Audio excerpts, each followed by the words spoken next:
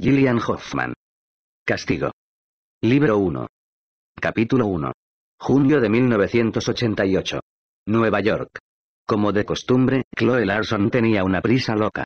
Disponía tan solo de diez minutos para ponerse algo apropiado para asistir a una representación del fantasma de la ópera cuyas localidades estaban agotadas desde hacía un año, maquillarse y coger el tren de las 18.52 que salía de Bayside en dirección al centro, lo cual suponía un trayecto de tres minutos en coche desde su apartamento hasta la estación. Eso le dejaba únicamente siete minutos de margen. Revolvió frenéticamente el repleto ropero que tenía pendiente de ordenar desde el invierno anterior y se decidió por una falda negra de crepé con la chaqueta a juego y una blusa rosa. Sosteniendo un zapato de charol negro en la mano, masculló el nombre de Michael mientras apartaba uno a uno del resto, que se amontonaba en el fondo del armario, hasta dar con su pareja. Bajó corriendo hasta el baño, calzándose por el camino. Se suponía que aquello no debía suceder así, se dijo mientras se echaba a un lado su larga y rubia melena y se la peinaba rápidamente con una mano al tiempo que se cepillaba los dientes con la otra. Se suponía que tenía que estar relajada y despreocupada, eufórica de expectación, con la mente despejada de cualquier distracción para cuando le formularan la pregunta que pondría punto final a todas las preguntas. Nada de ir corriendo de una serie de intensas clases a otra de grupos de estudio en compañía de otros alumnos tan estresados como ella, casi sin haber dormido, con los inminentes exámenes del Colegio de Abogados del Estado de Nueva York ocupando sus pensamientos. Escupió el enjuague bucal, se perfumó ligeramente con Chanel número 5 y casi corrió hacia la puerta de entrada. Cuatro minutos. Le quedaban cuatro minutos. De lo contrario, tendría que tomar el de las 19.22 y entonces seguramente se perdería la subida del telón. La imagen de un pulcro e irritado Michael esperándola en la puerta del Teatro Majestic, con una rosa en la mano y una cajita en el bolsillo, mirando el reloj constantemente, le cruzó por la cabeza. Se suponía que las cosas no tenían que haber ocurrido de esa manera. Se suponía que debía estar más preparada. Se apresuró por el patio hasta el coche mientras se colocaba como podía los pendientes que había cogido al vuelo del galán de noche de su dormitorio.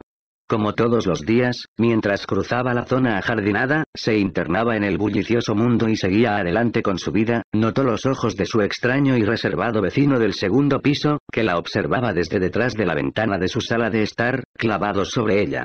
Chloe descartó la fría y desagradable sensación tan rápidamente como ésta la había invadido y subió a su coche. No era el momento de pensar en Marvin.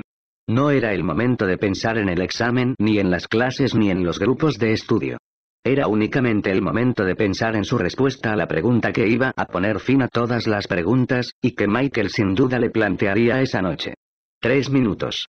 Solo le quedaban tres minutos, pensó, mientras se saltaba la señal de stop de la esquina y aprovechaba los últimos destellos de luz verde del semáforo de Northern Boulevard.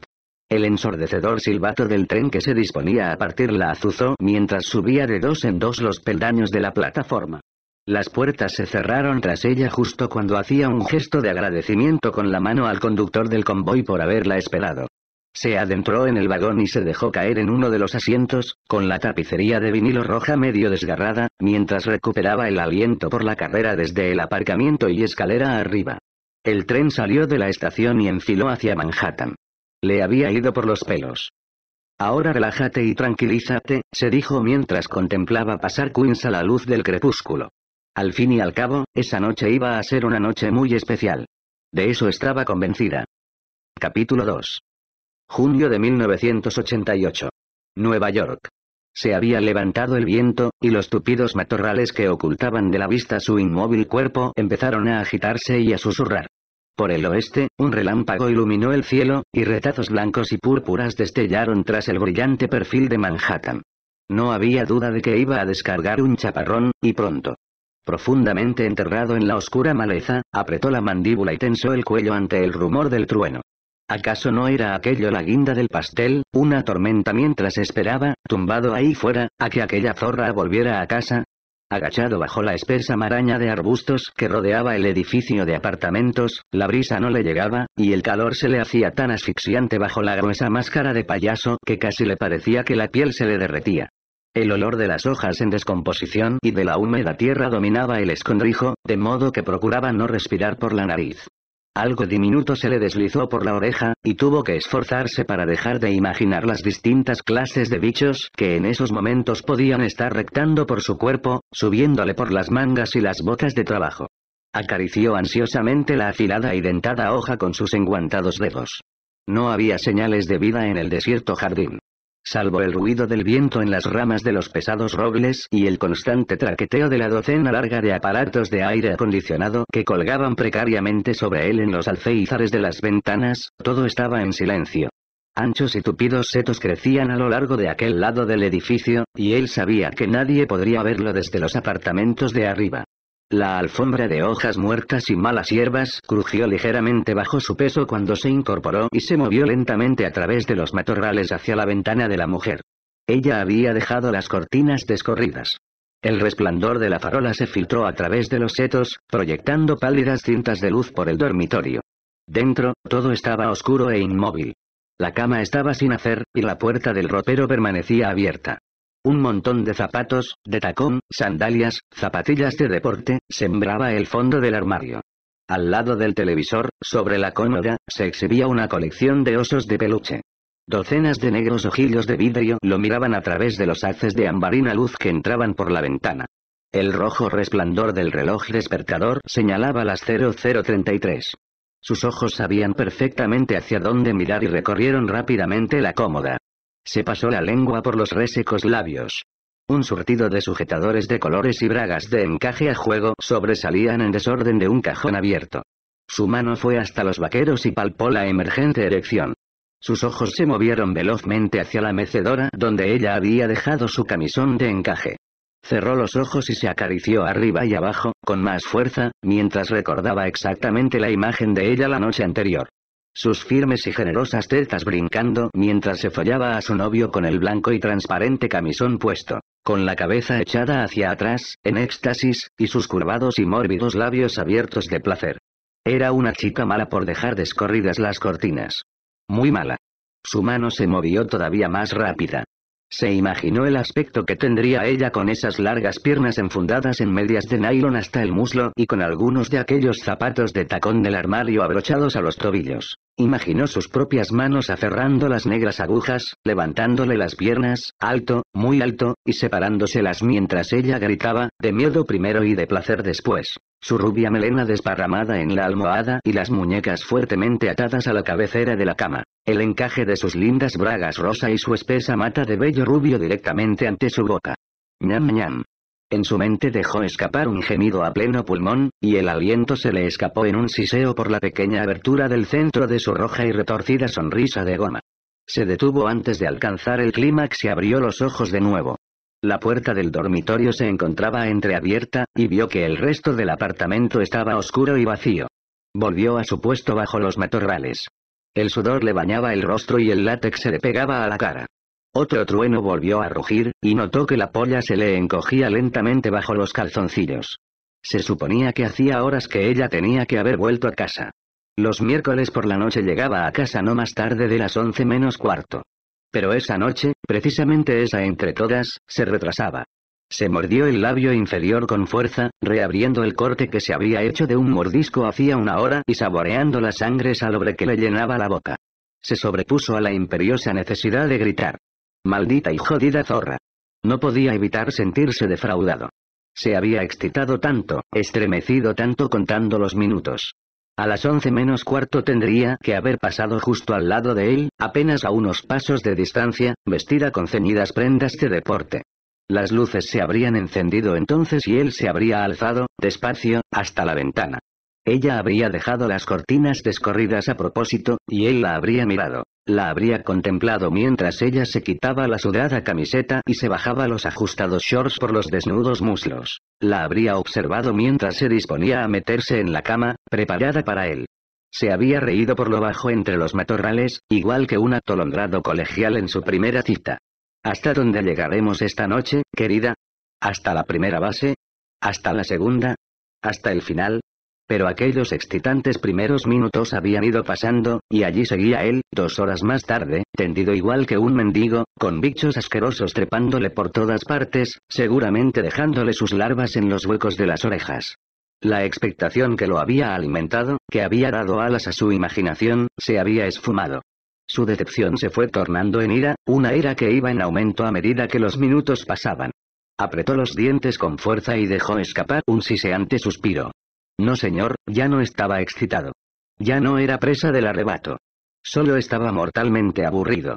Se sentó en la oscuridad, mordiéndose el labio durante lo que le pareció otra hora, pero solo fueron unos minutos. Otro relámpago iluminó el cielo, y el trueno rugió con más intensidad. Supo que había llegado el momento de marcharse.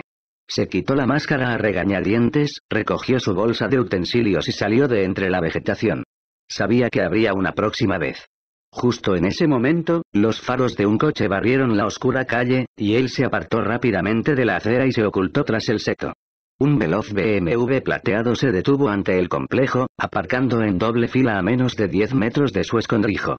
Los minutos se le antojaron horas. Pero, al fin, la puerta del pasajero se abrió y asomaron un par de largas y apetitosas piernas y unos pies enfundados en unos zapatos de charol negro y tacón alto. Al instante supo que era ella, y una inexplicable calma se apoderó de él. Tenía que ser obra del destino. Entonces, el payaso se hundió en la negrura del seto. A esperar. Capítulo 3. Aún siendo miércoles y pasada la medianoche, Times Square con la 42 seguía iluminada por los neones y rebosante de distintas formas de vida. Chloe Larson se mordía nerviosamente la uña del pulgar y miraba por la ventana desde su asiento de pasajera, mientras el BMW se escabullía por las calles de Manhattan hacia la 34 y el túnel de Midtown. Sabía que aquella noche no tendría que haber salido. La pequeña y molesta vocecita de su cabeza se lo había estado repitiendo todo el día, pero ella no le había hecho caso y, a solo cuatro semanas vista del examen del colegio de abogados, había echado a perder una noche de intenso estudio a cambio de una velada de romance y pasión. Y hubiera sido por una buena causa si al final la cita no hubiese resultado tan poco romántica, y en ese momento se sentía a la vez desdichada y asustada, presa de un miedo irresistible ante el examen. Michael seguía quejándose de su dura jornada en su infierno corporativo particular y no parecía darse cuenta de su pánico ni de su tristeza, y menos aún de la poca atención que ella le prestaba. Y si se daba cuenta, no parecía importarle. Michael Decker era la pareja de Chloe. Probablemente su futura y definitiva pareja. Un destacado abogado, socio del prestigioso bufete de White, Hugh Lombard, de Wall Street. Se habían conocido allí hacía dos veranos, cuando Chloe fue contratada temporalmente como ayudante de Michael en el departamento de litigios comerciales. No había tardado en averiguar que Michael nunca aceptaba un no por respuesta cuando lo que deseaba era un sí a su pregunta. El primer día de trabajo él le había echado una bronca y ordenado que se leyera mejor la jurisprudencia de los casos, y al siguiente la había besado apasionadamente en el cuarto de la fotocopiadora. Era apuesto y brillante y tenía una aura romántica que Chloe no podía explicarse y a la que tampoco podía resistirse. Así pues, ella se había buscado otro trabajo, el romance había florecido, y esa noche marcaba el segundo aniversario de su primera cita formal. A lo largo de las dos semanas anteriores, Chloe le había pedido, casi suplicado, que celebraran el aniversario una vez que ella hubiera pasado su examen. Sin embargo, él la había llamado aquella misma tarde para sorprenderla con unas entradas para el teatro, ni más ni menos que para la sesión de noche de El fantasma de la ópera. Michael conocía el punto débil de la gente, y cuando no, lo buscaba. En consecuencia, cuando ella rehusó, él supo dar de lleno en el blanco apelando a su sentido de la culpabilidad, aquel rasgo católico irlandés enterrado en lo más hondo de su subconsciente. Pero, Chloe, si apenas nos vemos. Siempre estás estudiando. Nos merecemos pasar un poco de tiempo juntos. Lo necesitamos, cariño. Yo lo necesito. Etcétera. Por si fuera poco, añadió que prácticamente había arrebatado las entradas a un cliente en apuros, hasta que ella por fin cedió y, a regañadientes, se avino a encontrarse con él en el centro. Había cancelado la reunión con su grupo de estudio en Queens, se había cambiado rápidamente tras su clase de repaso y había cogido el tren hacia Manhattan mientras intentaba silenciar la desconcertante voz del remordimiento, que vociferaba de repente. Aún así, después de todo aquello no podía decir que se hubiera sorprendido cuando, diez minutos después de la llamada a escena, un anciano acomodador de rostro amable le entregó una nota en la que Michael le comunicaba que se encontraba atrapado en una reunión imprevista y que llegaría tarde. Tendría que haberse marchado de allí en aquel mismísimo instante, pero... El caso era que no lo había hecho. Miró por la ventana mientras el BMW se metía bajo el East River y las luces del túnel pasaban en una serie de borrosas manchas amarillas. Michael se había presentado antes del comienzo del último acto, con una rosa en la mano, y había lanzado su habitual letanía de disculpas antes de que ella pudiera abofetearlo. Un billón de excusas más tarde, consiguió que ella se sintiera lo bastante culpable para que aceptara ir a cenar. Lo siguiente que Chloe supo fue que estaban cruzando la calle, juntos, camino de Carminés, mientras se preguntaba dónde se había dejado olvidado el sentido común. Cómo odiaba sus raíces católico-irlandesas. Todas las llamadas a su sentido de culpa acababan en calvarios. Si al menos la noche hubiera acabado ahí, no habría estado mal, pero entre unos platos de ternera al marsala y una botella de cristal, Michael le había asestado el golpe bajo y definitivo de la velada. Chloe apenas había empezado a relajarse y a disfrutar del champán y del romántico entorno cuando Michael sacó un pequeño estuche y ella comprendió al instante que no era lo bastante pequeño. Feliz aniversario, le dijo él, sonriendo suavemente, con sus atractivos y castaños ojos rebosantes de calidez bajo la parpadeante luz de las velas. Los violinistas que deambulaban entre las mesas se acercaron como tiburones a un compinche te quiero, nena. Pero obviamente no lo bastante para casarte conmigo, pensó ella mientras contemplaba la cajita envuelta con papel plateado, sujeto con un lazo blanco enorme, temerosa de abrirla. Temerosa de comprobar lo que no contenía. Adelante, ábrela. Michael había llenado los vasos con más champán y su sonrisa se había hecho más fanfarrona. Sin duda creía que una combinación de alcohol y joyas del tipo que fueran le bastaba para salir del atolladero por haber llegado tarde. Poco sospechaba en ese momento lo equivocado que estaba y que iba a necesitar un mapa y un equipo de supervivencia para volver al buen camino. Aunque también cabía la posibilidad de que ella se hubiera equivocado y de que Michael lo hubiera metido en aquel estuche para confundirla. Pero no. Dentro, colgando de una delicada cadenita de oro, había dos corazones entrelazados por un reluciente diamante. Era una joya preciosa, pero no era redonda y no se la podía poner en el dedo. Furiosa consigo misma por pensar de aquel modo, tuvo que contener las lágrimas. Antes de que se diera cuenta, él se levantó, se situó tras ella, le apartó el rubio cabello para abrocharle la joya y le dio un beso en la nuca, interpretando erróneamente que sus lágrimas eran de felicidad haciendo caso omiso de ellas. Te queda estupendamente, le susurró al oído. Michael se sentó de nuevo y encargó un tiramisú, que llegó cinco minutos más tarde con una vela y tres italianos cantores. Los violinistas se unieron a la fiesta y todos acabaron cantando el feliz aniversario en italiano. Chloe deseó haberse quedado en casa. El BMW circulaba hacia Queens por el Long Island Expressway, y Michael seguía ajeno al hecho de que Chloe se mostrara ausente de la conversación. Había empezado a lloviznar, y los relámpagos iluminaban el cielo. Chloe observó a través del retrovisor de la puerta que el perfil de Manhattan se iba empequeñeciendo tras Lefrak City y Rego Park, hasta desaparecer de la vista. Después de dos años saliendo, Michael sabía lo que ella deseaba, y que no se trataba precisamente de un colgante. Maldito. Ya tenía ella bastante estrés en su vida con el inminente examen del colegio de abogados, para encima tener que cargar con aquel lastre emocional. Era algo que necesitaba tanto como un tiro en la cabeza.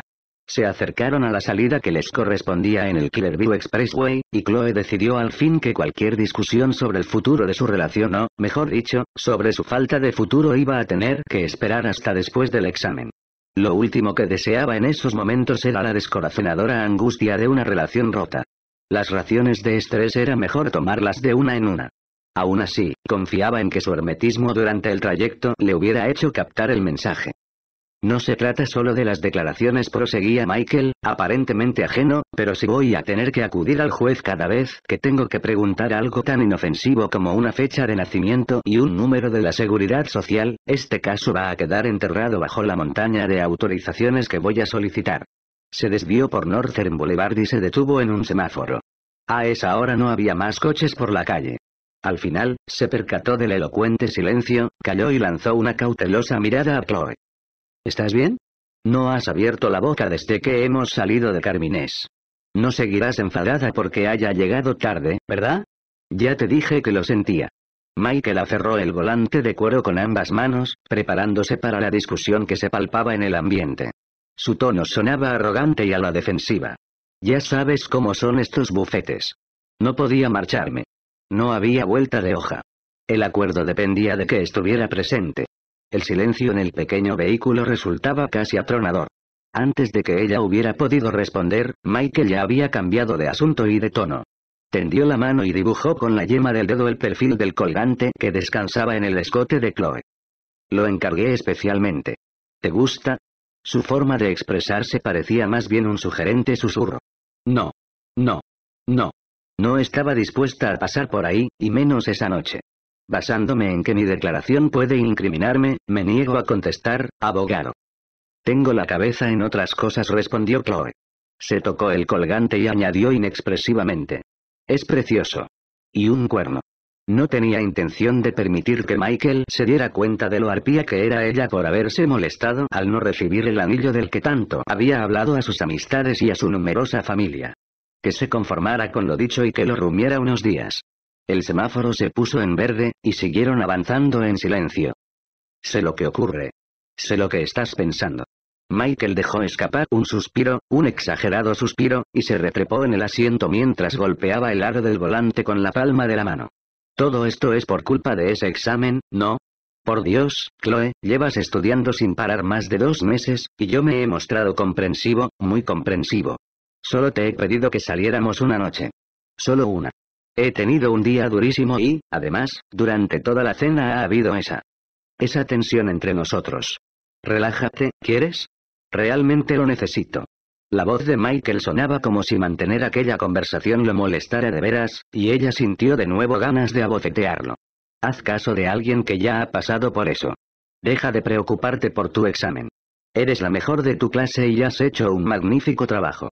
Todo saldrá bien.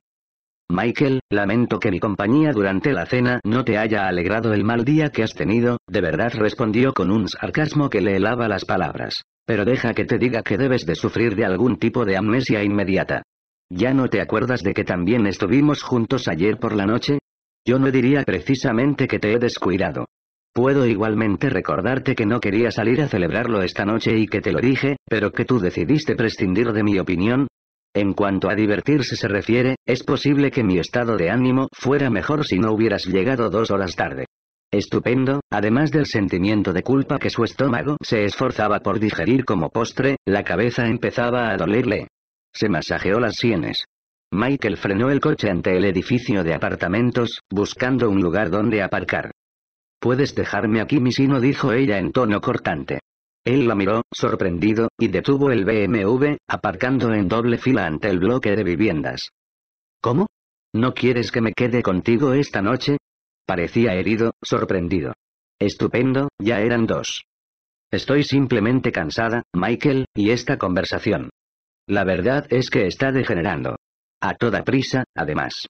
Y por si fuera poco, hoy me he saltado mi clase de aeróbic, así que tendré que recuperarla mañana temprano, antes de ir a la universidad. El silencio se apoderó del interior del vehículo. Michael miró por la ventana mientras ella recogía la chaqueta y el bolso. Chloe, escucha, lamento de veras lo de esta noche. En serio. Quería que fuera especial y no lo ha sido, y por ello me disculpo. Lamento que estés tan estresada con tu examen. Lamento haber saltado así. Su tono resultaba sincero y mucho más suave. La táctica del muchacho sensible la pilló ligeramente desprevenida. Él se le acercó y le acarició el cuello y el rostro con la punta de los dedos, recorriéndole la línea de la mandíbula mientras ella mantenía la mirada clavada en su bolso y jugueteaba con las llaves, intentando con todas sus fuerzas hacer caso omiso de aquel contacto. Michael le hundió la mano en los rubios cabellos, la atrajo hacia sí y le acarició la oreja con los labios. No necesitas ir al gimnasio, murmuró. Deja que sea yo quien te haga hacer ejercicio. Desde aquel día en el cuarto de la fotocopiadora, Michael siempre había sabido cómo conseguir que le temblaran las piernas. Y ella no sabía el modo de decirle que no. Chloe percibió la dulzura de su cálido aliento y notó que sus manos le bajaban por la espalda. En su mente sabía que no debía tragarse aquella basura, pero en su corazón. Bueno, esa era otra historia. Por alguna razón carente de sentido, lo amaba. Sin embargo, esa noche. Esa noche no iba a pasar nada. Hasta las descerebradas como ella tenían un límite. Abrió la puerta del coche y se apeó, deprisa, jadeante. Cuando se inclinó hacia la ventanilla, su voz sonaba indiferente. Hoy no, Michael. Me tientas, pero ya es la una. Marie pasará a buscarme a las nueve menos cuarto, y no puedo retrasarme otra vez. Cerró de un portazo. Michael apagó el motor y salió del coche. Estupendo. Estupendo. Lo capto. Esto se ha convertido en una noche jodidamente estupenda. Exclamó cerrando también en la puerta de golpe. Chloe lo miró fijamente. Luego dio media vuelta y se encaminó hacia el vestíbulo. Mierda. Mierda. Mierda. Masculló Michael para sí mientras echaba a correr tras ella.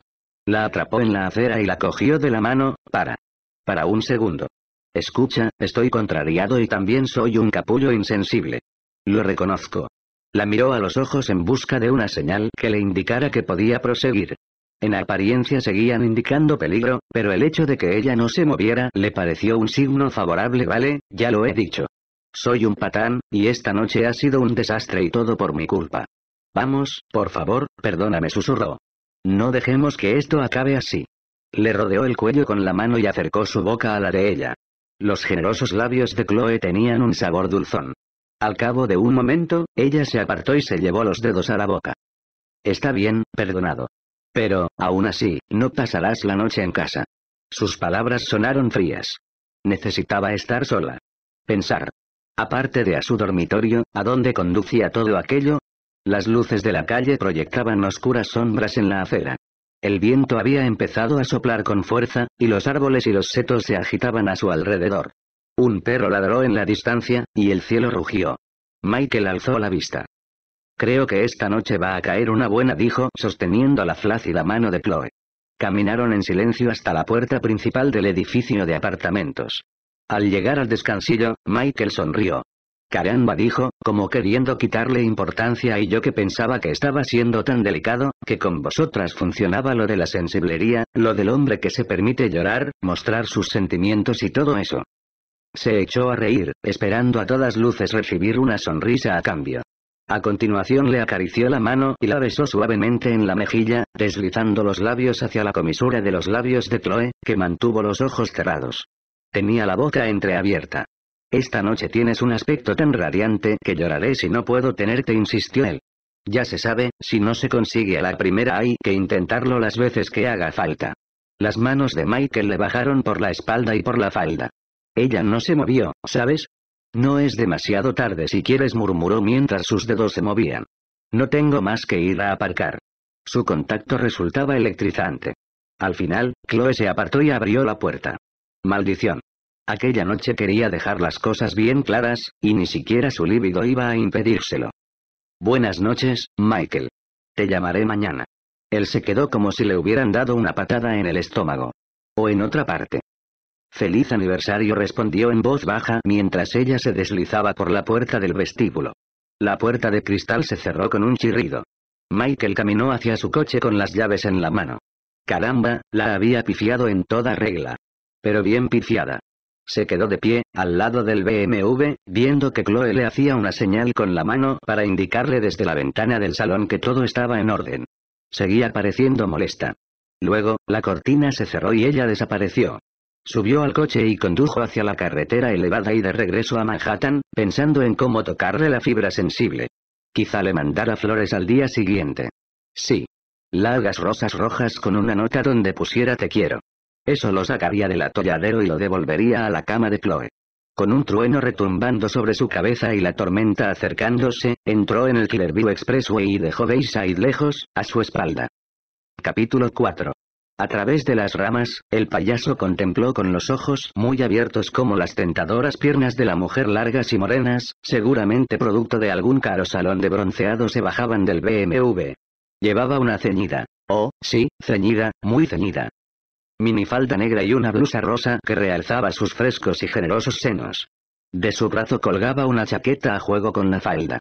El rosa era el color favorito de ella, y también el de él.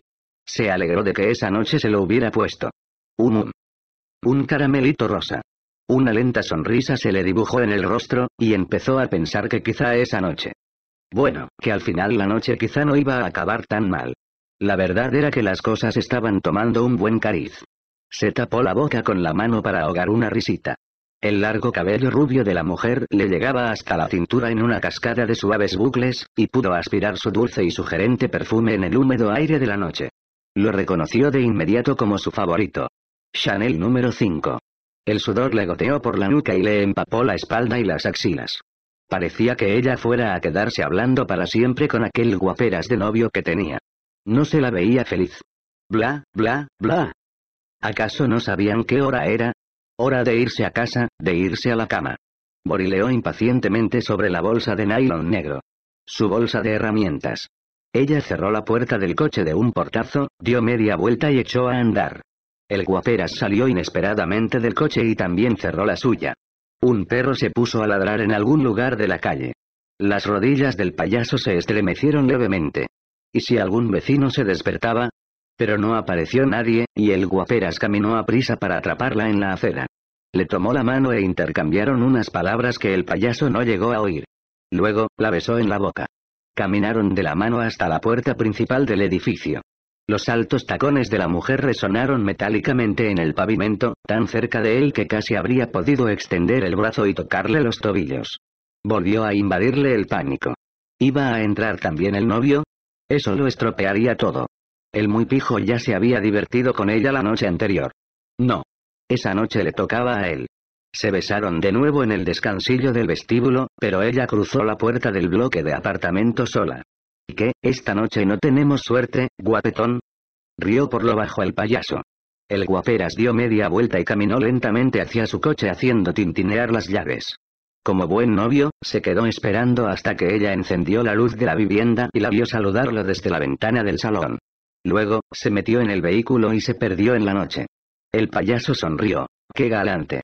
La ha acompañado hasta la puerta y le ha dado un besito de buenas noches. Que no la molesten los bichos. Incluso se ha quedado para asegurarse de que está a salvo y de que no hay ningún hombre del saco acechándola dentro. Para partirse de risa. Cinco minutos después se encendieron las luces del dormitorio, iluminando los matorrales. Se agachó más.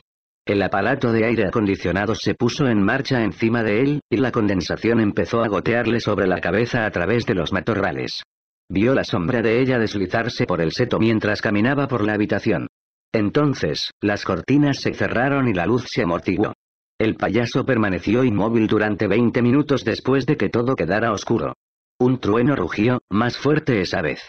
Había empezado a llover, débilmente al principio, pero sabía que iba a arreciar. Las rachas de viento se estaban haciendo más fuertes, y los matorrales se agitaban y bailaban una extraña danza bajo la luz de las farolas. Tenían la tormenta casi encima. Ella había llegado justo a tiempo. Cogió la bolsa con sus herramientas y se escabulló hacia la esquina del edificio, hasta que llegó justo debajo de la ventana del salón que tenía el pestillo roto. Luego, exactamente a la 1.32 de la madrugada, el payaso se ajustó la máscara. Se incorporó y se sacudió los vaqueros, que en ese momento le iban muy ceñidos, levantó sigilosamente la ventana a oscuras y se deslizó al interior, fuera del alcance de la lluvia. Capítulo 5. Chloe observó desde la ventana a Michael mientras éste regresaba al coche, rechazado y cabizbajo. Lo saludó desganadamente con la mano y cerró a propósito las cortinas cuando él le devolvió el gesto.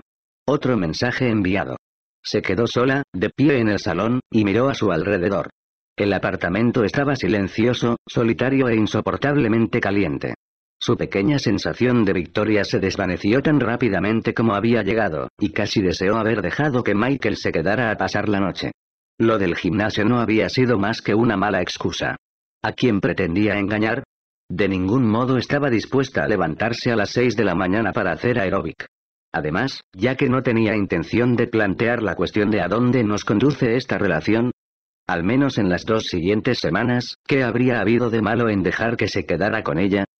Pero como te sentías molesta por no haber conseguido lo que esperabas en este feliz día de aniversario, no estabas dispuesta a darle lo que él esperaba. Fantástico, ya solo le faltaba que su esquizofrénica conciencia pensara que se había comportado como una arpía.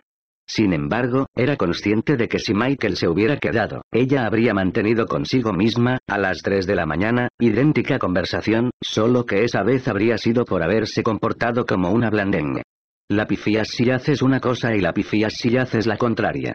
Todo aquello le resultaba demasiado deprimente y agotador, y confió en que un par de grajeas de Tilenol pudieran aplacar el martilleo de su cabeza. El apartamento era un horno. Las ventanas habían permanecido cerradas todo el día y el interior se había sobrecalentado. Hasta los muebles estaban tibios al tacto.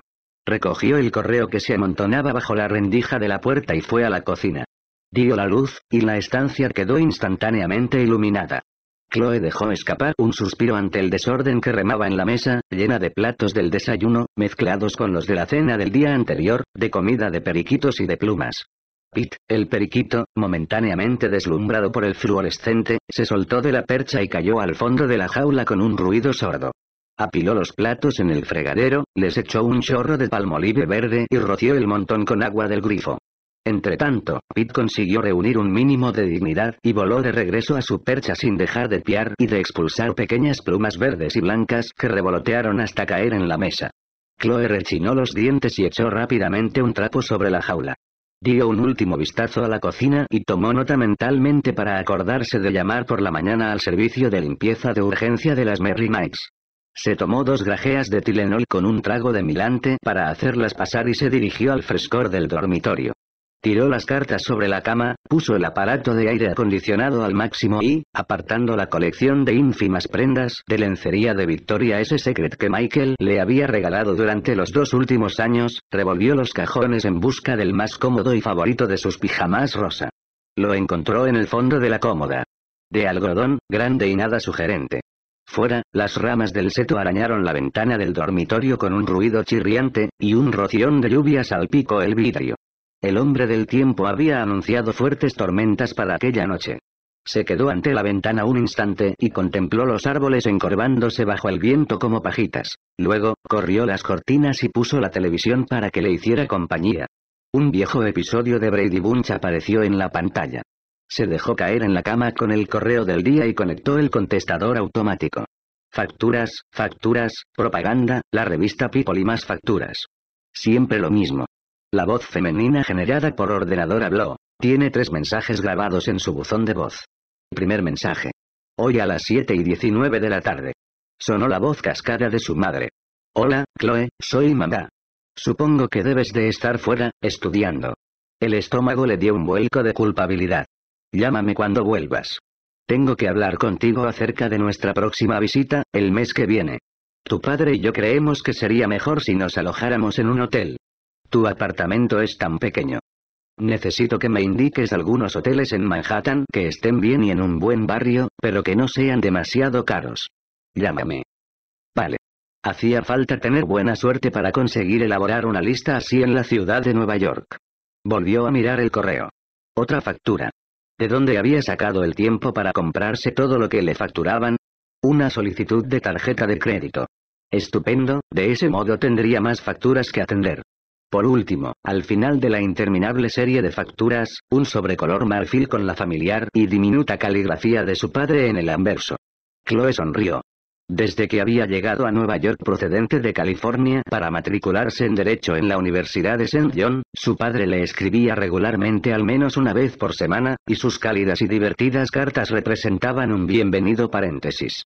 A veces tenían páginas y páginas, otras, unas pocas líneas, pero siempre empezaban con el mismo saludo. Hola, caramelito. ¿Qué tal se las arregla mi niña en la gran ciudad? Caramelito había sido su apodo desde los cinco años por su insaciable apetito de golosinas.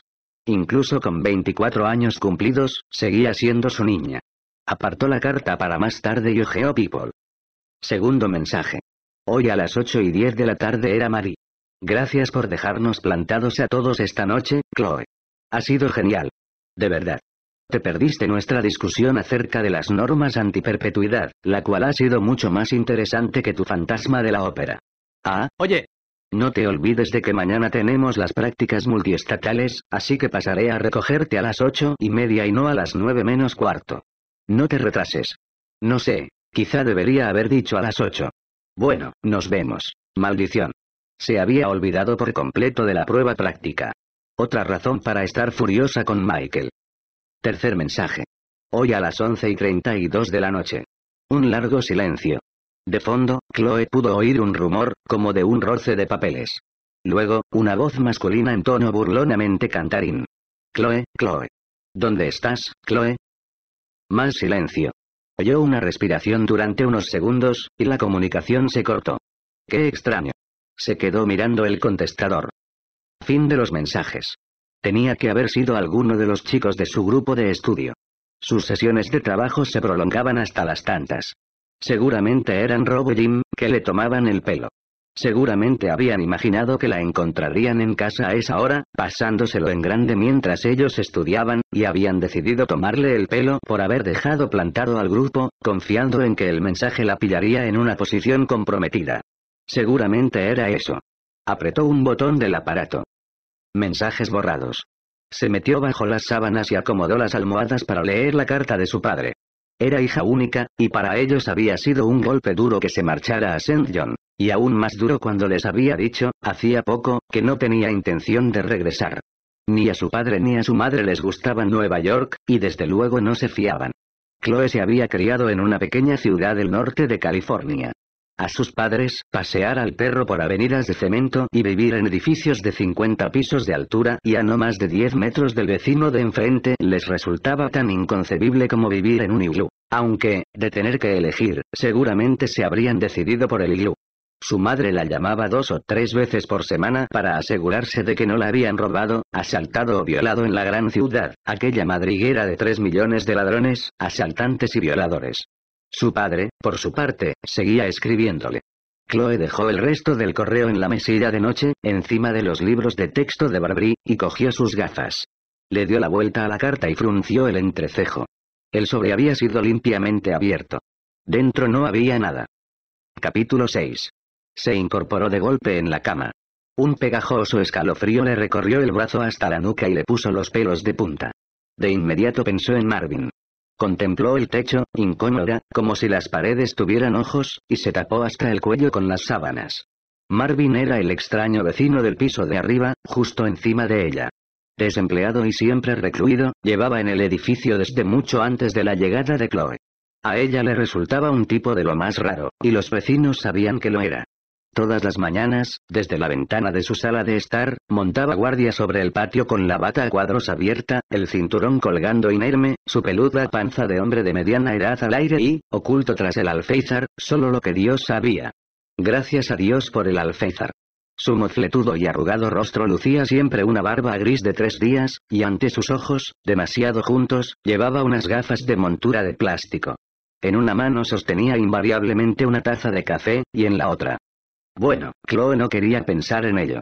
El rumor que corría en la lavandería del edificio decía que Marvin era emocionalmente inestable y que vivía de la caridad del Estado y gracias a la ayuda de su anciana madre. A su espalda, los vecinos lo llamaban Norman y especulaban con lo que podía haberle pasado a su madre, a lo que hacía bastante tiempo que nadie veía. Chloe había tenido siempre a Marvin por un tipo raro pero inofensivo. A veces lo había visto en el descansillo o en el vestíbulo. En esas ocasiones, él nunca había sonreído, sino que había mascullado algo ininteligible al pasar ella por su lado. Sin embargo, dos meses atrás, había cometido el error de saludarlo con la mano mientras él estaba en su atalaya y ella se dirigía a buscar el coche. Esa noche lo encontró esperándola en el recibidor de la entrada con su correo en la mano. Marvin le sonrió con una torcida mueca que reveló una hilera de pequeños dientes amarillos y farfulló algo acerca del lío que se había hecho el cartero, mezclando las cartas, antes de arrastrar los pies escalera arriba, para seguir espiando desde los dominios de su sala de estar. Después de aquello, el inepto cartero había confundido las cartas al menos en tres ocasiones más, y Marvin empezó a cultivar la afición de regar las plantas del vestíbulo oportunamente siempre que Chloe regresaba de clase. Todas las mañanas, al salir, ella notaba que Marvin le clavaba la mirada en la espalda desde el observatorio del salón. Luego, volvía a encontrárselo en el vestíbulo por la noche, con su cabeza de huevo oscilando como las baratijas de adorno de un coche, y notaba que sus ojos la recorrían de arriba a abajo. Hacía dos semanas que había empezado a recibir extrañas llamadas, en las que el comunicante colgaba tan pronto como ella se ponía al aparato. Luego, cuando devolvía el auricular a su sitio, el techo crujía, como si Marvin deambulara de un lado a otro. Quizá el del mensaje de esa noche en el contestador había sido él, que por fin había tenido las pelotas necesarias para hablar.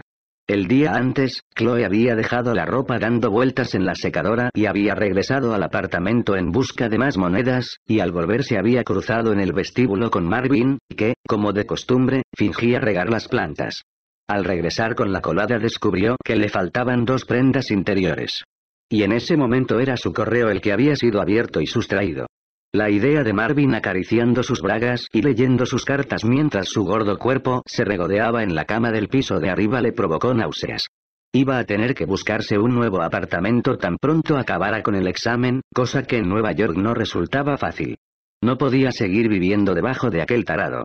Hasta esa noche no había pensado en mudarse a casa de Michael, pero... Demasiados pensamientos se le agobaban en la cabeza. ¿Y si se tomaba otro Tilenol? Se levantó y caminó descalza para comprobar la puerta principal. Se asomó a la mirilla, casi esperando ver al gordo Marvin en cuclillas y medio desnudo ante su puerta, con una taza de café en una mano y una planta en la otra. No había nadie. Todo estaba oscuro. Se aseguró de haber cerrado bien la puerta y puso un tira de cinta adhesiva en la parte interior de la ranura del correo para que los gordos dedos de Marvin no pudieran forzarlo y permitir que sus fisgones ojos se introdujeran en el apartamento. Al día siguiente se ocuparía de sellar la abertura y organizar las cosas para recoger sus cartas directamente en la oficina de correos. Volvió al frescor de su cuarto y cerró la puerta del dormitorio. Echó una rápida ojeada al cielo raso para asegurarse de que Marvin no se hubiera aficionado de repente a la carpintería. Al no encontrar agujeros ni nada sospechoso, se quedó viendo un rato la televisión, hasta que el dolor de cabeza empezó a remitir. Fuera, restalló un trueno y las luces parpadearon. La tormenta parecía de las fuertes. Era posible que esa noche se quedara sin electricidad. Apagó el televisor y las luces y se metió en la cama, escuchando el repiqueteo de la lluvia contra los cristales y el aparato de aire acondicionado. Era un suave golpeteo, pero Chloe sabía que los cielos no tardarían en descargar con fuerza. Bien pensó, quizá refresque un poco el ambiente. La reciente ola de calor resultaba asfixiante física y mentalmente agotada, cayó por fin en un profundo sueño. Se hallaba en mitad de una extraña y complicada ensoñación acerca de su examen para el colegio de abogados, cuando oyó directamente encima de ella el sonido de una voz ronca y apagada. Hola, caramelito. ¿Qué tal se las arregla mi niña en la gran ciudad? ¿Te apetece un poco de diversión? Capítulo 7. Se había colado en el apartamento con toda facilidad a través de la ventana del pestillo roto del salón. Fuera había empezado a llover con fuerza, y estaba empapado de pies a cabeza. Con las cortinas echadas, estaba completamente oscuro y no podía ver nada. Pero no le importaba, porque conocía bien la distribución de la vivienda. El reloj de la cocina sonaba con fuerza dos habitaciones más allá. Con cuidado, pasó al lado de la mesa esquinera de madera con afilados cantos de metal y de la baja mesa de centro llena de periódicos de los últimos tres días. Había estado allí muchas veces. Se había quedado de pie en el salón, había leído los periódicos de ella, sus revistas, acariciado sus libros de derecho. Había escuchado sus mensajes telefónicos, revisado su correo y sus facturas. De hecho, incluso había descubierto que la mesa provenía de Payer Imports y que todavía no había sido pagada. Conocía su delgada talla 36, había tocado sus vestidos, palpado sus blusas de seda y olisqueado su colada perfumada con suavizante Tidan Snuggle. Había picado secretamente de los restos de la pizza del frigorífico, su preferida, de salchichas y albóndigas con extra de queso. Sabía que ella utilizaba champú Pantene y jabón Dial y que le encantaba el perfume Chanel número 5. Se había situado ante el espejo del baño verde y amarillo pálido, desnudo, y se había frotado todo el cuerpo con su seductora loción corporal de Bath Body Works, imaginando lo que sentiría cuando ella finalmente le cogiera la polla con las manos. Después de aquello, había conservado aquel aroma en el cuerpo durante días, un embriagador y constante recuerdo de ella. Sabía que el nombre de soltera de su madre era Marlene Townsend y el puesto que ocupaba su padre en aquel pequeño periódico de su ciudad natal. Sabía todo lo que había que saber acerca de Chloe Joanna Larson. Se quedó inmóvil y en silencio en medio del salón, aspirando simplemente el aroma de ella. Con la punta de los dedos recorrió el diván y los cojines. Recogió la chaqueta que Chloe se había puesto esa noche y que había sido arrojada al sofá. La acarició y la olió a través de los pequeños agujeros nasales de la máscara. Luego, lentamente, se encaminó hacia el dormitorio, justo al final del corto pasillo. De repente, en la cocina, Pete agitó las alas dentro de la jaula, haciendo que el eco metálico de los barrotes resonara por el silencioso apartamento. El payaso se detuvo en seco y se quedó escuchando, atento a cualquier señal de ella mientras las gotas de sudor le corrían bajo la careta. Respiraba fuerte y rápidamente, pero de forma controlada. La sorpresa era esencial, y no funcionaría si ella salía en ese momento. Las cosas no saldrían conforme al plan. La manecilla del reloj gris de la pared de la cocina marcaba los segundos ruidosamente. No movió ni un músculo. Pasaron unos diez minutos, pero el apartamento permaneció silencioso. Al final del pasillo se encontraba el dormitorio. A duras penas pudo contenerse. El momento había llegado. Por fin. Podía oír el aire acondicionado, el zumbido que cambiaba de intensidad cuando el aparato variaba de velocidad. Aferró el viejo picaporte redondo de vidrio durante largos segundos, notando la electricidad de aquel momento corriéndole por las venas. Oh, creo que me quedaré con lo que hay tras la puerta número 3. Bajo la máscara esbozó una lenta y dulce sonrisa. Luego, sencillamente, el payaso abrió la puerta con un leve crujido y entró sin hacer ruido en el dormitorio. Capítulo 8. Un espasmo de puro pánico recorrió el cuerpo de Chloe. Había estado soñando angustiosamente que llegaba cinco minutos tarde a su examen y que tenía que discutir con los bedeles para que la dejaran entrar. Y en ese momento, durante una fracción de segundo, sus ojos se resistieron a abrirse mientras su cerebro intentaba reconciliar las palabras que acababa de oír con la acción que se desarrollaba en su sueño. Entonces, de golpe, notó la fría suavidad del caucho contra su boca y notó el amargo contacto de un guante de látex en los labios. Un enorme peso le aplastó repentinamente el pecho, estrujándole los pulmones y vaciándoselos de aire. Intentó gritar, pero no profirió ningún sonido. Le introdujeron algo suave y blando en la boca y se lo empujaron hasta el fondo de la garganta, provocándole arcadas. Sus ojos, desorbitados de terror, se esforzaron por adaptarse a la casi total oscuridad del cuarto. Se llevó las manos a la cara, pero al instante se las apresaron, se las empujaron por encima de la cabeza y se las ataron rápidamente a los barrotes metálicos de la cama con una cuerda muy apretada. También le sujetaron las piernas, se las separaron y se las anudaron a los pies del canapé. Esto no puede estar pasándome. Tiene que ser una pesadilla. Por favor, Dios mío, haz que despierte. Despiértame ya. En menos de 40 segundos había sido inmovilizada por completo. Cuando su vista se hubo adaptado a la oscuridad, volvió la cabeza frenéticamente, a un lado y a otro, buscando a su atacante.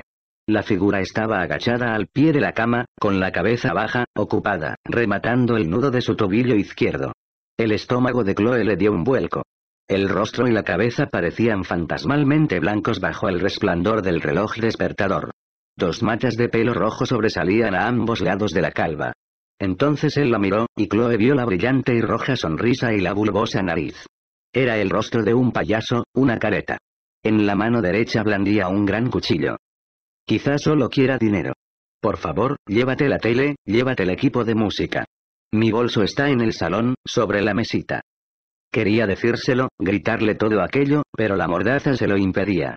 Él caminó ante la cama, acariciando la enorme y dentada hoja con sus enguantados dedos. Sus ojos no se despegaban de ella, observándola tras los vacíos y negros agujeros de la máscara. Chloe podía notar su mirada, oír su respiración, oler su sudor. Intentó agitar frenéticamente brazos y piernas, desesperada por romper las ligaduras de sus manos, de sus pies, pero no pudo moverse. Las cuerdas se le hundieron en la delicada piel de los tobillos, y empezó a notar un hormigueo en los dedos de las manos por la falta de circulación. Intentó escupir la mordaza para gritar, pero fue incapaz de mover la lengua. Se retorció en la cama con todo el cuerpo, impotente, hasta que él se detuvo ante la esquina derecha del colchón. Su dedo le rozó la punta del pie y, muy despacio, empezó a reseguirle la línea de la pantorrilla, de la rodilla, y a subirle por el muslo hasta que llegó al final de la parte de arriba del pijama. Chloe se estremeció bajo el contacto. No había nada que pudiera hacer. Notaba el corazón latiéndole desesperadamente en el pecho. El aire acondicionado cambió de velocidad y zumbó más bajo. Fuera podía oír el golpeteo de las gruesas gotas de lluvia en la ventana y en la cubierta metálica del aparato. La tormenta había llegado. Un trueno retumbó en el aire, y un relámpago surcó el cielo, filtrándose por los resquicios de la cortina e iluminando un poco más la figura. Pudo distinguir unas tupidas cejas pelirrojas, el oscuro perfil de su sonrisa. Mechones de cabello de un rubio descolorido le sobresalían por el cuello desnudo. De repente se apartó de ella, se dirigió a la mesilla de noche y dejó el cuchillo. Abrió el cajón y sacó dos velas votivas perfumadas de coco y una caja de cerillas. Chloe lo observó mientras las encendía y vio las llamas proyectando una suave luz por todas partes y llenando la habitación con su delicado aroma. Durante varios minutos, él la contempló en silencio, mientras su aliento salía expelido con fuerza por la estrecha abertura de la boca de goma. Las velas proyectaban en la pared sombras distorsionadas y exageradas. Hola, Chloe. La cara de látex, con su enorme sonrisa, la miraba desde lo alto. Las palabras casi silbaban al salir por la ranura. Ella creyó ver unos ojos azules, como el hielo, a través de los agujeros de la careta. Te he echado de menos, Chloe. Casi pensé que no ibas a aparecer esta noche. Se dio la vuelta, recogió el cuchillo y la miró de nuevo, ¿te has saltado la clase de gimnasia solo para salir con tu novio? Ay, niña mala, niña mala. La piel de Chloe se tornó fría y pegajosa. Aquel individuo sabía cómo se llamaba. Sabía que había faltado a su clase de aerobia. ¿Acaso trabajaba en el gimnasio? Su mente trató desesperadamente de ubicar la voz. Era grave y sonaba apagada al salir por el agujero de la boca. Creyó detectar lo que le pareció un defecto de pronunciación o quizá un acento que el otro intentaba ocultar, británico. Él se inclinó y se arrodilló a su lado. Acercó el rostro de caucho a su oreja y le apartó el cabello de la mejilla. Chloe percibió el olor a látex de la careta y un leve rastro de quórum, una colonia que en una ocasión había regalado a Michael por Navidad. Su aliento olía a café rancio. ¿Sabes? Deberías haber dejado que tu novio se quedara esta noche, le susurró el payaso al oído. Otro trueno y otro relámpago restallaron en el exterior, iluminando el dormitorio con un breve fogonazo. Ella vio entonces el destello del cuchillo cuando él lo blandió en alto a escasos centímetros de su estómago. Los ojos se le desorbitaron. La figura se echó a reír y se levantó. Con el dedo le fue recorriendo el cuerpo, el brazo, el hombro y hasta los senos bajo el pijama. El cuchillo se movió al mismo tiempo, flotando en el aire justo encima del dedo. A una chica tan guapa como mi no deberían dejarla sola. De repente, bajó la cuchilla y cortó de un tajo el botón inferior de la chaqueta del pijama. Porque uno nunca sabe lo que puede ocurrirle a una chica hecha y derecha en la gran ciudad. La hoja segó el siguiente botón. Un tronido sonó fuera para acompañar al rayo. La alarma de un coche se disparó a lo lejos. Pero no te preocupes, caramelito, que yo me voy a ocupar de mi mujercita. Voy a hacerte sonreír de verdad. Otro botón desapareció. Chloe se estremeció, cielo santo, conocía su apodo. Él inhaló exageradamente y olfateó el aire. Chanel número 5. Me encanta. Espero que te lo hayas puesto solo para mí. También es mi favorito. También conocía su perfume preferido. ¿Qué más te has puesto para mí esta noche? El último botón saltó y rodó junto a ella antes de caer sobre la moqueta con un ruido sordo. La punta del cuchillo se deslizó por la abertura de la chaqueta del pijama, separándola.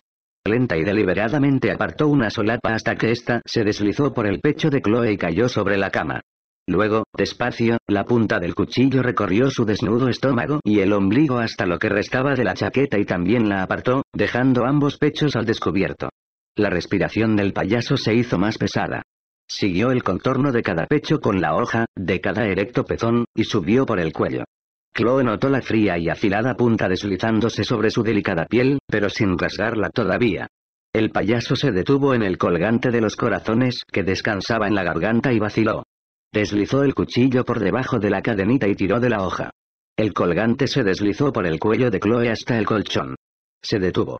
Chloe podía notar que su mirada la traspasaba mientras recorría su cuerpo. Oh, Dios de mi vida, por favor no me hagas esto. El cuchillo viajó furiosamente pierna abajo y desgarró lo que quedaba del pijama rosa.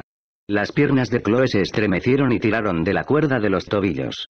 Entonces, él desanduvo el camino con el cuchillo por las desnudas piernas, empezando desde la punta del pie, siguiendo por la pantorrilla y por la parte interior del muslo, presionando la hoja cada vez más a medida que avanzaba, pero sin llegar a cortar todavía. Guió el filo bajo el revoltijo de cordeles de la cintura y le cortó las bragas, dejándola completamente desnuda. Estás tan buena que creo que no me quedará más remedio que comerte, dijo con voz estrangulada. Oh, no. No. No. No. Esto tiene que ser una pesadilla. Por favor, que sea una pesadilla. Podía oír la voz de su padre. Ten cuidado por ahí. Nueva York es una ciudad muy grande con mucha gente muy distinta, y no todo el mundo es simpático. Chloe forcejeó para quitarse la mordaza de la boca. Notaba que el corazón estaba a punto de estallarle en el pecho. Sus brazos se agitaron frenéticamente bajo las cuerdas hasta que notó que le quemaban las muñecas. Él la contempló retorcerse en la cama. A continuación, dejó el cuchillo en el galán de noche y se quitó la camiseta negra. Estaba bronceado. Su pecho carecía de vello y tenía una musculatura bien esculpida y un estómago firme y bien dibujado.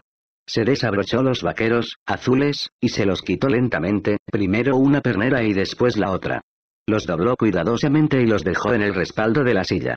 Chloe se fijó en que su brazo, justo por encima de la muñeca, tenía una fea cicatriz en zigzag que por alguna razón le recordó la señal de tráfico de curvas peligrosas.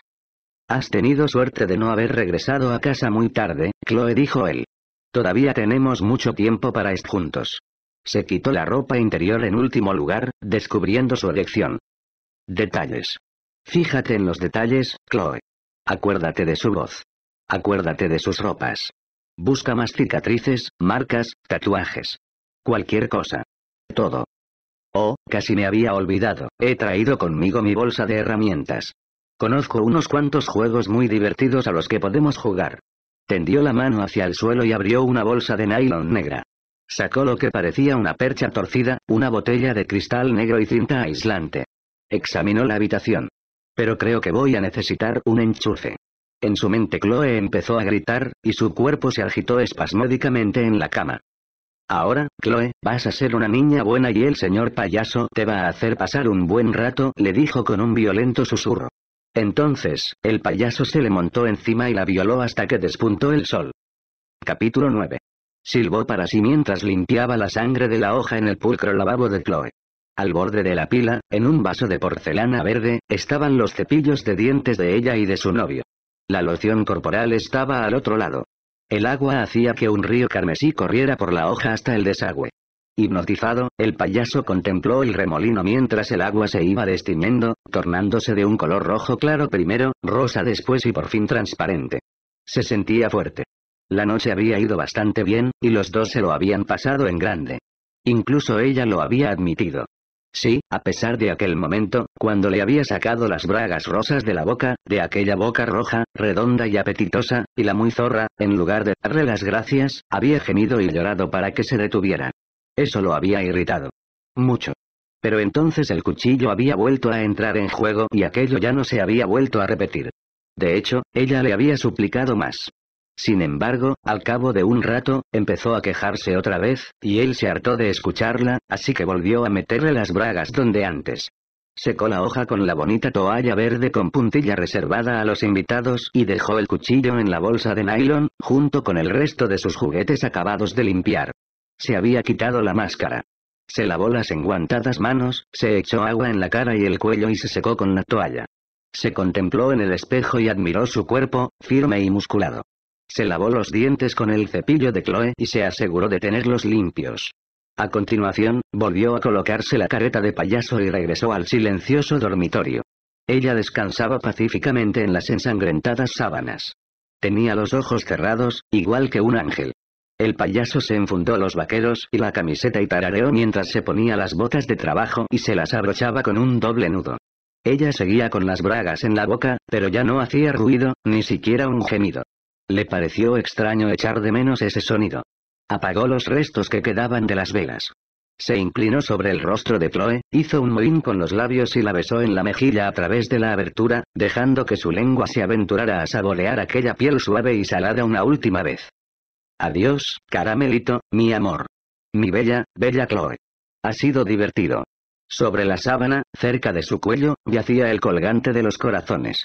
Lo recogió y se lo guardó en el bolsillo del vaquero algo para recordar el rato que hemos pasado juntos. Le mandó un beso de un soplo y cerró tras él la puerta del dormitorio sin hacer ruido. A continuación, recogió la bolsa de nylon del baño y pasó por el pasillo y ante la cocina una última vez. En la mesa rinconera de Taiwan vio una estatua de jade de los tres monos sabios que se cubrían los ojos, los oídos y la boca con las manos. Sabía que se trataba de un regalo de sus padres tras un viaje por Oriente. En una ocasión había oído decir que, según la costumbre, los monos daban buena suerte y protección a los hogares que los acogían. Pero no esa noche, pensó el payaso, sonriendo. Al lado de las figuras había una foto de Chloe y el guaperas de su novio en el Empire State Building. Se detuvo un momento, dejando que sus dedos acariciaran la imagen mientras él tomaba su propia foto mental de aquella noche tan especial. Luego, abrió la ventana del salón silenciosamente y se dejó caer tras la tupida vegetación del seto, que seguía húmeda aún pasada la tormenta. El payaso se adentró en la noche purpúrea justo cuando los primeros rayos anaranjados empezaban a teñir el cielo y amanecía en las desiertas calles de Nueva York. Capítulo 10. Mary Catherine Murphy llegó al apartamento y se dio cuenta, sencillamente, de que algo iba mal. Sobre todo porque eran las 9 menos 10, había llegado tarde, era el día del examen de prácticas multiestado y Chloe no respondía a sus llamadas a la puerta. Y aunque no era infrecuente que Chloe se retrasara también, lo cual explicaba en parte por qué eran tan buenas amigas, al final siempre acababa apareciendo. Eso sí, en pijama, con una gran excusa y dos enormes tazas de café recién hecho, así como con una caja de dulces Estela para el desayuno. Hacía tres años que compartían coche para ir a St. John, y Marie no recordaba ni una sola vez en que Chloe la hubiera dejado plantada por mucho que ella se hubiera retrasado al pasar a recogerla. Una mujer mayor le había abierto la puerta a través del telefonillo, y Marie llevaba cinco minutos llamando al timbre de su amiga. Sabía que Chloe y Michael habían salido la noche anterior, y al principio había supuesto que él se habría quedado a pasar la noche y que ambos se habrían dormido. Aquella idea la había hecho dudar y rezó para que Michael no le abriera la puerta en calzoncillos. Con café o sin él, Marie no necesitaba semejante espectáculo. Sin embargo, habían transcurrido cinco minutos y seguía sin obtener respuesta a sus llamadas al timbre. Se estaba inquietando por momentos. Intentó atisbar por la rendija del correo, pero descubrió que la habían tapado con algo por dentro. Salió al exterior y encendió un cigarrillo. Vio que el extraño vecino de Chloe la contemplaba tras su ventana, más arriba, con su sempiterna taza en la mano, medio desnudo, desde luego. Con aquellas gruesas gafas y su extraña mueca resultaba de lo más inquietante. Un escalofrío la estremeció. Se dio cuenta de que las cortinas de la parte de delante del apartamento de Chloe estaban echadas y también las del dormitorio. El coche no se hallaba en su plaza, y el BMW de Michael no se veía por ninguna parte. No te asustes. Estoy segura de que no pasa nada. Caminó hasta el otro lado del edificio de ladrillo, hacia donde estaba la ventana de la cocina. Se encontraba cerrada, pero las cortinas estaban descorridas. A un metro setenta, el alféizar todavía la sobrepasaba 20 centímetros. Suspiró. Aquella tarde tenía que ir a trabajar y se había puesto falda y tacones altos. Dejó el bolso en el suelo y se maldijo por no haberse vestido con chándal y zapatillas. Aplastó el cigarrillo y trepó al murete de ladrillo que corría adyacente a la ventana de la cocina y enmarcaba los escalones que conducían al sótano del edificio. Apoyándose en un cubo de basura, hizo su fornido cuerpo hasta el marco de la ventana y, sujetándose al alféizar tanto para no caer como para mantener el equilibrio, atisbo dentro. Delante de ella, en la mesa de la cocina, estaba Pete en su jaula cubierta por un trapo. A su izquierda se veía una pila de platos en el fregadero.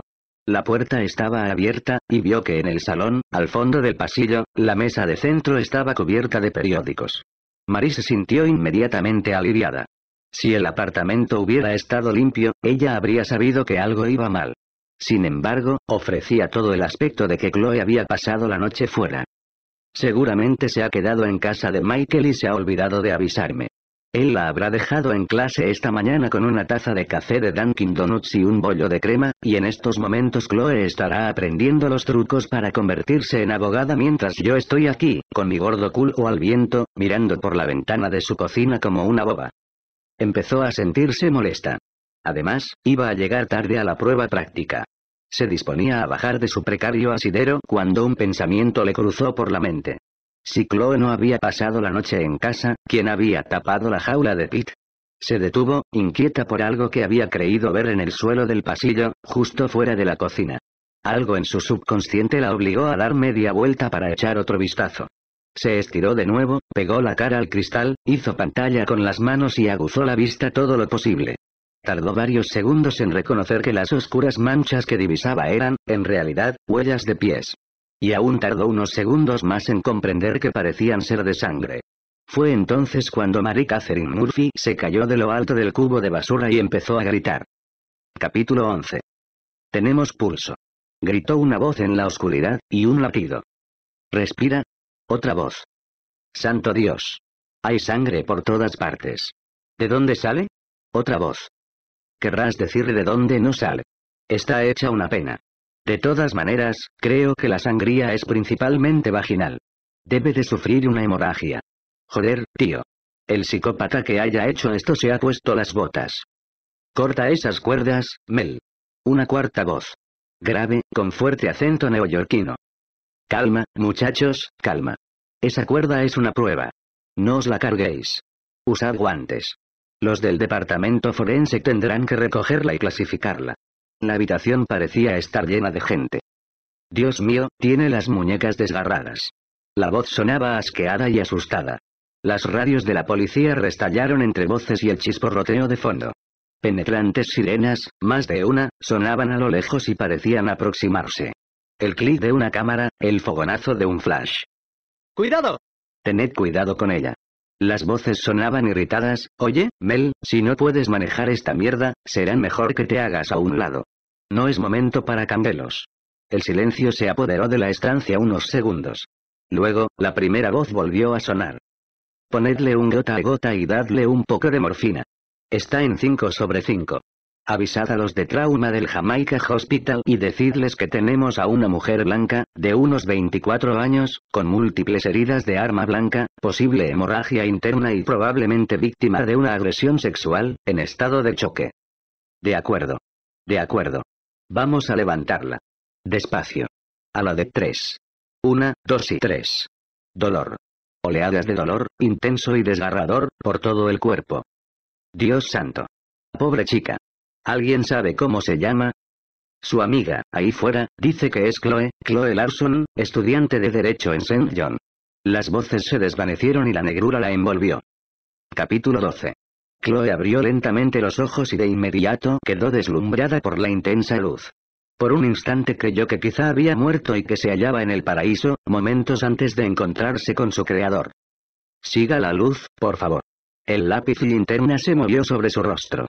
Chloe aspiró el intenso olor a desinfectante y lejía y supo que estaba en un hospital. Chloe. Chloe. Hola, me alegro de verla despierta. El joven médico de bata blanca volvió a hacer dentellar la luz en sus ojos, ¿cómo se encuentra? Chloe leyó la chapa de identificación. Doctor Lawrence Browder. La pregunta se le antojó realmente estúpida. Intentó responder, pero tenía la lengua espesa y seca. Apenas pudo murmurar. No muy bien. Le dolía todo. Se miró los brazos. Los tenía cubiertos por gruesos vendajes. Vio tubos conectados por todas partes. El abdomen le latía con un dolor desgarrador que se iba intensificando. Michael se encontraba sentado en una silla, en un rincón de la habitación, con el cuerpo inclinado hacia adelante, las manos entrelazadas bajo el mentón y los codos apoyados en el regazo. Su aspecto era de preocupación. Más allá de la ventana, el cielo se teñía de rosa y naranja, y la luz se desvanecía. Parecía el ocaso. Otro hombre con pantalón y bata verdes se hallaba de pie junto a la puerta. Está en el hospital, Chloe. Ha sufrido un fuerte traumatismo. El doctor Browder hizo una pausa y miró a su alrededor. Los tres hombres intercambiaron incómodas miradas, ¿sabe por qué está aquí, Chloe? ¿Recuerda lo que le ha ocurrido? Los ojos de Chloe se anegaron, y las lágrimas le corrieron por las mejillas. Asintió lentamente. El rostro del payaso cruzó como un destello por su mente. Ayer por la noche fue agredida, agredida sexualmente. Su amiga la ha encontrado esta mañana, y la ambulancia la ha traído aquí, al Jamaica Hospital, en Queens. Vaciló y cambió de postura, obviamente incómodo. Habló deprisa. Sufría lesiones graves. Su útero había sido violentamente desgarrado y padecía una hemorragia. Había perdido mucha sangre. Por desgracia, el doctor Reubens, aquí presente, tuvo que practicarle una histerectomía de emergencia para detener la hemorragia. Hizo un gesto señalando al médico de verde que seguía junto a la puerta, con la cabeza gacha, evitando la mirada de Chloe. De todas maneras hay que decir que esa era la lesión más grave. No hay otras malas noticias. Tiene algunos cortes y heridas por el resto del cuerpo, por lo que hicimos venir a un cirujano plástico para que minimizara los puntos y las cicatrices. Pero no son heridas que revistan peligro alguno. Las buenas noticias son que esperamos que se recuperará y se pondrá bien. Estas son las malas noticias. Ya está, eso es todo. ¡Amigos! Miró a su alrededor, a los tres hombres del cuarto. A los tres, Michael incluido, que evitaban su mirada y cuyos ojos iban de uno a otro y se paseaban por el suelo. Una. Histerectomía. Su voz era apenas un susurro, pero las palabras la desgarraron con solo pronunciarlas. ¿Quiere eso decir que no voy a poder tener hijos? Lawrence Browder, doctor en medicina, cambió el peso de un pie a otro y frunció el entrecejo. Sí. Me temo que no podrá quedarse embarazada. Chloe se dio cuenta de que el doctor Browder quería poner punto final a aquella conversación. En el acto. El médico siguió hablando deprisa, haciendo girar la linternita entre los dedos de la mano derecha, igual que una batuta. Una histerectomía es cirugía con mayúsculas, así que tendrá que permanecer en el hospital unos cuantos días. El período de recuperación en estos casos oscila normalmente entre 6 y 8 semanas. Empezaremos con una terapia leve e iremos avanzando poco a poco. ¿Le duele el abdomen en este momento? Chloe hizo una mueca y asintió. El doctor Browder le indicó al osco doctor Reubens que se acercara. Luego, cerró la cortina alrededor de la cama, dejando a Michael fuera, y retiró las sábanas. Chloe vio los blancos vendajes que le cubrían el estómago y los pechos. Cuando Reubens le palpó delicadamente el vientre, la mano del médico le provocó espasmos de dolor que le recorrieron el cuerpo como bolas de fuego. Asintió, no a Chloe, sino al doctor Browder. La hinchazón es normal. Los puntos de sutura tienen buen aspecto, dijo Reubens. Browder le devolvió un gesto afirmativo y, después, sonrió a Chloe. Haré que la enfermera le aumente la dosis de morfina de su intravenoso. Eso hará que se encuentre mejor. Volvió a taparla y a agitarse. Fuera hay unos detectives de la policía que desearían hablar con usted. ¿Se siente con fuerzas? Chloe vaciló y, al fin, asintió. Les diré que entren. Browder descorrió las cortinas. Obviamente aliviados de poner fin a la conversación, y sin apartar los ojos del suelo, Browder y Reubens fueron rápidamente hacia la puerta. Browder, con la mano en el picaporte, se volvió. Ha pasado por un auténtico calvario, Chloe. Todos estamos a su lado. Sonrió débilmente y salió. Víctima de una agresión sexual. Una histerectomía. Adiós a los hijos. La pesadilla había sido real. Las palabras le llegaban demasiado deprisa, tenía demasiada información que asimilar.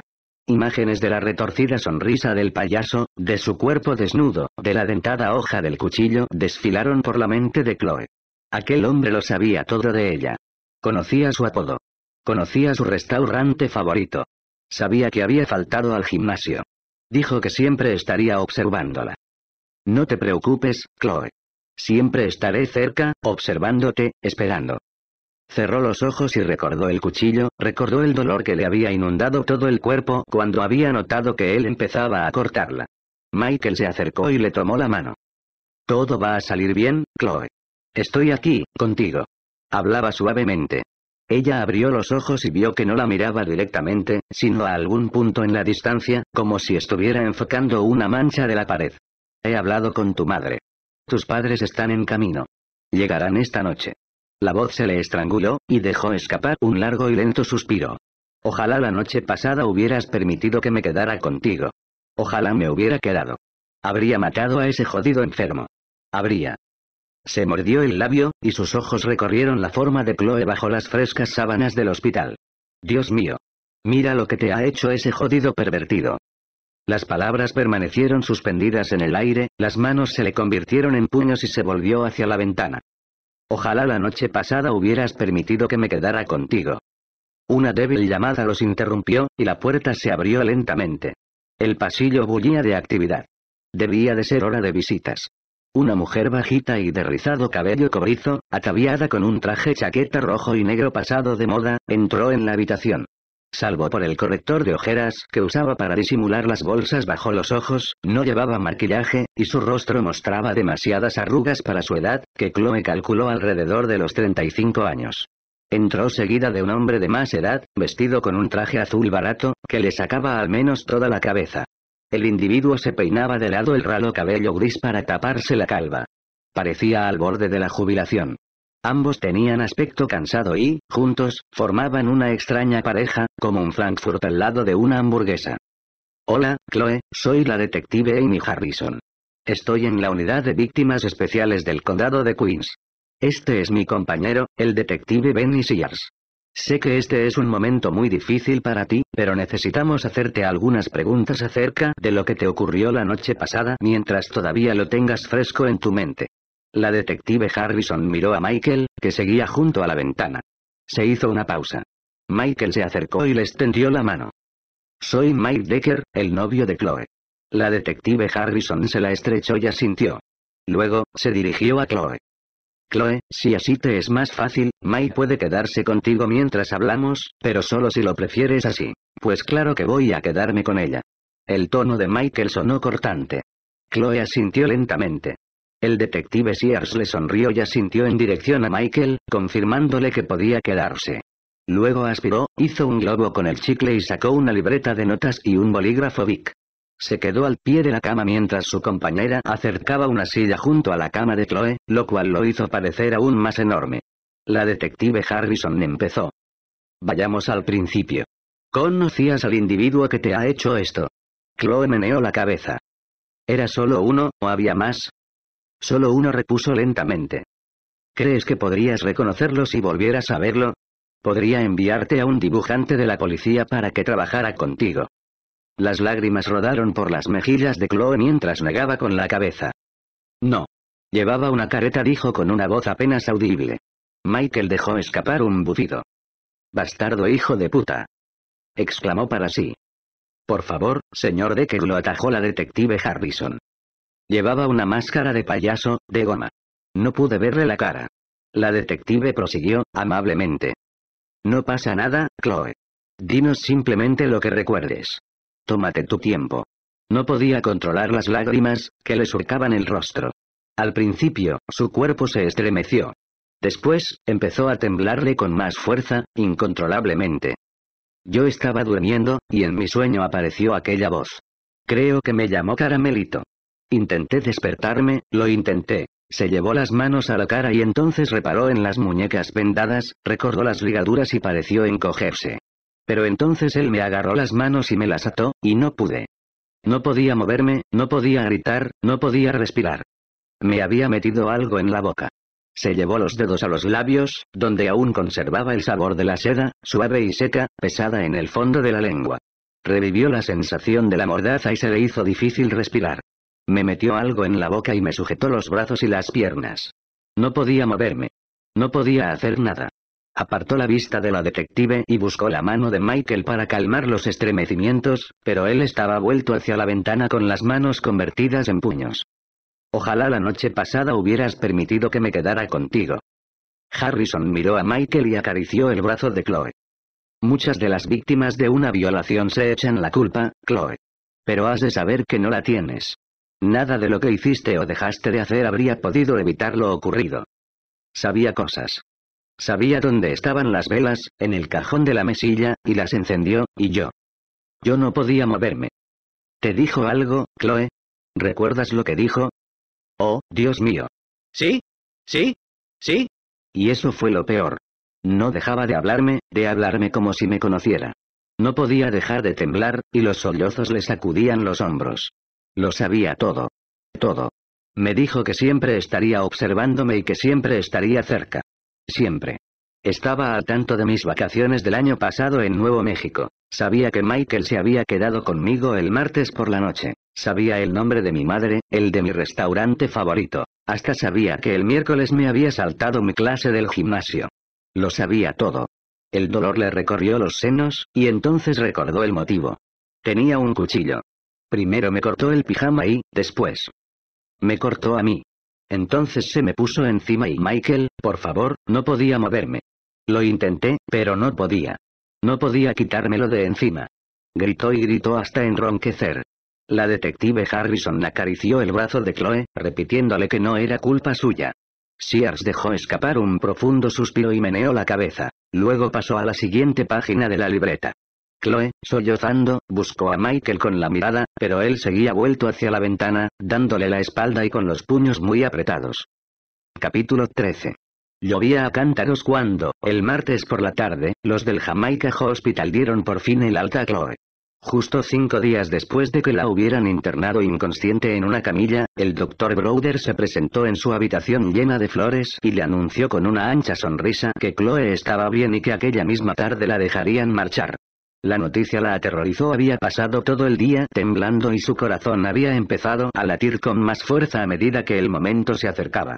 Su madre había decidido finalmente hacerle caso y, en lugar de repasar la sección inmobiliaria del New York Times, se había concentrado en las esquelas de modo que, a los dos días, le había encontrado un apartamento de un dormitorio en la planta 18 de North Shore Towers, un rascacielos situado en Lake Success, justo al otro lado de la línea divisoria de los condados de Queens y Nassau. La vivienda había pertenecido a una viuda nonagenaria y a su septuagenario gato, Tibi. Por desgracia para Tibi, la viuda había fallecido antes que él, y Chloe, con la ayuda de dos nuevos Ben Franklin, había podido conseguir la vivienda sin demora. Para tratarse de un apartamento en Nueva York, a su madre le parecía que no estaba mal. Chloe no deseaba regresar al apartamento y de Rocky Hill Road. Nunca más. No deseaba volver a ver Bayside. A excepción de Pete, el periquito, no había querido conservar nada de su antigua vivienda, y especialmente nada del dormitorio. Desde su cama del hospital, había pedido a sus padres que vendieran su contenido, lo quemaran o lo regalaran. No le importaba, siempre que nada ni nadie, incluyendo a sus padres y a Michael, hiciera el trayecto directamente del viejo apartamento al nuevo. Chloe sabía que Michael opinaba que estaba siendo algo más que un poco paranoica. Para él, la idea de que el violador de Chloe pudiera estar aguardando, observando y siguiendo a la gente para averiguar a dónde se mudaba ella resultaba desproporcionada. Había estado conforme con que se marchara de Bayside, pero no comprendía por qué no se iba a vivir con él, y por otra parte se negaba en redondo a renunciar a su apartamento en Manhattan. Chloe, ¿sabes lo difícil que resulta conseguir un apartamento de renta fija en plenos años 80? Le planteó tuve que pasar 18 meses buscando uno hasta que conseguí dar con este. A Chloe, tener que explicarle sus razones le había resultado casi degradante. Entiéndelo, Michael. Ese hombre está al tanto de todo, lo sabe todo de mí y de ti. Es probable que me hayas seguido desde tu casa, o a ti desde la mía. Quizás sea vecino tuyo y me haya seguido desde tu apartamento. Puede que tú estés dispuesto a correr el riesgo por culpa de un estúpido apartamento de renta fija en plenos años 80, pero yo no. Y no pienso volver allí nunca más. Me parece increíble que no puedas entenderlo. La conversación había sido acalorada, demasiado acalorada. Ella había acabado llorando, y él, suspirando demasiado ostensiblemente. Para conseguir que Chloe dejara de llorar, Michael le había prometido ver qué podía hacer, aunque le iba a resultar imposible mudarse de inmediato. A continuación, había sugerido que se pusieran manos a la obra para encontrar un nuevo apartamento fuera de Bayside. Había salido de la habitación para hacer una rápida llamada telefónica y, diez minutos más tarde, había regresado para anunciar que tenía que volver al despacho. Dos horas más tarde, Chloe había recibido un ramo de rosas con una nota donde ponía. Con amor, Michael todo aquello había sido el viernes. El fin de semana Michael lo pasó trabajando. Así pues, había sido la madre de Chloe quien había acabado encontrando la vivienda del North Shore Towers, con unas ventanas bien alejadas del suelo. Para una mujer sola en plena ciudad, el lugar ofrecía las mejores comodidades portero, puertas con cerrojo doble, un sistema de alarma con detectores de movimiento y un sistema de intercomunicación de lujo. El domingo, sus padres ya habían trasladado el televisor, la mesa de la cocina, las sillas y a Pete. Todo lo demás lo compraron nuevo en Sears. El lunes, el ejército de salvación se presentó en Rocky Hill Road con su gran camión rojo. Dos fornidos trabajadores retiraron lo que quedaba del precinto policial de la puerta del apartamento IB y se llevaron muy agradecidos lo que quedaba de las posesiones de la vida de Chloe. Dejaron un recibo en el suelo del vacío salón. La vida de Chloe en Bayside, Queens, se desvaneció la tarde de aquel lunes gris y lluvioso, mientras unos cuantos vecinos chismosos se asomaban a curiosear. Su padre le dijo que el inquilino de arriba, un tal Marvin, le enviaba recuerdos. Naturalmente, sus padres intentaron convencerla para que volviera con ellos a California, a cualquier lugar de California, a cualquier lugar del oeste, de hecho. Chloe se lo comentó a Michael, pero él descartó la idea de plano. Su carrera, su bufete, su familia, incluso su vida juntos. Todo estaba en Nueva York. Así pues, Chloe mintió a sus padres y les dijo que estaban dándole vueltas a la idea, pero que primero necesitaba pasar su examen del colegio de abogados y empezar en su nuevo bufete, con el que ya estaba comprometida. A continuación, hizo un altisonante discurso acerca de que no estaba dispuesta a permitir que aquel maníaco le arruinara la vida o la obligara a huir de la ciudad. Bla, bla, bla. Chloe confió en estar diciendo lo que realmente pensaba. Lo cierto era que ya no sabía qué quería. Lo que apenas cinco días antes le había parecido tan importante, en esos momentos se le antojaba absolutamente trivial. El examen del colegio de abogados, el nuevo trabajo, su compromiso. Se había pasado el tiempo en el hospital viendo la televisión desde la cama, llena de envidia, mientras el resto del mundo seguía normalmente, como si nada hubiera ocurrido. Mientras la gente soportaba los atascos matutinos y vespertinos, intentando desplazarse de un lugar a otro. Mientras en la pantalla los presentadores relataban los avatares del mundo como si se tratara de asuntos de la mayor importancia. Si se dirigen a la isla, eviten las obras del LI y los retrasos del Grand Central Parkway. Tom Cruise aparecerá en la multiestelar ceremonia inaugural en Los Ángeles. En las costas de Florida, ante Cayo Oeste, se ha descubierto otra embarcación llena de refugiados cubanos. Por favor, ayuden a los niños hambrientos del mundo. Desgraciadamente, amigos, la previsión del tiempo para el fin de semana indica chubascos ininterrumpidos. Lo siento, navegantes, a suerte la próxima semana, cuando se aproxime una masa de aire caliente. Le daban ganas de gritar. El policía que había montado guardia ante la puerta de su habitación los dos primeros días ya no estaba, y Chloe supuso que lo habrían enviado a proteger a otra víctima. El detective Sears le dijo que se le retiraba la vigilancia porque ya no consideraban que estuviera en peligro inminente. Y, aunque la policía seguía buscando activamente al agresor y siguiendo todas las pistas posibles, a partir de lunes la detective Harrison había dejado de visitarla diariamente y en vez de eso la llamaba una vez al día para ver cómo evolucionaba. Chloe sospechaba que también las llamadas acabarían por cesar a medida que su caso fuera apartado para hacer sitio a los nuevos. Su habitación del hospital rebosaba con los fragantes ramos y cestos de flores que le habían enviado sus bien intencionados amigos, conocidos y colegas de trabajo. Sin embargo, no se sentía con ánimos para hablar con ellos ni con nadie por teléfono. Aparte de Marie, Chloe no deseaba ver a sus amigos. No deseaba que nadie viera los vendajes y se hiciera preguntas sobre las muchas cosas espantosas que debían de haberle ocurrido para encontrarse en aquel estado. No deseaba hablar de aquella noche, pero tampoco le apetecía una conversación intrascendente con los curiosos. Después de eso comprendió que en realidad no tenía mucho que contar. Simplemente quería regresar, volver a ser Chloe otra vez, con los problemas normales y las tediosas molestias que la habían acuciado hasta entonces. Sin embargo, era consciente de que nada de eso era ya posible. Odiaba a su agresor sobre todo por esa razón. Porque le había robado su vida, y no sabía cómo recuperarla.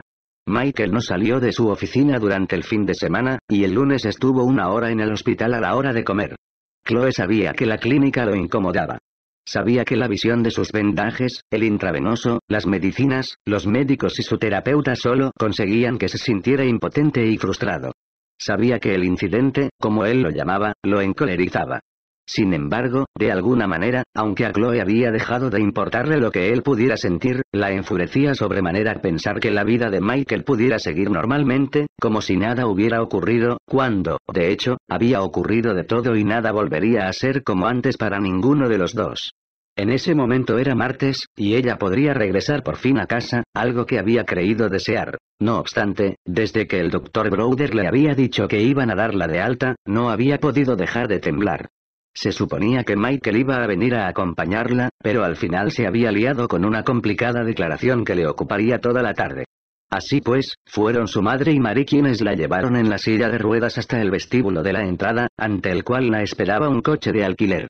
Podía caminar, pero las normas del hospital dictaban que debía ir en silla de ruedas hasta que la metieran en el coche. Las puertas del ascensor se detuvieron en la planta baja, y Marie la empujó hacia el abarrotado vestíbulo. Había ancianos sentados en los bancos, agentes de policía que se entretenían en el mostrador de ingresos, padres desamparados que sostenían en brazos a sus hijos que lloraban, enfermeras y personal hospitalario que iban de un lado para otro, entrando y saliendo de los ascensores. Los ojos de Chloe examinaron rápidamente la escena en busca de cualquier rastro de él. Algunos la miraron, sentada en su silla de ruedas, con escasa curiosidad. Ella se fijó en sus ojos, observó detenidamente sus gestos. Algunos estaban enfrascados en sus conversaciones, otros tenían la cabeza metida entre papeles, y otros más miraban fijamente al frente, a nada en particular. Chloe los escudriñó frenéticamente a todos. El corazón le latía con fuerza, y notaba el empuje de la adrenalina. La terrible y desesperante verdad era que podía tratarse de cualquiera de los ojos que ella observaba. Sin su careta le resultaba imposible reconocerlo. El simple paso de la silla de ruedas al coche le produjo un desgarrador dolor en el vientre. Con la ayuda de su madre y de Marie trepó cuidadosamente al asiento trasero con la bolsa de las medicinas y las recetas en la mano y se quedó mirando el amplio aparcamiento a través del cristal salpicado de lluvia del vehículo. La siguiente parada era el bullicioso Northern Boulevard. Después tomarían el Long Island Expressway que siempre iba lleno de coches. Tantos rostros, tantos desconocidos. Podía estar en cualquier parte, podía ser cualquiera. ¿Estás preparada, cariño? Una pausa. Caramelito dijo su padre, esperando obviamente una respuesta. Sí, papá, estoy lista para marcharme. Vaciló un instante y añadió en voz baja. Papá, por favor, no vuelvas a llamarme así nunca más. Él pareció entristecerse. Asintió sobriamente y observó a su hija volver el fatigado rostro hacia la ventanilla. Sacó el Ford Taurus de debajo de la marquesina de la entrada y enfiló hacia Atlantic Avenue. Chloe miraba por el cristal mientras viajaban hacia su nuevo apartamento de Lake Success, pasando al lado de incontables vehículos, de incontables desconocidos, mientras el Jamaica Hospital se iba desdibujando tras ellos bajo la lluvia. Capítulo 14. Chloe se repetía todas las mañanas al mirarse en el espejo. Consigue pasar el día de hoy, y el de mañana será seguramente mejor. Sin embargo, los días solo parecían empeorar. A pesar de que sus heridas sanaban, a pesar de que las feas cicatrices empezaban a desaparecer, el miedo en sus entrañas no dejaba de crecer igual que un cáncer descontrolado. El insomnio le infestaba las noches, y una debilitante fatiga, las vigilias. El director de Fitzan Martinelli, el bufete donde se suponía que, tras superar su examen, debía empezar una brillante carrera como abogada especialista en casos de negligencia médica, llamó preocupado para saber cómo se encontraba y si empezaría en septiembre como estaba previsto, o si necesitaría más tiempo para recuperarse. Estoy bien, le había dicho ella, las heridas están cicatrizando y me presentaré al examen del Colegio de Abogados dentro de tres semanas, como estaba previsto. Gracias por su interés. Y realmente creía lo que decía, lo que repetía todos los días y a todos. Pero entonces, sin previo aviso, un inexplicable sentimiento de terror, tan real que casi podía olerlo, empezó a atenazarla con afiladas garras, paralizándola de golpe. La respiración se le volvía trabajosa, y la habitación empezaba a darle vueltas. Iba en el metro y de repente la asaltaba el sabor de la tela en la boca y notaba el frío contacto de la punta del cuchillo. Subía en un ascensor y empezaba a escuchar aquella voz y a oler el enfermizo aroma de las velas de coco. Miraba por el retrovisor mientras conducía y se le reaparecía la espantosa sonrisa en el espejo. Una y otra vez se veía transportada de vuelta a aquella noche de pesadilla. Intentó establecer cierta rutina y reanudar lo que antes había sido una vida normal, pero, a medida que los días se convertían en semanas, notaba que pequeñas y microscópicas grietas iban apareciendo y extendiéndose por su fachada de firmeza hasta que tuvo la certeza de que un día se haría añicos.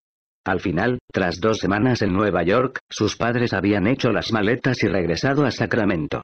La bravata que Chloe les había soltado tras su máscara de sonriente impasibilidad había surtido un mágico efecto, y ellos la habían abrazado y despedido en el rellano del ascensor mientras le rogaban una vez más que volviera con ellos a California.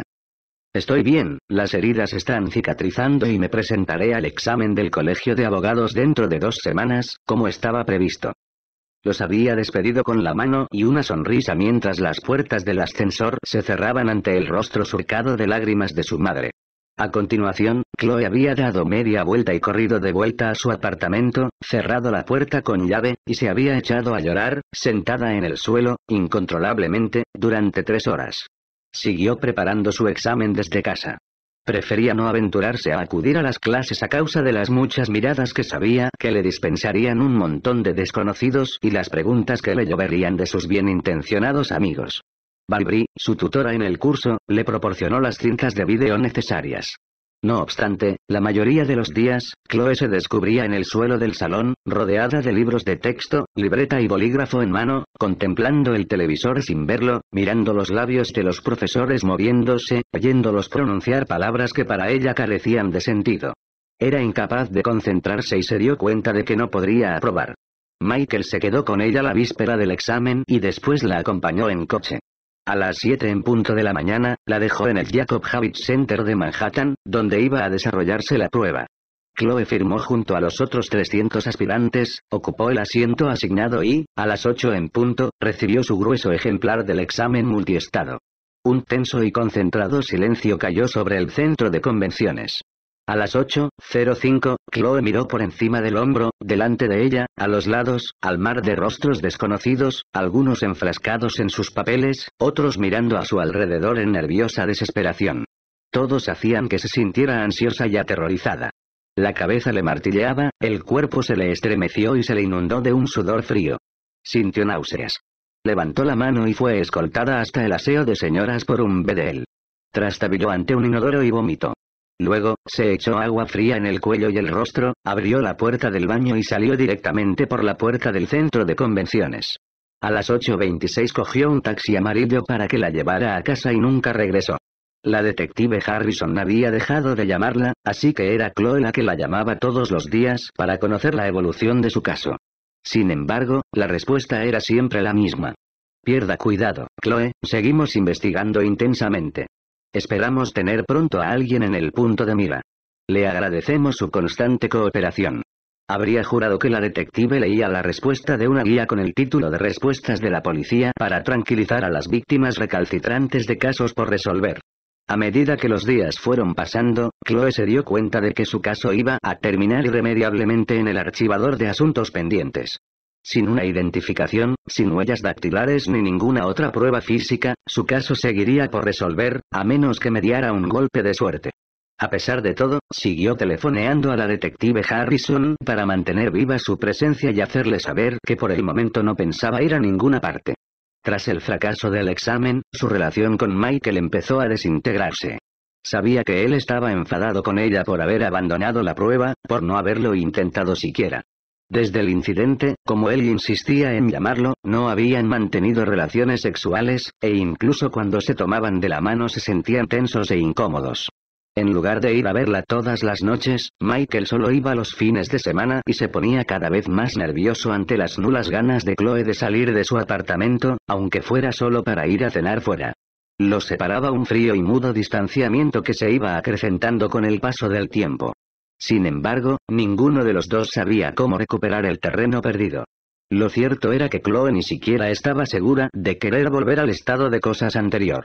Le constaba que Michael, secretamente, la culpaba por lo ocurrido. Lo leía en sus ojos cuando él la miraba y también cuando él odia su mirada. Y eso sí que no podía perdonárselo. Ojalá la noche pasada hubieras permitido que me quedara contigo. Chloe suponía que ambos sabían que todo había terminado entre ellos, pero que ninguno de los dos estaba dispuesto a certificar la defunción. Sospechaba que Michael tenía miedo a la luz de culpa que acabaría cayéndole encima si alguna vez reunía el valor suficiente para romper. Entonces se preguntó qué sentiría ella cuando por fin Michael le comunicara que, a pesar de que siempre la amaría, no la quería como esposa y le preguntara si no podían ser simplemente amigos. ¿Sería alivio, culpa, furia, tristeza, Así pues, a medida que su relación fue declinando a lo largo del verano y empezó a descomponerse a principios de otoño, fueron dejando de verse y ninguno de los dos se quejó por ello. Los de Fitzan Martinelli la urgieron para que volviera a presentarse al examen en febrero y, entre tanto, le ofrecieron trabajo como asistente. Ella rechazó el ofrecimiento. Sería otro lugar donde, en la cafetería, se referirían a ella como a la víctima de la violación. Solo que en lo sucesivo sería peor porque, además, acababa de ganarse la dudosa distinción de ser la víctima de la violación que se había largado del examen. Cuando acudió al chequeo postoperatorio trimestral, su ginecólogo le recomendó que buscara apoyo psicológico. Las víctimas de violación sufren cicatrices que los demás no ven, le dijo. Le recomiendo que busque consejo profesional que la ayude a sobrellevar la situación. Estoy bien, las heridas están cicatrizando, es solo que no me presenté al examen como estaba previsto. A continuación, se marchó de la consulta jurándose no volver.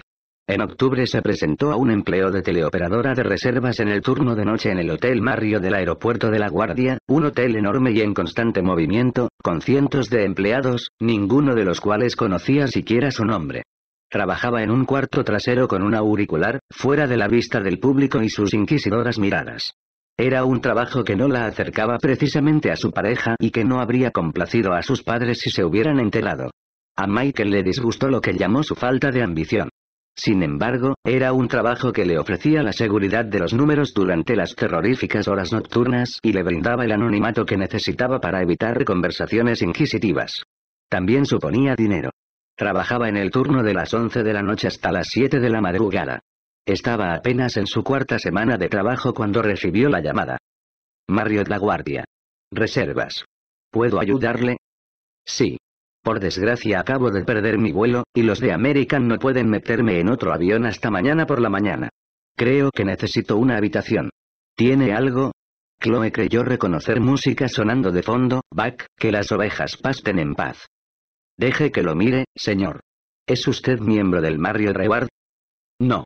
No lo soy. ¿Habitación doble o sencilla, señor? Sencilla. ¿Fumador o no fumador? No fumador, por favor. ¿Habrá más gente con usted, señor? Solo yo, salvo que quieras unirte a mí, Chloe. El corazón le dejó de latir. Se arrancó el auricular, lo arrojó al suelo y se quedó mirándolo como si se tratara de una alimaña. Adele, la supervisora, apareció acompañada de varios recepcionistas. Desde el suelo, una vocecita repetía. Señorita, señorita, ¿está usted ahí?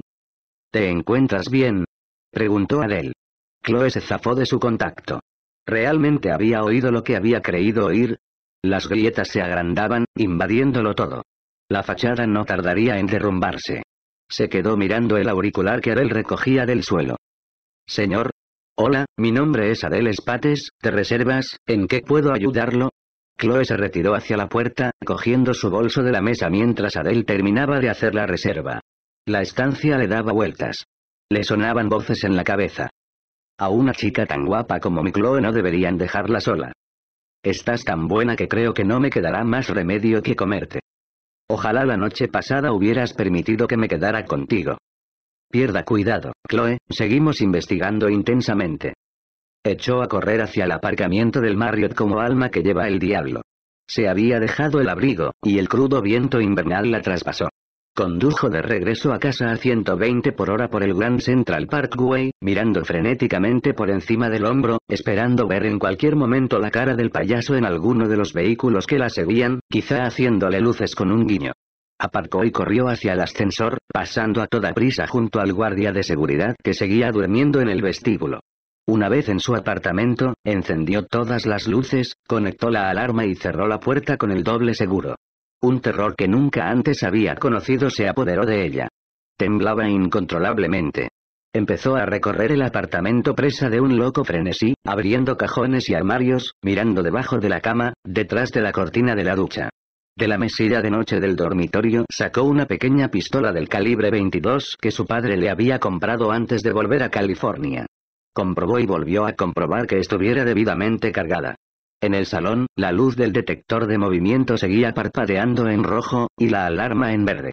Se sentó en el sofá, sosteniendo el arma, con la sudorosa palma convertida en una zarpa mortal en torno a la negra culata y el índice jugueteando nerviosamente con el gatillo. Tibi, el gato se le acurrucó suavemente bajo el brazo, ronroneando y frotándose contra ella. El sol había empezado a salir, y una luz amarillenta comenzó a filtrarse por los resquicios de las corridas cortinas. El hombre del tiempo había anunciado que iba a ser un día precioso. Chloe se quedó mirando fijamente la blanca puerta de la entrada y aguardó. La fachada se había derrumbado por fin. En mil pedazos. Segunda parte. Capítulo 15. Septiembre de 2000. Todos aquellos rostros, anteriormente tan bellos, lo miraban en ese momento con ojos muertos y estériles. Ojos de verde mar y gris violeta, con sus largas y espesas pestañas cargadas de rímel, que contemplaban la nada, desprovistos de vida, vacíos. Ojos cuya última visión había sido de un insuperable horror. Bocas silenciadas para siempre en gritos eternos. Dominic Falconetti, el agente especial del Departamento de Policía de Florida, estaba sentado, solo, en la gris y antigua sala de conferencias con la cabeza entre las manos, masajeándose las sienes lentamente para aliviar la presión que aumentaba inexorablemente, contemplaba el montaje de fotografías que adornaba el muro. Informes de la policía, verdes carpetas de archivos de investigación, recortes de prensa y hojas con entrevistas cubrían toda la superficie de la mesa de conferencias rectangular de cerezo. Un cigarrillo ardía cerca, en alguna parte, tras una lata de café de Starbucks y una bolsa vacía de Burger King. Lejos, en un rincón de la abarrotada sala, un monitor de televisión proyectaba ruidosa nieve una vez terminada la macabra cinta de vídeo que acababan de pasar. Sobre su cabeza, la brillante luz de los fluorescentes arrojaba su resplandor sobre las cinco nuevas y espeluznantes fotografías que habían sido limpiamente esparcidas ante él, sobre la mesa. Otra chica más para el muro. Se había pedido a las familias de las once jóvenes desaparecidas que proporcionaran alguna foto reciente de sus hijas para su identificación. Un montón de instantáneas sacadas de las ceremonias de graduación y de orlas de instituto, fotos de anuarios e imágenes de fotógrafos profesionales sonreían en ese momento a Dominique desde sus respectivas ubicaciones en el tablero de corcho que la unidad especial había bautizado sombríamente como el muro. Lo cierto era que la unidad había recibido cinco, seis y en algún caso hasta diez fotos de cada joven. Tras 17 años en homicidios, Dominique sabía que era imposible esperar que una madre escogiera una única foto para resumir una vida entera de recuerdos de su hija, o que un pariente se conformara con una sola para reflejar la imagen que quería conservar de una hermana. Así pues, habían escogido la imagen más detallada de cada chica para ponerla en el muro, y las otras habían sido discretamente archivadas. A continuación, habían clavado las instantáneas en hilera en el corcho, por orden cronológico, empezando por la fecha de la primera desaparición y no por la del día del hallazgo del cadáver. Justo debajo, en marcado contraste con las sonrientes imágenes, los cuerpos rotos y desnudos de nueve de las desaparecidas habían sido fotografiados una última vez.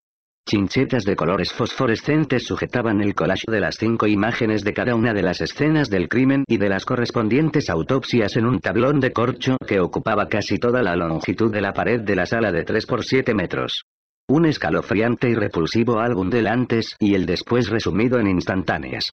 Encajadas entre las imágenes de la vida y la muerte, había unas cartulinas de 12 por 17 centímetros pulcramente impresas con el nombre, la edad, una breve descripción física de cada víctima, además de la fecha y el lugar de su desaparición. La última línea indicaba la fecha y el lugar donde había sido descubierto el cadáver, e incluía una breve nota del forense con la estimación de la fecha y la hora de la muerte. Las causas del fallecimiento no hacía falta explicarlas resultaban más que evidentes a la vista de las fotografías. Dominique tomó un sorbo del café, que se le había quedado frío, y contempló, como había hecho tantas veces, los perturbadores rostros de las jóvenes, sus aterrorizados ojos en otro tiempo confiados. ¿Qué habrían visto en los últimos instantes de sus breves vidas, antes de que todo se tornara misericordiosamente negro? Eran todas tan jóvenes. La mayoría de las chicas apenas pasaban de los 20 años. Tres de ellas ni siquiera habían tenido la suerte de cumplirlos.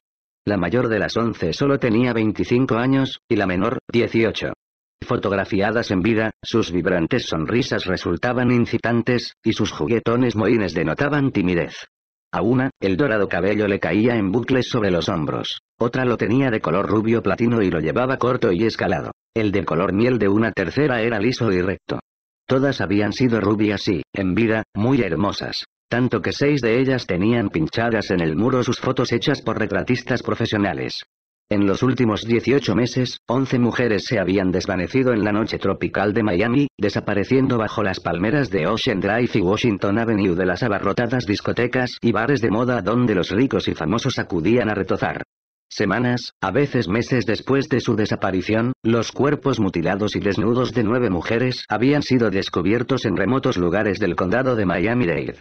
Las ubicaciones de las escenas del crimen estaban alejadas unas de otras y habían sido escogidas aleatoriamente. Una vieja refinería de azúcar en las marismas de los Everglades. Un fumadero de crack en ruinas en medio de Liberty City. Un supermercado abandonado en Kendall. Sin embargo, el asesino no había intentado ocultar los cadáveres ni disimular sus crímenes. Al contrario, se había preocupado de que al final los descubrieran.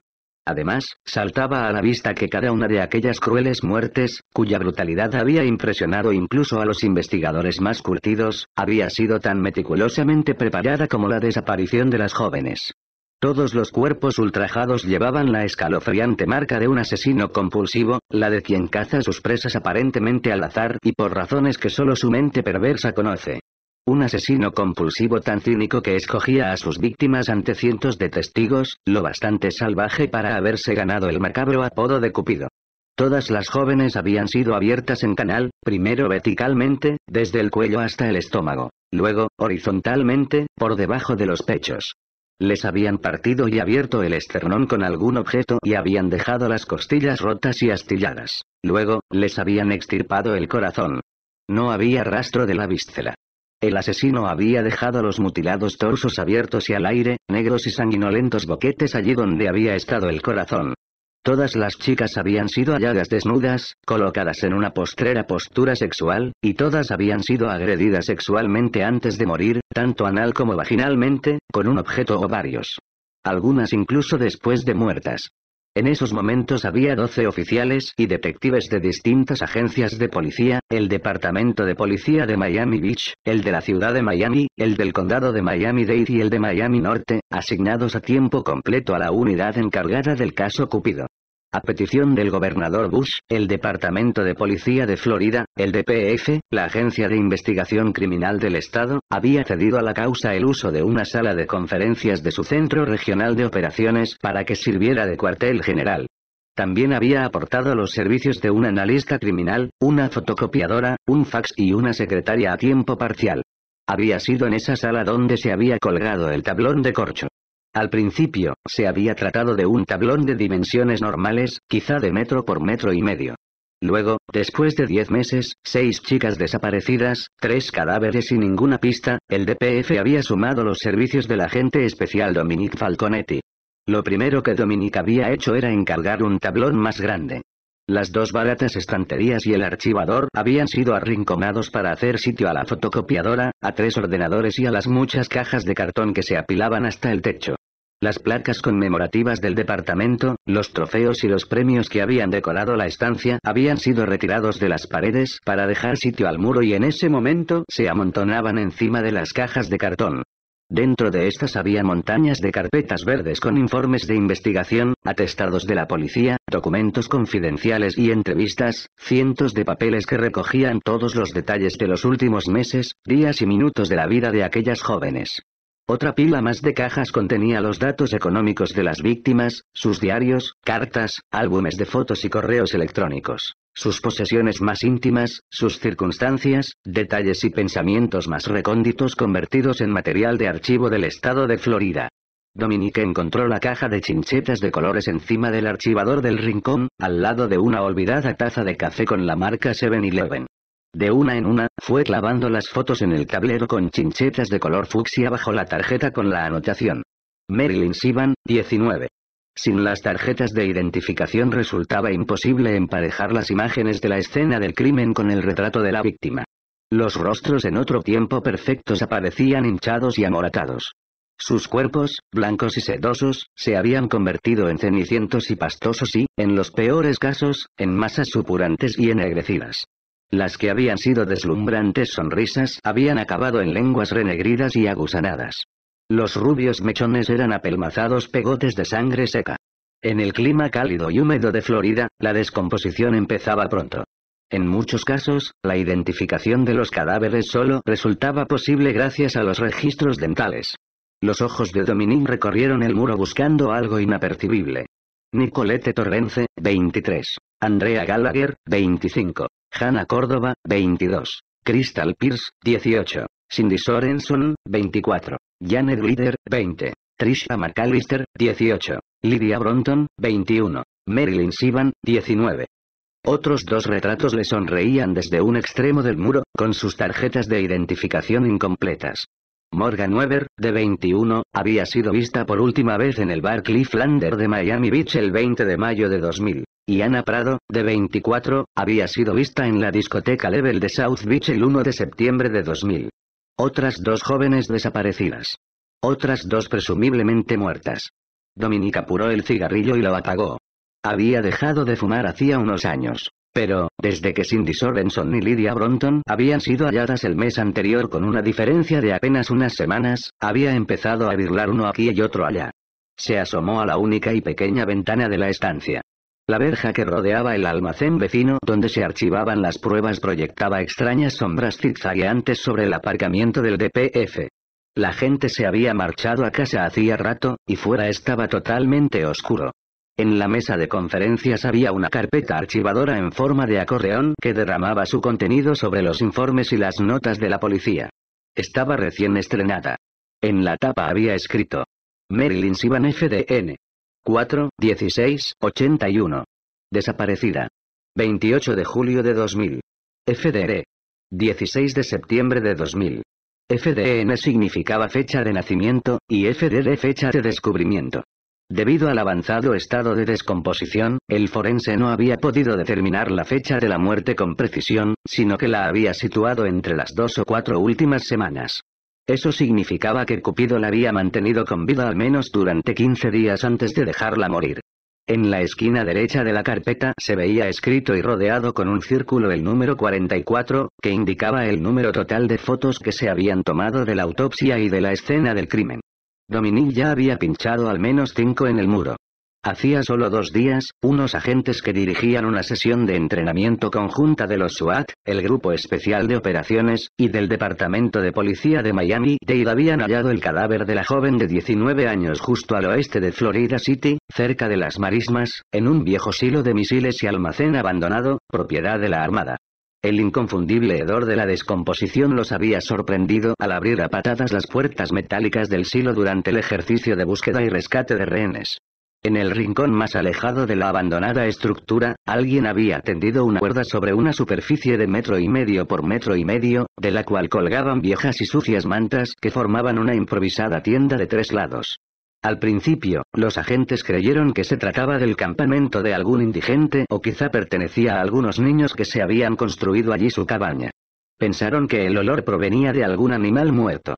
Luego, descorrieron los cobertores y hallaron lo que quedaba de quien, en otro tiempo, había sido una bella modelo. El cuerpo desnudo de Marilyn estaba sentado en el sucio suelo de cemento, con la espalda apoyada contra un oxidado bidón de aceite. Sus largos cabellos, rubio ceniza, habían sido recogidos en una cola de caballo y atados con cinta americana a la parte de arriba del bidón, obligando a la cabeza a arquearse hacia atrás y descubriendo el cuello. Sus ojos y boca estaban abiertos. Con el calor, la mayor parte de la piel se había ulcerado y ampollado, y después se había descompuesto dejando al descubierto negros tejidos y musculatura putrefacta.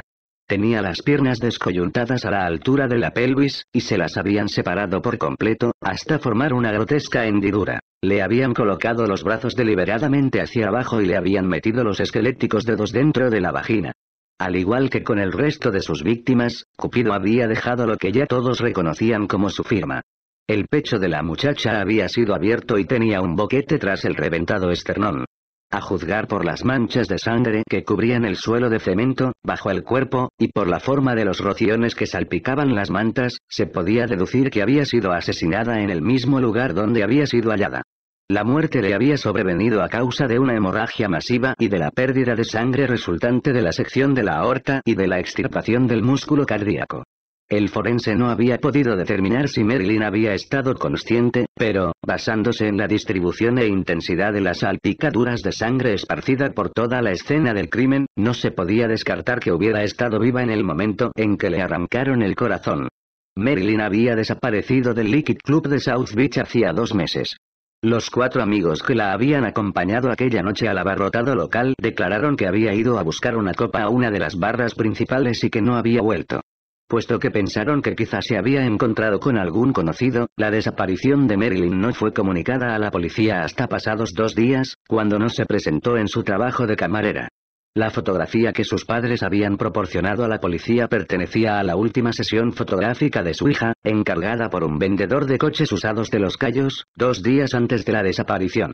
Los forenses iban a pasar toda la semana analizando cada centímetro del silo, del almacén y sus alrededores. Pero Dominique no esperaba gran cosa. Si se parecía en algo a los últimos ocho escenarios del crimen, no habría huellas, ni semen, ni cabellos, ni un ADN extraño. Nada.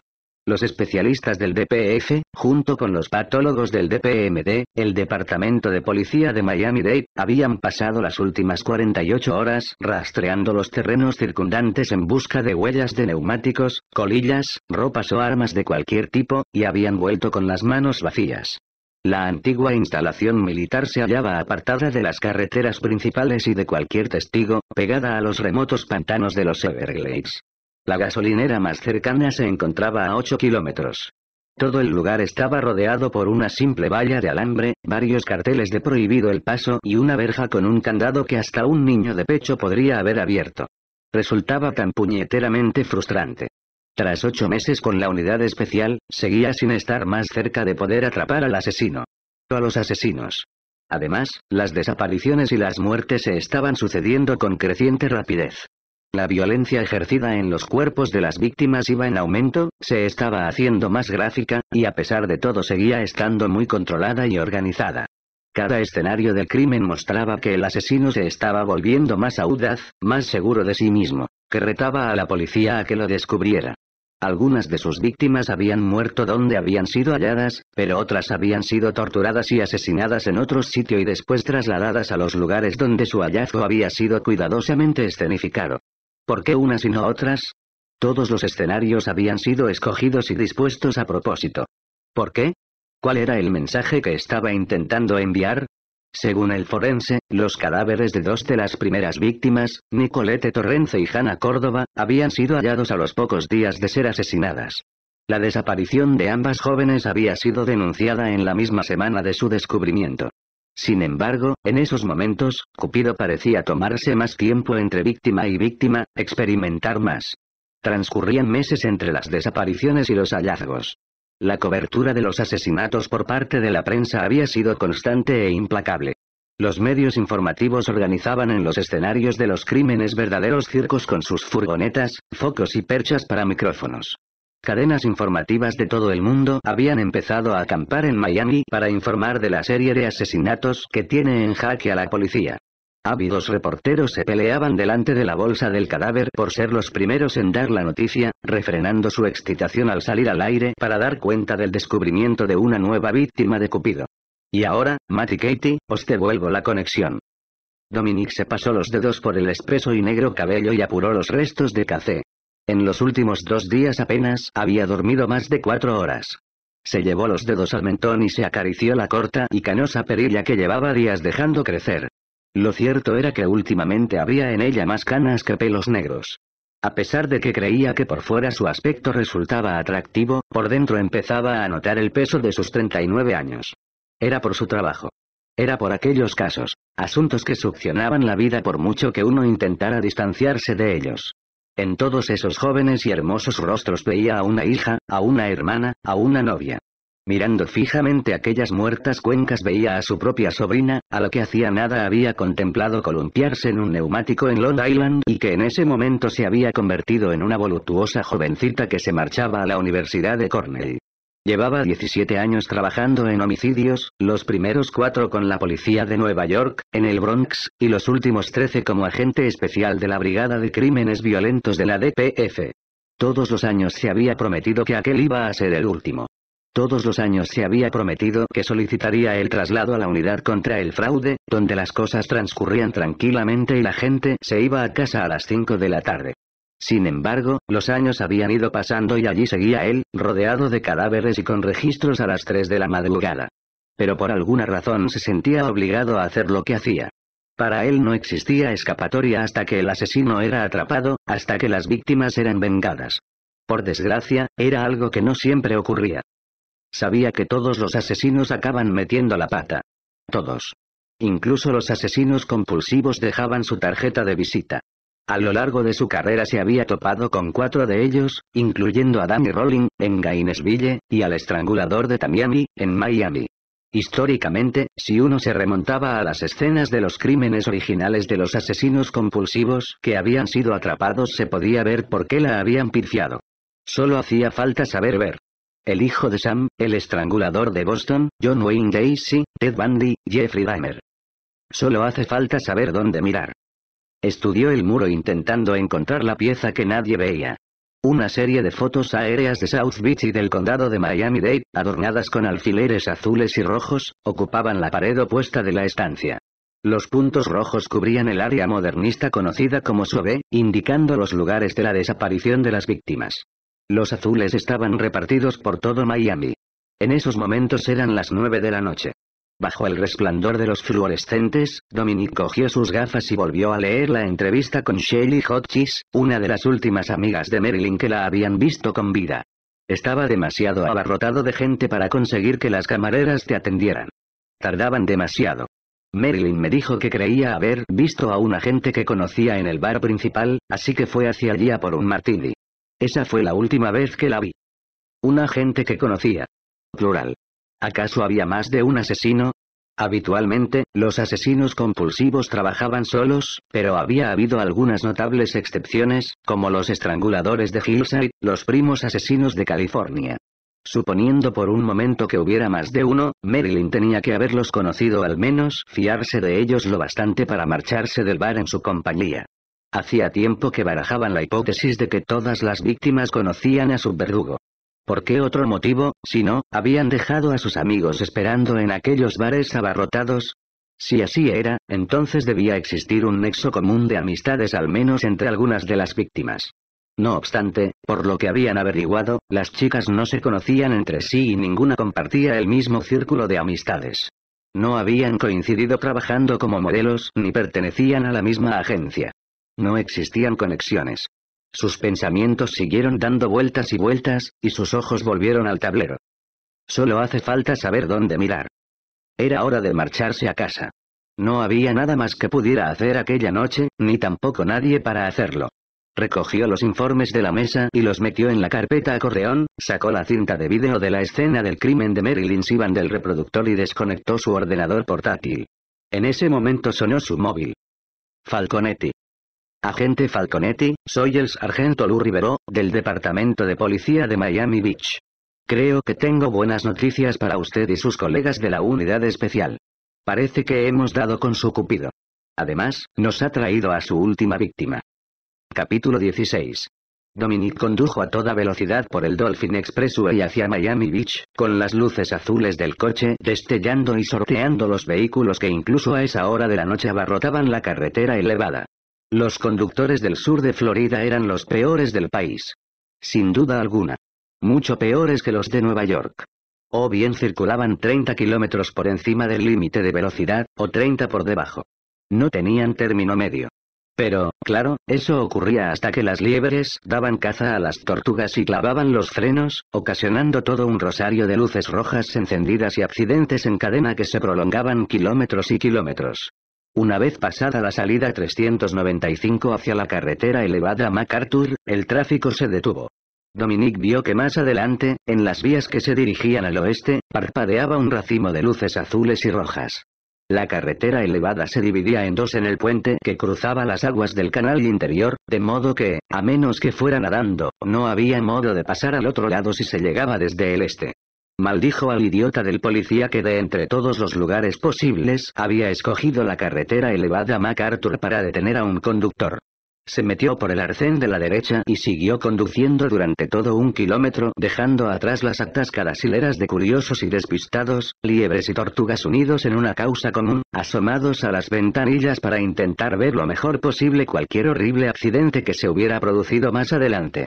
Dominique vio entonces que a su izquierda, en la calzada contraria, se habían reunido unos 20 coches de policía y que un helicóptero de la policía de la ciudad de Miami se elevaba desde aquel lado de la carretera elevada.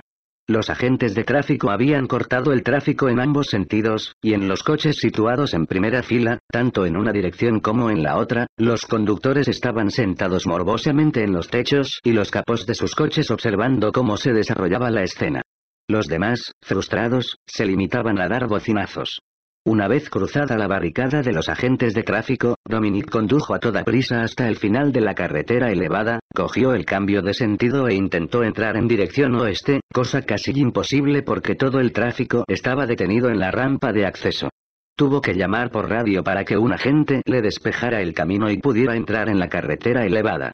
Por fin en la dirección correcta, volvió a meterse por el arcén, dejó atrás a otra serie de mirones, la barricada de los agentes de tráfico y aparcó su Grand Prix al menos tras una docena de vehículos policiales con los emblemas de todos los departamentos del condado de Miami-Dade. Los dos carriles de la derecha habían sido acordonados con balizas, y un pecoso agente de carretera que no debía de tener más de 19 años urgía a los curiosos a que siguieran circulando por el carril que acababan de abrir. Una ambulancia y un coche de bomberos estaban aparcados al frente, y el destello de sus luces blancas y rojas se combinaba con el de las azules de la policía.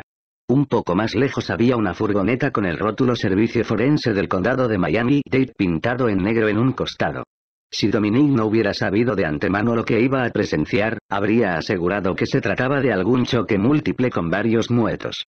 Pasó junto a los vehículos de la policía, con sus parpadeantes luces, y vio que, aparcado en el arcén, había un solitario Jaguar XJ8 de color negro rodeado de más coches policiales vacíos. Mierda, no falta nadie. Otro numerito para los magnates de la prensa. En el paisaje de fondo se elevaba el edificio del Miami Herald, con las aguas del canal interior lamiendo su base y los pisos de la décima planta casi tocando la carretera elevada. Estupendo, algún reportero no tendrá ni que molestarse en levantarse de su sillón para conseguir la foto de la portada de mañana. Miró hacia el edificio en cuyas iluminadas ventanas se perfilaban oscuras figuras. Seguro que en ese momento algún becario estaría fotografiándole hasta los pelos de la nariz con un teleobjetivo. El Jaguar estaba vacío y tenía la puerta del maletero abierta. En el interior, Dominic pudo distinguir una lona blanca que se estremecía con la brisa tropical que llegaba por el canal. A cinco metros del coche charlaba un grupo de agentes con uniformes variados, cuyos cuerpos habían formado inconscientemente un semicírculo protector delante del maletero. Las radios chisporroteaban mientras sus interlocutores intercambiaban mensajes en la incomprensible jerga policial. En un extremo de la carretera elevada, justo a poniente, se hallaba el iluminado perfil de Miami, rebosante de los neones fucsia, azul y amarillo limón people mover, que envolvía a la ciudad. En el otro extremo, las diminutas luces de las construcciones de Miami Beach daban la bienvenida al este. Justo detrás del nuevo y reluciente Jaguar había un coche patrulla de la policía de Miami Beach. En el asiento trasero, separado del conductor por una rejilla de protección, Dominic vio el oscuro perfil de una solitaria figura. Se acercó a los agentes y mostró su identificación. ¿Alguien sabe dónde puedo encontrar al sargento Rivero, de la policía de Miami Beach? Otro agente igualmente joven, con el uniforme de las fuerzas de Miami Beach, asintió e indicó con un gesto al pequeño círculo de polis que estaban de pie junto a la furgoneta del forense. Dominique le echó un vistazo y vio a tres de uniforme hablando con dos clones de los Blues Brothers, pero sin gafas y con traje oscuro. Los clones escuchaban y tomaban notas. Reconoció a uno del FBI y apretó la mandíbula. El círculo ante el Jaguar se abrió y Dominique se acercó. La luz del maletero iluminaba la lona, y pudo ver que unas manchas rojas empezaban a filtrarse por el grueso tejido. Estaba sacando los guantes de látex del bolsillo de sus pantalones caquís cuando una manaza le cayó con todo su peso sobre el hombro. Amigo, espero que todavía no hayas cenado. Es un feo espectáculo. Además, ¿dónde coño te habías metido? Manny Álvarez, el detective de Miami City asignado a la unidad especial desde hacía un año, se alzaba tras él, dando caladas a un cigarrillo, con las mangas de su arrugado traje blanco subidas sobre unos peludos antebrazos sobrecargados de pulseras de oro y grandes cercos de sudor en las axilas.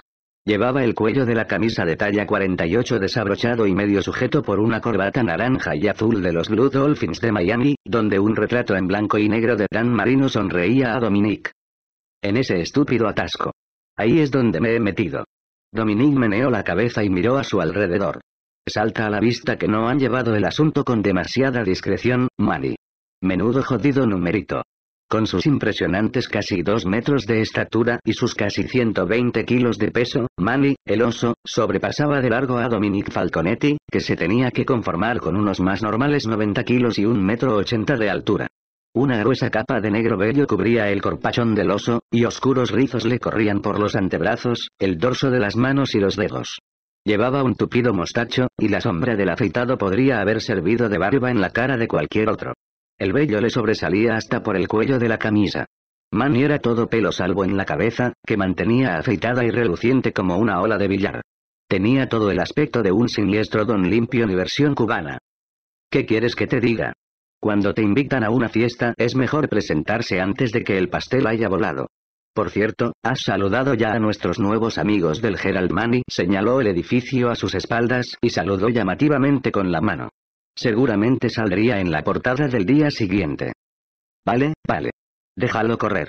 ¿Qué tenemos? Manny Álvarez dio una calada a su Marlboro y se apoyó contra el pretil de cemento. Las aguas del canal chapoteaban tranquilamente 12 metros más abajo. Esta noche, alrededor de las ocho y cuarto, Chávez, un novato de la Beach, se fija en un Jaguar negro que corre por Washington Avenue en dirección a MacArthur, quizá a 70 en una zona de 50. Lo sigue por la 395, ve que una de las luces traseras no le funciona y lo detiene. En el coche solo va un tío, así que le pide los papeles, el permiso y toda la pesca. Según Chávez, el tipo es Mr. Compostura, frío como un témpano, ni sudores, ni tics. Nada. Le entrega un permiso de conducir de Florida con el nombre de Bangling, William Bangling, de la Gorce Avenue, en la playa. Entonces, Chávez se va hacia la parte trasera para apuntar la matrícula en la multa y percibe un olor extraño. Un olor que parece salir del maletero. Por lo tanto le pide permiso a Bangling para registrar el maletero, pero el tío se niega. En ese momento Chávez piensa que hay algo raro. Ya sabes. ¿Por qué no querrá ese tío que eche un vistazo a su maletero? Así que llama pidiendo refuerzos y una unidad canina de rastreo. Saca al tipo del jaguar y lo retiene hasta que llega a la caballería. El perro de la policía aparece 20 minutos más tarde y, sin dudarlo, va directo al maletero. Ya sabes, ladrando y escarbando. Todos piensan en coca, ¿vale? Que papá ha guardado caramelos para la nariz en el maletero. Pero cuando lo abren. Sorpresa. Sorpresa. Resulta que nuestro amigo tiene a una tía muerta en el maletero, una tía a la que le han despanzurrado el pecho y arrancado el corazón. Bueno, el caso es que a todos les entra el canguelo y las radios se disparan. Antes de que alguien pueda evitarlo, todos los departamentos hacen acto de presencia y se monta un cisco. Incluso aparece mi jefe en helicóptero para echar un vistazo. Te acabas de cruzar con él. Venía de una de esas cenas de pijos para recaudar fondos para la campaña del gobernador, o algo así. Nada más enterarse de la noticia se puso a gritar que no podía faltar, de modo que, en lugar de hacer el trayecto de 20 minutos conduciendo desde el Hotel Biltmore, hizo que un helicóptero lo recogiera, a él y al gobernador. Tuvimos que cortar la carretera elevada en ambos sentidos para que el helicóptero tuviera sitio al aterrizar, y él pudiera bajar su gordo culo, echar un vistazo el primero y presumir del asunto de regreso a su filete con patatas. ¿Te lo puedes creer? Manny meneó la cabeza con disgusto y arrojó la colilla bajo los neumáticos del lento desfile de curiosos que circulaban por el carril de la izquierda. Le habría gustado meterla por la ventanilla abierta de alguno de aquellos malditos fisgones, que le hubiera aterrizado en la entrepierna y le hubiera quemado las pelotas. Dominic hizo un gesto en dirección a la furgoneta forense. ¿Quiénes son esos dos trajeados? Manny sonrió burlonamente. Hace falta que te lo diga, pues son nuestros buenos y fieles amigos del FBI, que han venido a llevarse todo el mérito por haber resuelto un caso al que nunca han echado un ojo. Alzó la vista al cielo. Son Stevens y Carmody y están haciendo el papel de buenos con los Beach Boys, para poder disponer de toda la información en la rueda de prensa que sin duda darán mañana por la mañana. ¿Cómo es que se han enterado antes que yo? Dominique miró a su alrededor y meneó la cabeza, maldita sea, Manny, ha venido hasta el apuntador. El agente especial al cargo del FBI en Miami estaba en la misma cena. Pero, por lo que sé, los federales, siempre tan humildes ellos, llegaron por sus propios medios. En cuanto al resto de los muchachos. Bueno, como puedes ver, solo quieren formar parte de este momento tan especial de la historia. Dominique meneó de nuevo la cabeza. El agente especial al cargo del FBI en Miami era Mark Graker. Ya había tenido sus más y sus menos con él con ocasión de un asunto relacionado con el crimen organizado, asunto del que Greker y sus hombres se habían hecho cargo después de que Dominique lo hubiera resuelto y hubiera identificado al sospechoso. Dominique no había hecho más que mencionar el nombre del sospechoso durante una reunión conjunta a puerta cerrada de la policía de Miami y del FBI, y al cabo de nada había visto estupefacto en la tele a Graker poniéndole las esposas al sospechoso al tiempo que concedía una entrevista a Julia Yarborough, de Channel 6. Diez días más tarde, Graker había sido ascendido al cargo de AEC. Los del FBI siempre estaban metiendo las narices para intentar aparecer como los buenos de la película. Desde lo de Waco y lo de Ruby Rich, no habían tenido muy buena prensa. Sin embargo, dado que el cadáver de Marilyn Sivan había sido hallado en territorio federal y que, por lo tanto, el caso se había puesto bajo jurisdicción federal, no creía que pudiera decirle a Greker que se fuera al carajo. Miró el maletero. ¿Tenemos una identificación de la chica? Se trata de Ana Prado, el bombón que desapareció en Level. Ha estado desaparecida solo unas pocas semanas. Sin embargo, el cuerpo está en bastante buen estado. No puede haber muerto hace más de dos días.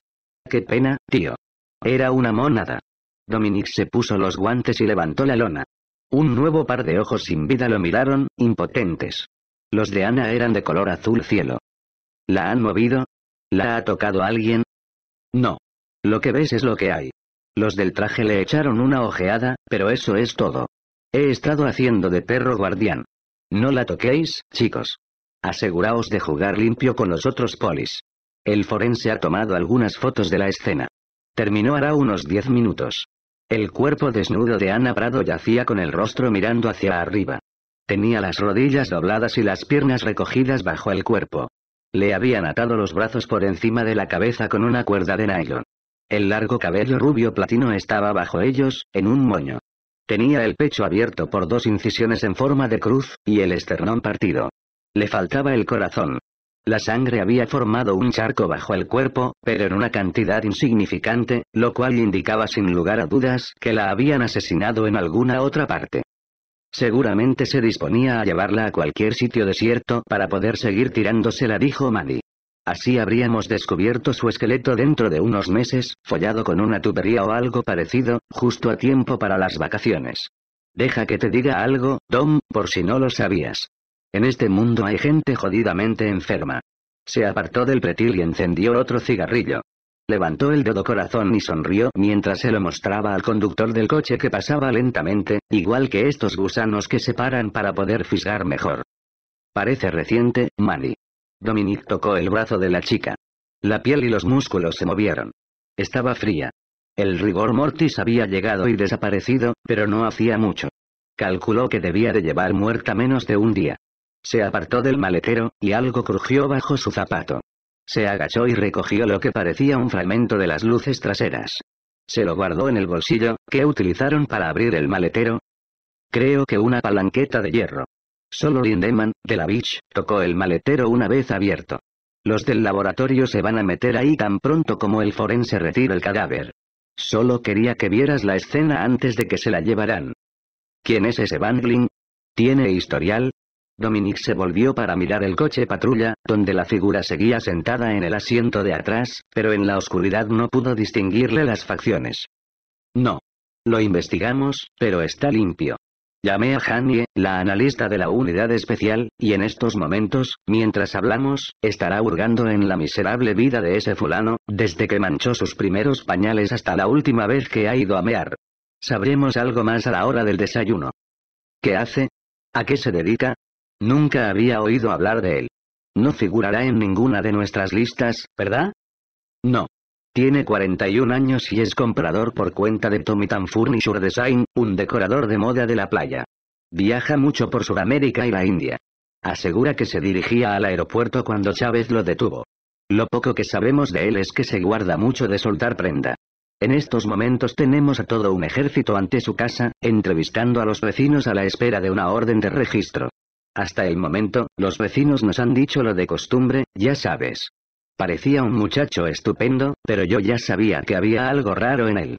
La basura de siempre. Mañana saldrán en el programa de Jerry Springer asegurando que son clarividentes, y nosotros, idiotas. Ya he llamado al fiscal del estado, y Masterson y Bowman están ocupándose de las órdenes judiciales. Cuando las hayan verificado con CJ Townsend, de la oficina del fiscal, se irán a ver al juez a su casa para pedirle una firmita. ¿Ha dicho algo el tal Bangling? No. No quiere hablar. No ha abierto la boca desde que denegó el permiso a Chávez para que registrara su maletero. Lo hemos metido en la trasera del coche de Lu Rivero, con los micrófonos abiertos, y estamos escuchando, pero ni siquiera lo hemos oído respirar. He dicho a todo el mundo que lo dejen en paz, que nosotros nos ocuparemos de él. Ni siquiera nuestros amigos, los federales, han hablado con él, todavía no. De todas maneras, no me cabe duda de que está en el primer lugar de su lista de prioridades. De acuerdo. Que el forense se la lleve y que vengan los del laboratorio. Asegúrate de precintarle las manos antes de que la muevan. Dominic hizo un gesto indicando a los técnicos y los analistas que aguardaban a un lado de la carretera, intentando pasar inadvertidos con sus chaquetas azules con el rótulo policía forense en la espalda. Se acercaron al maletero como termitas a la madera. Dominic saludó con un gesto de la cabeza al círculo de polis que seguían rodeando el coche cuando pasó por su lado. En el cielo escuchó el claro sonido de un helicóptero y unas luces lo deslumbraron desde lo alto. Oye, Manny, dime que es tu jefe del culo gordo el que se dispone a aterrizar para una segunda ronda de visita. Manny miró hacia arriba y entrecerró los ojos. Luego meneó la cabeza en señal de disgusto. Me temo que no. Esos, amigo mío, son los del Channel 7 para las noticias traumáticas de las 10. Parece que estamos de suerte. Seguro que salimos en el noticiario de las 11. Asegúrate de sonreír. Mierda. Llegan los unos. Muy bien, que lleven a ese tío a la oficina y empiecen a hablar con él antes de que se dé cuenta de que en este estado se aplica la pena de muerte y se ponga a gimotear pidiendo un abogado y la intervención de los defensores de derechos civiles de la CLN. Yo me ocuparé de los chicos del FBI cuando volvamos, pero dejadles claro que se trata de nuestro sospechoso. Dominique abrió la portezuela trasera del coche patrulla y se inclinó. El hombre de dentro miraba al frente. Bajo el resplandor de las luces del techo, Dominique vio que tenía el ojo derecho tumefacto, y que la sangre le manaba de un corte en la mejilla. En el cuello tenía marcas rojas. Sin duda había tropezado antes de entrar en el vehículo. Siempre le sorprendía lo patosos que eran los sospechosos. Especialmente en Miami Beach. Tenía las manos esposadas a la espalda. Señor Bangling, soy el agente especial Dominique Falconetti, del Departamento de Policía de Florida. Necesito que venga conmigo. Tengo que hacerle unas cuantas preguntas. William Van siguió mirando fijamente al frente, carente de toda expresión. Solo parpadeó una vez. Sé quién es usted, agente Falconetti, y puedo asegurarle que no tengo nada que decirle, ni en su oficina ni en ninguna otra parte. Apelo a mi derecho a permanecer en silencio. Quiero hablar con mi abogado. Capítulo 17. Marisol Alfonso esperaba impacientemente a su jefa ante el ascensor de la primera planta de las dependencias de la Fiscalía del Condado de Miami-Dade. Paseaba su chaparra y rechoncha figura de un extremo a otro del pasillo, sosteniendo una libreta rosa con mensajes telefónicos. Eran solo las 9.02 de la mañana, y oficialmente llevaba una hora y dos minutos en el tajo, aunque en realidad no había llegado a la oficina hasta las ocho y cuarto. Estaba más que furiosa. Sencillamente no estaba dispuesta a tragarse aquella mierda más tiempo. No le pagaban lo suficiente. Las puertas se abrieron, y Marisol escudriñó a las personas que salían del ascensor. Tras la multitud de uniformes de policía y trajes de negocios, vestida con un sobrio traje chaqueta gris y gafas de sol, encontró a quien andaba buscando. ¿Dónde se ha metido? Le espetó, enfadada, sabe que he recogido 30 mensajes desde que he llegado. Ojeó rápida y ostensiblemente la libreta y siguió a su presa a través de las puertas de seguridad del final del pasillo y entró en las oficinas de la Unidad de Delitos Mayores, donde una placa en una puerta indicaba. CJ Townsend, asistente en jefe. Agitó la libreta en alto, oiga, que son todos para usted. La última persona que CJ Townsend deseaba que la recibiera por las mañanas era Marisol, su mezquina secretaria. Se trataba de algo que invariablemente arruinaba cualquier esperanza que hubiera podido albergar de tener un buen día. Y esa mañana en concreto no resultaba ninguna excepción. Abrió su maletín en la mesa de su despacho, se quitó las gafas y miró fijamente a la iracunda e informe figura que tenía delante, con las manos en la cintura, reluciendo su fosforescente manicura, la camiseta fucsia y la falda de flores dos tallas demasiado pequeña y 15 centímetros demasiado corta. Marisol, la última vez que lo comprobé vi que responder al teléfono y tomar los recados forma parte de sus atribuciones. Pero no tantos. No he podido hacer nada más. ¿Por qué no me ha llamado para explicarme lo que hay que decir a los tipos de la prensa? CJ sonrió forzadamente con los dientes apretados. Dígales que no hay comentarios y siga recogiendo los recados. Llamaré a quien haga falta llamar. Pero, por el momento, tengo una audiencia a las 10 que debo preparar. Por favor, asegúrese de que no me molesten. Dicho lo cual, empezó a sacar los expedientes de su maletín. Marisol chasqueó la lengua ruidosamente, dejó la libreta con los mensajes sobre la mesa de CJ y salió del despacho hecha una furia y mascullando en español. CJ la observó alejarse por el pasillo hacia la zona de secretarías, donde imaginó que pasaría las dos horas siguientes chismorreando acerca de los sucesos de aquella mañana y de lo borde que era su jefa. CJ dejó escapar un suspiro y cerró la puerta. Aunque fuera lo último que hiciera en aquel departamento, conseguiría que trasladaran a esa mujer a otra división, preferiblemente a la de ayuda infantil, situada al otro extremo de la ciudad. No iba a ser fácil. Después de diez años, Marisol era una veterana. Probablemente tendrían que sacarla a rastras y metida en un saco fucsia antes de que el fiscal del estado reuniera el valor de ponerla de patitas en la calle. Ojeó la lista de llamadas. NBC, Channel 6, WSVN, Channel 7, Today, Good Morning America, Telemundo, Miami Herald, New York Times, Chicago Tribune, incluso el Daily Mail de Londres. La lista proseguía interminablemente. La noticia de aquella mañana por la detención de un sospechoso en el caso Cupido había corrido como la pólvora entre los medios de comunicación y había desatado un frenesí que iba en aumento. Desde la ventana de su despacho, CJ podía divisar lo que parecía un campamento de refugiados, aunque no era otra cosa que la panoplia de los medios de comunicación, sus antenas parabólicas para las conexiones en directo con sus afiliados de Los Ángeles y Nueva York, que había acampado al otro lado de la calle, ante las escalinatas de los tribunales de lo criminal. Llevaba un año asignada personalmente por el fiscal del condado a la unidad especial encargada del caso Cupido para ayudar en la investigación. Había acudido a las escenas del crimen, asistido a algunas autopsias, supervisado los diversos permisos judiciales, conversado con el forense, revisado los informes de la policía y el laboratorio y tomado declaración a los testigos. También había fechado con la ración diaria de críticas de la prensa por la falta de progresos en el caso. No obstante, en esos momentos, su devoción por los chicos de azul la había hecho acreedora al más apetitoso de los premios convertirse en la fiscal encargada de enchironar al más destacado asesino en serie de la historia de Miami. La tarea, según parecía, acababa de convertirla en la estrella mediática del día, algo que odiaba en lo más profundo de sí. En los diez años que llevaba en la oficina del fiscal del estado había empapelado desde a pescadores que atrapaban bogavantes fuera de temporada hasta a pandilleros que habían cometido homicidios triples.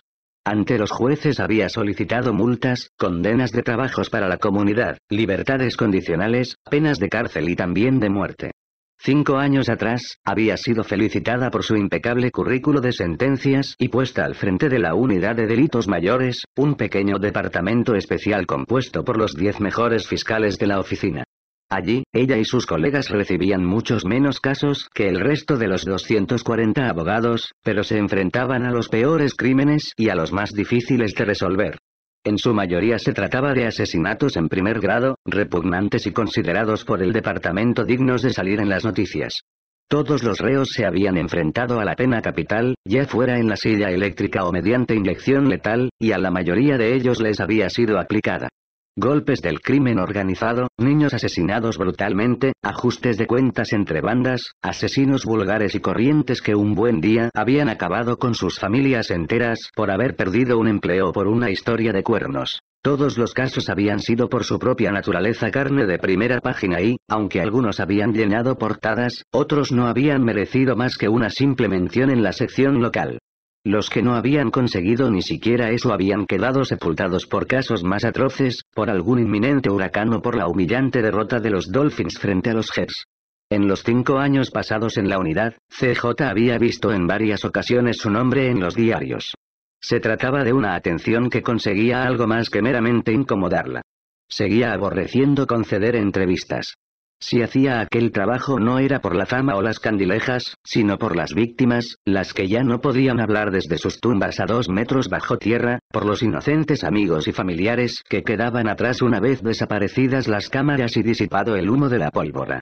Para ella, se trataba de una tarea que le permitía proporcionar a los supervivientes un sentido de la reivindicación, una sensación de poder en una situación que, de otro modo, era de total impotencia. Sin embargo, en aquel caso, el resplandor de los focos le iba a resultar todavía más opresivo, puesto que iba a tener que enfrentarse no solo a los medios locales, sino también a la prensa internacional. Cuando Manny Álvarez la había llamado a su casa la noche anterior para decirle que tenía un sospechoso en el caso Cupido, ella se había dado cuenta enseguida de lo grave del caso, seguramente el más importante que llegaría a ver en toda su carrera. Había pasado la mitad de la noche revisando las autorizaciones para el registro de la casa y de los dos coches de William Rupert Van Lynn en Miami Beach, y la otra mitad preparando la primera audiencia ante la que el sospechoso se presentaría a las 10 de aquella mañana. Entre una cosa y otra, se acercó a la carretera elevada MacArthur a presenciar la escena del crimen y se detuvo en el despacho del forense para echar un vistazo al cadáver. Luego, atendió tres nerviosas llamadas de Jerry Tyler, el fiscal del estado, que estaba muy molesto ya que, a pesar de que había estado en la misma cena de campaña que el gobernador, nadie lo había invitado con los otros peces gordos a la fiesta que se había organizado en la carretera elevada. Entre una cosa y otra, se había olvidado de pegar ojo. En el período de las siguientes 24 horas a partir de su detención, Van Lynn tenía derecho a que un juez determinara en una audiencia preliminar si existían motivos fundados para que lo detuvieran por el asesinato en primer grado de Ana Prado. ¿Qué posibilidades había de que hubiera cometido el crimen del que se le acusaba? A bote pronto, un cadáver mutilado en el maletero seguramente bastaría. Además, hablando francamente, una audiencia preliminar no era nada, apenas una comparecencia de dos minutos que se celebraba a través de circuito cerrado, con el acusado ante el monitor de televisión en la cárcel del condado, y el agobiado y temperamental juez de audiencias preliminares, con su abultada carpeta con 200 asuntos pendientes, en su diminuto tribunal al otro extremo. El irritado juez procedía a leer el informe de la detención, informaba de los cargos, declaraba que había causa probable, establecía la fianza o la denegaba, y pasaba al siguiente encausado en la larga lista que serpenteaba hasta las celdas. Eso era todo. Se desarrollaba con tanta rapidez que el inculpado ni siquiera tenía tiempo de darse cuenta de que lo habían llamado, y se quedaba en el estrado de la celda, mirando a su alrededor hasta que lo devolvían de nuevo a su jaula. El fiscal y el abogado defensor se sentaban en la sala del tribunal con el juez, pero a efectos puramente decorativos. Nada de testigos, nada de declaraciones, solo un juez que leía el informe de la detención. Y siempre encontraba causa probable, siempre. No se trataba de nada especial, solo de la tradicional justicia sureña de toda la vida. Sin embargo, ese caso. Ese caso iba a ser distinto. Aquella mañana, el detenido iba a ser conducido por el Departamento de Vigilancia Penitenciaria desde su celda hasta el Tribunal del Condado, al otro lado de la calle, a una hora especial, para una audiencia especial en un tribunal especial y dispuesto solo para él.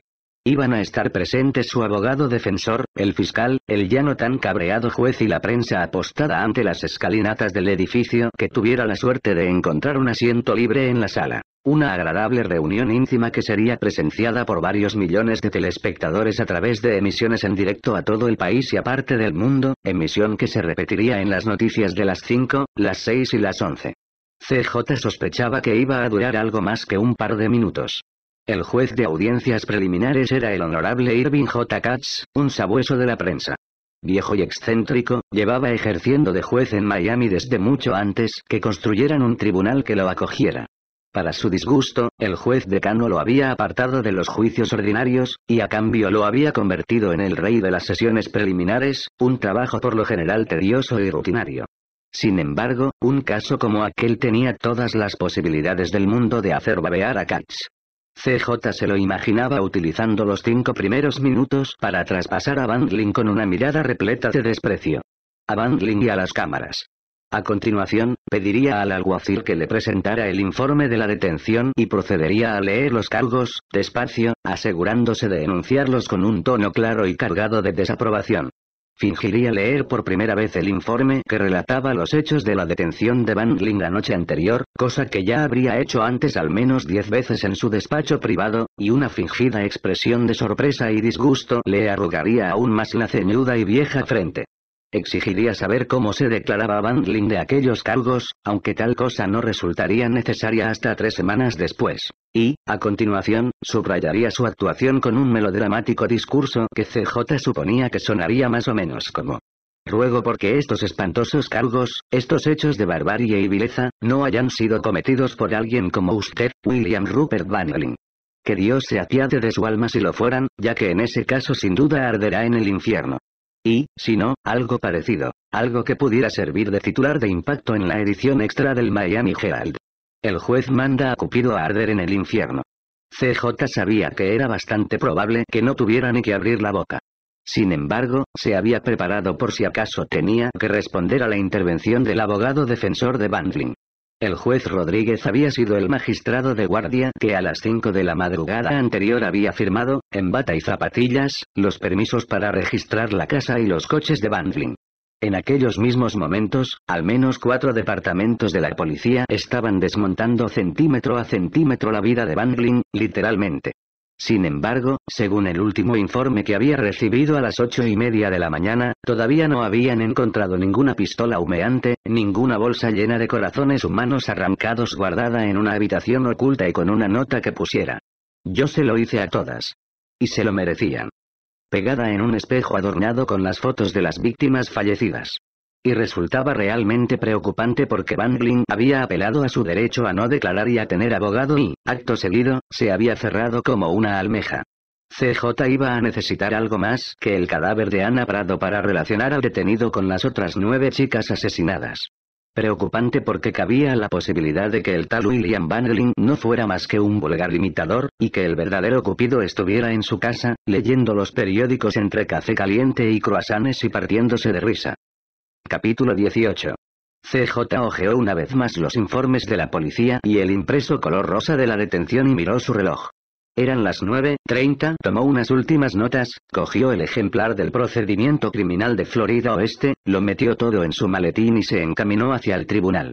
Bajó por la escalera de atrás y salió por una puerta lateral para evitar el circo mediático que sabía que estaría esperándola tanto a la salida de su despacho como en la escalinata de los tribunales. Luego, se internó en el laberinto del aparcamiento subterráneo del juzgado, saludando con la mano al aburrido guardia de seguridad mientras se metía en el ascensor. Las puertas se abrieron en la tercera planta, y CJ supo que el asunto iba a ser aún más gordo de lo que había imaginado. Como sospechaba, una turba de cámaras y locutores parlanchines aguardaban ansiosamente en el corredor, fuera de la sala número 4. Estaban disponiendo las luces, comprobando los micrófonos y retocándose el carmín con apresurado nerviosismo. CJ caminó en línea recta, sin desviarse, con la mirada fija en la gran puerta de caoba de enfrente y ligeramente baja, dejando que el rubio peinado le cubriera el rostro, indiferente a la varaunda que se desataba a su alrededor. Frenéticos susurros surgieron de entre los reporteros menos aplicados. ¿Es ella? ¿Es la fial? ¿Es esa, Townsend? Los más preparados se abrieron paso con aplomo antes de que los otros hubieran tenido tiempo siquiera de conectar sus micros. Señorita Townsend, ¿qué pruebas se han hallado en casa de Bangling? Sin comentarios. ¿El señor Bangling figuraba en la lista de sospechosos que manejaba su departamento? Sin comentarios. ¿Presentará cargos por los otros nueve asesinatos? Sin comentarios. ¿Solicitará su oficina la pena de muerte? Ante aquella pregunta la mirada de CJ fulminó al alegre reportero de ojos de conejo. Una pregunta estúpida. Las puertas se cerraron tras ella con un ruido sordo. Caminó hasta el fondo de la sala revestida de nogal y se sentó a la mesa del fiscal, a la derecha.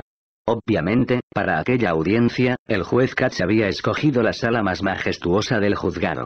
Los techos se elevaban 10 metros, y el trono de su senoria se alzaba más de un metro y medio, dominando el estrado de los testigos desde una altura de 70 centímetros. Grandes candelabros que a todas luces databan de 1972 colgaban en diagonal a través de toda la estancia. La sala ya estaba abarrotada de espectadores, en su mayoría reporteros, y había cámaras dispuestas en todos los rincones y ángulo concebibles. La estancia se hallaba rodeada de agentes uniformados de la policía de Miami-Dade, y cuatro agentes del Departamento de Vigilancia Penitenciaria vestidos de verde custodiaban la entrada. Otros cuatro vigilaban la puerta trasera que conducía al vestíbulo hasta donde eran escoltados los presos desde sus celdas. Cuatro más montaban guardia ante el corredor que conducía al despacho del juez. En la primera fila del público, CJ distinguió a varios letrados de la oficina del fiscal y los saludó con un gesto de la cabeza. Abrió el maletín y miró a su izquierda. A tres metros de ella, en la mesa de la defensa, se hallaba la destacada abogada Lourdes Rubio.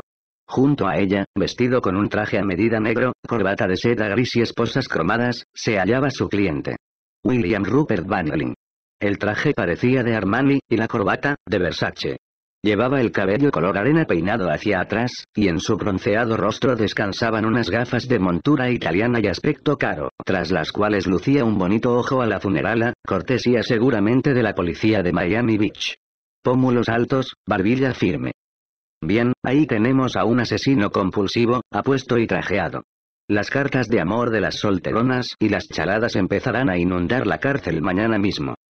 CJ se fijó en que las esposas descansaban sobre un Rolex, y que en la oreja llevaba un gran pendiente de diamantes. Eso explicaba por qué tenía sentada al lado a Lourdes Rubio. Era buena y no salía barata.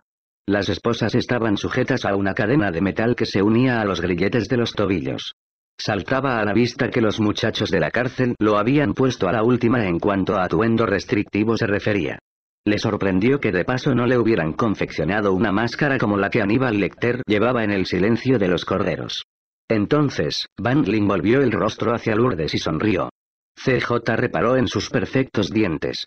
Sin el ojo morado habría resultado claramente guapo. Desde luego, no tenía aspecto de asesino compulsivo. Pero, claro, tampoco lo había tenido Ted Bundy. Además, los pedófilos eran en su mayoría simpáticos abuelos que ejercían de presidentes de los clubes locales. Y, con frecuencia, los peores maltratadores de mujeres eran altos ejecutivos de importantes compañías. Las cosas no siempre eran lo que parecían. Seguramente gracias a eso Bangling había conseguido pescar a todas esas chicas en las discotecas. Ellas habían esperado que Cupido fuera un feo, pestilente y grasiento monstruo armado con un cuchillo, no un don Juan vestido de Armani, lleno de encanto, con unos dientes perfectos, un Rolex y un Jaguar nuevo en la puerta. Todos en pie. El alguacil abrió la puerta de atrás. El juez Katz entró con aire decidido y lo primero que hizo fue mirar con mala cara hacia Bangling y en general. Subió al estrado y tomó asiento. Se puso las gafas que se le quedaron en la punta de la nariz y volvió a lanzar una mirada aviesa al detenido. El tribunal abre su sesión. Gritó el alguacil, preside el honorable Irving J. Katz. Siéntense y guarden silencio. El juez Katz contempló sus dominios con mirada de desprecio. Durante varios minutos, un tenso silencio se apoderó del ambiente, solo interrumpido por algún carraspeo o por el roce de papeles. Finalmente, el juez se aclaró la garganta y dijo. Estamos aquí por el caso del Estado de Florida contra William Rupert Bangling, caso número F, 2000-1. 7, 4, 2, 9. Letrados, por favor, identifíquense a efectos de registro. Muy formales, CJ y Lourdes se pusieron en pie. CJ Townsend, en representación del Estado de Florida. Lourdes Rubio, en defensa del detenido. El juez prosiguió. El cargo es por asesinato en primer grado. Señor Bangling, comparece aquí hoy, en esta audiencia preliminar, para que se determine si del atestado de su detención se desprende causa suficiente para mantener los cargos de los que se le acusa. Si se halla dicha causa, será devuelto sin fianza a la cárcel del condado de Dade, donde quedará a la espera de juicio. Dicho lo cual, señora secretaria, páseme el acta de la detención para que pueda leerla. Había sido claro y conciso y se había expresado con claridad. Sin duda, el juez Katz tendría un magnífico aspecto en las noticias. Normalmente, cualquier otro día habría despachado a diez detenidos en el tiempo que había tardado en soltar su discurso.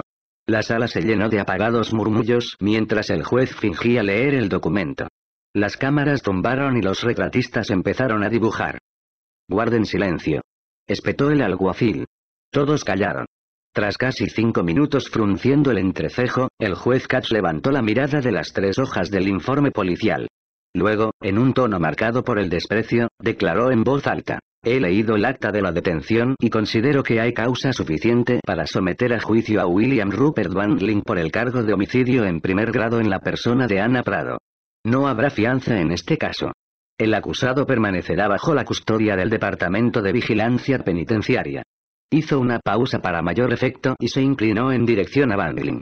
Señor Bangling, a este tribunal solo le cabe esperar. Lourdes Rubio se puso en pie. Señoría, si pudiera dirigirme a este tribunal. Odio interrumpir, pero me temo que esta sala va a dar por cerrado el asunto sin que mi defendido haya tenido la oportunidad de ser escuchado. Juez, mi cliente es un eminente miembro de esta comunidad. Carece de antecedentes. Ha vivido en Miami durante seis años y ha echado raíces aquí, raíces entre las que se incluye un hogar y un trabajo. Está dispuesto a entregar su pasaporte a este tribunal hasta que el asunto quede resuelto, y acepta llevar un brazalete electrónico de localización y permanecer en arresto domiciliario de modo que pueda ayudar a su abogado en la preparación de su defensa. Por lo tanto, con el debido respeto, solicitamos del tribunal que tenga en cuenta estos factores y establezca una fianza para el caso. CJ se levantó para intervenir, pero enseguida vio que no era necesario. La calva cabeza del juez Katz había enrojecido mientras fulminaba a Lourdes Rubio con la mirada. La abogada acababa de estropear la de otro modo magnífica intervención del juez. Letrada, su cliente es sospechoso de una larga serie de espantosos y violentos asesinatos. Conducía su coche por Miami con el cadáver mutilado de una mujer en el maletero. No se trata de un turista que haya abusado de la vida nocturna de South Beach. Señorita Rubio, lo que me preocupa de su cliente no es que pueda huir, sino que pueda matar. Es claramente un peligro para la sociedad. No habrá fianza. Si él quiere ayudarla en su defensa, lo hará desde su celda. Los ojos del juez repasaron a Lourdes Rubio como si fuera la primera vez que se daba cuenta de que se trataba de una mujer. Añadió en voz baja. Puede que algún día tenga que darme las gracias por ello, letrada. Se inclinó de nuevo y se dispuso a terminar.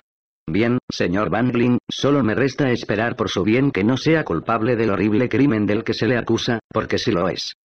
Bangling se puso en pie de un salto, apartando la mesa y tirando la silla, que rebotó ruidosamente contra la barandilla de madera. Esto es ridículo, señoría.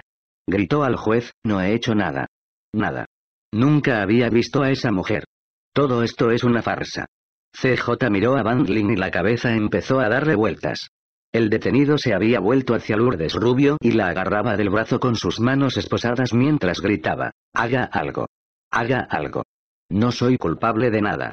No quiero ir a la cárcel. A CJ la boca se le había quedado seca. Tres agentes de vigilancia penitenciaria se abalanzaron sobre Bangling y lo obligaron a sentarse. Vio que el juez aporreaba su mesa con el mazo y a los reporteros poniéndose en pie, cámara en ristre, captando la escena en vivo. Sin embargo, no oía nada salvo la voz de Bangling gritando una y otra vez. Haga algo. Tiene que hacer algo. CJ tenía la mirada clavada donde la mano del detenido aferraba la chaqueta de Lourdes. Allí, justo por encima del Rolex y la muñeca, vio la zigzagueante cicatriz y reconoció aquella voz. Entonces, en ese horrible instante, supo realmente quién era William Rupert Bangling y se puso a temblar de pies a cabeza mientras veía que se lo llevaban a rastro sin dejar de gritar a Lourdes Cubio que hiciera algo. Se quedó contemplando aquella imagen largo rato después de que hubiera desaparecido y tampoco oyó al juez Katz cuando éste la llamó desde el estrado. Unas fuertes manos la sacudieron por los hombros desde la primera fila de espectadores. Era el agente especial Dominique Falconetti, del DPF. Lo miró y vio que movía los labios al pronunciar su nombre. Sin embargo, no podía oírlo. Toda la sala parecía una campana de vacío. Se sentía al borde del desmayo. Entonces, poco a poco, los sonidos regresaron. CJ? CJ? ¿Te encuentras bien? El juez te está llamando. Regresaron martilleando, como una ola en la playa. Sí, estoy bien, balbuceó. Estoy bien, solo un poco aturdida. No tienes buen aspecto, dijo Dominique. El juez se había puesto colorado como un tomate. Su gran espectáculo se había ido al garete. Señorita Townsend, ¿está usted dispuesta a volver a ejercer como fiscal? Le advierto que este tribunal ya ha tenido bastante por hoy. Sí, señoría. Lo lamento, contestó volviéndose para mirar al estrado. Gracias. Le estaba preguntando si el ministerio tenía algo más que añadir o si podemos dar por concluida la audiencia. No, señoría. Este ministerio no tiene más que añadir, repuso con aire ausente, mirando la silla vacía de la mesa del acusado, al lado de Lourdes, que a su vez la contemplaba estupefacta, lo mismo que la secretaria del tribunal y el alguacil. Bien. Así pues, audiencia concluida. El juez Katz lanzó una mirada malhumorada al resto de la sala y salió apresuradamente, cerrando la puerta tras él de un portazo. Un estruendo de reporteros corrió por el pasillo hacia CJ para arrancarle algún comentario. Ella recogió el maletín y se abrió paso sin atender a sus preguntas. Necesitaba salir de la sala, del edificio. Necesitaba estar en cualquier otra parte salvo allí. Tenía que escapar. No quiso esperar al ascensor, de modo que corrió por el pasillo hacia la escalera, apartando a un lado y a otro la corriente de víctimas, abogados y detenidos que abarrotaba la escalera, bajando los peldaños de dos en dos. Tras ella oía a Dominique Falconetti, que le gritaba que esperase, pero no le hizo caso. Cruzó el vestíbulo de la planta baja, las puertas de cristal del edificio y salió al brillante sol de Miami. Sin embargo, no había escapatoria. La pesadilla había vuelto a empezar. Capítulo 19. CJ cruzó la calle corriendo y volvió a su despacho en el edificio Graham con una retaíla de reporteros tras ella, intentando darle alcance. Alzó las manos en señal de que no tenía nada que decir y los dejó protestando ante la entrada de seguridad del vestíbulo. Luego, subió de dos en dos los peldaños de la escalera hasta el primer piso y se metió en el lavabo de señoras. Miró debajo de la puerta de la hilera de excusados para comprobar que estuvieran vacíos y que no hubiera nadie escuchando. Acto seguido, tiró su maletín al suelo y se despidió del desayuno. Apoyó la cabeza en la pared de azulejos de un horrible color a desinfectante rosa y cerró los ojos para conseguir que la estancia dejara de dar vueltas a su alrededor, antes de aventurarse a salir del reservado. Se colocó las gafas por encima de la cabeza y con ambas manos se echó agua en la cara y por el cuello, casi sumergiendo la cabeza bajo el grifo. Notaba como si le pesara 50 kilos y tuvo que recurrir a todas sus fuerzas para enderezarse. Contempló su reflejo en el espejo que corría a lo largo de la pared, sobre las pilas y con el fondo rosa. Una mujer pálida y aterrorizada le devolvió la mirada. En 12 años había envejecido más de lo que le correspondía. Llevaba el cabello rubio mucho más corto, por encima del hombro, liso y con raya a un lado. Además, utilizaba un champú especial para aclarar su color miel original y dejarlo en un tono grisáceo más apagado. A menos que se lo sujetara en una cola de caballo, los mechones le caían sobre la cara y se pasaba todo el rato recogiéndoselos tras las orejas. Era uno de los hábitos nerviosos que había desarrollado con los años. Fumar como una posesa era otro, se recogió el cabello y se apoyó en el lavabo, examinando la imagen que tenía delante. Vio las arrugas de preocupación que le surcaban la frente y las patas de gallo que le surgían, igual que grietas en un plato, de las comisuras de sus ojos verdes. Las oscuras líneas apenas disimuladas con corrector de ojeras eran la prueba de las pesadillas que todavía la acosaban y del insomnio que siempre la acompañaba. Por lo general, también las disimulaba con unas gafas de fina montura de oro. Sus labios seguían siendo generosos, pero denotaban seriedad. Se dio cuenta de las leves arrugas que empezaban a perfilarlos. Tenía gracia que las llamaran las arrugas de la risa. No llevaba ningún tipo de maquillaje, salvo un poco de rímel en las pestañas. Tampoco pendientes, anillos ni pulseras. Ningún tipo de joyas. Su traje chaqueta gris resultaba elegante pero conservador, y nunca se ponía falda a menos que tuviera que presentarse ante un tribunal. Era la discreción personificada, una mujer anónima. Todo en ella resultaba neutro, hasta su nombre. Conocía aquella voz. La había reconocido al instante. Tras doce años todavía le hablaba por las noches en sus pesadillas con el mismo tono ronco de barítono, con aquel leve acento inglés. También sabía que no se lo había imaginado ni se la había atribuido a William Bandling porque sí. Su sonido era como un cuchillo de sierra desgarrándole el cerebro, un timbre de alarma que sonaba con tal fuerza en su cabeza que en la sala había estado a punto de ponerse a gritar, a punto de señalarlo y vociferar. Es él. Él fue. Que alguien me ayude. Que alguien lo detenga. Pero ni se había movido. No había podido.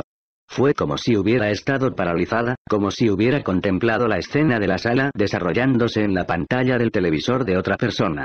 En casa, en la comodidad del salón, se podía gritar a los actores. Haz algo, no te quedes ahí. Aunque ellos no pudieran escuchar y la escena terminara con otra víctima de ojos espantados y desprevenida, destripada por otro diablo con un cuchillo de carnicero y una máscara de hockey. Con el sonido de aquella voz, todo el vello se le había erizado y un escalofrío la había recorrido de pies a cabeza. Y así, de ese modo, había sabido al instante y sin asomo de duda que se trataba de él. Habían pasado doce años, pero una parte de ella siempre había sospechado que volvería a oír su voz y siempre había estado a la espera. La fea cicatriz en forma de S de su brazo izquierdo no había hecho sino confirmarlo. Sin embargo, él parecía no haberla reconocido. Lo cierto era que después de todo lo que le había hecho, de todo lo que le había quitado, casi resultaba gracioso que no se hubiera dignado mirar en su dirección, que ni siquiera se hubiera percatado de su presencia en la sala. Pero, claro, ella no guardaba ni sombra de parecido con la que había sido antes, en su otra vida. El reflejo del espejo contuvo las ardientes lágrimas. Había momentos en los que ni ella misma se reconocía. Habían transcurrido años desde aquella espantosa noche. No obstante, en su caso, el tiempo no había difuminado de ningún modo sus recuerdos. Todavía recordaba hasta el último minuto, hasta el último segundo, todos los detalles, todas las palabras. Aunque al menos en apariencia había conseguido seguir adelante con su vida, había cosas que por mucho que intentara no podía dejar atrás. Y tenía días en los que continuar le suponía una auténtica lucha.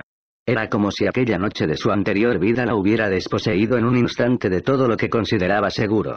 A pesar de que la mayoría de las cicatrices físicas se habían desvanecido, lo que CJ más odiaba era el miedo constante en que vivía. No se sentía con fuerzas para coger aquel capítulo de su vida y confinarlo al pasado. Al contrario, era más bien como si se hubiera quedado atascada en punto muerto, temerosa de retroceder, pero también de avanzar. Sabía que eso perjudicaba sus relaciones, y sin embargo ahí seguía, arrastrando el mismo lastre del que hacía años tendría que haberse desprendido en la consulta de su costoso terapeuta de Nueva York. Tras una crisis nerviosa y dos años de intensa terapia, se había visto obligada a tomar conciencia de un hecho que había temido desde el principio. Que el poder no es más que una ilusión. En una noche había perdido todo control sobre su vida, y después había tardado años en descubrir que en realidad no lo había tenido nunca. Realmente, la vida no era más que un capricho del destino. Eso explicaba por qué unos resultaban atropellados por un autobús al regresar a casa después de un funeral, y por qué a otros les tocaba dos veces la lotería. El secreto de evitar el autobús radicaba en no aventurarse en calles oscuras por las noches. Recordó que Michael se había referido a esa noche llamándola el incidente. Michael, el novio canalla que había acabado comprometiéndose con la flacucha pelirroja de su secretaria. Cuando se habían separado, él se había mostrado dispuesto a dejarle el tiempo y el espacio que ella necesitara para recuperarse. Le prometió que la esperaría siempre, aunque eso fuera lo que pudiera tardar en salir adelante. Bien, siempre resultó que era demasiado tiempo para esperar, y una semana después de haberlo dejado Michael ya estaba paseándose con la pelirroja por la New York Tavern. Seis meses después se casaron. CJ no había vuelto a saber de él después de aquello. Más tarde, se enteró de su divorcio por un breve en el Wall Street Journal, cuando la flacucha pelirroja convertida en rubia exuberante le exigió todo lo que él tenía, que por aquella época era bastante. Sin embargo, lo peor de aquellos 12 años había sido no saber. No saber quién había sido su atacante ni dónde estaba. Ese miedo siempre la acompañaba y nunca remitía. Estaba a su lado, en el metro, en la cena, en el banco.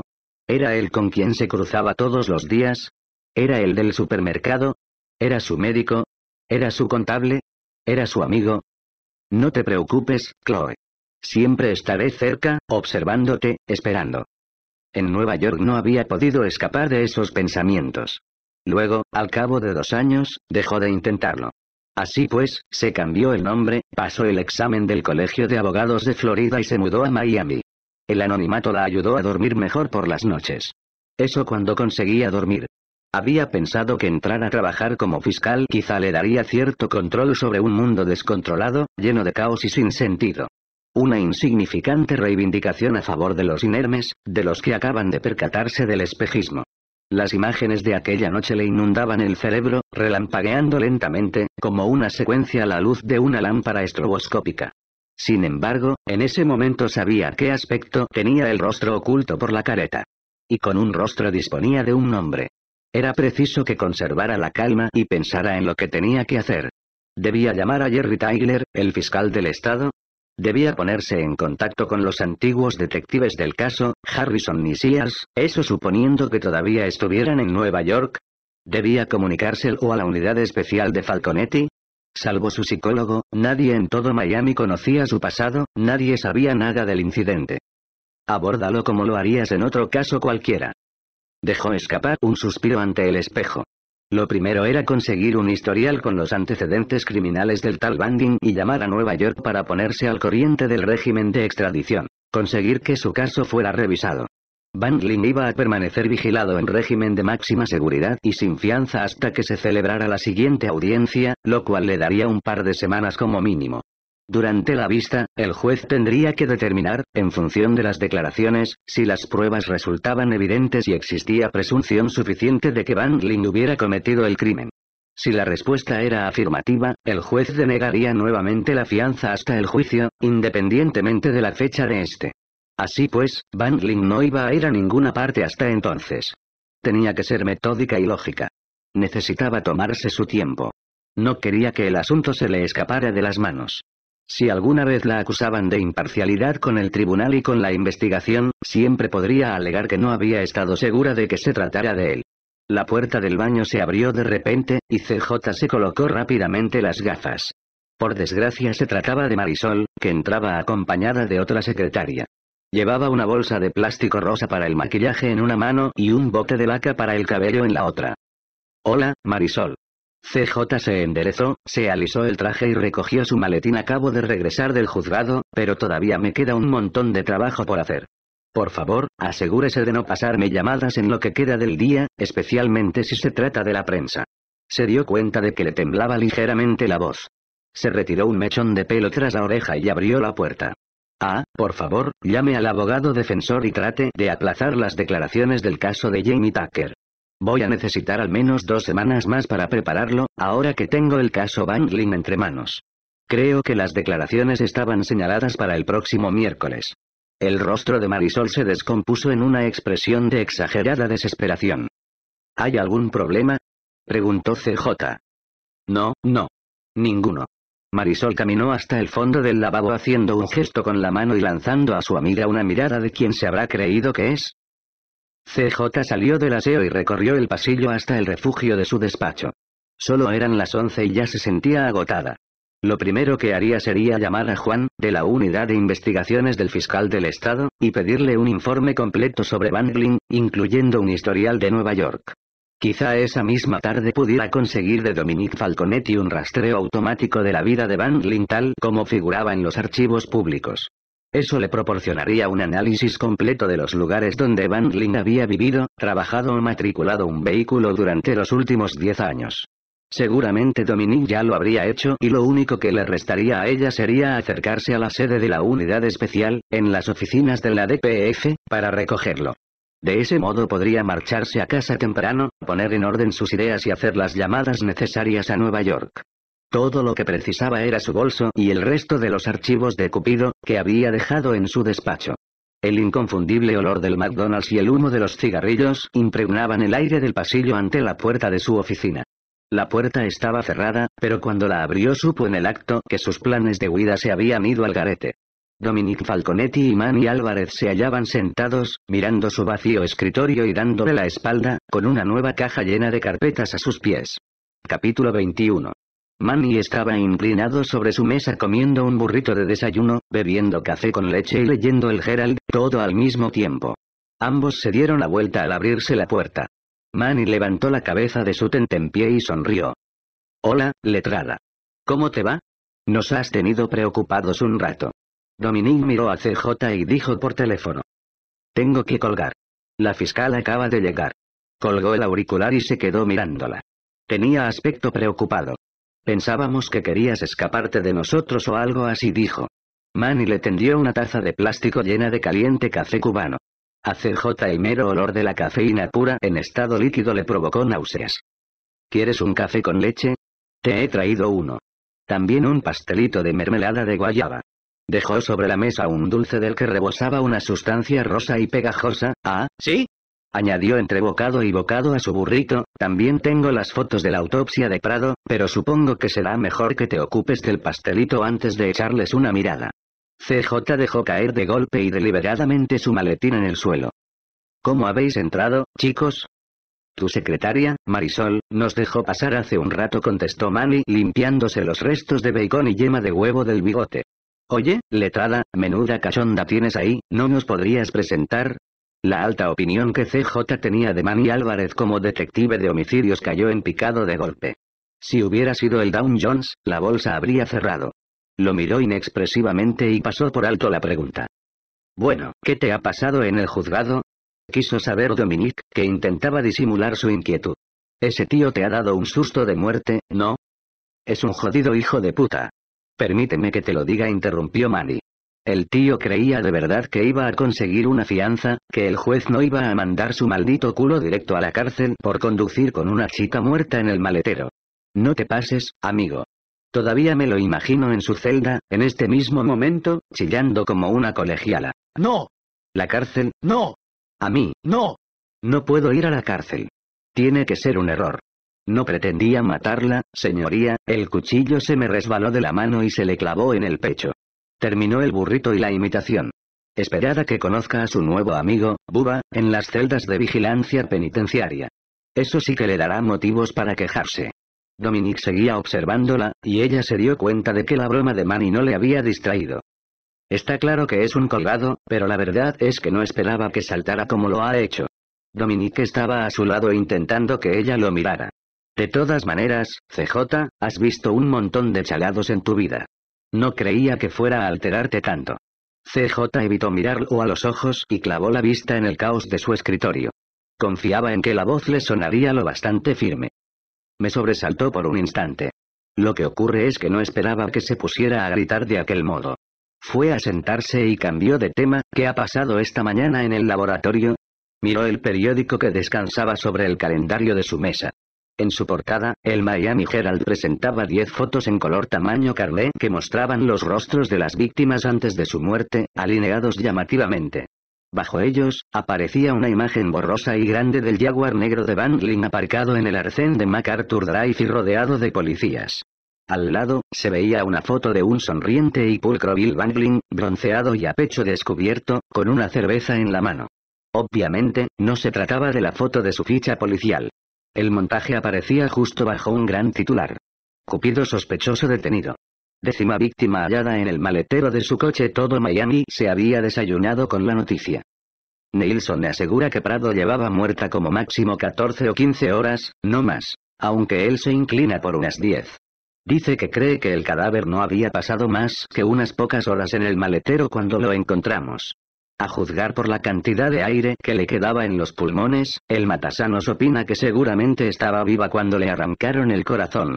Joe Neilson era el forense del condado Miami-Dade, y en la oficina del fiscal del estado gozaba de mucho respeto. CJ suspiró y miró la hilera de hermosos rostros de las mujeres muertas. ¿Creéis que es el mismo tipo, o que nos enfrentamos a un imitador? Dominique se sentó ante la mesa, destapó la caja de carpetas del suelo y sacó diez fotos Polaroid de una carpeta en forma de acordeón. Los cortes son idénticos. Primero, un tajo vertical a lo largo del esternón con un instrumento cortante, seguramente un escalpelo. Luego, el tajo transversal bajo el pecho y las mismas incisiones en la aorta. No es el trabajo de un chapuzas. ¿Puede Neilson identificar estos cortes con los de las otras víctimas como practicados por el mismo instrumento? El ceniciento rostro de Ana Prado la contemplaba desde la instantánea, con su cabello rubio platino peinado hacia atrás y la cabeza sobre la mesa metálica. Otras imágenes tomadas de cerca mostraban la cavidad torácica, las enormes incisiones, el pecho reventado y un boqueante agujero donde tendría que haber estado el corazón. Los cortes eran limpios, como los otros. Por un momento, CJ pensó en sus irregulares cicatrices, pero enseguida apartó la imagen de su mente. Puede, letrada contestó Manny todavía no ha acabado con la autopsia. Sin embargo, ha encontrado algo interesante. Parece que es posible que Prado tuviera alguna droga en la sangre.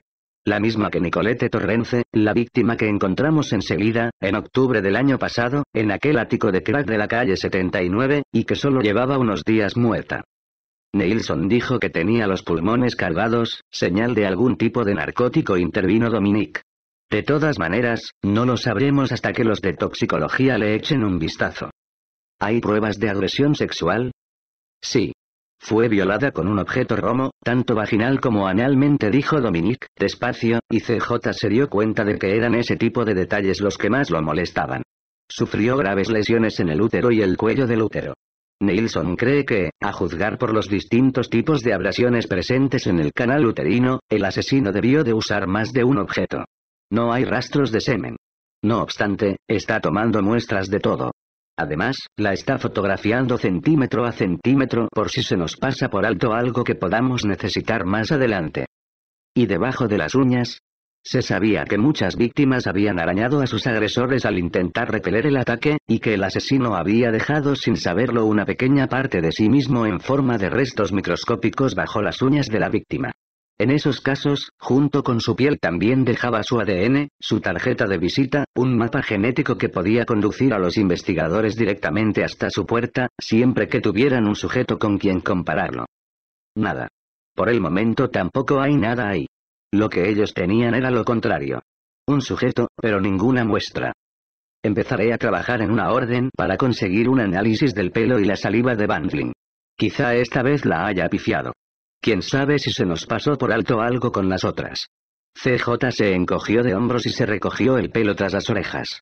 La información de la droga es interesante. Quizá nos proporcione la conexión al menos con otra de las víctimas. Llamaré esta tarde a Neilson para ver si tiene algo más para mí de la autopsia. Dominique, ¿le has hecho el criminológico? ¿Hay algo de él en el CNIC?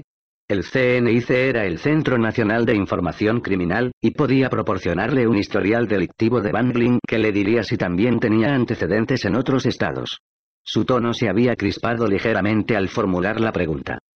No hay nada. Por lo que sabemos, está limpio del todo. Quiero saber todo lo que haya que saber sobre ese tío. Voy a necesitar un rastreo automático de él, esta misma tarde si es posible. También quiero echarle una ojeada a su pasaporte para ver dónde ha estado últimamente. Llamaré a Janie para que lo investigue. Creo que Manny ya le ha pedido que coteje con la Interpol, a ver si tienen algo contra él fuera del país. Teniendo en cuenta que es un pez gordo de Tomitan. Lo del rastreo automático ya lo tenemos. El tío ha vivido en un montón de sitios. Hoy mismo te haré llegar una copia. De repente, CJ se puso en pie dando por finalizada la conversación. Tengo unos cuantos asuntos que resolver hoy, así que me voy a marchar temprano. Dominique, te llamaré más tarde a ver qué habéis descubierto en su casa. Echó un vistazo a Manny, que estaba sacando un malboro del paquete, uno para el camino, de modo que pudiera encenderlo nada más salir y deja de fumar en mi despacho, Manny. Al final es a mí a quien echan la culpa. El oso pareció sorprenderse, igual que un niño al que han pillado metiendo la mano en el tarro de las galletas y todavía pretende negarlo. No sabíamos cuándo volverías, letrada balbuceó. Pero enseguida se le ocurrió una idea y añadió. Además, esa secretaria tuya me dio palpitaciones, y me puse tan nervioso que tuve que buscar el modo de tranquilizarme. Sonrió con su mejor sonrisa. CJ ya había oído suficiente. No nos metamos en ese terreno. En cualquiera, menos en ese. Por favor.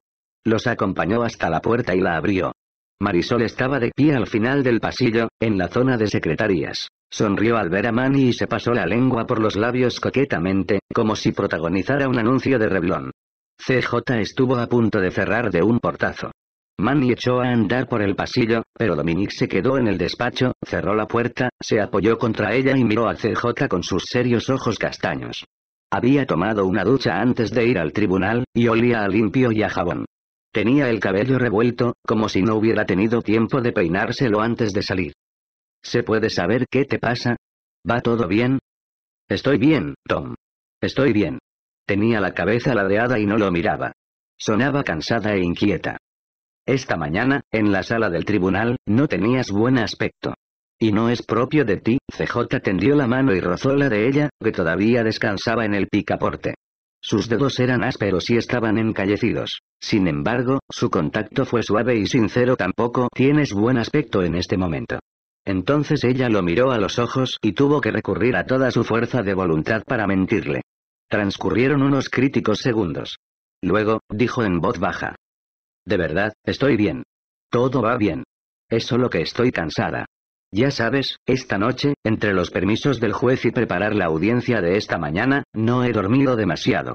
Dejó escapar un suspiro. El tío ese me pilló por sorpresa en la sala. No esperaba semejante reacción. CJ tenía ganas de llorar, pero en vez de eso, se mordió el carrillo por dentro y contuvo las lágrimas. Los ojos de Dominique buscaron en los de ella en pos de la verdad. Su áspera mano se levantó para rozarle el rostro, y CJ se puso a la defensiva. Sabía que él lo había notado. Dominique bajó la mano deprisa. Creo que hay más de lo que me cuenta, se limitó a decir. A continuación, dio media vuelta y abrió la puerta. Te llevaré el rastreo automático cuando haya acabado en casa de Bangling, añadió por encima del hombro mientras salía al pasillo. CJ se daba cuenta de que estaba preocupado. Pero, ¿qué demonios? Ella también. Capítulo 21. La blanca casa de dos plantas, con sus pulcros toldos verde oscuro y sus grandes vidrieras, se hallaba ligeramente apartada de la calzada. Un camino de ladrillo rojo conducía hasta la doble puerta de roble de la entrada principal. Un muro de dos metros de altura con una verja de hierro forjado ocultaba el exuberante jardín trasero a cualquier mirada indiscreta. Un ciprés se alzaba, solitario, y una serie de palmeras de casi 12 metros de alto se desplegaban en abanico por encima del muro. Se trataba de una bonita casa ubicada en un tranquilo barrio residencial de Mid es decir, entre la exclusiva zona norte de Miami Beach y el tan de moda Sobe. Seguramente, hasta que el ejército de reporteros empezó a desembarcar en el barrio a las 8 en punto de la mañana, los acomodados vecinos de la Gorce Avenue no habían prestado atención a su apuesto y bien trajeado vecino que acababa de ser señalado como sospechoso principal en la mayor caza del hombre que Miami había presenciado desde que Andrew Cunanan había abatido a tiros al modisto Gianni Versace en pleno Ocean Drive del SOBE. Los policías de uniforme se movían por toda la casa igual que hormigas. En el camino de entrada había aparcadas dos furgonetas del Departamento Forense de Miami-Dade. Dominique caminó por el cuidado sendero de ladrillo, entre parterres de flores y bugambilias, llevando tras él a Manny. Un joven agente de la policía de Miami Beach, que no aparentaba más de 22 años, montaba guardia, nervioso, ante la puerta principal, consciente de que hasta el menor de sus movimientos estaba siendo registrado y analizado en directo por la docena de equipos de televisión que lo observaban detenidamente desde el otro lado de la cinta amarilla que delimitaba la escena. La CNN mantenía una conexión en directo, lo mismo que la MSNBC y Fox News. Dominique mostró su identificación al policía, imaginándose el rótulo que estaría apareciendo en ese momento en las pantallas de millones de televisores. Agentes de la unidad especial se aproximan a la casa de la muerte para una macabra búsqueda de cuerpos y pruebas. Dentro, los técnicos del laboratorio estaban por todas partes, registrando con sus manos enguantadas en látex cada centímetro de la vivienda, recogiendo y guardando muestras de las cosas más normales desde champú hasta fragmentos de moqueta para un caso que era de todo menos normal.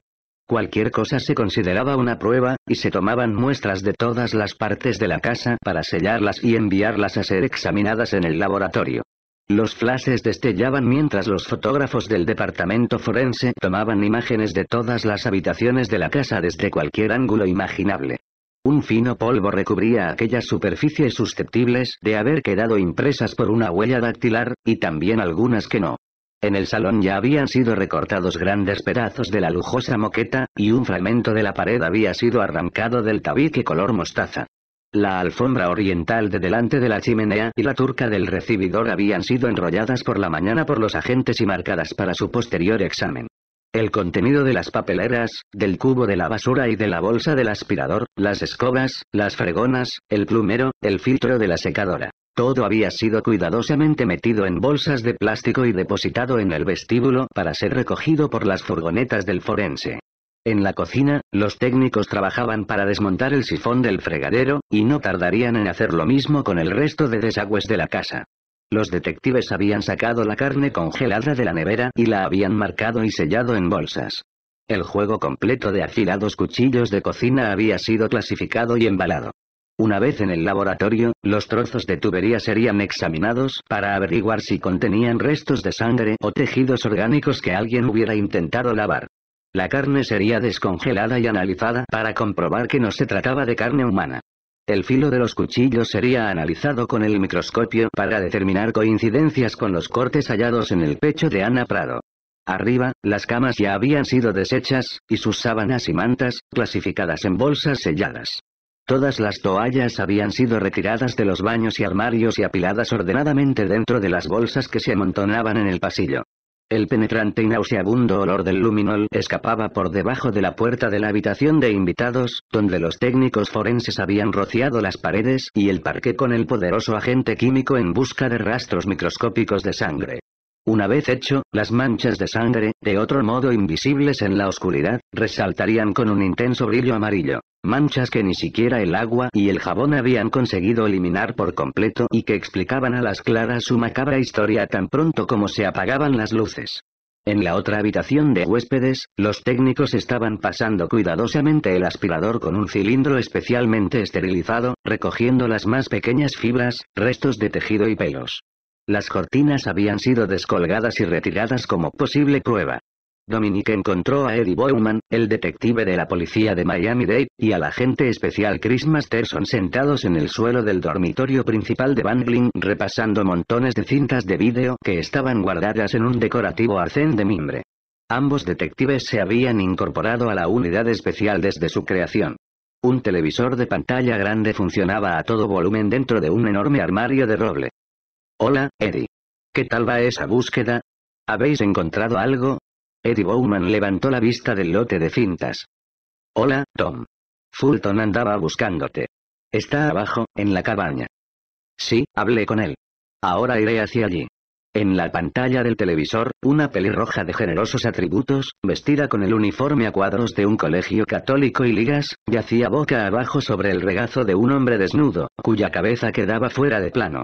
Dominique se fijó en que al uniforme le faltaban grandes trozos de tela y siempre en los lugares menos adecuados, especialmente por pertenecer a un colegio católico.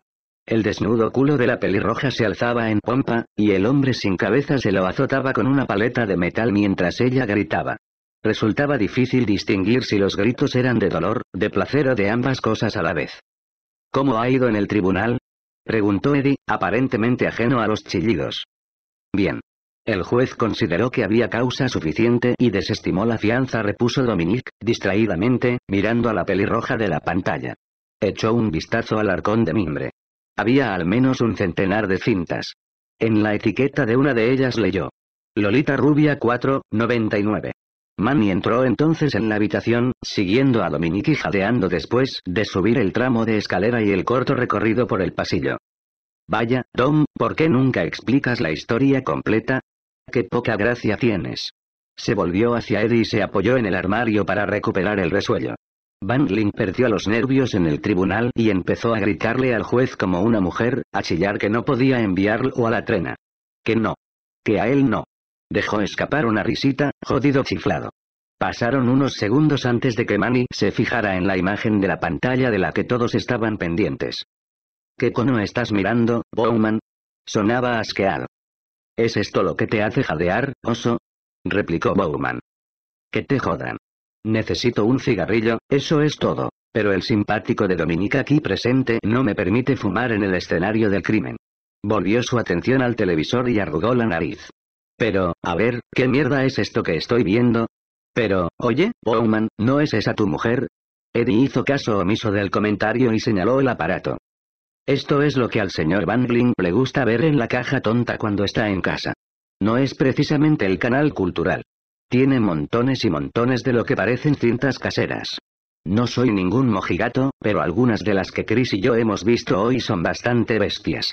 Parecen relaciones y material consentido, pero no resulta fácil asegurarlo. Una enorme cama de roble oscuro con un cabezal tapizado de cuero color chocolate ocupaba la mayor parte del masculino dormitorio de Bandling. La cama ya había sido deshecha, junto con ella, el arcón y el armario los únicos muebles del cuarto. Un alarido surgió del televisor.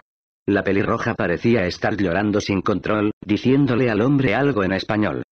¿Eh, Manny, qué le está diciendo? preguntó Dominique. Para, para, por favor. Me portaré bien.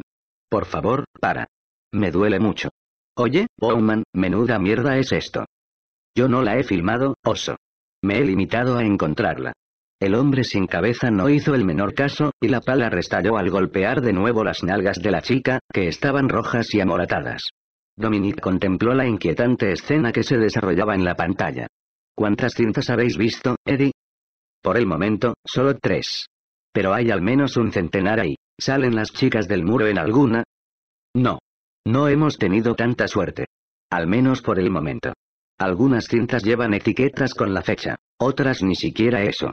También tiene una colección de películas normales, que Chris ha encontrado en un cajón del armario. Quizá una cincuentena. Cogerlas. Por lo que sabemos, bien podría haber rodado su propia versión de Los Caballeros las prefieren rubias. Tendremos que tragárnoslas todas. Quizá podamos identificar a alguna de las estrellas de esta basura casera. El sonido de los azotes continuaba, así como el del llanto. La mirada de Dominique fue de nuevo atraída hacia la pantalla, el de la paleta es Bandling. No lo sabemos. No ha abierto la boca, y no he reconocido ninguna de las habitaciones de esta casa. Yo diría que sí, pero tampoco he visto a Bandling desnudo. ¿Qué salía en las otras tres cintas? Preguntó Dominique. La misma clase de basura. Muy sádica, pero puede que fuera consentida. No sabría decirlo. Le gustan jovencitas, pero creo que las chicas ya han cumplido la mayoría de edad. Otra incógnita. Puede que el hombre que aparece en los diferentes vídeos sea el mismo, pero como no se le ve la cara. Desde luego, confiamos en dar con mierda de la buena y descubrirlo tirándose a una de las chicas muertas. Eres un tipo retorcido, Bowman. Manny se había metido en el vestidor. ¿Eh, chicos, no habéis mirado todavía en el ropero? No. Los del laboratorio ya lo han fotografiado, filmado en vídeo, pasado el aspirador y quitado el polvo. Chris iba a meter los zapatos en bolsas cuando hubiéramos inventariado las cintas. Esta noche van a echar luminol aquí y en el baño principal. Don psicópata tiene buen gusto para la ropa. Te lo aseguro, dijo Manny desde el vestidor. Mira esto. Armani, trajes de Hugo Boss, camisas de Versace. ¿Por qué no me habré hecho policía? Podría haberme convertido en diseñador de muebles y haber ganado una fortuna. En vendedor de un diseñador de muebles le corrigió Eddie Bowman. Bandling es solo un vendedor. Deberías ver el ropero del diseñador de verdad. Estupendo, Bowman. Ahora me siento jodidamente mejor con mi vida. Tendría que haberme hecho vendedor. ¿De verdad ganan tanta pasta, o es que nuestro psicópata recibía algún tipo de plus? Dominique entró en el baño principal, que se hallaba a la derecha del dormitorio. Por todas partes se veía mármol italiano. En los suelos, en los dos reservados, en la ducha. Una fina capa de polvo cubría todas las superficies, dando a la piedra color café con leche un aspecto muy sucio. Según Tan, sus comisiones solo del año pasado ascendieron a unos 175 mil dólares, contestó Dominique desde el baño. Sin mujer ni hijos, es todo dinero para divertirse. Sin hijos ni ex esposas, querrás decir. Son las ex las que te chupan la pasta de la nómina. Hablaba por experiencia. Manny tenía tres ex esposas, Dios mío. Aquí debe de tener al menos diez trajes, que equivalen cada uno a un mes de mi sueldo. Y lo tiene todo tan ordenado. Asomó la cabeza fuera del ropero. Bowman, deberías ver esto. Tiene todas las camisas alineadas por colores y las corbatas dispuestas a juego con las camisas. Maldito maníaco. Sí, imagínatelo, Manny, un tipo con corbatas a juego sin personajes de dibujos animados o retratos de jugadores de fútbol en ellas. Eso sí que es sospechoso, de veras. Bowman no se movió de su sitio al lado del televisor. ¿Y yo qué quieres que te diga? Soy un tipo leal. Además, Bowman, el que me pidió que le prestara mi corbata de Bugs Bunny fuiste tú. Todos los de esta habitación te oyeron pedírmela. Eso fue por Halloween, idiota. Se trataba de una broma. Tenía que disfrazarme de Oshar, de la extraña pareja. Dominique se sacó los guantes de látex del bolsillo del pantalón y abrió las puertas de madera de debajo del lavabo. Pulcras hileras de champú y acondicionador, pilas de jabón Daniel, rollos de papel higiénico, un secador de pelo. En el siguiente, un cesto con peines y cepillos, más rollos de papel, una caja de condones. Eh, Chris, Eddie llamó, ¿qué han hecho hasta el momento los del laboratorio en el baño principal? No han metido nada en bolsas todavía, ¿no? Chris Masterson le respondió. Solo han tomado huellas. Yo iba a ocuparme del baño y el vestidor cuando acabara con las cintas. Fulton me dijo que subiría a ayudarnos cuando hubiera acabado con la cabaña, pero hace rato que no sé nada de él. Manny volvió a asomar la cabeza por el vestidor. Menudo pedazo de gandules estáis hechos. Nosotros llevamos todo el día currando como muyas para meter entre rejas a ese jodido chiflado, y mientras vosotros estáis aquí, sentados, viendo porno. Dejad que os lo pregunte, ¿hacía falta realmente que os ocuparais los dos de clasificar esas cintas, o de eso podría haberse encargado Larry mientras Mo hacía algo más que esperar a Curly? Déjame en paz, oso le espetó Bowman. Nos tomamos un descanso del porno para ver en directo la sesión del tribunal, así que sabemos que no pasó de 20 minutos. Tú debías de llevar hora y media en el pickle barrel, tomándote tu café con leche y agenciándote el teléfono de la señora Álvarez número 4. Vale, chicos, dejadlo correr, ordenó Dominique desde el baño. Abrió el armario de las medicinas. Botellas de Advil. Tilenol y Motrin se alineaban al lado de tarros de Vicks Vaporub, un tubo de lubricante Kai y un frasco de Milanta pinzas, pasta de dientes, enjuague bucal, hilo dental, crema de afeitar y cuchillas llenaban los otros dos estantes. Todas las etiquetas miraban hacia afuera, perfectamente alineadas y rectas, como en el escapalate de una farmacia. Dos finos envases de color marrón para recetas magistrales destacaban del resto, pero no contenían nada especialmente interesante. Uno estaba fechado en febrero de 1999, y se trataba de un antibiótico, amoxicilina, recetado por un médico de Coral Gables. El otro era del mismo médico, una receta para un descongestionador nasal, Claritin.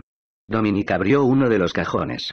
Había un pequeño cesto marrón lleno de bolas de algodón, al lado de una hilera de tubos de limpiador facial e hidratante. Una serie de manoplas negras y crema, cuidadosamente dobladas, se alineaban en el fondo del cajón. Metió la mano y las retiró. Allí, debajo de los ordenados montones, había otro frasco para preparados magistrales, en ese caso más que medio lleno. Mierda de la buena. Gritó Dominique, acunando en la palma de su enguantada mano la botella marrón que contenía la receta de Aldol de William Rupert Bannerling. Capítulo 22. CJ salió silenciosamente del ascensor y cruzó el monótono vestíbulo gris y rosa de edificio Graham, el hogar de 240 fiscales y, en esos momentos, al comienzo de la hora de almorzar, un lugar abarrotado de gente. Varios ayudantes del fiscal del estado se paseaban por el vasto espacio, charlando y esperando a que otros colegas llegaran de los tribunales y pudieran ir juntos a comer. Lo máximo que CJ se sintió capaz de hacer fue saludarlos con un gesto de cabeza mientras pasaba a su lado, camino del aparcamiento. Confiaba en tener un aspecto lo más normal posible, que parte del color que aquella mañana había perdido en el tribunal hubiera regresado a su rostro.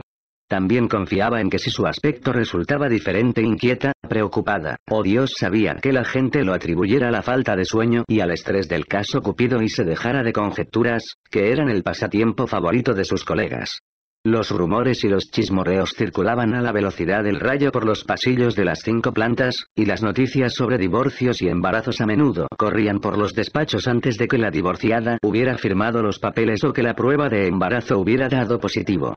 Confió en que solo hubieran sido los ojos de Dominique los que aquella mañana habían leído el miedo en su interior, que no resultara evidente para todos el hecho de que algo terrible e inconfesable había ocurrido en su vida. Se puso las gafas de sol y salió bajo el brillante sol. Nadie pareció percatarse de nada. Algunos fiscales la saludaron con la mano y, acto seguido, reanudaron sus conversaciones. Subió a su Jeep Cherokee, dejó los archivadores y el bolso en el asiento del pasajero y buscó desesperadamente en la guantera el paquete de Marlboro de repuesto que escondía bajo un inútil montón de mapas de carreteras y paquetes de Kleenex. Nunca un cigarrillo había sido tan bienvenido. Ni tan necesario. Aquel día, de entre todos los días, no era el momento de quedarse sin tabaco. Cuando había apagado el último a las 5 de la madrugada había sido lo bastante tonta para pensar que había llegado el momento de intentar dejarlo de nuevo. La llama de la cerilla titiló y se estremeció entre sus dedos, que todavía no habían dejado de temblar. Por fin, las hebras de oloroso tabaco rozaron el fuego y la punta se convirtió en un anaranjado rescoldo. Un reconfortante y familiar aroma llenó el interior del vehículo. CJ se reclinó en el asiento, cerró los ojos, inhaló profundamente y dejó escapar el humo despacio. La nicotina llegó a sus pulmones y corrió por su torrente sanguíneo hasta alcanzar el cerebro y el sistema nervioso central, sosegando mágicamente los alterados nervios que encontraba en el camino. Era una sensación que los no fumadores nunca, nunca llegarían a comprender.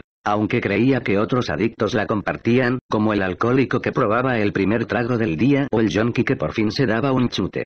A pesar de que las manos todavía le temblaban, una sensación de tranquilidad la invadió. Exhaló un anillo de humo a través del volante y, una vez más, comprendió que nunca podría dejar de fumar. Nunca. Puso el coche en marcha, salió del aparcamiento y enfiló hacia la salida 836 oeste, en dirección a la 195 y Fort Lauderdale. Dominique. Volvió a ver su rostro en la puerta del despacho, las arrugas de su preocupado ceño surcándole la frente. Recordó su mano, vacilante en la de ella, y la expresión de herida sorpresa que le atravesó los ojos cuando notó que se ponía tensa por el contacto. También sus intuitivas y acertadas palabras finales. Creo que hay más de lo que me cuentas. Lo había rechazado. Sin intención, pero rechazado igualmente. Y no sabía exactamente cómo se sentía por haberlo hecho. Desde el momento en que había reconocido a Bandling en el tribunal, el impacto emocional la había dejado aturdida, y aceptar el contacto de Dominique en su despacho se le había antojado equivocado y fuera de lugar. El tiempo había vuelto a detenerse para ella, todo volvía a ser como hacía 12 años. Una vida rutinaria y maravillosa con un maravilloso y rutinario futuro por delante y, de golpe, ¡pam! Un brusco replanteamiento de las prioridades. Una vez más, Van volvía a arrebatarle su vida. En cuestión de minutos, en el dormitorio, en el juzgado, su mundo había quedado trastocado. Doce horas antes no se habría retirado ante la caricia de Dominique. Quizá incluso se hubiera acercado o le hubiera correspondido con la suya. Durante los últimos meses, mientras trabajaban codo con codo en la unidad especial, entre ellos había surgido aquel vínculo sin palabras, el potencial para algo más. Una dulce y deliciosa tensión que parecía ir a más y que nadie sabía cuándo, dónde ni cómo llegaría a manifestarse. Cayó en la cuenta de que Dominique la había llamado más veces de las estrictamente necesarias para consultarle aspectos legales, y que ella había hecho exactamente lo mismo en cuestiones relacionadas con la policía. Sus conversaciones solían girar al principio en torno a asuntos profesionales, pero enseguida derivaban a terrenos más ligeros y personales. Era consciente de la atracción, de la química que había surgido entre ellos, y de que en más de una ocasión se había preguntado, ¿y si? Además, si alguna vez había llegado a dudar de los sentimientos de Dominique, ya tenía la respuesta.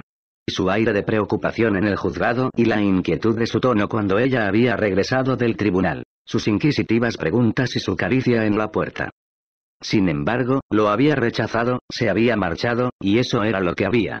Había visto la decepción en sus ojos y también en su rostro, una combinación de desengaño y sorpresa por haber malinterpretado su relación y a dónde podía haberlos llevado. Así pues, el momento había pasado. Quizá para siempre. Se dijo que no debería estar pensando en alguien como Dominique, al menos no en ese momento, pero no podía evitarlo. Encendió otro cigarrillo y se esforzó por quitarse a Dominique de la cabeza. No era el momento para las turbulencias de una relación. Especialmente con alguien tan complicado como Dominique Falconetti. Especialmente con alguien relacionado con la detención de William Rupert Bannerling. Llegó al camino de palmeras que marcaba la entrada del complejo de apartamentos donde residía y saludó con la mano al guardia de seguridad que estaba en su garita, con aire acondicionado, leyendo un libro. Él le devolvió el gesto sin apenas levantar la vista de las páginas y alzó la barrera. La mayor parte de los vigilantes de las comunidades de vecinos de Miami eran iguales que la alarma barata de un Camry estacionado en cualquiera de los abarrotados aparcamientos municipales. Completamente inútiles. Podría haber llevado un pasamontañas, una caja de herramientas en la vaca y una escopeta en el asiento, al lado de un mapa con la inscripción Ruta hacia casa de la víctima. Los chorizos han llegado, y él habría alzado la barrera igualmente. Aparcó ante las Port Royal Towers en su plaza reservada y cogió el ascensor hasta su apartamento del duodécimo piso. Tibi II le dio la bienvenida con una serie de hambrientos e indignados maullidos. Arrastraba por el suelo su blanca y peluda tripa. La tenía manchada por las bolas de suciedad que recogía al barrer el suelo con ella. Vale, Tips, dame un minuto. Déjame pasar de la puerta y te daré tu comida. La palabra comida actuó como tranquilizante para Tibi II, y sus lastimeros gemidos cesaron momentáneamente. Contempló a su ama cerrar la puerta y conectar de nuevo la alarma con esa aburrida curiosidad de la que solo los gatos son capaces y, después, la siguió hasta la cocina, botándose contra ella y dejando pelos de gato, blancos y negros, en la pernera recién planchada de su pantalón. CJ dejó el archivador y el maletín en la mesa de la cocina y sirvió una ración de Purina Cat Show en el cuenco rojo de Tibi. El olor despertó de inmediato a Lucy, su sorda perra Basetón de 10 años, que se bajó de la cama de CJ y fue dando tumbos hasta la cocina, husmeando el aire. Tras un breve y feliz aullido, Lucy empezó a masticar de su propio plato de comida, al lado de Kiwi. Al menos para ellos todo estaba en orden. Su siguiente decisión consistiría en elegir dónde seguirían con la siesta, en el salón o en el dormitorio, Preparó un poco de café para acompañar el nuevo paquete de cigarrillos que había comprado por el camino y fue al dormitorio de invitados. En el altillo del armario, tras rollos de papel para regalo, bolsas y embalajes, se encontraba la sencilla caja de cartón con tapa. Tiró los papeles y las bolsas encima de la cama y sacó la caja medio vacía. El contenido de su interior se movió. Se sentó en el suelo, la colocó a su lado y, dejando escapar un suspiro, abrió la tapa. Habían pasado diez años desde que la había revisado por última vez. Un olor a moho impregnó el aire. Cogió los tres sobres de papel de color marrón y el grueso sobre amarillo y volvió a la cocina. Se sirvió un café recién hecho, lo recogió todo y salió a la pequeña terraza que miraba sobre las azules aguas del canal interior, más abajo. Contempló el sobre con las palabras informes de la policía escritas de su puño y letra. La tarjeta de la detective Amy Harrison del Departamento de Policía de Nueva York estaba grapada en una de las esquinas.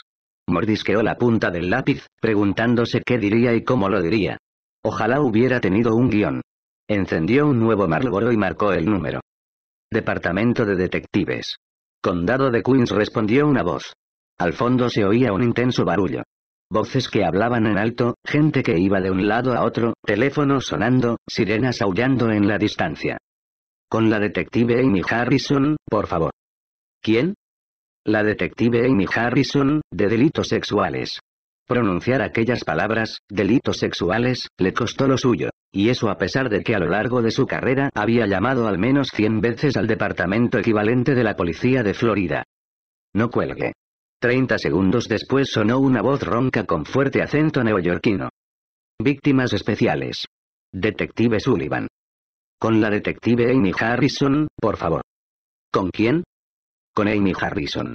Investiga a los delitos sexuales de Bayside, en el 111. Aquí no hay ninguna Harrison. ¿Cuánto hace de eso? Suspiró. Unos 12 años. El bronco neoyorquino dejó escapar un silbido por lo bajo. 12 años. Dios mío. Ya no hay nadie por aquí con ese nombre. Espere un segundo. CJ lo oyó tapar el auricular y gritar, ¿alguien ha oído hablar de una tal detective Harrison, Amy Harrison? Según parece trabajó aquí hace 12 años, en víctimas especiales. Sí dijo una voz al fondo. Sí, yo conocía a Harrison. Se ha retirado. Dejó el departamento hará unos tres o cuatro años. Se marchó a la policía del estado de Michigan, creo. ¿Quién pregunta por ella? Sullivan empezó a repetir la información, pero CJ lo interrumpió. Vale. Ya lo he oído. ¿Qué hay del que era su compañero, el detective Benny Sears? Benny Sears. Gritó la voz ronca, ¿quiere saber algo de Benny Sears? Jesús. Exclamó la voz del fondo. Benny Sears debe de llevar muerto siete años o más. Lo fulminó un ataque al corazón en la calle 59 del puente, en plena hora punta. ¿Quién quiere saber toda esta mierda? ¿Lo ha pillado? El detective Sears murió hace unos siete años. ¿Hay algo en lo que pueda ayudarla? Retirada. Muerto. Por alguna razón no había previsto esas posibilidades. Su silencio fue recibido al otro lado del teléfono con un bufido de impaciencia. Hola. ¿Puedo ayudarla en algo? Sí. Dígame quién se ocupa actualmente de sus viejos casos. Necesito ayuda en un asunto de... En un caso que investigaron juntos en el 88. ¿Tiene el número del expediente? ¿Hubo alguna detención? CJ abrió el sobre y hojeó los papeles amarillos a toda prisa, en busca del número de archivo. Sí, tengo el número por alguna parte. Deme un segundo. No, por lo que sé, no hubo detención. Creo que ya tengo el número. ¿No hubo ninguna detención? Entonces lo que necesita es hablar con casos archivados. Deje que le pase. La comunicación se interrumpió. Departamento de Detectives. Detective Marty. Hola, detective. Necesito cierta ayuda en un caso de agresión sexual de 1988 que quedó sin resolver. Los de víctimas especiales me han pasado con usted. John Macmillan es el que se ocupa de los casos sexuales, pero hoy tiene el día libre. ¿Quiere que le diga que la llame, o prefiera llamarle usted mañana? Lo llamaré mañana. Gracias. Colgó. Había sido completamente improductivo. Volvió a coger el teléfono y a marcar. Oficina del fiscal del condado de Queens. Con extradiciones, por favor. Sonó una música clásica. Oficina de Investigaciones. Le habla Michelle. Hola. Con extradiciones, por favor. Las extradiciones se llevan desde esta oficina. Necesito hablar con el abogado encargado de la extradición de delitos en Nueva York. Ese es Bob Schur. Se ocupa de todas las extradiciones, pero me temo que no está en este momento. ¿Acaso hay alguien que trabaje en la ciudad que nunca duerme? De acuerdo. ¿Cuándo volverá? Ha salido a comer, y creo que tenía una reunión después.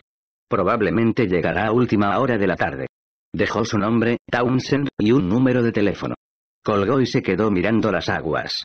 Los rayos del sol bailaban sobre las olas, creando reflejos que brillaban como diamantes. Una deliciosa brisa de levante soplaba en el balcón y hacía tintinear las campanillas de la ventana. Aquel día habían salido bastantes embarcaciones a la mar. En pleno miércoles por la tarde, sus pasajeras enfundadas en bikinis se bronceaban sobre toallas extendidas en las proas, mientras los orgullosos capitanes, con sus atuendos marineros, cerveza en mano, mantenían el rumbo. Aún mejores eran las beldades cubiertas de aceite bronceador que yacían en tumbonas en una popa donde fácilmente cabían diez de ellas. Sin embargo, aquello no era una embarcación, sino un yate, y en los yates, los bañadores y los bikinis se bronceaban juntos en popa, martini en mano, mientras las tripulaciones se encargaban de tripular. Y de cocinar. Y de limpiar. Las olas que dejaban a su paso zarandeaban a los bikinis de las toallas, y los antes orgullosos capitanes perdían el equilibrio junto con sus cervezas. CJ contempló a los adinerados de la zona, con sus suaves bronceados y helados martinis, y a los llamativos turistas, con sus dermatitis, sus espedo y sus pinas coladas, viviendo en su nube, sin una sola preocupación. La familiar punzada de la envidia ante lo fácil de aquellas vidas le atenazó la garganta, y tuvo que tragar saliva para desembarazarse de ella. Si a los 36 años su carrera como fiscal le había enseñado algo era que las cosas no siempre resultaban lo que parecían. Como su padre solía decir. Pruébate los zapatos del otro antes de comprárselos, Chloe. Bien podría pasar que decidieras no hacerlo. Sus pensamientos volaron hacia sus padres que seguían viviendo en el tranquilo norte de California, temiendo siempre por ella, que seguía estando sola en otra gran cuidad llena de extraños, llena de chiflados. Y, peor aún, que trabajaba entre ellos, todos los días de su vida, con la basura de la humanidad, asesinos, violadores, pedófilos, esforzándose por vencer en un sistema donde toda victoria era imposible porque, para cuando los casos llegaban a sus manos, ya había perdedores. No había seguido su consejo ni hecho caso de sus advertencias. Y a ellos les resultaba cada vez más doloroso seguir preocupándose y la creían una suicida que se echaba en brazos de la desgracia. Para CJ, el distanciamiento emocional que había ido en aumento desde el incidente resultaba una ventaja. Ya tenía bastante con arrastrar sus recuerdos y no necesitaba cargar con las preocupaciones de otros. Y lo mismo servía para el caso de sus antiguas amistades de un pasado que parecía érase una vez, independientemente de lo estrechas que hubieran sido entonces. Hacía años que no hablaba con Marie. Sorbió el resto del café y abrió el sobre etiquetado como informes de la policía. Las esquinas del papel copia empezaban a amarillear, y la tinta de la máquina de escribir se veía descolorida. La fecha del primer informe rezaba. Jueves, 30 de junio de 1988. 902H. El tiempo retrocedió a toda velocidad, como si fuera el día anterior, y las lágrimas le anegaron los ojos. Se las secó con el dorso de la mano mientras le iban cayendo y empezó a leer los detalles de la noche en que había sido violada, 12 años atrás. Capítulo 23. Falconetti. ¿Estás ahí, Tom? La radio de dos canales sonaba en su cintura. En la pantalla se leía. Agente especial James Fulton. Sí, aquí estoy, Jano. Adelante. Sus ojos buscaron por el baño una bolsa de recogida de muestras y salió al dormitorio. Oye, Chris, ¿dónde están las bolsas para las muestras? Chris le entregó un montón de bolsas transparentes, cinta roja para marcar las pruebas y recibos blancos de inventario. Dominique volvió al baño. Tenemos algo realmente interesante en la cabaña que hay al fondo de la casa. ¿Con qué estás tú? El acento sureño de Jimmy hacía que entender palabras que normalmente se encontraban en cualquier diccionario resultara un ejercicio interesante. Era un tipo maduro, un investigador veterano que llevaba 25 años con el DPF y en ese momento era agente especial supervisor de la Brigada de Narcóticos. Su experiencia en crímenes violentos y con los permisos de registro lo convertían en alguien valioso. Estoy arriba, en el baño principal, y acabo de hacer también un hallazgo interesante. Van tiene toda una botella de aloperidol, igualmente conocido como aldol, en uno de sus cajones. ¿Aldol? ¿No es una sustancia para los chiflados? Dominic se lo imaginaba acariciándose la canosa barba, con las gafas de sol que le ocultaban los ojos incluso dentro de un cobertizo a oscuras. Bien, Jano. Eso es precisamente. Y nuestro amigo tiene una receta para esa sustancia, expedida por un matasanos de Nueva York. Metió la botella en la bolsa y la selló con cinta adhesiva roja. Caray. De todas maneras creo que te gano. Ah, ¿sí? ¿Por qué? Escribió sus iniciales, DR, en el precinto, con bolígrafo negro. Bueno, vamos por orden. Primero parece que nuestros amigos del FBI han venido a hacernos una visita de cortesía. En estos momentos están en la parte de delante estrechando manos y besando recién nacidos y naturalmente concediendo entrevistas gratis a la prensa acerca del estatus de su investigación. Dominique notó que se le tensaba la mandíbula. ¿Estás bromeando, no, Jimbo? Por favor, dime que es una broma. Me temo que no, amigo. Me temo que no. ¿Quién es? Espera, deja que mire. El Beach Boy que monta guardia en la entrada les pidió una tarjeta de identificación porque al principio no quería dejarlos entrar, así que ahora están montando un follón en el jardín. Recuérdame que llame al jefe Jordan, de Beach, para que le dé un ascenso a ese chico. Dominic fue hasta la ventana del baño y se asomó. No cabía duda. Los dos mismos hombres trajeados que había visto en el arcén de la carretera elevada estaban de pie, con sus gafas de sol, haciéndose los importantes al lado de las bugambilias en el jardín de parterres, hablando por el móvil y tomando notas. Parecían una versión travestida de Mulder y Scully. Se imaginó los rótulos que estarían apareciendo en los televisores de la CNN y la MSNBC.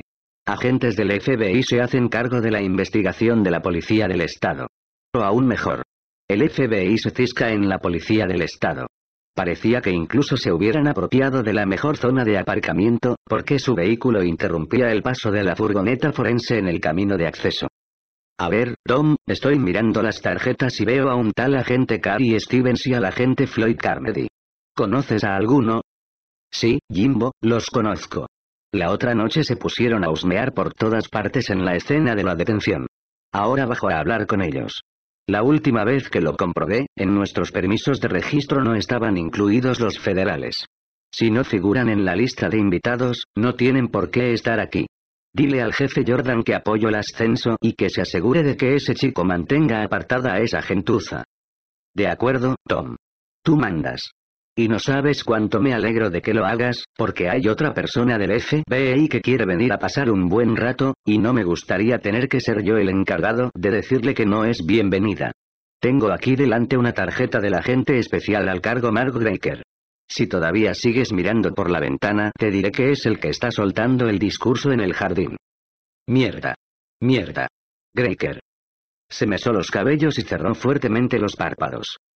Vale, Jimbo. Yo me ocuparé de los federales. Ahora bajo.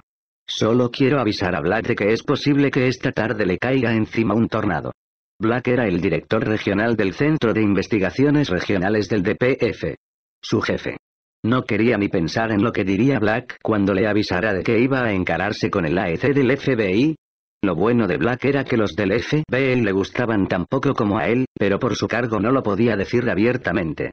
En público condenaba las disputas entre agencias, pero cuando las cámaras desaparecían, cerraba la puerta de su despacho y decía a Dominic que se asegurara de incorriar a los federales tanto como ellos habían incorriado a la policía en el pasado. La verdad era que Black había sido el director regional cuando Greker les había birlado el caso del crimen organizado. Bueno. Antes de que hagas nada, Tom, tengo noticias para ti. No te olvides de que hace un momento te he dicho que te había engañado por la mano. Más. Espero que hayas dejado las buenas noticias para el final, porque lo de los federales es un mal asunto. Será mejor que tengas algo bueno. Venga, suéltalo ya. Alégrame el día. Oh, sí. Te va a gustar. Parece que por aquí abajo hemos encontrado sangre en la cabaña. Y puede que también el arma del crimen. Capítulo 24. Dominic pidió a Chris y a Bowman que acabaran con las cintas y el baño y dejó a Manny ocupado con los Armani del ropero.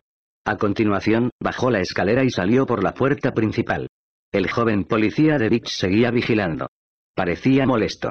Fuera, en el jardín, con sus trajes negros, sus corbatas negras y sus gafas aún más negras, se hallaban Stevens y Carmody, libreta en mano. Stevens también sostenía un móvil pegado a su oído, pero Dominic supuso que sería para hacerse el importante ante los medios de comunicación que los observaban desde el otro lado de la calle. Había trabajado antes con Stevens, cuando estuvo en la Unidad Conjunta Especial contra el Crimen Organizado, y era, como Manny lo definía en español, un mariconazo. Lo más probable era que al otro lado del teléfono estuviera su madre preguntándole lo que quería para cenar. En la acera de enfrente, junto a la flotilla de Taurus que bloqueaban el camino de acceso, se encontraba Graker, el agente especial al cargo del FBI. Justo al lado tenía a Lyle McGregor, de Channel 10. Graker ofrecía un aspecto serio y sombrío. Lyle, nervioso. Dominic se dijo que no sería de buena educación acercarse a Graker y espetarle que fuera a buscarse una autorización judicial si lo que deseaba era presentarse a jugar en el arenero con los demás chicos. Así pues, dejó a Stevens acabando la conversación con su madre y se acercó primero al remedo del Malder de Expediente X, igual que los leones. Primero hay que cazar a los más débiles. ¿Eh, Floyd? Floyd Carmody, del FBI, no. Soy el agente especial Dominic Falconetti, del DPF. Mejor dejar claro desde el principio a quién pertenece esta escena del crimen. Por aquí no eres el agente Carmody del FBI, sino simplemente Floyd. Dominic le tendió la mano, y el otro se la estrechó. Agente Falconetti, me alegro de verlo. ¿Está usted al frente de esto? Lo estoy, Floyd, lo estoy. ¿Qué puedo hacer por usted? Graker, que ya no estaba deslumbrado por los focos de la televisión, había vuelto rápidamente su atención al técnico del laboratorio que sacaba de la casa en un carrito una gran bolsa de plástico negra, y sin duda había divisado a Dominique. Volvió a colocarse las gafas negras y echó a andar rápidamente por el césped, haciendo un esfuerzo adicional con sus cortas piernas para evitar que los pies se le hundieran en el blando terreno. Floyd se disponía a hablar justo cuando vio a Greker de reojo y cerró rápidamente el pico mientras daba un paso atrás para dejar que su jefe ocupara el lugar preeminente de la conversación. Mark Greker llegó pavoneándose, sacando pecho, con la corbata bailándole sobre la prominente barriga, y se puso delante de Floyd Carmody. Agente Falconetti, llevo todo el día intentando localizarlo. Necesitamos acceso a este escenario. Su tono era grave y serio. Los hechos y nada más que los hechos, señora. Era 15 centímetros más bajo que Dominique, y este podía verle la coronilla, donde el cabello empezaba a ralearle y la blanca calva asomaba. Dominique miró hacia Lyle McGregor y su equipo de cámaras. ¿No será que ha estado intentando localizarme a través de las cámaras de televisión con la intención de que me entere por el telediario del mediodía? Hola, Mark. Hace tiempo que no nos veíamos. El pálido rostro de Greker enrojeció y frunció los labios. Dominic sabía que Greker odiaba que lo llamaran por su nombre de pila, y sospechaba que incluso debía de obligar a su mujer a llamarlo agente especial al cargo Greker mientras follaban. Sí, hace ya bastante, Dominic. Ya sabes que ahora soy el agente especial al cargo del FBI en Miami, ¿no? Sí. Algo de eso he oído. Felicidades. Las cosas deben de estar bastante revueltas por ahí. Lo están. Y también por aquí. El FBI necesita investigar este escenario, y ese gilipollas con cara de crío no ha querido dejarnos pasar. Graker se movió, buscando un terreno más elevado, obviamente incómodo por su diferencia de estatura. Vaya. Eso es un problema. En fin, ya ves que el permiso que tenemos solo autoriza a algunos departamentos locales. Me temo que el FBI no figura en la lista. No creo que vayamos a necesitar vuestra ayuda en este caso. Una fina línea de gotas de transpiración perlaba el grueso labio superior de Graker. Ya sabes que tenemos jurisdicción en el caso del asesinato de Sivan. Ocurrió en terreno federal. Mi oficina se hará cargo de la investigación. Estupendo. Solo que Van Lynn ha sido detenido por el asesinato de Prado. Se aseguró de pronunciar el apellido Prado igual que lo habría hecho con un niño que estuviera aprendiendo el alfabeto y aquí estamos con un permiso para registrar esta casa basado en las pruebas recogidas en ese homicidio. Si encontramos algo que lo relacione con el caso Sivan, me aseguraré de llamarte. El rostro de Greker se había puesto del color de la grana. ¿Dónde estaban Lyle y su cámara cuando los necesitaba? Entonces, ¿vas a obligarme a que consiga una orden federal? Me temo que sí, que te va a hacer falta. Tu oficina puede inspeccionar la casa todo lo que quiera, pero solo cuando nosotros hayamos terminado. Creo que voy a tener que despachar este asunto con el director Black. El director Black está al corriente de la situación y os manda sus disculpas por adelantado ante cualquier inconveniente que pueda surgir para el FBI. Ahora, si me perdonas, tengo cosas que hacer. Dominique dio media vuelta y dejó a un furioso Greker en la entrada. Scully y Mulder miraron a su alrededor, compungidos, esforzándose por parecer importantes ante las cámaras que volvían a enfocarlos. Dominique se acercó al joven policía de la puerta y le dijo. Buen trabajo. Menudo capullo murmuró el Beach Boy. Luego, Falconetti se volvió de nuevo y gritó. Me he alegrado de verte, Mark. Felicidades por tu ascenso. Y regresó al interior de la casa. Capítulo 25. Cruzó la vivienda hasta los ventanales que daban al patio. Más allá del estanque tropical, en un rincón del jardín trasero, bajo las palmeras, se hallaba un original cobertizo de paredes blancas de aluminio con una pequeña ventana. Con su tejado de pizarra negra parecía más una casita en miniatura que un chamizo. La ventana incluso disponía de una cortina negra que estaba corrida. Encontró a Jimmy Fulton esperándolo en la puerta. ¿Qué? ¿Cómo se ha tomado de que, que no lo necesitáramos? Mal. Muy mal. Lo he dejado en la entrada con un cabreo de muerte. La imagen de un iracundo Mark Breaker soltando imprecaciones a Stevens y Carmody mientras se alejaban de la Gorce en sus vehículos federales con aire acondicionado le cruzó por la mente y lo hizo sonreír. Seguramente, en los tres minutos que había tardado en cruzar la casa hasta el estanque, Graker ya habría hablado con el director regional Black y pedido la cabeza de Dominique en bandeja, junto con una invitación para unirse al registro, que era lo que realmente necesitaba para poder entrar en la casa. Desde luego no lo iban a complacer en nada, pero igualmente gritaría como un poseso. Esto acabará mal, Jimbo suspiró. Pero mira, tal como Clemenza dijo a Al Pacino en El Padrino, estas cosas tienen que pasar cada cierto tiempo. Ayudan a barrer la mala sangre. Black nos respalda. Solo me ordenó que no llamara a Greker gilipollas a la cara. Seguro que Black preferiría tener él ese honor. Menudo día. Dominic se mesó los cabellos. Bueno, ¿qué hay ahí dentro? Están volviendo a fotografiarlo todo, así que mejor será que les demos un minuto. Deja que te diga a lo que tenemos. ¿Sabes? A ese Bandling debe de gustarle abrir y disecar animales. Tiene un montón de búhos y pájaros colgando del techo de este cobertizo. Joder, cuando entré, creí por un momento que eran de verdad. Luego me serené, me puse las gafas y me di cuenta de que estaban disecados. Pero dentro también tiene una de esas largas mesas metálicas, como las que puedes ver en un hospital. Sin embargo, está limpia, ni una huella, completamente impoluta, así que estábamos pensando que no íbamos a encontrar nada, ¿vale? Los fotógrafos del laboratorio salieron. Es toda suya, agente Fulton gritó uno. Hemos sacado un rollo entero. Estupendo. Gracias. Jimbo les hizo un gesto de asentimiento y se volvió hacia el técnico forense de la policía de Miami-Dade que esperaba en la puerta con su bolsa de plástico negra en ristre. Bobby, espera un momento para recoger esas muestras de sangre. Quiero enseñárselas primero al agente Falconetti. Entraron en el cobertizo. Dos búhos disecados colgaban de las vigas del techo, con los ojos muy abiertos, suspendidos por invisibles hilos de nylon. Una única lámpara cenital, con una pantalla metálica negra, pendía del techo entre las dos rapaces. El lugar resultaba engañosamente grande para tratarse de un cobertizo. Tenía unos 4 metros de largo por 3 de ancho, y paredes revestidas de paneles de yeso.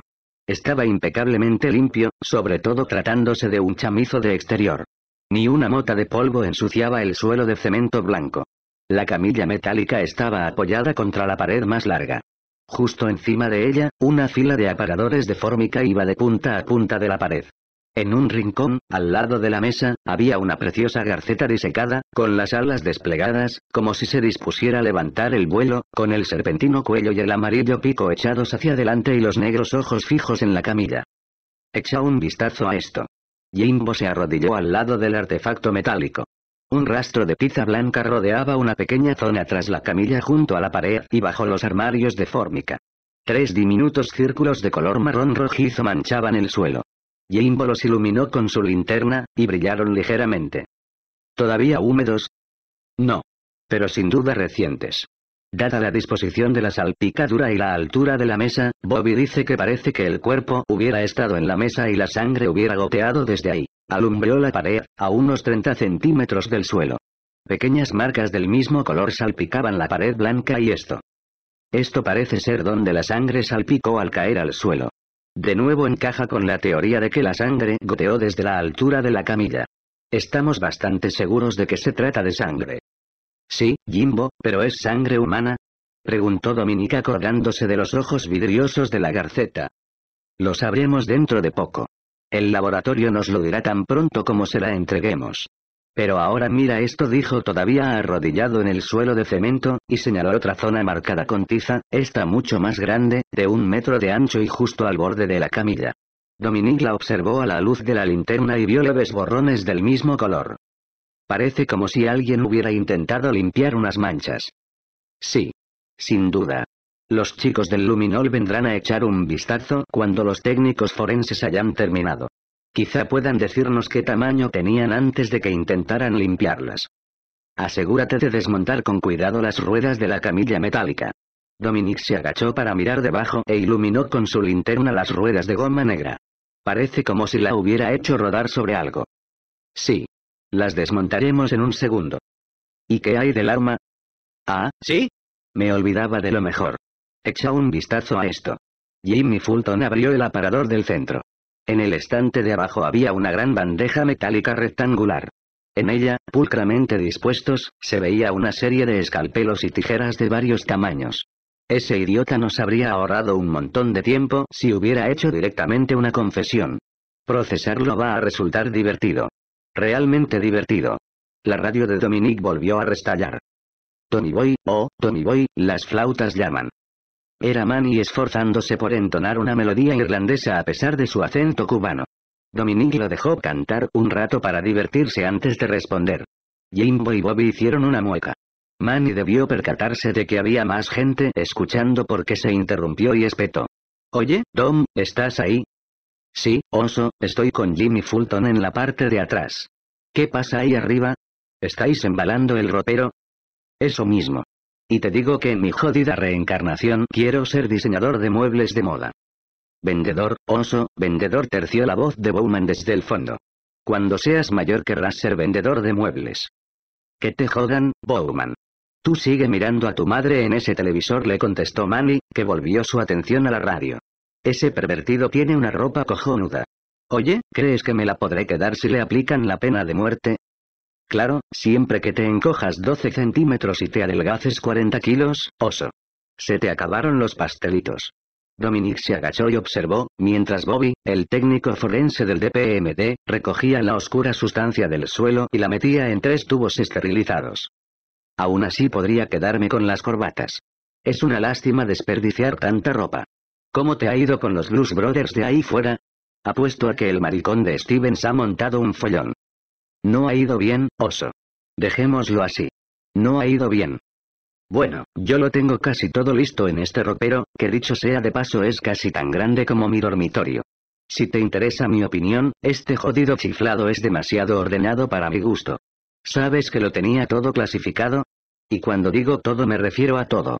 Tiene una bolsa negra etiquetada Smoke así, en plural. Tiene una caja donde pone jerseys de invierno y otra con el rótulo zapatos de invierno.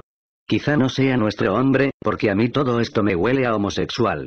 Aunque también podría tratarse de un homosexual frustrado que odia a las mujeres porque le recuerdan a su madre. Ese sí es un móvil. Al menos explica los problemas de Bowman hoy con todo el mundo. Y escucha esto. He encontrado sus disfraces de Halloween en una caja aparte, todos bien doblados y esa mierda. Debe disfrutar con ello, porque tiene un montón de basura de esa, una grimosa careta de Alien, una de Batman, una cabeza de Frankenstein, un sombrero de vaquero y uno de esos pantalones guardapolvos con sus fiaps de cuero sin culo, de esos que se llevan encima, como los que gastan los gays. Se llaman chaps, oso, no flaps. Bueno, pues como se llamen. Y ahora imagínate a ese pervertido en la fiesta de cumpleaños de tu chaval. Tiene hasta una careta de payaso. Dominique contempló las manchas del suelo. Medio metro más allá se veían las patas amarillas de la garceta disecada. El luminol con el que pronto lo rociarían todo brillaría a donde hubiera sangre. A lo largo de sus años como detective de homicidios, Dominique había visto habitaciones enteras, techos incluidos, brillar en la oscuridad con aquel repulsivo resplandor amarillo. ¿Qué aspecto tendría aquel pintoresco cobertizo cuando se apagaran las luces? ¿Qué macabra escena pintaría para ellos en la oscuridad? Bien, oso. Cógelo todo. Todavía no sabemos qué va a ser importante en este caso y qué no. Capítulo 26. Aunque lo cierto era que no había mucho que leer, CJ tardó casi dos horas en repasar los informes de la policía, los del hospital y los del laboratorio. A media lectura había tenido que hacer una pausa y darse un paseo por el apartamento, preparar un poco más de café, recoger la colada, limpiar las encimeras. Cualquier cosa con tal de escapar al enorme peso de los recuerdos que la asaltaban. Le resultaba increíble no poder acordarse de lo que había tomado a la hora de comer, pero poder en cambio recordar hasta el más mínimo segundo, el más mínimo sonido, el más mínimo olor de un acontecimiento ocurrido hacía más de una década. Cuando iba por la mitad de la declaración de su antiguo vecino, Marvin Whitford, tuvo que levantarse para ir a vomitar por segunda vez en aquel día. Marvin había declarado a la policía que ella se vestía provocativamente para los hombres del edificio y que se exhibía por el jardín llevando ropa que una mujer de una universidad católica no tendría que haber llevado. Concluía que no era de extrañar que hubiera ocurrido algo así, ya que ella excitaba a los hombres a propósito. Las punzadas de la vergüenza y la culpa contra las que había luchado durante tantos años le desgarraron de nuevo el corazón. A pesar de que en su cabeza sabía que no eran más que los desvaríos de la mente de un enfermo, no podía evitar sentirse sucia y avergonzada. Una parte en lo más hondo de su ser siempre la había considerado responsable de lo sucedido, como si hubiera hecho algo para merecerlo. Durante años había dado vueltas y vueltas a la infinidad de cosas distintas que habría podido hacer y a la infinidad de otros caminos que su vida podría haber tomado, hasta que al final se había dado cuenta de que esa era la parte más difícil de la terapia. Aprender a no culparse. Después de la visita al baño había vuelto al balcón y había contemplado el paso de las embarcaciones durante un rato mientras daba sorbitos a lo que debía de ser su décima taza de café de la jornada. Era casi hora punta, y al otro lado del canal, en Pompano Beach, las calles empezaban a atascarse con el tráfico. Su busca había sonado en un par de ocasiones, devolviendo la del pasado a la bienvenida realidad del presente, de modo que se había asegurado de contestar todas las llamadas registradas en el mensáfono. Aquello y especialmente las llamadas de Marisol la picajosa la había distraído temporalmente de los informes de la policía y las declaraciones de los testigos, del familiar y gélido miedo, del pánico y la culpa que volvían a crecer en su interior. Luego, había sacado de paseo a Lucy por la orilla del canal antes de que la oscuridad lo hiciera imposible. Cuando por fin regresó, tardó otra hora entera en acabar de leer el resto de los informes, incluyendo su propia declaración, donde había expuesto con doloroso detalle cada segundo de conciencia del 30 de junio de 1988. Comenzaba con la discusión que había mantenido en el coche con Michael y que había continuado en el vestíbulo. Seguía con el momento en que se había despertado con el sabor del látex en la boca y el peso que le aplastaba el pecho. Con el dolor que le causó él cuando se le subió encima y su pene la penetró mientras ella forcejeaba inútilmente debajo. Por fin, a Dios gracias, terminaba con su último instante de conciencia, cuando el cuchillo le había cortado furiosamente la delicada piel de los pechos y ella había sido testigo de cómo las sábanas empezaban a teñirse de rojo. En ese momento, en el balcón, no pudo evitar cubrirse protectoramente los senos con una mano y llevarse la otra a la garganta para liberarse del invisible peso del miedo que le atenazaba la laringe y le hacía casi imposible la respiración. El teléfono sonó justo entonces. El identificador de llamada decía. Queens, fiscal distrito. Se secó las lágrimas de la cara y respondió con el tono más neutro del que fue capaz. ¿Sí? Está la señorita. La voz del teléfono se interrumpió evidenciando que su interlocutor estaba leyendo el nombre en un papel, ¿está la señorita Tonso? Soy la señorita Townsend. ¿En qué puedo ayudarle? Lo siento. Mi secretaria me dejó un nombre garabateado que parecía Tonso. Le pido disculpas. Soy Bob Shur, ayudante del fiscal del distrito de Queens y contesto a su llamada. ¿En qué puedo servirla? CJ puso en orden sus pensamientos. Sí, señor Shur, gracias por llamar.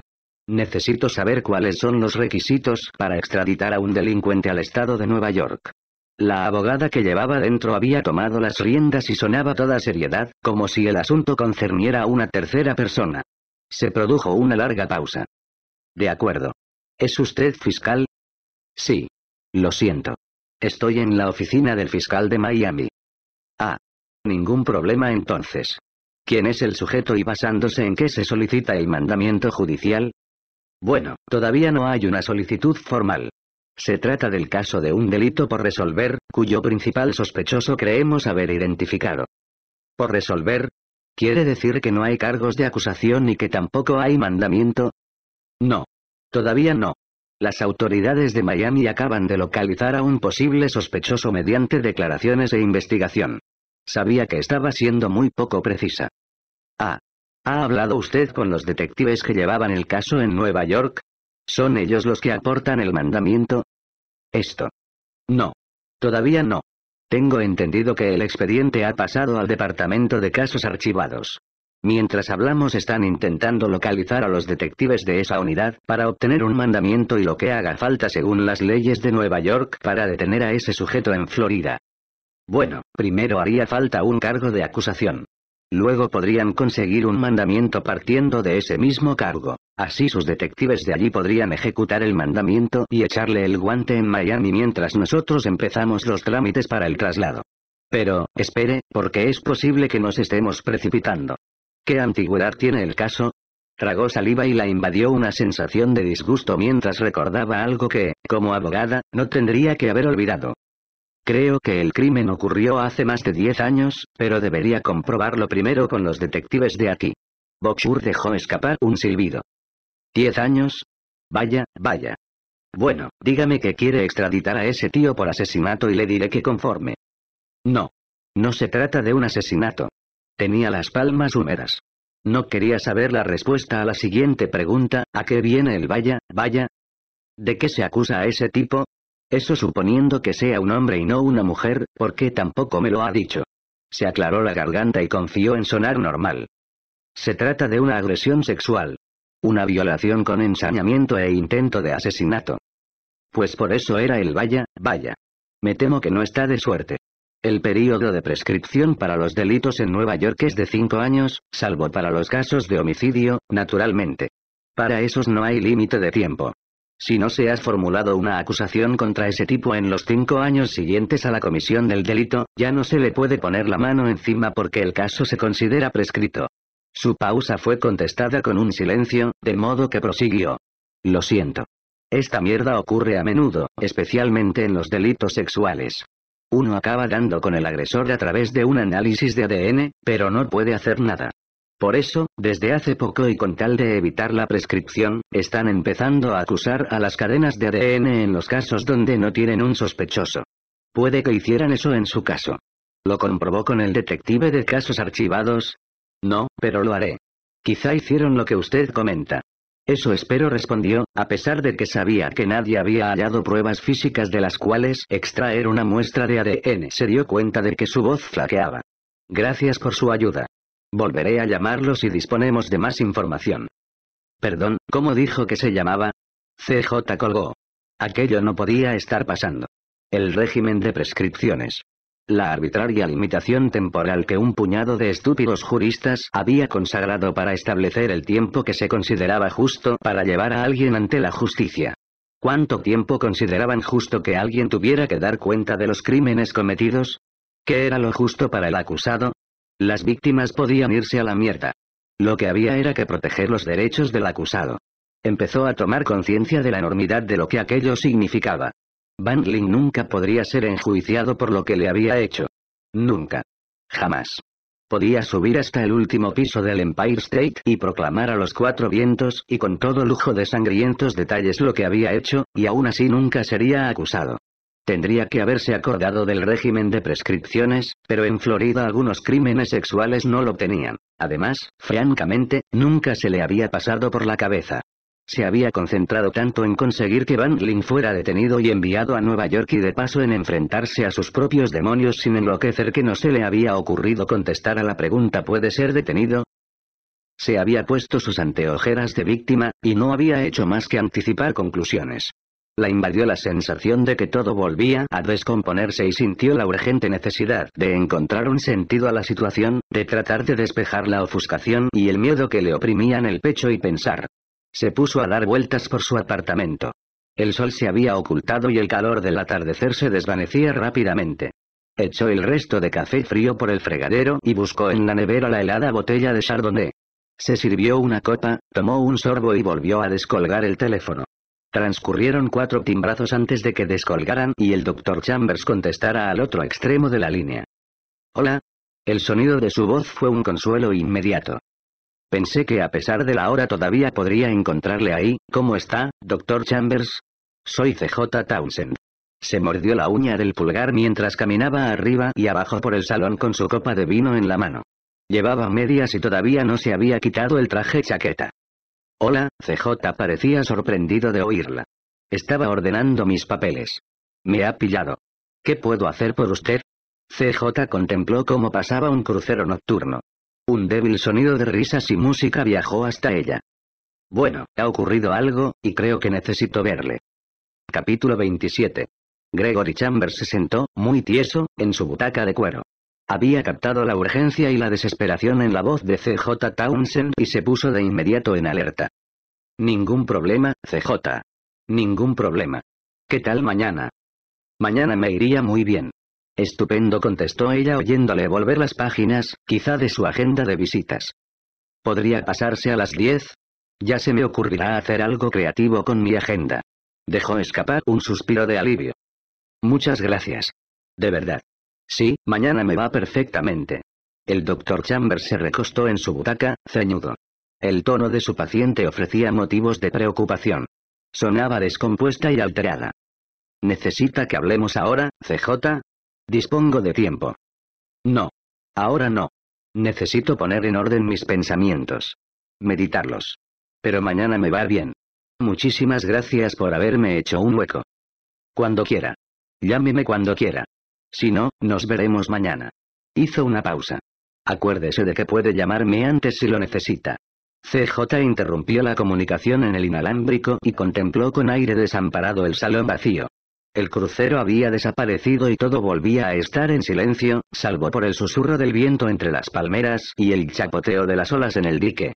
Tibi se frotó contra su pierna y maulló. El día había acabado para él y reclamaba su comida. El teléfono le sonó en la mano. Dio un respingo y lo dejó caer al suelo. Tenía los nervios de punta. El aparato volvió a sonar. El identificador de llamadas decía Falconetti. Lo recogió, vacilante. ¿Sí? Hola. Soy yo. Tengo tu rastreo automático. Se había olvidado por completo de aquello. Los acontecimientos del día se le confundían. Ah, vale, respondió intentando poner en orden sus ideas y parecer lúcida. Escucha, me pasaré por tu despacho mañana por la mañana y lo recogeré, ¿a qué hora estarás? Buscó su copa de vino y se puso a pasear de nuevo de un lado al otro del salón. Sonaba distraída, ausente, como si no fuera ella misma. No. No lo entiendes. Tengo tu rastreo automático para ti ahora mismo. Estoy en la portería de tu bloque de apartamentos. Déjame entrar. No. Aquella noche no. No se sentía capaz de encararse con él. No se sentía capaz de hablar con nadie. Oye, Dominique.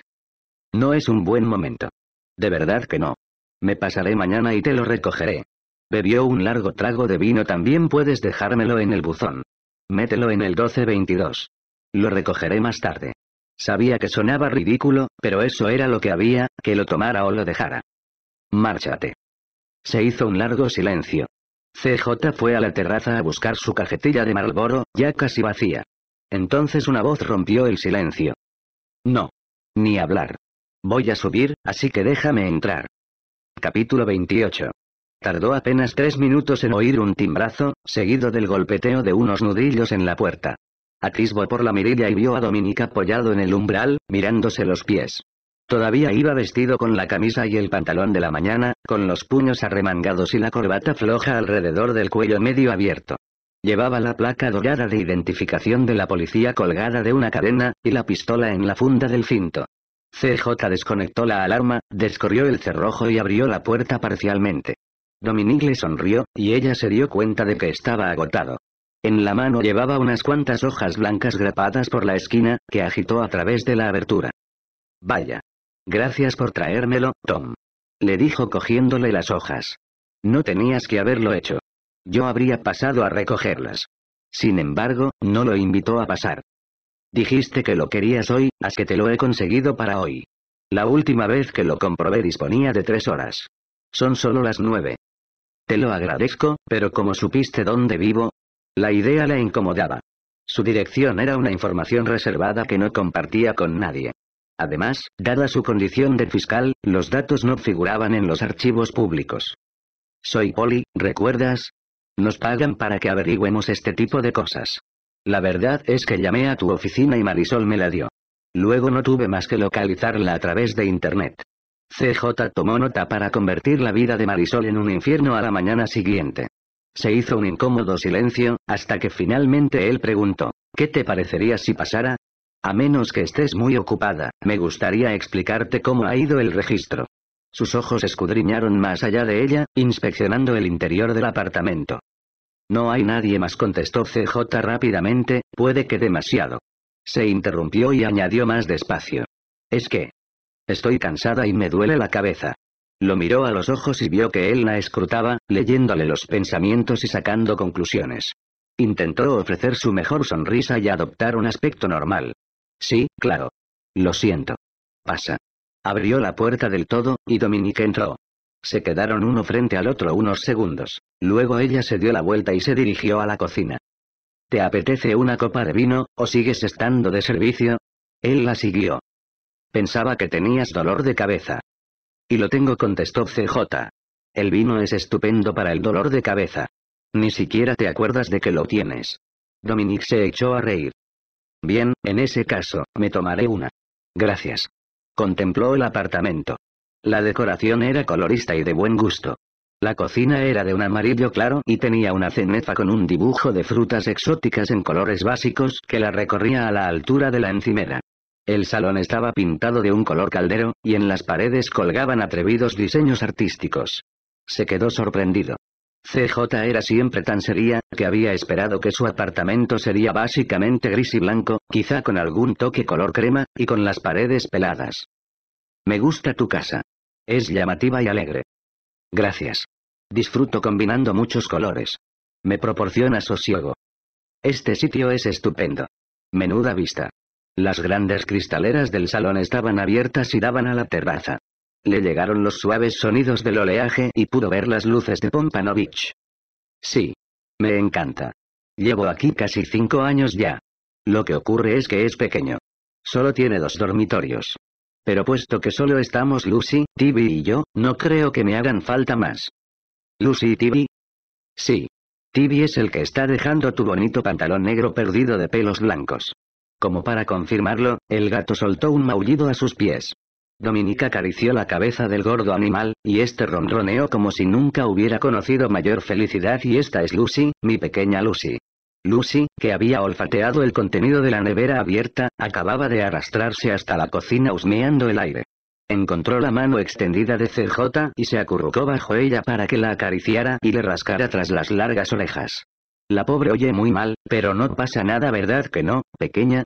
CJ acercó la cara al hocico de la perra, y Lucy dejó escapar un aullido de satisfacción mientras meneaba su corto rabo. Esta zona es tranquila.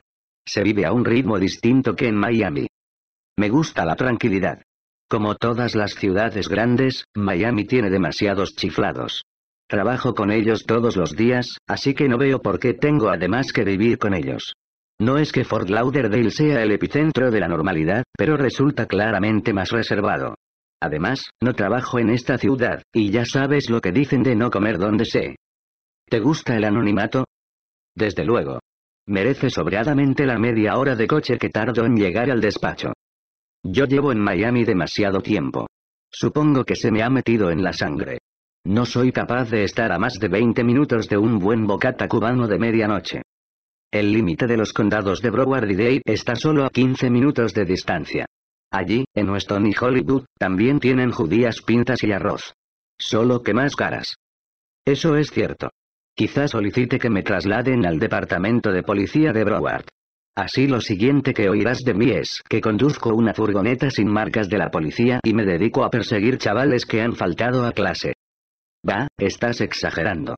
Esto no es ciudad aburrimiento, Iowa. Ojalá lo fuera. Todos los días ocurren cosas peores en el condado, y van a más cada año. Solo estaba bromeando. El condado de Broward tiene su propia lista de problemas, y es cierto que van en aumento. Incluso los más chiflados necesitan un lugar para vivir fuera de la jurisdicción de los tribunales que les han impuesto una orden de alejamiento, pero que al mismo tiempo les permita estar cerca de los agentes de su condicional. Hizo una pausa, pensativo, y se acarició la perilla. Supongo que lo que me ocurre es que me gusta Miami y estoy acostumbrado. Me gusta acostumbrarme a las cosas. La verdad es que soy un tipo de lo más hogareño. Bien. Me alegro de saberlo, contestó ella en voz baja. Durante un rato ninguno de los dos dijo nada, y se quedaron tomando el vino en silencio.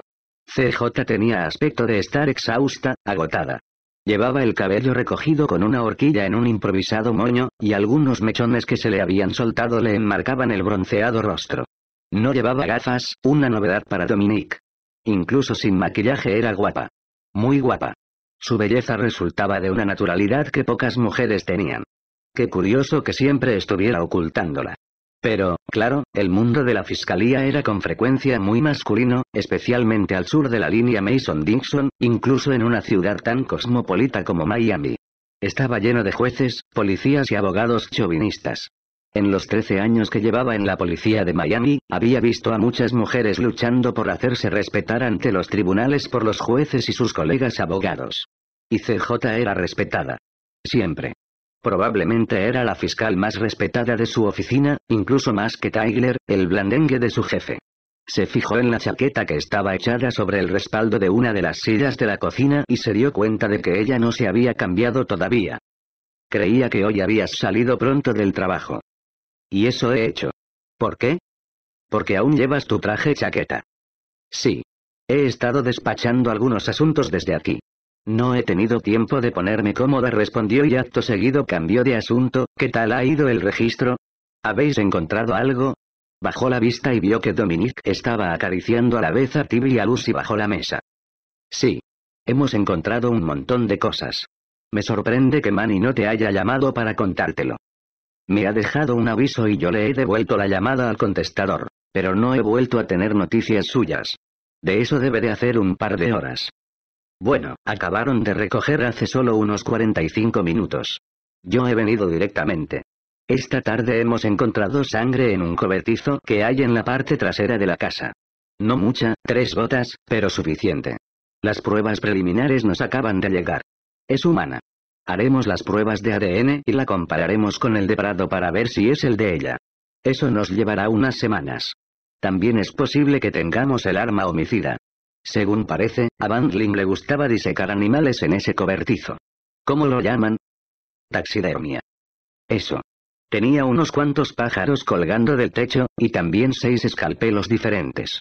Uno de ellos estaba manchado con lo que puede ser sangre. Neilson va a llamar a un experto en heridas de arma blanca para ver si podemos relacionar ese instrumental con los cortes en el pecho de las chicas y si conseguimos una concordancia microscópica con los desgarros de piel, aunque solo sea de las que no están demasiado descompuestas. CJ se estremeció. Dominique se estaba acercando a un punto sensible, y ella no sabía cuánto rato podría soportar una conversación como aquella, especialmente esa noche. Así pues prosiguió él, lo empaquetamos todo y lo mandamos al laboratorio y al forense.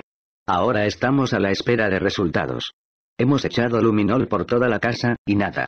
Ni rastro de sangre dentro. ¿Y qué hay del cobertizo que has mencionado? Se iluminó como una barraca de feria. El tío debió de intentar limpiarlo, pero pasó por alto algunas gotas en la parte baja de la pared.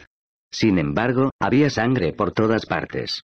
Hasta el techo brillaba, y lo hacía con una distribución de las manchas que sugiere que Prado pudo ser asesinada en la camilla metálica que el tío tiene allí. Cuando le cortaron la aorta debió de escupir sangre como un surtidor. Hemos llamado a Leslie Vikings, el experto en manchas de sangre de la poli de Miami de Tallahassee, para que venga mañana a echar un vistazo. El problema, claro, es que también le gustaba despanzurrar animales muertos en ese cobertizo, así que la pregunta del día es a quién corresponde esa sangre. ¿Algo más? Sí. Encontré una receta de aloperidol, que Van Lin tenía firmada por un galeno de Nueva York. Quizá te suene el producto con el nombre de Aldol. Se trata de una droga antipsicótica. Se administra para tratar el delirio. Eso quiere decir que Van Lin tiene un historial de trastornos mentales. Encaja con el perfil del sujeto y tendría sentido, vista la perversidad de los asesinatos. También tenía un cajón lleno de vídeos de porno sadomaso casero. Aunque todas las cintas eran distintas, algunas de las mujeres eran jóvenes y su edad se corresponde con la de nuestras víctimas. No las hemos visto todas porque debe de haber un centenar. A juzgar por los títulos, muchas de ellas parecen ser rubias. CJ se había puesto pálida. ¿Te encuentras bien? Dios mío. Tienes el mismo aspecto que esta mañana en el tribunal. Dominique tendió la mano y le tocó el brazo. Los dedos de CJ aferraban la copa de vino con los nudillos blancos como el papel, y su mirada traslucía la misma expresión de angustia. ¿Qué ocurre, CJ? Dímelo. Quizá pueda ayudarte. No pasa nada. Estoy bien. ¿Será que he pillado un resfriado o algo así? Las palabras le habían salido balbucientes, inconexas. Había llegado el momento de poner fin a aquella conversación, de acabarla antes de que se derrumbara. Se puso en pie, soltando la mano de Dominique, apartándose de él otra vez. Tenía la mirada fija en la mesa, lejos de la de él. Gracias por traerme esto. Le echaré un vistazo. Su tono sonaba distante. Ojeó el informe y miró a Dominique. Gracias por haber hecho el viaje hasta aquí. No hacía falta. Él se incorporó y la siguió hasta la puerta principal. Se percató entonces de que el paño tenía cuatro cerrojos distintos y de que en la pared había un avanzado sistema de alarma. ¿De qué se estará protegiendo aquí arriba, en su torre, en este tranquilo extrarradio de Fort Lauderdale, con sus yates y sus embarcaciones de recreo? CJ fue a abrir la puerta, y Lucy se dispuso a salir. No, Lucy, no. Tú ya has tenido tu paseo nocturno. Ella lo miró, y él vio el miedo reflejado en sus verdes ojos con claridad diáfana. Bueno, Tom, gracias dijo en voz baja. Mañana nos vemos. Llámame cuando hayas hablado con Neilson. Quizá pueda reunirme contigo allí. Lamento si he estado un poco distante. Es solo que... La mano de Dominique encontró la de ella en el pomo de la puerta y la retuvo. Su rostro estaba más cerca, y CJ notó su calidez en la mejilla. Su aliento olía dulce y fresco, como a menta y chardonnay. Su mirada era seria, pero tierna a la vez. No digas nada, susurró él. No digas nada, o de lo contrario nada de esto ocurrirá. Sus labios le rozaron la mejilla y, suavemente, le fueron acariciando la piel hasta que le llegaron a la boca.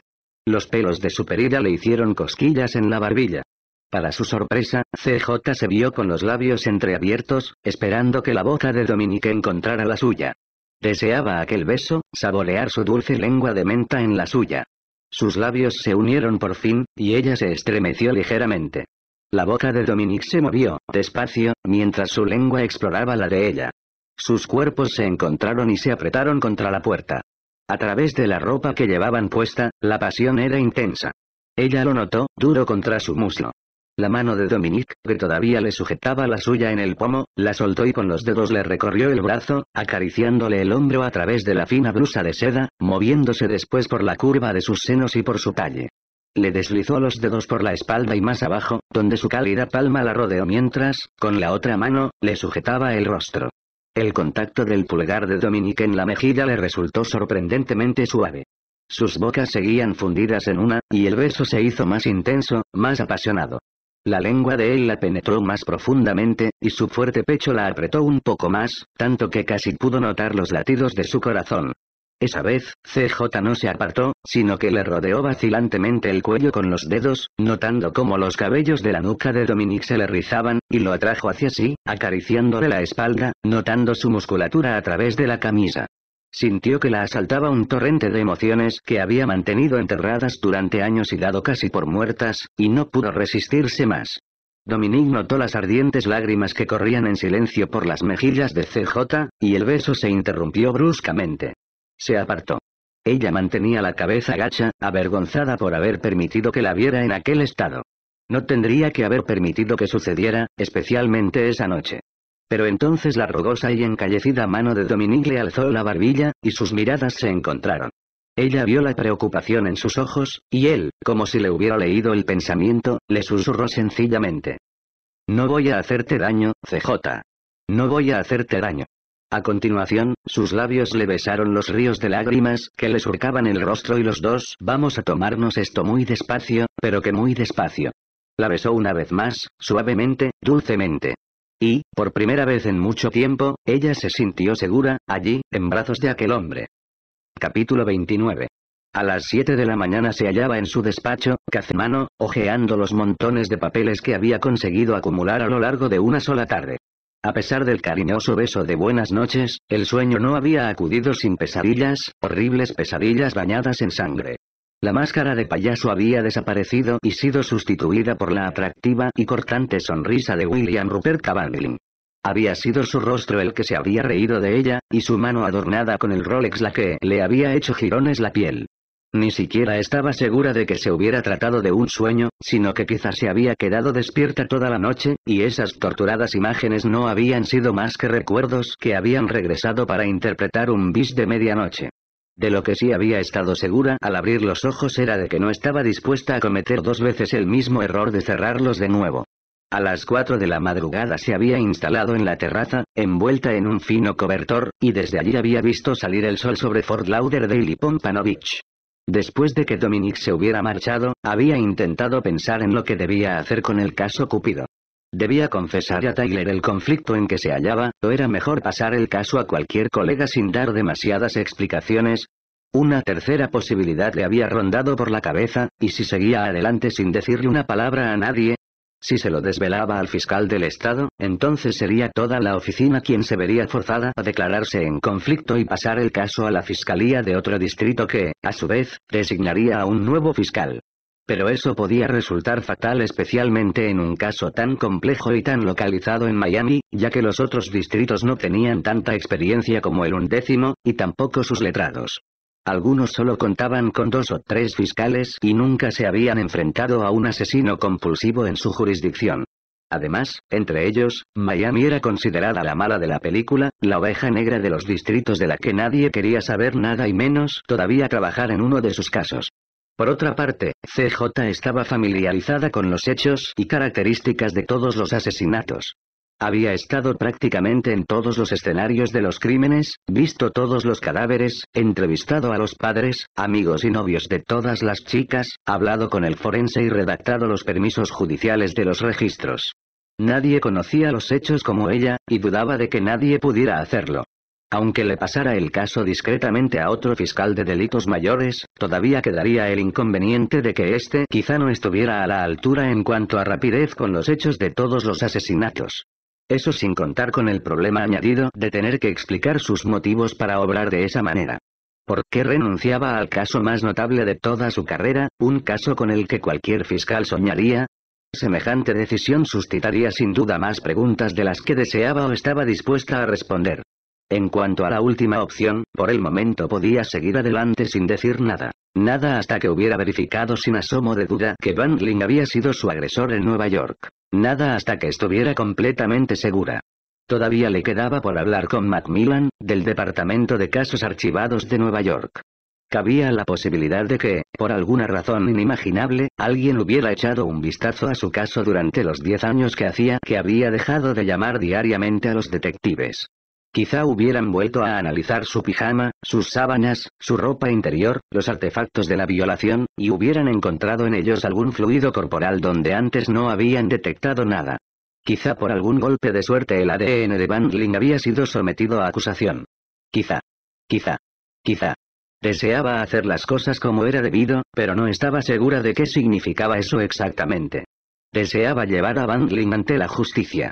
Suspiró y miró por la ventana hacia Tirtent Avenue, donde los vendedores callejeros estaban montando sus puestos de salchichas y refrescos, a pesar de que todavía no eran ni las nueve de la mañana.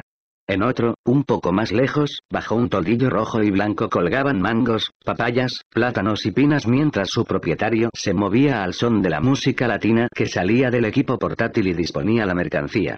La noche pasada se había quedado sentada en la terraza dando un millón de vueltas a esas ideas. Naturalmente, también había pensado en Dominique. De todos los momentos de su vida, aquel era el menos adecuado para una relación sentimental. Sin embargo, allí estaba, y no lo había rechazado. Se llevó los dedos distraídamente a los labios y recordó el sabor que la boca de él había tenido en la suya. Todavía podía percibir la dulce menta de su aliento y ver la sincera inquietud de sus ojos. Se había limitado a abrazarla, allí, en la puerta, y a acariciarle la espalda. Aunque solo hubiera sido por unos minutos, la sensación de sentirse a salvo, de sentirse protegida, le había resultado maravillosa. Hacía mucho que no había estado con un hombre. La última vez había sido en plena borrachera con un corredor de bolsa llamado Dave, con el que había salido casi por casualidad durante un par de meses. Le había parecido simpático y agradable hasta que había dejado de llamarla, cosa que sucedió inmediatamente después de que se acostaran juntos. Cuando ella le preguntó por qué su relación había acabado tan bruscamente, él se había limitado a contestar que ella tenía demasiadas obsesiones. Eso había ocurrido unos años atrás, y desde entonces no había repetido la experiencia.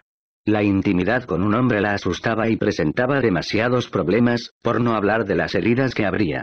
En consecuencia, desde entonces había tenido unas cuantas citas, pero nunca en plan íntimo, solo a cenar, con un beso aquí y allá. Pero, entonces, había llegado lo de la noche pasada. Y Dominique. Solo había sido un beso. Nada más. Y él se había marchado después de que ella se lo pidiera. No obstante, no podía dejar de pensar en lo que él le había dicho y en cómo se lo había dicho. Parecía tan sincero, y ella deseaba tanto sentirse a salvo aunque solo fuera durante cinco minutos más. Pero Dominique estaba demasiado implicado en aquel caso para que ella pudiera confiarle la verdad. ¿Y hasta dónde podía llegar una relación si faltaba la verdad? ¿Cuántas mentiras y excusas tendría que contar para mantenerlo alejado? Y aunque fuera posible contársela, ¿tendría ella algún día el valor de referirle a un hombre lo ocurrido aquella noche? ¿Podría explicarle por qué su cuerpo tenía el aspecto que tenía cuando se encendían las luces del dormitorio? La pila de papeles con mensajes telefónicos que descansaba sobre la mesa era enorme. Iba a tener que pedir al agente encargado de la información de la oficina del fiscal que respondiera a las llamadas de todos los diarios y cadenas de televisión del país. Para colmo, Marisol había escrito con grandes letras mayúsculas. Este es el tercer mensaje. ¿Todavía no lo ha llamado? Su bandeja de entrada estaba llena a rebosar de correo nuevo. Además del caso Cupido, CJ llevaba otros 10 casos de asesinato, un par de los cuales estaban pendientes de juicio para al cabo de dos meses.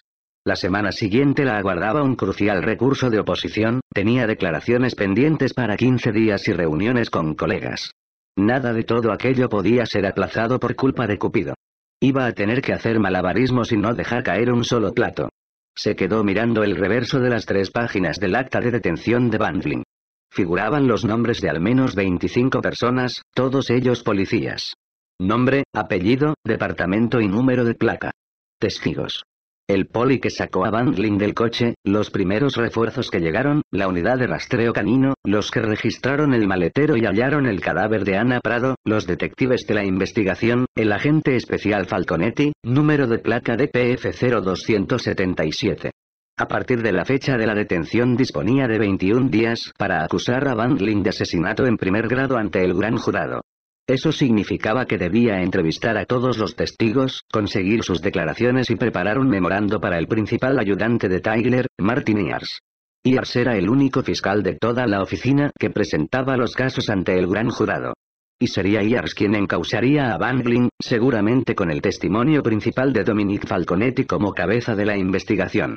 Además, el gran jurado solo se reunía los miércoles. Y era martes. Eso le dejaba solo dos miércoles para trabajar en el asunto.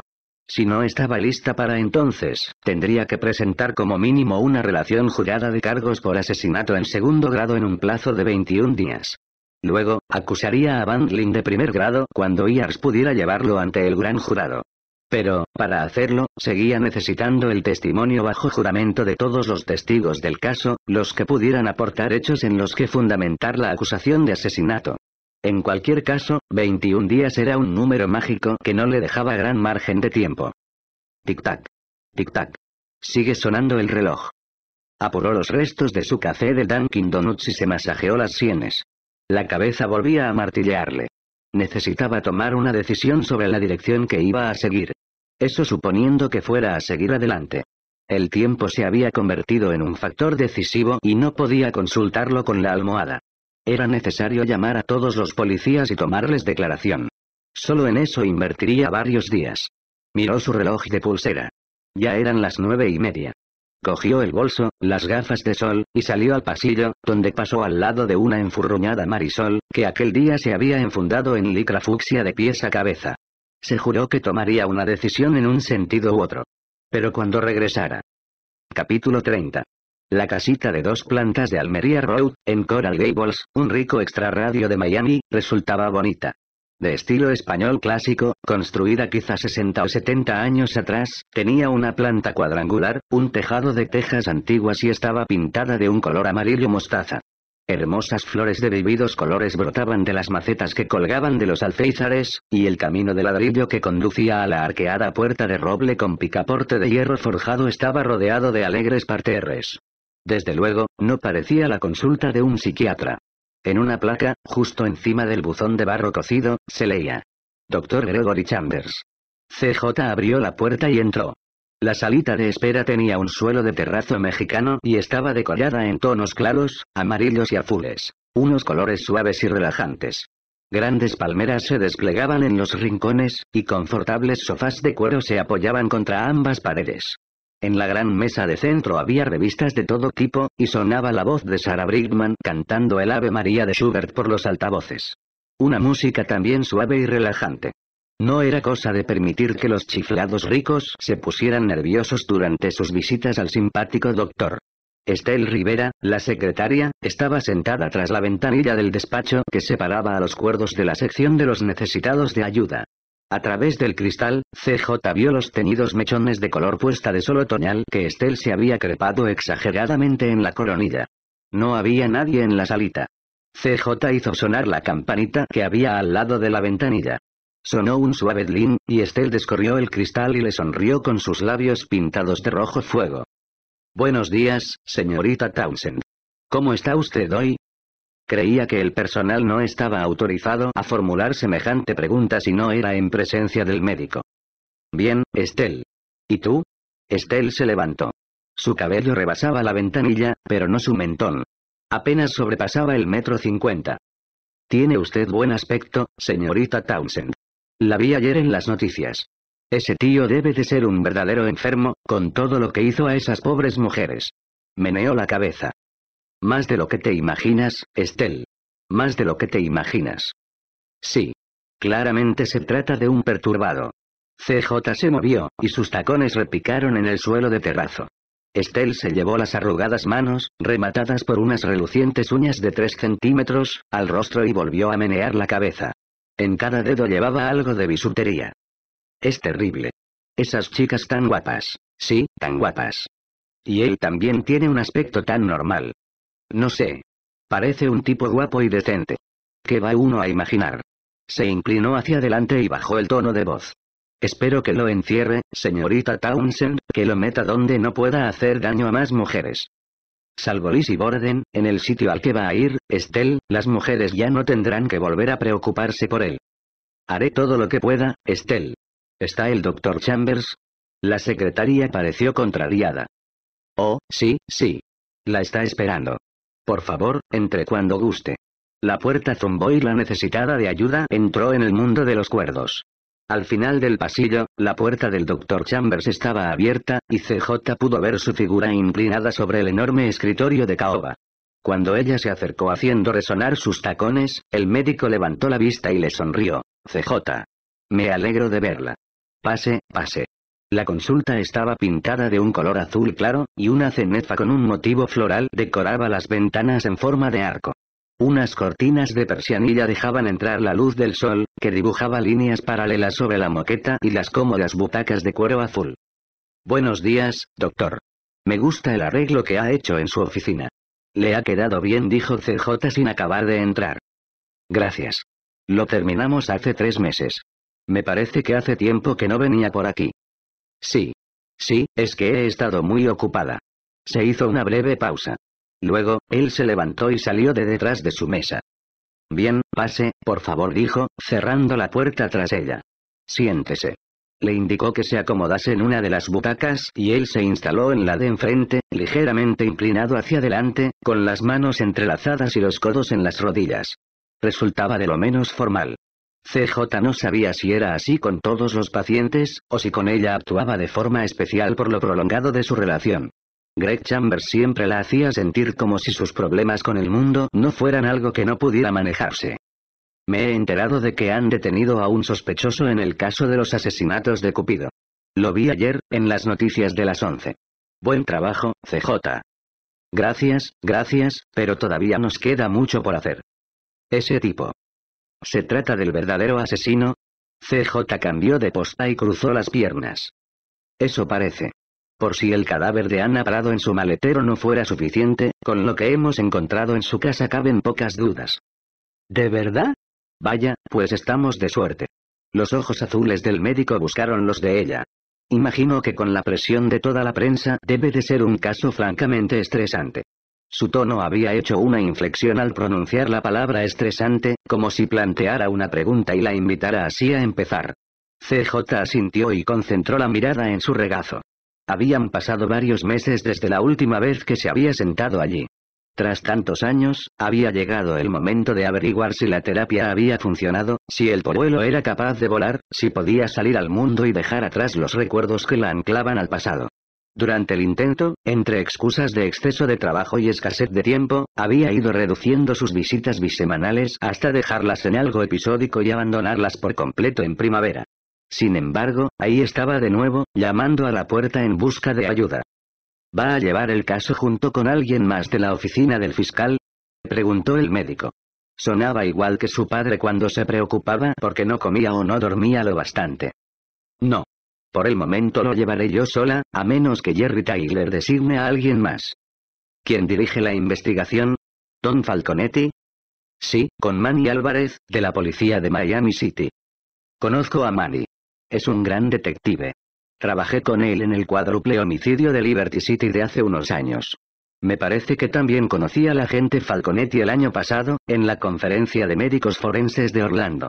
Los cabellos negros de Chambers estaban salpicados de gris, pero se trataba de un gris reluciente que acentuaba sus amables y azules ojos y que añadía una nota de carácter a un rostro que de otro modo habría resultado anodino. El inevitable paso de los años le había trazado profundas arrugas en la frente y en la comisura de los ojos, que también contribuían a dignificarlo. CJ estaba convencida de que debía de ser más atractivo en ese momento, a los cuarenta y tantos, de lo que había sido a los veinte. Entonces se acordó de las fatigadas facciones que el día antes había visto reflejadas en el espejo. Los hombres envejecían mucho mejor que las mujeres, y no era justo. Bueno, CJ, a juzgar por el tono de su última llamada, está claro que algo va mal. ¿Qué ocurre? CJ volvió a cambiar de postura y cruzó las piernas de otra manera. Tenía la boca seca. Bueno, la verdad es que tiene que ver con el caso Cupido. Ah. ¿Necesita consejo profesional? Ahí radicaba el problema. Además de haber sido su psiquiatra durante los últimos diez años, Gregory Chambers era también un colega de profesión, un psiquiatra forense que asesoraba regularmente a la oficina del fiscal del Estado y al departamento de policía en los crímenes especialmente violentos. Había testificado docenas de veces en complicados crímenes y casos de violencia doméstica, donde la cuestión principal que había que explicar al jurado era simplemente el por qué, por qué los hombres perpetraban aquellas salvajadas. Las mismas características que hacían fácil hablar con él como psiquiatra también hacían que resultara sencillo escucharlo como experto.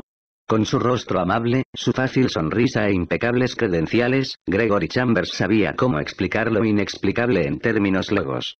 Los hombres agredían sexualmente a niños inocentes porque eran pedófilos. Los novios perseguían a sus novias con un Kalashnikov porque eran psicópatas. Las madres mataban a sus hijos porque eran bipolares. Los escolares abatían a tiros y a sangre fría a sus compañeros de clase porque parecían algún trastorno de personalidad.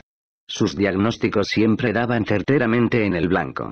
La policía confiaba en él y lo respetaba, lo mismo que el resto de la comunidad, lo cual explicaba aquella acogedora consulta en el lujoso barrio de Coral Gables, a 300 dólares la hora.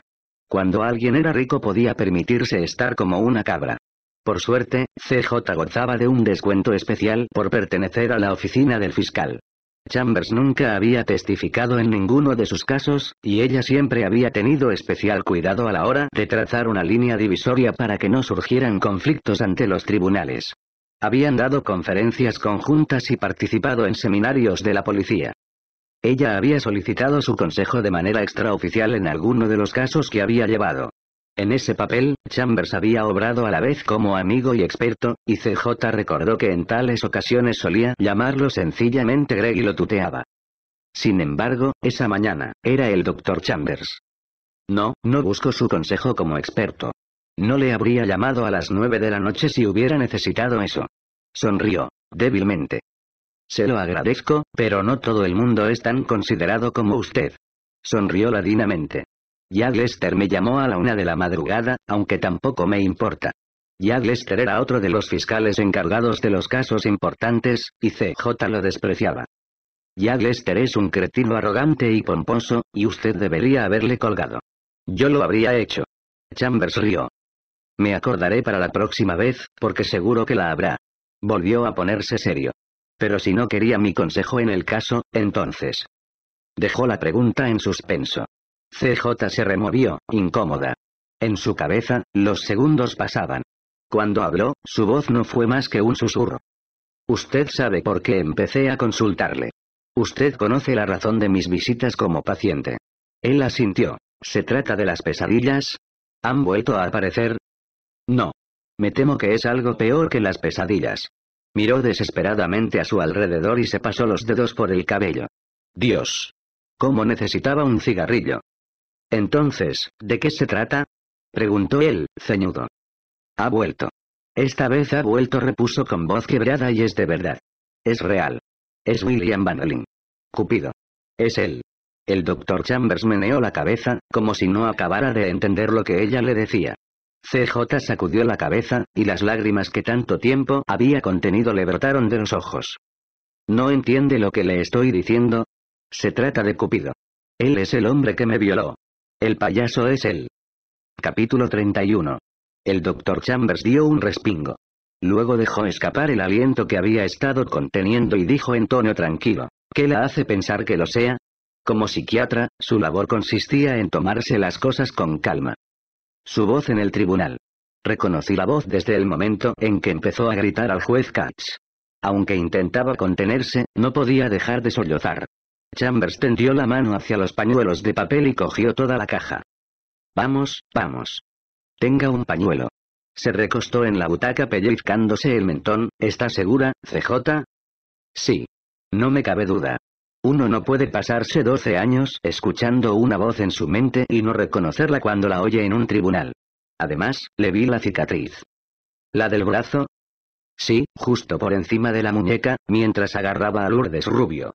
CJ por fin lo miró, y sus ojos estaban llenos de lágrimas y desespero. Es él. Lo sé. Lo que no sé es lo que debo hacer.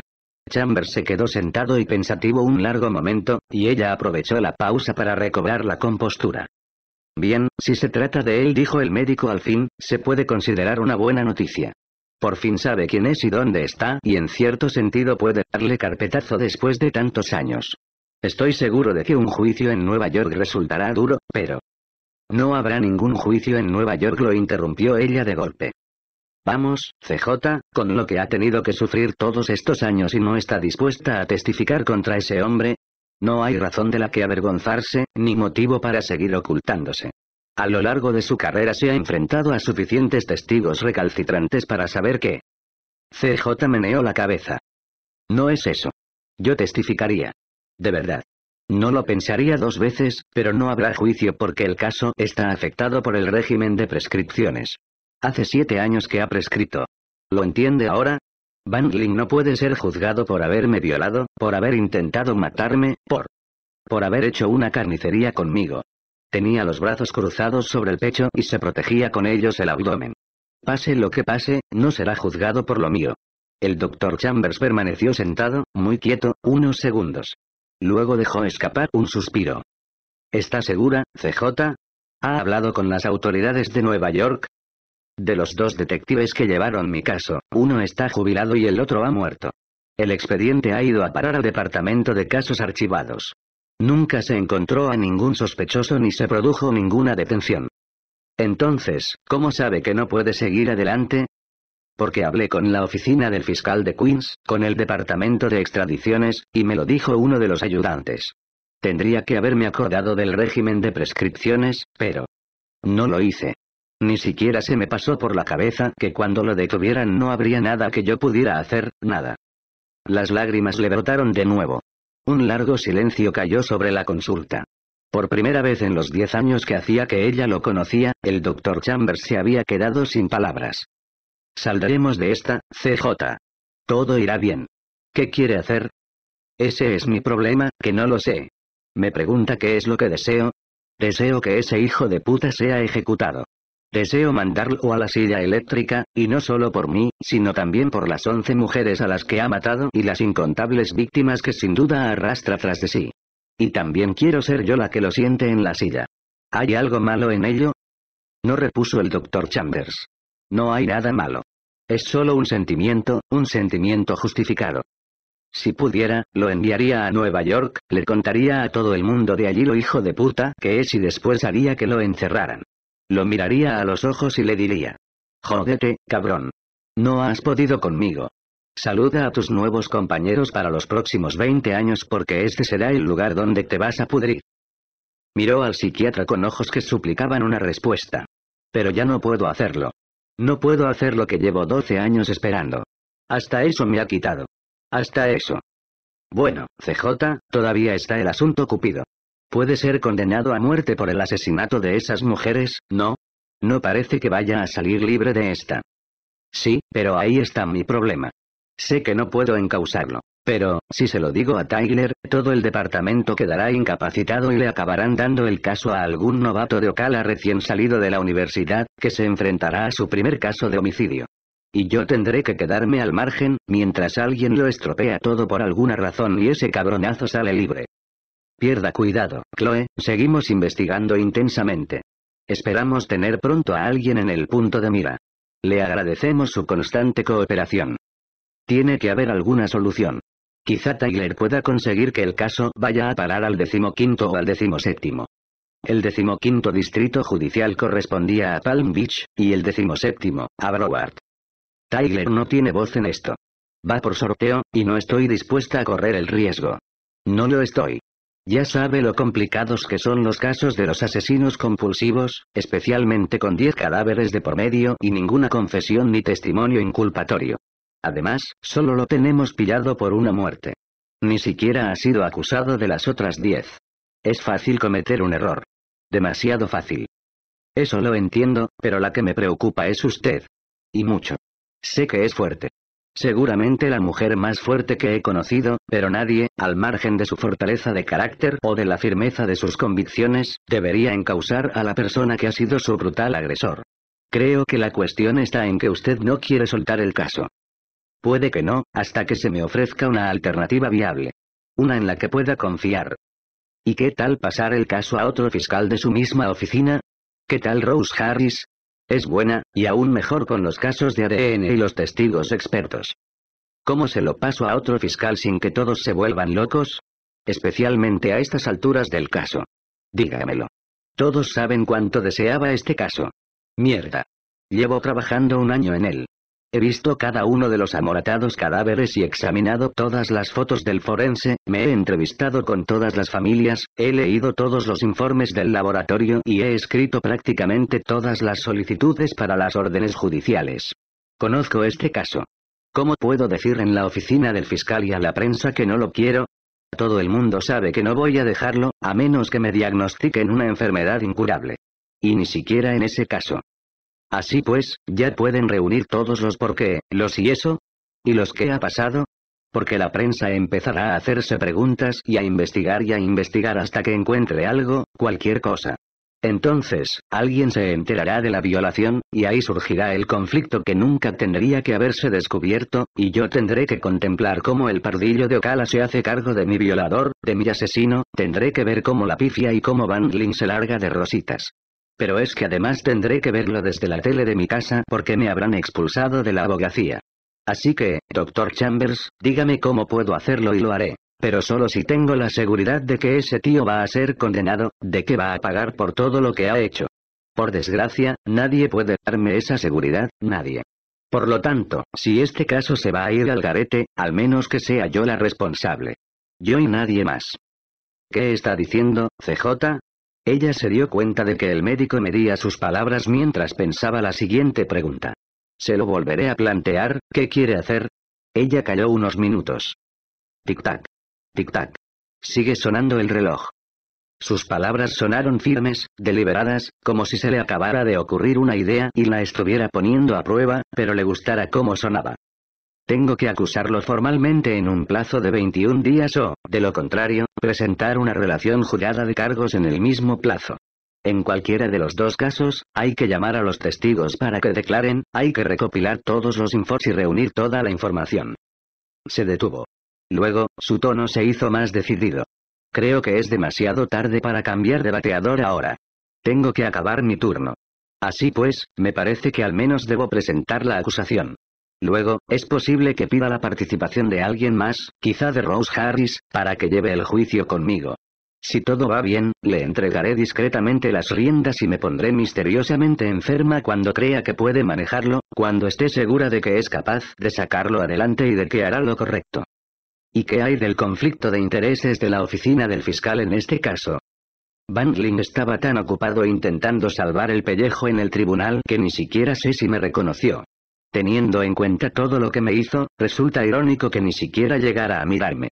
Lo más probable es que se haya tirado a tantas mujeres que al final haya perdido la cuenta. No creo que para él sigan teniendo un rostro. Y Dios sabe que mi aspecto ya no es el de antes. Sonrió con amargura y se recogió el pelo tras las orejas. Solo yo sé lo que hizo. Y si eso se descubre más adelante, siempre podré decir que no estaba segura de que fuera él. Que no lo sabía.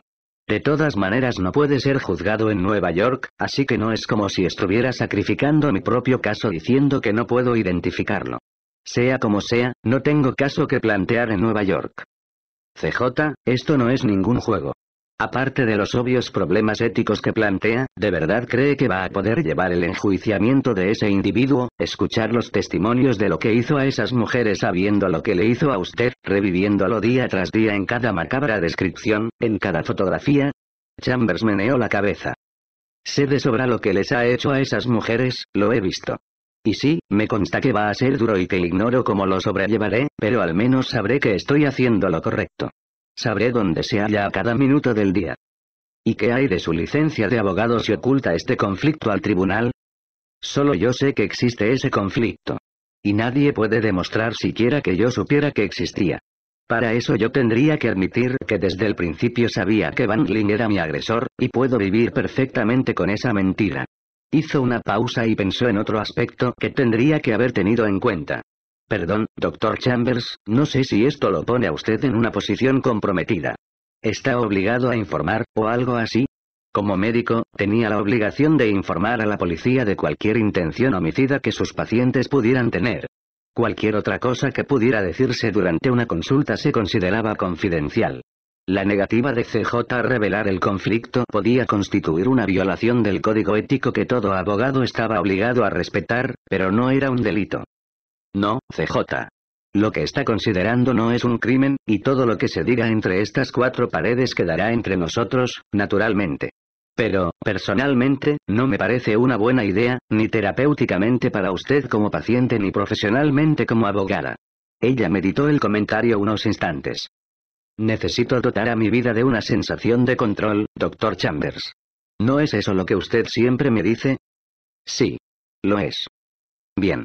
Pues ha llegado el momento. Ahora tengo el control. No algún fatigado detective de Nueva York. No un idiota de Ocala. No el payaso. No Cupido. Hizo una nueva pausa. Cogió el bolso y se levantó para marcharse. En su voz, la furia había sustituido a la desesperación. Soy yo la que tiene el control. Soy yo quien tiene el poder. Y no pienso permitir que esta vez ese hijo de puta me lo arrebate. Acto seguido, dio media vuelta y dejó tras ella la cordura de la agradable consulta amarilla y azul, despidiéndose de Estel con un silencioso ademán al pasar. Capítulo 32. Oficina del Forense. El agente Dominic Falconetti y el detective Manny Álvarez quieren ver al doctor Joe Neilson. Tenemos una cita con él a la una y media. Sí. El doctor Neilson los espera en el vestíbulo. La barrera mecánica se levantó, y Dominic se alejó de la abarrotada calle 14 y condujo su Grand Prix hasta un lugar señalizado como reservado para vehículos policiales, que se hallaba justo delante de las puertas de cristal del edificio de dos plantas de ladrillo rojo, donde lo aparcó al lado de un coche fúnebre negro último modelo. Manny abrió lentamente la puerta del pasajero y se apeó. Había estado anormalmente callado durante el trayecto desde el DPF. Cuando vio que Dominique no se bajaba, se asomó por la ventanilla. ¿Vienes, Tom? En su tono se apreciaba una nota de nerviosismo. Sí, oso. Dame cinco minutos y me reuniré dentro contigo. Antes tengo que hacer una llamada rápida. Dominique sacó su móvil y lo sostuvo en la palma de la mano, dejando claro que, antes de marcar, esperaba que Manny desapareciera. Manny Álvarez contempló el edificio de ladrillo rojo e hizo una mueca. Odiaba la oficina del forense. Tras 16 años como detective de homicidios, viendo cadáveres, seguía siendo lo único de su profesión que lo incomodaba. No se trataba de los cuerpos que se guardaban en frío en el sótano, porque podía pasarse todo un día mirando un cadáver en la escena del crimen sin inmutarse, incluso los putrefactos, los flotadores a los que les faltaba un ojo o una extremidad y que aparecían todos los días en los cientos de canales, marismas y lagos que rodeaban Miami, por no mencionar los que flotaban igual que boyas entre los pescadores de Miami River o asustaban a los surfistas del Atlántico. No, esos nunca lo afectaban a menos que se tratara de niños, porque no le gustaban las víctimas infantiles. No. No eran los cadáveres los que podían con él, sino las autopsias, el trabajo principal de cualquier forense. Las autopsias formaban parte de su trabajo y, como detective jefe de homicidios, tenía que asistir a ellas regularmente. Se trataba de averiguar cuál de los trece balazos que habían perforado la espalda de la víctima había acabado con su vida o qué cuchillada había resultado letal, si había sido asesinato o suicidio. En consecuencia, Manny había tenido ya su buena ración de autopsias, y no iba a dejar de presenciarlas. Pero el acto de la autopsia, la fría asepsia de todo el procedimiento, le resultaba odioso. Lo había odiado desde siempre, y el tiempo no había mejorado esa percepción. Odiaba las neveras de tamaño humano, las gélidas salas alicatadas de blanco, las camillas metálicas, las deslumbrantes luces, las balanzas para órganos, las zumbantes sierras eléctricas y los separadores, el hilo negro de sutura que utilizaban para volver a coserlo todo. En una autopsia, los muertos dejaban de ser víctimas y se convertían en especímenes sometidos a examen por una pandilla de tíos raros a los que sí les gustaba cortar muertos en pedacitos. Gente que había escogido aquella profesión y esperaba con ganas el día siguiente para poder proseguir con su trabajo. En las frías y asépticas salas, los cuerpos desnudos yacían en las mesas de acero inoxidable expuestos a todas las miradas, desde los ayudantes hasta los pereles, pasando por los policías, mientras algún médico con un escalpelo eléctrico les cerraba el cráneo para ver lo que había dentro y comprobar cuánto pesaba. Le resultaba todo demasiado clínico y lo odiaba. Simple y llanamente. Asimismo, también creía que los forenses eran unos tipos raros. ¿Por qué iba alguien a escoger una profesión en la que se despanzurraban cadáveres para manosear sus tripas? Claro que lo mismo podía decirse de un detective de homicidios. Quizá su desagrado se debiera a que se imaginaba algún día yaciendo, desnudo y frío, en una de aquellas mesas, desprovisto de toda dignidad, con el zumbido de una sierra en el oído, mientras un forense y su ayudante chismorreaban acerca de lo gorda que la tenía o sobre la cantidad de grasa que había en su abdomen. Esa mañana, él y Dominic solo habían ido a entrevistarse con el Dr. Neilson para formularle algunas preguntas respecto a la autopsia efectuada el día anterior al cadáver de Ana Prado. Aún así, el simple hecho de entrar en el edificio sabiendo lo que sucedía en los sótanos mientras ellos charlaban ante una taza de café y unos bollos, le provocaba palpitaciones. Y desde luego no deseaba de ningún modo caer en manos de Joe Neilson el día en que se desplomara de un ataque al corazón sobre el blanco suelo de terrazo. Manny se volvió hacia la portezuela abierta del automóvil y lanzó a Dominic una mirada donde se leía. No me jodas, amigo. Nilsson me pone los pelos de punta. Te lo aseguro. Cualquier forense te pone los pelos de punta, Manny. Sí. Bueno.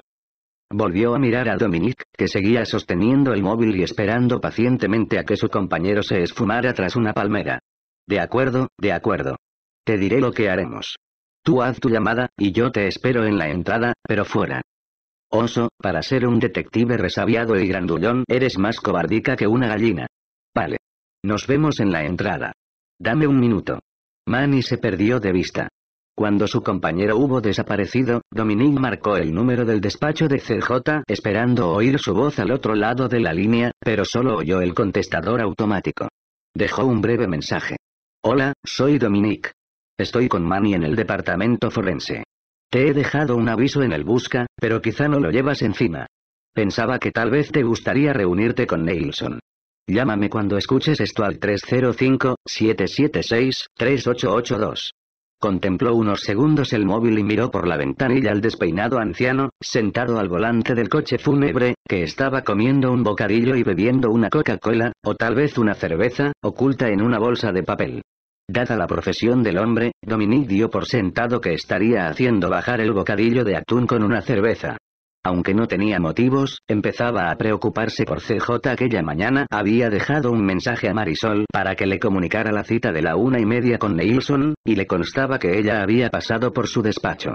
Luego, al no recibir contestación, le había dejado un par de avisos en el busca, pero sin resultado, lo cual no era propio de ella. O al menos no lo era hasta hacía dos días. Por mucho que lo negara, estaba claro que algo le ocurría desde la audiencia de Bandling.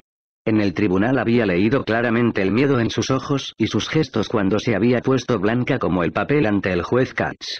Y, luego, la otra noche, al hablar de Bandling de nuevo, había palidecido otra vez y lo había acompañado sin miramientos hasta la puerta. Dominique no era ningún genio, pero no le hacía falta serlo para comprender que CJ Townsend, la fiscal con reputación de tener nervios de acero, estaba muerta de miedo por algo. ¿Pero qué puede haberla asustado de ese modo? ¿Y qué tiene que ver Van con ello? Por su parte, seguía intentando aclarar sus confusos sentimientos por lo sucedido la noche anterior. Cuando en el juzgado y su apartamento había visto a CJ tan asustada y vulnerable no había podido resistir el impulso de protegerla, de estrecharla entre sus brazos y simplemente cuidar de ella. Había sido algo muy extraño, muy impropio de él. Era consciente de que en los últimos meses habían coqueteado y de que ella lo atraía. Y lo que era más importante. La respetaba. Le gustaba su forma de ser, su independencia, su tesón a la hora de enfrentarse a un sistema con más agujeros que sólidos cimientos. Era el sueño de toda víctima. Una campeona de sus causas y su fiera defensora ante los tribunales, como si tuviera algo que demostrarse a sí misma y no solo a los doce miembros del jurado. Resultaba todo un espectáculo verla presentar sus conclusiones o argumentar en contra de las protestas de los más ególatras y afamados abogados de Miami y vencerlos. Sí, le gustaba su carácter. Durante los últimos meses, a medida que habían charlado en las dependencias de la unidad especial, en su despacho o por teléfono, se había ido dando cuenta de que tenían en común algo más que jueces y acusados. Antes de Cupido, la había respetado como fiscal. Pero después de Cupido había empezado a gustarle como persona, como mujer. No podía negarlo. Varias veces había pensado en pedirle una cita, en invitarla a cenar o al cine. Sin embargo, el caso Cupido lo había mantenido trabajando 16 horas al día, 7 días a la semana, y nunca había tenido tiempo o no se había buscado un hueco por cualquier otro motivo, un motivo relacionado con la cháchara de los psicólogos del departamento que le decían que todavía tenía que superar lo ocurrido cinco años atrás, con la muerte de Natalie. Sin embargo, por la razón que fuera, consciente o inconscientemente, la otra noche había apartado aquellas razones y se había dejado llevar por el impulso. Pero lamentaba haberlo hecho porque quizá la había asustado con aquel beso. El viejo del coche fúnebre debía de haberse dado cuenta de que Dominique era policía, dado que había aparcado en la zona reservada para ellos, de modo que había acabado su bocadillo y la bolsa de papel no se veía por ninguna parte. Dominique se apeó y se dirigió hacia la entrada del edificio por los peldaños de cemento. Fuera, bajo la marquesina, había una joven, a la que reconoció de la recepción, fumando y charlando con un investigador forense que le doblaba la edad y a quien Dominique recordaba porque se trataba de un antiguo policía del DPF que había pedido el traslado, en busca de más pensión y menos horas.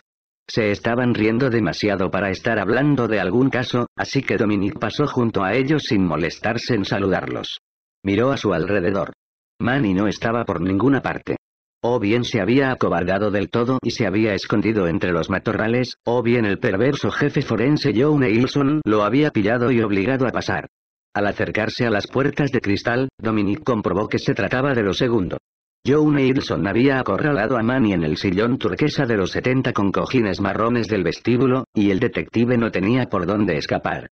Nilsson vestía su bata de trabajo verde y llevaba el cabello cubierto por un gorro desechable de papel. Dominique vio que hablaba con excitación, agitando las manos ante Manny. Por el aspecto que presentaba su delantal, saltaba a la vista que el buen doctor había estado en el sótano justo antes de su ascensión al mundo de los vivos. Afortunadamente, se había acordado de quitarse los guantes de látex antes de aparecer y estrechar la mano del detective Álvarez, que en esos momentos parecía necesitar urgentemente un cigarrillo o bien una bolsa para el mareo. Dominic cruzó el vestíbulo y, tendiéndole la mano y sonriendo, puso en práctica su pequeña operación de rescate. Buenos días, doctor Neilson. Confío en no haberlo hecho esperar. Tenía que hacer una llamada. El doctor Neilson fue hacia Dominique, dejando que Manny se levantara del sofá donde lo había retenido, y le estrechó vigorosamente la mano. No, en absoluto. Solo estaba preguntándole al detective, Álvarez sobre la marcha de la investigación. También le decía que me alegraba mucho de verlos a ustedes dos, porque abajo hay algo muy interesante que debo mostrarles. El desmedido entusiasmo que el doctor Neilson sentía hacia su profesión era uno de los aspectos que incomodaban a Manny Álvarez. El forense era un tipo alto y enjuto, de ojos hundidos, que en opinión de Dominique debía de haber padecido algún tipo de trastorno de atención siendo niño porque era incapaz de estarse quieto. Sus ojos, sus manos, sus pies, su mente, siempre había algo en él en movimiento. Si alguien lo obligaba a permanecer quieto en un mismo sitio durante un rato, empezaba a parpadear frenéticamente y a arrugar la nariz. Era casi como si su cabeza fuera a explotar. Estupendo. ¿Tiene que ver con Prado o con alguna de las otras chicas? Bueno, por el momento solo he reexaminado a Prado. No obstante, he echado un vistazo a los archivos de las otras y creo que voy a tener que revisarlas a todas, ahora que sé lo que busco. ¿Nos ponemos manos a la obra, detectives? Las cejas del doctor Nilsson habían empezado a enarcarse compulsivamente. También parpadeaba furiosamente. Se había acabado el tiempo, y el tren estaba a punto de partir de la estación. Sin demora. Manny tenía un pésimo aspecto. Lo cierto era que su semblante empezaba a presentar un tono oliváceo. Manny, ¿estás bien? ¿Quieres sentarte hasta que se te pase? Claro que no quiere sentarse. Terció Neilson impulsivamente, vamos, detective. Tengo una jarra de café recién hecho en el laboratorio. Eso lo reanimará. Y se encaminó hacia el ascensor. Vale, vale, ya voy. Ya voy. Pegadito a sus talones dijo Manny con resignación. Las puertas del ascensor se abrieron, y los tres entraron en un cubículo de acero lo bastante profundo para dar cabida a una camilla. Doctor Neilson, la fiscal encargada del caso quería reunirse con nosotros también. Acabo de dejarle un mensaje para. Empezó a decir Dominic, pero Neilson lo interrumpió. ¿Se refiere a CJ Townsend? Me llamó a la cosa de una hora para decirme que no podría venir y que se pasaría mañana o pasado. También me pidió que les dijera que procediéramos sin ella, que estaba liada con algo del tribunal. El doctor Neilson apretó el botón S, y las puertas metálicas cerraron con un golpe sordo. El ascensor bajó al sótano. Capítulo 33. El cadáver de Ana Prado yacía en la camilla metálica con los ojos cerrados. Su piel, que Dominique recordaba de las fotos del muro como de un blanco cremoso, se veía de un gris ceniciento, y las pecas de su nariz apenas resultaban visibles a causa de la cetrina palidez. Tenía el largo y rubio cabello desplegado bajo la cabeza, enmarcándole el cuello y los hombros.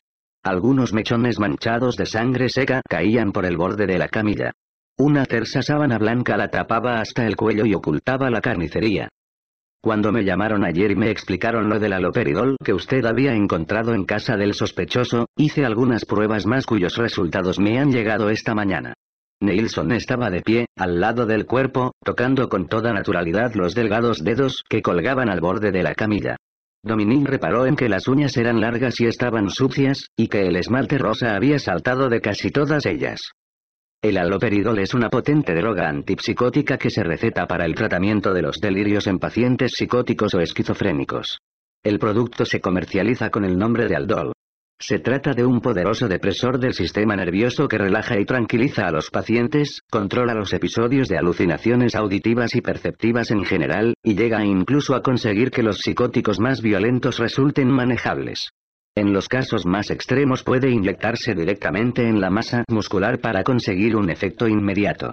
Administrado en dosis elevadas, puede producir catatota, pérdida de conciencia, coma y también la muerte. ¿Entienden ustedes a dónde quiero llegar con todo esto, detectives? El doctor Neilson parpadeó varias veces. Pues bien, lo más interesante del aloperidol es que las pruebas habituales de toxicología que se realizan en todas las autopsias no lo detectan. Hay que buscarlo para dar con él. Así pues, aunque por la gravidez de los pulmones hallada en las autopsias sospechábamos que en los cuerpos de Nicolette Torrence y Ana Prado había alguna sustancia depresora, no sabíamos cuál era porque no figuraba en la lista de los narcóticos habituales como el Valium, el Davoceto o el hidrocodone. Incluso buscamos Roibnol, ketamina, ácido hidroxibutrícico, conocido popularmente como éxtasis líquido. Aún así, no conseguimos identificar el narcótico de sus cuerpos. Pero, después de su llamada de ayer, agente Falconetti, empecé a pensar que el aloperidol podría encajar, que sin duda correspondería. Me entusiasmé y decidí hacer más pruebas y ¡voilà! Dio unos golpecitos en la hoja amarilla de la tablilla sujeta papeles. Aquí está. Aloperidol. Luego volví a comprobar los contenidos del estómago de Ana Prado para ver si había pasado algo por alto, pero no. Nada. Sin embargo, eso no tiene demasiada importancia porque el aloperidol tiene una vida media de 6 horas, así que si la muerte sobrevino dentro de las 6 horas de su vida media después de haber tomado la droga, encontraríamos restos en sus tejidos y en su sangre aunque se hubiera producido una digestión completa. Entonces empecé a considerar toda una serie de teorías. Así que, por favor, detectives, concédanme unos minutos para ver si esto encaja con el patrón de sus casos. La pauta de aloperidol que se recetaba en el frasco que usted halló era de 20 miligramos, dos veces al día. Eso es una dosis sumamente fuerte, incluso tratándose de una persona que haya desarrollado cierta tolerancia al producto. Para alguien no habituado y cuyo peso corporal fuera menor, bastaría con una sola píldora de 20 miligramos para incapacitarlo por completo si su sospechoso hubiera administrado una píldora a sus víctimas en una bebida, o si simplemente se la hubiera ofrecido como X, al cuarto de hora de la ingestión, las chicas habrían empezado a manifestar la misma torpeza de movimientos y de habla, la misma depresión de las funciones motrices y el mismo enlentecimiento de la capacidad de reacción que presenta alguien que está bajo los efectos del alcohol. Sería incapaz de pensar con coherencia y podría ser fácilmente dominada. Pero, tal como les decía, el aloperidol también es inyectable. Sus efectos, entonces, son inmediatos y también duran más. De hecho, a los pacientes que tienen dificultades a la hora de tomar su medicación, se les puede administrar aloperidol en inyecciones de efecto retardado. Una inyección puede funcionar entre dos y cuatro semanas. Por lo tanto, volví sobre mis pasos y busqué en el cuerpo la respuesta. Neilson mantuvo en vilo a su cautivo público con una dramática pausa. Acto seguido, retiró la sábana que cubría el cuerpo de Ana Prado con el mismo efectismo que habría empleado un mago en el escenario. Manny incluso creyó que iba a gritar abracadabra. Sin embargo, no surgió un conejo blanco, sino el cuerpo violado y mutilado de Ana Prado, tumbado en la fría camilla de acero. Igual que un vendedor de coches empeñado en mostrar las características del vehículo, Neilson dio la vuelta al cadáver y mostró las nalgas de Ana a los detectives. Resultaba evidente que había sido asesinada mientras yacía de espaldas, porque la sangre se le había acumulado bajo la piel de las posaderas, de los codos y debajo de las rodillas. Cuando el corazón dejaba de latir, la gravedad hacía su trabajo y acumulaba en los lugares más bajos la sangre que anteriormente había circulado por las venas. El fenómeno se conocía con el nombre de lividez. Ahora miren esto dijo el médico a Manny y a Dominique, entregándoles una lupa. Un pequeño fragmento de piel había sido retirado de la zona, y a su lado había una pequeña impresión del tamaño de un alfilerazo, que de otro modo resultaba invisible a simple vista. Había dos marcas como esta, pero no las vi por la lividez de la zona. Además, al principio no estaba buscando lo que encontré. Extirpé unos fragmentos de piel para examinar los daños de los vasos sanguíneos de la zona. Ambos alfilerazos, detectives, encajan con la teoría de que podría haberse aplicado una inyección en la zona. En mi opinión, una inyección de aloperidol. Manny no se mostró de acuerdo. El doctor muerte convertido en Quincy, el superforense. Un momento, Toc. Todas esas mujeres fueron torturadas del modo más siniestro antes de morir. ¿Acaso estas marcas no podrían deberse a que ese chiflado le clavó agujas para divertirse? ¿Qué le hace estar tan seguro de que se trata de la marca de una inyección? El doctor pareció casi ofendido ante el rechazo de su hipótesis, pero se rehizo enseguida y prosiguió con una ligera sonrisa donde se podía leer. Yo sé algo que ustedes no saben. Bueno, detective, después de encontrar las marcas seguí con mis averiguaciones y encontré algo aún más interesante. Dejó a Ana parado de espaldas y le cogió el brazo, estirándoselo. Los brazos de la joven estaban amoratados, especialmente en las muñecas, donde sin duda se los habían atado con cuerdas o hilo de nylon. El doctor Nilsson señaló una pequeña marca violácea en la parte interior del codo. Aquí tiene otra señal que se corresponde con la marca de una inyección, pero no de una normal. En este lugar se ha aplicado un catéter intravenoso, un gota a gota. El asesino debió de hacer varios intentos, porque he encontrado otras dos venas estalladas, una en el otro brazo y otra en el tobillo. ¿Un catéter intravenoso? ¿Qué demonios? Dominic sonaba confundido, me está diciendo que cree que primero le inyectaron con aldol y que después se lo administraron por vía intravenosa. ¿Por qué las dos cosas a la vez? No le veo el sentido. Se acordó de los estranguladores de Hillside, dos primos asesinos de California que habían inyectado a sus víctimas Windex y otros productos de limpieza doméstico solo para ver qué efectos producían. No. No. Eso no habría tenido ningún sentido. El doctor Nilsson se estaba irritando por momentos. No tenía tiempo para aquello. Tamborileó en el suelo con el pie y chirrió los dientes. Luego, prosiguió. Por eso seguí investigando y haciendo más pruebas hasta que di con algo. Algo que nunca se me habría ocurrido buscar. Algo que explica claramente el uso de un catéter intravenoso. ¿El qué? ¿De qué se trata? Preguntó Manny con tono impaciente, porque no creía que aquel fuera el momento y lugar para hacerse el interesante. Nilsson se dirigió a Dominique. Hice otro análisis toxicológico y encontré otra droga en su cuerpo. Cloruro de mivacurium añadió rápidamente. ¿Cloruro de mivacurium? Preguntó Dominique, ¿qué es eso? Su nombre comercial es Mivacron, y solo puede administrarse por vía intravenosa. Se trata de un relajante de los músculos esqueléticos. En su origen fue desarrollado como relajante muscular para las intervenciones quirúrgicas. Pero, luego, tras una serie de experimentos con pacientes en África, se supo que, aun siendo un eficaz relajante muscular, por desgracia no tenía efectos anestésicos ni analgésicos.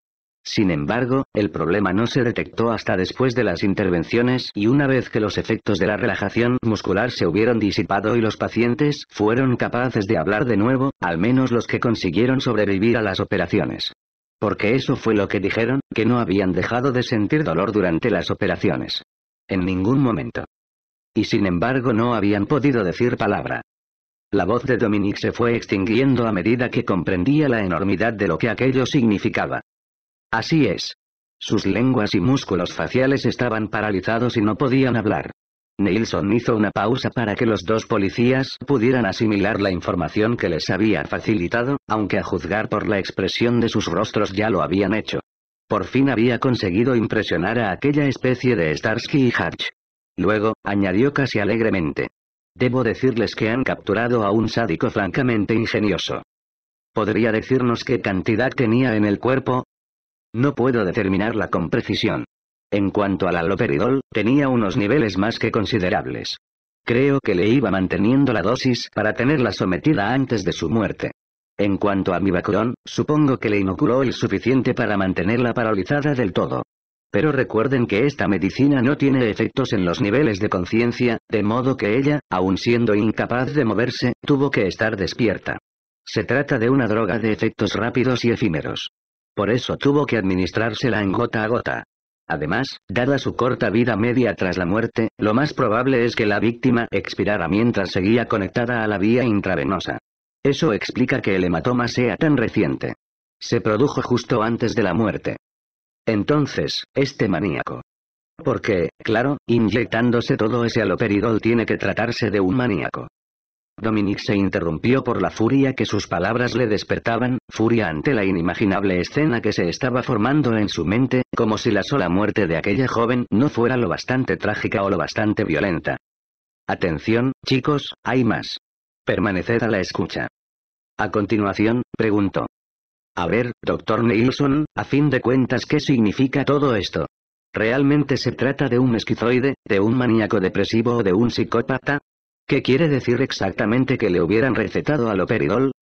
No soy psiquiatra, agente Falconetti. No puedo darle un diagnóstico a bote pronto. El aloperidol se administra en distintas patologías psiquiátricas. Oh, mierda. Ya tenemos otro caso de IBT.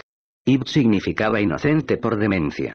La apelación de demencia era uno de los recursos típicos de cualquier inculpado con un historial comprobado de enfermedades mentales, especialmente si dicho historial incluía esquizofrenia, tendencias maníaco-depresivas o brotes psicóticos probados.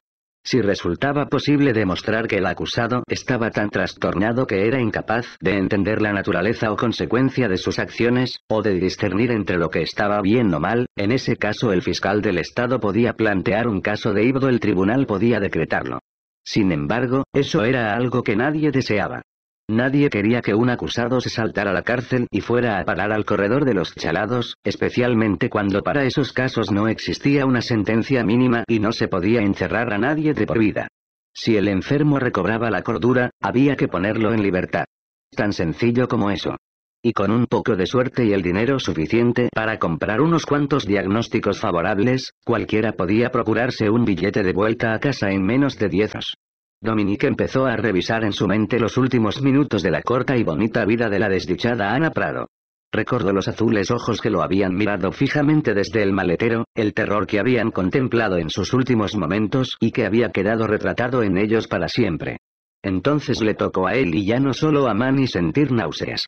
Tartamudeó unos instantes, mientras intentaba poner en orden sus ideas, comprender lo incomprensible, describiendo lentamente la escena que en su cabeza se desarrollaba como la peor de las películas de terror. Veamos, ese maníaco le inyecta a la chica el aldol que en principio le habían recetado a él.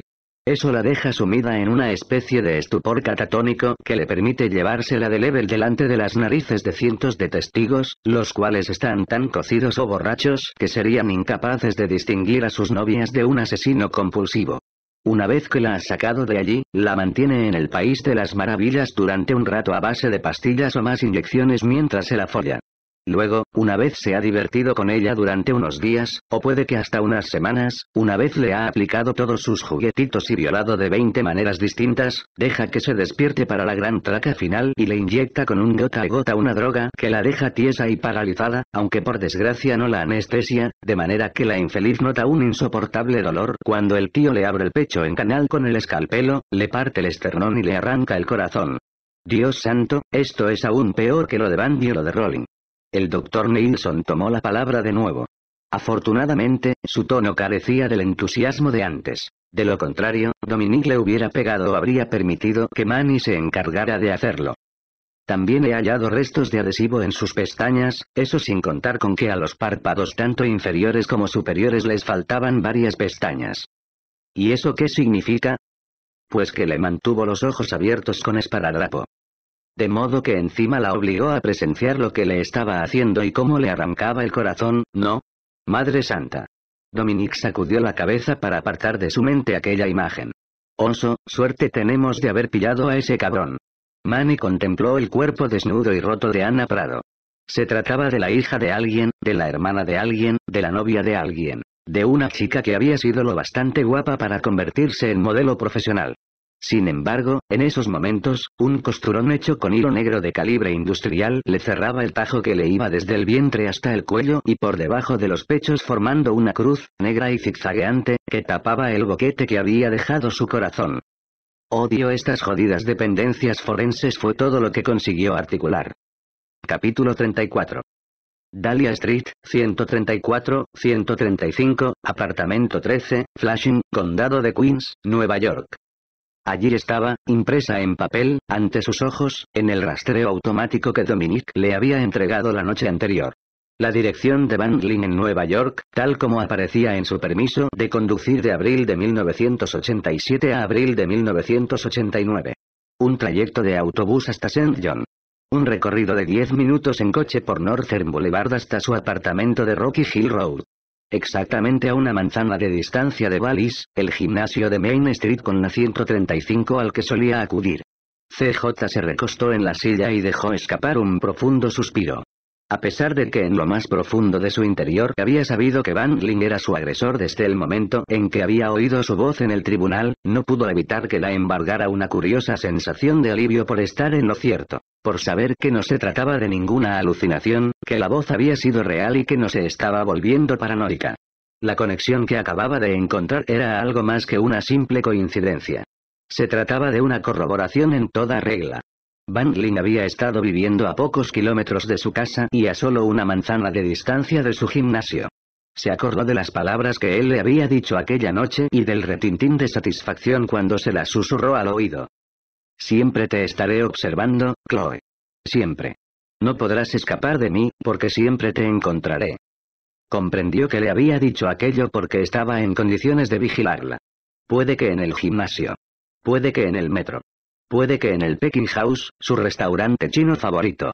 Puede que en Tony's, su pizzería predilecta en Bell Boulevard, en Bayside.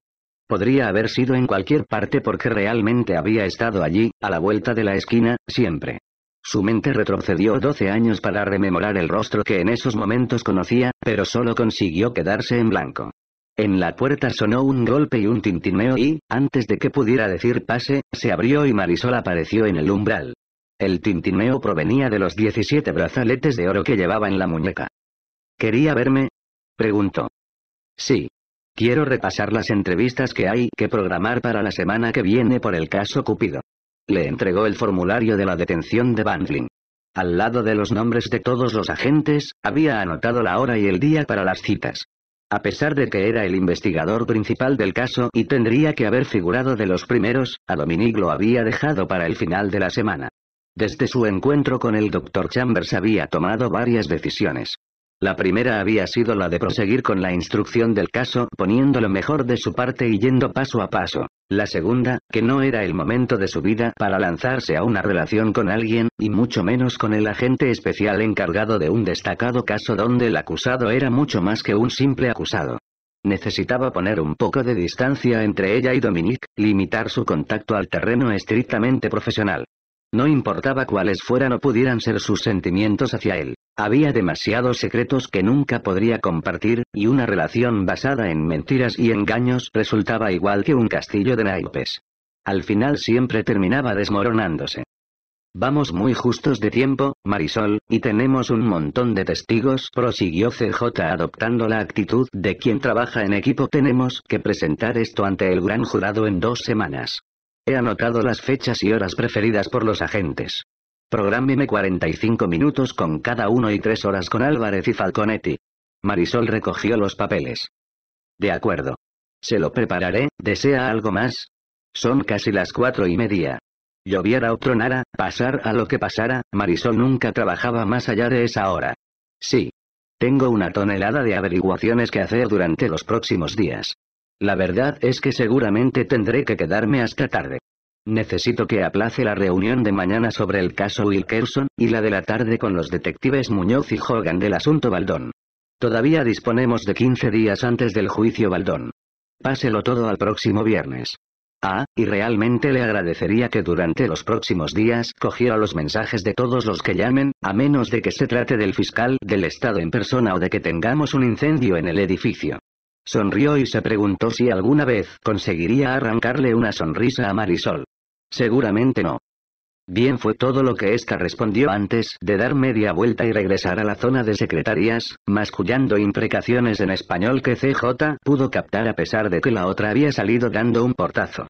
Naturalmente, CJ dudaba mucho de que su secretaria se molestara en avisarla en caso de incendio, tal era la naturaleza de su áspera relación. De todas maneras, siempre que las alarmas funcionaran, solo se trataría de un salto de una altura de dos plantas. Se lo merecía por haber querido adoptar tácticas de equipo. Se quedó sola, sentada en su butaca de piel de imitación, y miró por la ventana hacia el edificio de los tribunales y la cárcel del condado de Miami-Dade, conocida vulgarmente como CCD, donde en esos momentos su violador estaba retenido sin fianza como recluso del estado de Florida e invitado del Departamento de Vigilancia Penitenciaria. Dio un sorbo al café, que se le había enfriado, y observó a los fiscales que regresaban de su jornada ante los tribunales, algunos con carpetas en las manos, otros arrastrando cajas que cargaban en carritos plegables. Tras su sesión de esa mañana con el Dr. Chambers, la espesa y cegadora niebla que le había impedido pensar con claridad había empezado a disiparse, las situaciones comenzaban a tener sentido y podía verlas con la debida perspectiva. Sentía que tenía un objetivo, una dirección que seguir, por mucho que pudiera demostrarse errónea. Lo que necesitaba eran respuestas. Respuestas a las muchas preguntas que la habían mortificado durante el pasado año con el caso Cupido. Respuestas a las preguntas que llevaba 12 años planteándose respecto a la agresión que había sufrido. Sentía una urgente necesidad de saber todo lo que tuviera que saber acerca de aquel desconocido, de aquel monstruo, Bill Banglin. ¿Quién era? ¿De dónde venía? ¿Estaba casado? ¿Tenía hijos? ¿Familia? ¿Amigos? ¿Dónde había vivido? ¿Cómo se había ganado la vida? ¿Cómo y dónde había conocido a sus víctimas? ¿De qué modo las había escogido? ¿Cómo conoció a Chloe Larson? ¿Cómo la escogió? ¿Cuándo se había convertido en violador? ¿Cuándo en asesino? ¿Había otras víctimas, víctimas que quizá nadie conocía? ¿Hay más como yo? Luego, llegaban los porqués. ¿Por qué odiaba a las mujeres? ¿Por qué se ensañaba con ellas y las torturaba? ¿Por qué les arrancaba el corazón? ¿Por qué las mataba? ¿Por qué las elegía? Una docena de años y miles de kilómetros separaban su violación de los asesinatos de Cupido. Sin embargo, todavía le resultaba difícil distinguir las preguntas que tenían que ser formuladas. Los lindes de un caso y otro se desdibujaban. Las preguntas se entremezclaban lo mismo que las respuestas. ¿Dónde se había ocultado Van Ling durante aquellos doce años? ¿Dónde había dado rienda suelta a sus enfermizas fantasías? Sabía por su experiencia como fiscal en casos de asesinos compulsivos y de pedofilia, y por los incontables seminarios a los que había asistido con los años, que los agresores sexuales no aparecían porque sí. Y que tampoco se detenían. Al contrario. Sus crímenes solían representar la escalada gradual y la realización definitiva de sus enfermizas fantasías. A veces, dichas fantasías tardaban semanas, meses e incluso años en desarrollarse en su mente antes que se decidieran a actuar. Normalmente, ese tipo de asesinos aparentaban ser gente normal, buenos vecinos y compañeros de trabajo, buenos maridos y padres. Era en el interior de sus mentes, el lugar al que nadie podía asomarse, donde bullían y burbujeaban aquellos espantosos y corrosivos pensamientos, hasta que finalmente se desbordaban y, como la lava, lo destruían todo a su paso hasta que la fantasía quedaba consumada. Un mirón inofensivo se convertía en ladrón, el ladrón en violador, y el violador se estrenaba como asesino. Era únicamente cuestión de que avanzaran un paso en sus fantasías y con cada crimen que cometían sin ser descubiertos, se iban volviendo más audaces. Una vez desaparecidas las barreras iniciales, el siguiente paso resultaba mucho más fácil. Los violadores compulsivos no paraban hasta que alguien los detenía. Y eso significaba cárcel, encierro, el impedimento físico que evitaba que cometieran más crímenes, o la muerte. Si Van Lin encajaba en el perfil de un asesino en serie, también era un sádico, una persona que disfrutaba infligiendo dolor a los demás. Rememoró aquella tormentosa noche de junio de 12 años atrás, recordando los minutos que habían transcurrido como horas. Van lo había planeado todo a la perfección, de principio a fin. Hasta había llevado su bolsa de herramientas para hacer más suculenta su fantasía. No había tenido bastante con violarla.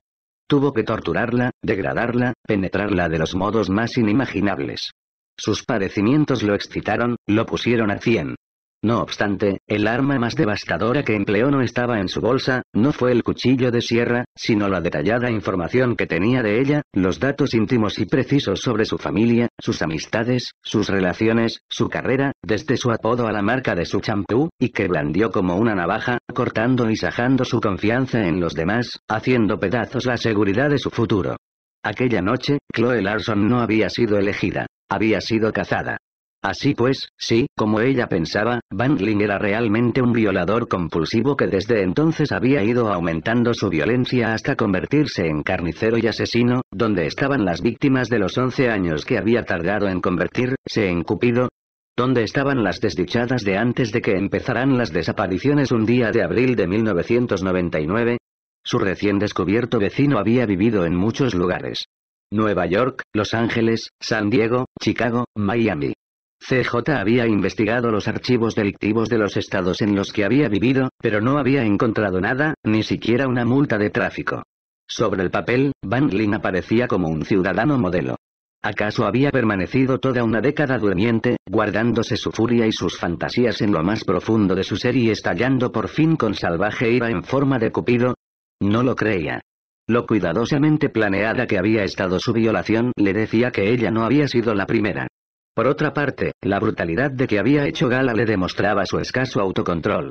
Eso revelaba que debía de haber tenido dificultades para manejar sus fantasías o su ira durante el tiempo que la había estado acechando y que difícilmente habría podido contenerse durante toda una década. Lo cierto era que no sabía si él había planeado matarla y ella había sobrevivido por casualidad, o si la había dejado con vida a propósito. De lo que sí estaba convencida era de que los de la unidad especial estarían hurgando en la vida de Bangling, centímetro a centímetro, buscando sus propias respuestas. Ellos también disponían de los historiales de las jurisdicciones donde había vivido, y en cuestión de días enviarían detectives para que se entrevistaran con antiguos vecinos, antiguos jefes y antiguas novias, con la esperanza de averiguar si Bangling había sido el carnicero del hacha de California antes de convertirse en el psicópata del escalpelo de Miami. Su nombre y una descripción minuciosa de los asesinatos de Cupido ya habían sido enviados a los archivos del FBI y de la Interpol para comprobar si existía constancia de algún crimen parecido en otras jurisdicciones o países, o si la presencia de Van en algunas de las ciudades a las que había ido por negocios había coincidido con alguna racha de desapariciones. Pero nada.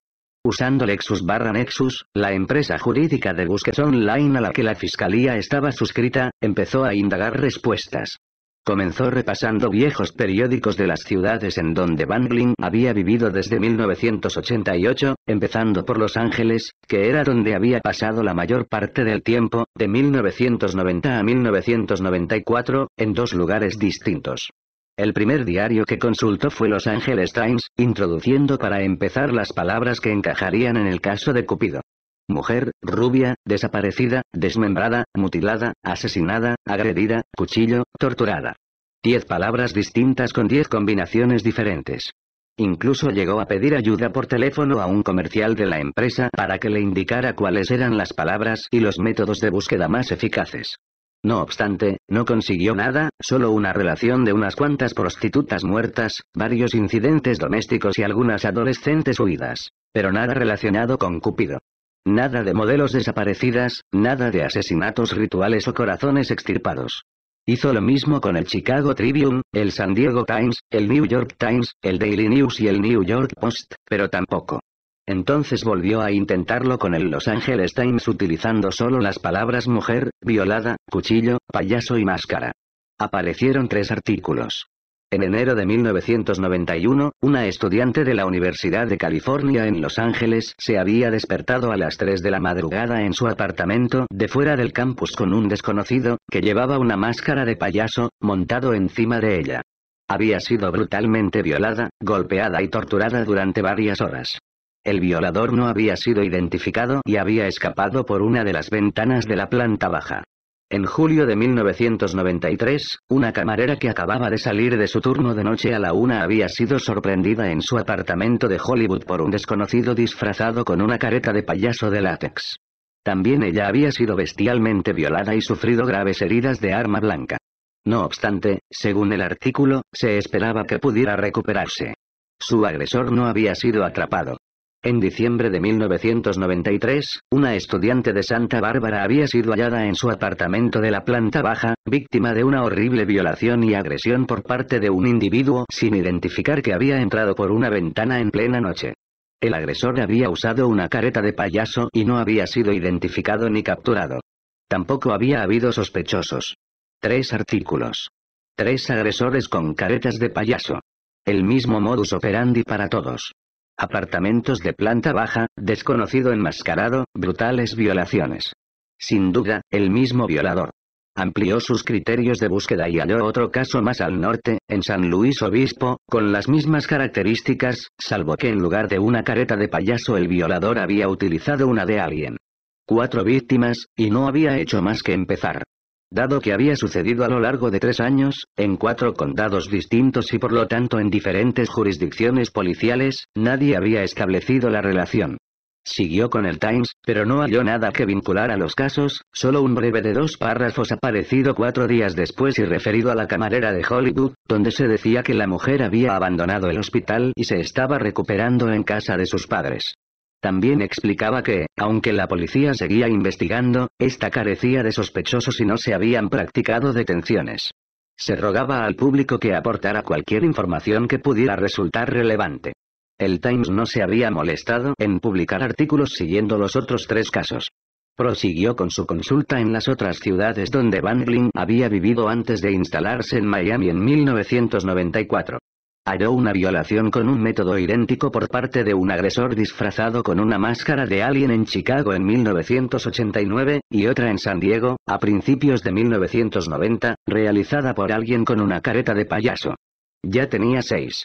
Y esas solo eran las que habían sido denunciadas. Pero se trataba de bundling, o solo de una mera coincidencia, contrastó las direcciones de Chicago y San Diego que constaban en los permisos de conducir que aparecían en el rastreo automático con las de las víctimas de los artículos y descubrió que Bundling había vivido a menos de 10 kilómetros de ambas. Conteniendo la respiración, buscó en los diarios del sur de Florida desde 1994 el Miami Herald, el Sun Sentinel, el Key West Citizen y el Palm Beach Post, pero no encontró nada. Luego, examinó el pasaporte de Van Lin que había sido entregado al tribunal. Brasil, Venezuela, Argentina, México, Filipinas, la India, Malasia. El tipo había viajado por todo el mundo trabajando para Tomitani, antes de eso, para Indo Expression, otra casa de muebles y decoración de California de mucho renombre. Viajes que habían durado desde dos semanas hasta un mes. Según Tony Tan, las fábricas de muebles y las exposiciones que Bandling había ido a ver se hallaban en las afueras de grandes ciudades donde resultaba fácil pasar inadvertido. Había estado varias veces en aquellos lugares. ¿Y si había dejado un rastro de víctimas en el extranjero? CJ pasó las hojas del Rolodex y halló el número de teléfono de la investigadora Christine Frederick, que trabajaba en las oficinas de la Interpol en Lyon, Francia. Ella y Cristina habían trabajado juntas hacía unos años en el caso de un sospechoso de asesinato que había matado a toda su familia con una escopeta de caza en un hotel de South Beach y después había huido a las montañas de Alemania, hasta que la policía de aquel país, junto con la Interpol, lo habían detenido en Múnich, mientras se comía un schnitzel. Christine la había ayudado con los trámites de la extradición y las dos se habían hecho amigas en los meses que transcurrieron hasta que el tipo fue devuelto a Miami. Desde entonces no habían vuelto a hablar. Con la primera llamada le salió el contestador de Cristinel en francés, alemán, español, italiano y, por suerte, también en inglés. CJ consultó la hora en su reloj. Ya eran las diez y media de la noche. Había perdido por completo la noción del tiempo. Con la diferencia horaria, en Lyon aún no había amanecido. Dejó su nombre y su número de teléfono y confió en que Christine todavía se acordara de ella. Fuera estaba oscuro. Hacía rato que el sol se había puesto tras los Everglades. Su despacho estaba iluminado únicamente por la lámpara de sobremesa con interruptor de cadenita que su padre le había regalado. Los brillantes fluorescentes le irritaban los ojos, y prefería la agradable intimidad de la lámpara. Los pasillos más allá de la puerta cerrada de su despacho hacía rato que se habían quedado desiertos y a oscuras. Iba a tener que llamar a los de seguridad, en el vestíbulo, para que la escoltaran hasta el coche. Se volvió una vez más hacia la ventana y la CCD, al otro lado de la calle, donde las luces brillaban en todas las plantas del edificio. Fuera, al otro lado de la valla coronada por alambre de espino, una multitud de gente de aspecto extraño y desesperado aguardaba a que su novio, su madre, su novia, su macarra o su socio en los negocios entrara o fuera liberado. El edificio estaba rodeado de coches patrulla que llevaban a nuevos detenidos, en sustitución de los que salían bajo fianza. Y en aquel gris edificio de cemento, tras las puertas de barrotes y las ventanas enrejadas, custodiado por el Departamento de Vigilancia Penitenciaria, se hallaba William Rupert Bannerling. El hombre del que había estado huyendo, escondiéndose, durante los últimos 12 años estaba justo al otro lado de la calle, a menos de 50 metros. Si se encontraba asomado a la ventana hasta era posible que la estuviera mirando, tal como había prometido que nunca dejaría de hacer. La idea la hizo estremecer y le provocó un escalofrío. Volvió al escritorio para guardar sus cosas en el maletín y regresar a casa. El resplandor de la pantalla de su ordenador iluminaba el escritorio en medio de la oscuridad del despacho.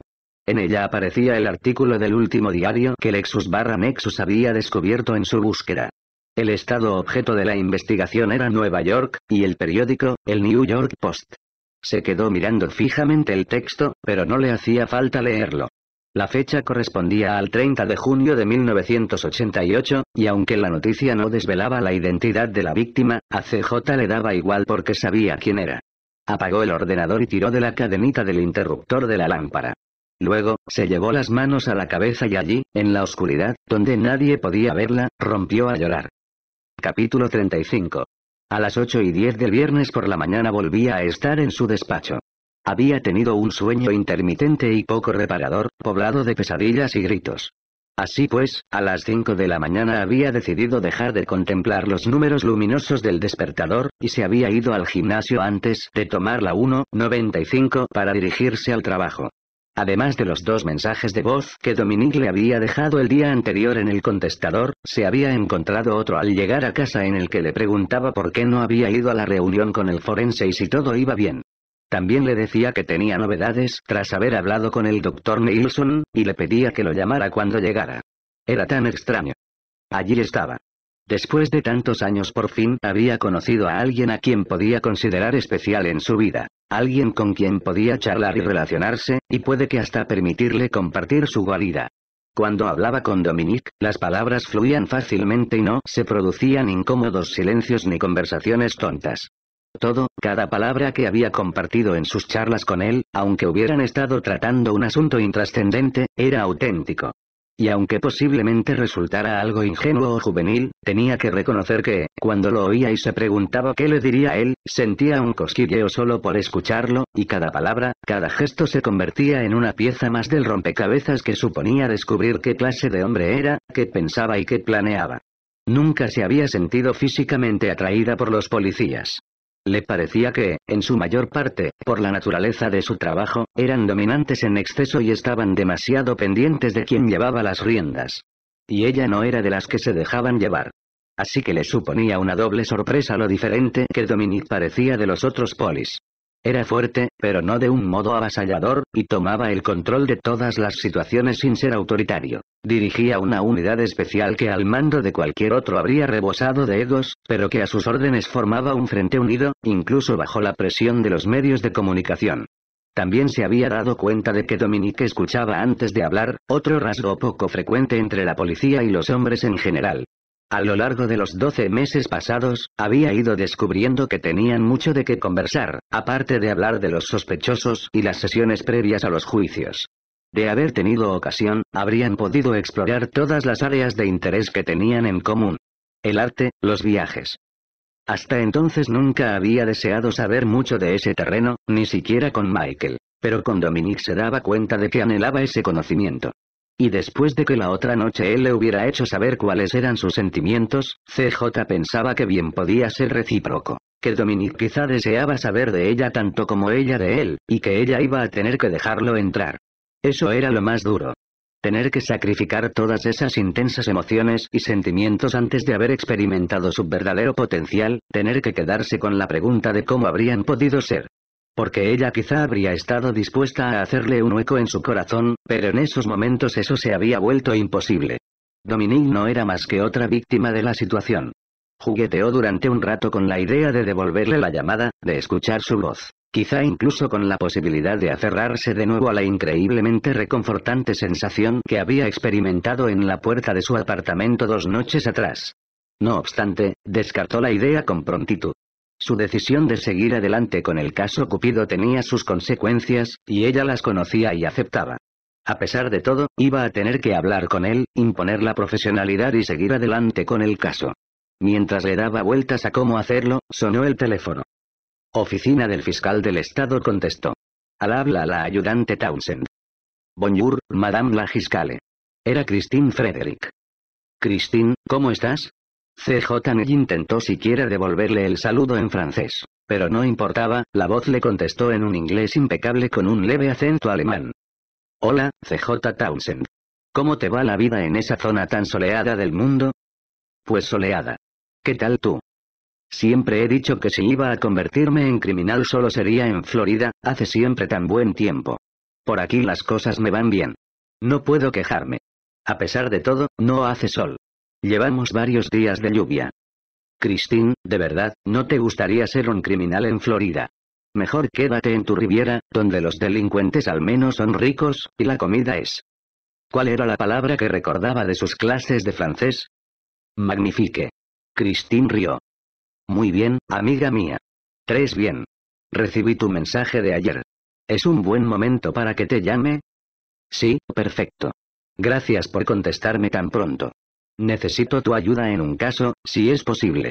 Todavía no quiero que el asunto pase por Washington, no quiero nada oficial por el momento. Claro, CJ. ¿En qué puedo ayudarte? Necesito comprobar un modus operandi con la Interpol y ver qué sale. Tenemos a un probable asesino y violador compulsivo en Miami que ha viajado por todo el mundo, principalmente por Sudamérica, México y Filipinas. Necesito saber si tenéis algo que corresponda. ¿Quién es? Se trata de un varón, blanco, de unos 40 años. Usa una careta. Parece que suele preferir una de payaso o de alien, pero en otras ocasiones ha utilizado una de esas máscaras de látex de Halloween. Suele meterse en apartamentos de planta baja, y su objetivo suelen ser mujeres jóvenes y rubias que viven solas. Suele seguirlas durante un tiempo antes de actuar. Su arma favorita es un cuchillo, y la mayor parte de las veces las ata y amordaza para forzarlas. Respiró hondo y prosiguió en un tono que deseó sonar anormal. También tenemos pruebas de que es un sádico. Le gusta torturar. Nos hemos encontrado con algunas chicas con enormes cortes y muy desfiguradas en su zona pectoral y vaginal.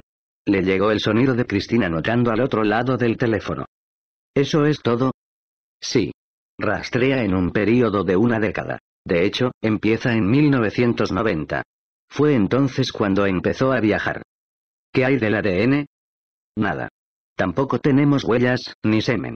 Deja siempre las escenas del crimen limpias como una patena. ¿Puedes darme un nombre? Ya he pasado el nombre a los de la Interpol. Contigo quería algo diferente. Hazme un favor y pásalo sin el nombre, solo para ver si hay casos que encajen.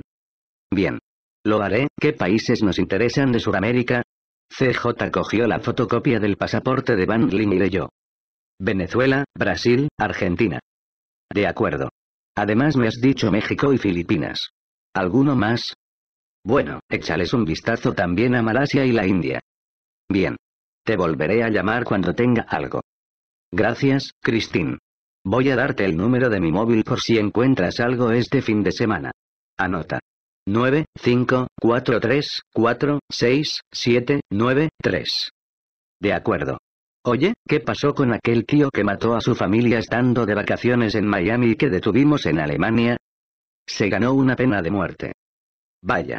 CJ se despidió y colgó, y pensó en el mensaje de Dominique de la noche pasada. Necesitaba saber qué la esperaba con el doctor Nilsson, así que llamó a Manny y rogó para que no estuviera con Dominique. Letrada, buenos días. ¿Dónde te metiste ayer? Te echamos de menos con el forense. Hola, Manny. ¿Estás en la sede de la unidad especial? ¿Bromeas? Me he levantado hace apenas 20 minutos. Estoy yendo en coche por la octava hacia Little Habana en busca de mi chute matutino. Manny, hablas como un junkie que necesita su dosis. Si ese café que te tomas no consigue despertarte, nada lo hará. Y que lo digas. Estoy llegando a un punto en que casi no puedo pensar sin una taza. Iba a llamar a Neilson, pero antes quería que me comentaras cómo os fueron las cosas con el forense. ¿No has hablado todavía con Dom? Creo que lleva buscándote desde ayer. Una punzada de culpabilidad la atravesó, y notó que se ruborizaba. ¿Qué le habrá dicho Dominique de nuestro encuentro, de la otra noche? No. Todavía no. Intentaré localizarlo más tarde. Bueno, vale. En cuanto a Neilson, y si te vale mi opinión, se trata de un jodido tío raro. El buen doctor asegura que a Prado le inyectaron aloperidol. Parece que ha encontrado restos en su organismo. ¿Aloperidol? Sí. El nombre comercial es Aldol. ¿No es ese el producto que Dominique descubrió en casa de Van Ling y para el que éste tenía receta? Exacto, letrada. Ese maldito maníaco parece que nos ha llevado directamente hasta su puerta, ¿no? CJ oyó música latina de fondo y distintas voces charlando en lo que parecía una mezcla de español e inglés. Manny debía de estar caminando, porque lo oía resoplar. Oye, Manny, ¿dónde estás? Ya te lo he dicho. Voy en busca de mi chute. Ella le oyó decir en la distancia. ¿Me pone dos cafecitos?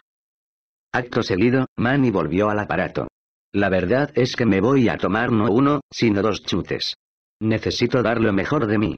La línea quedó silenciosa, y CJ lo oyó tomarse los dos cafés de un trago y exclamar, ¡Ah!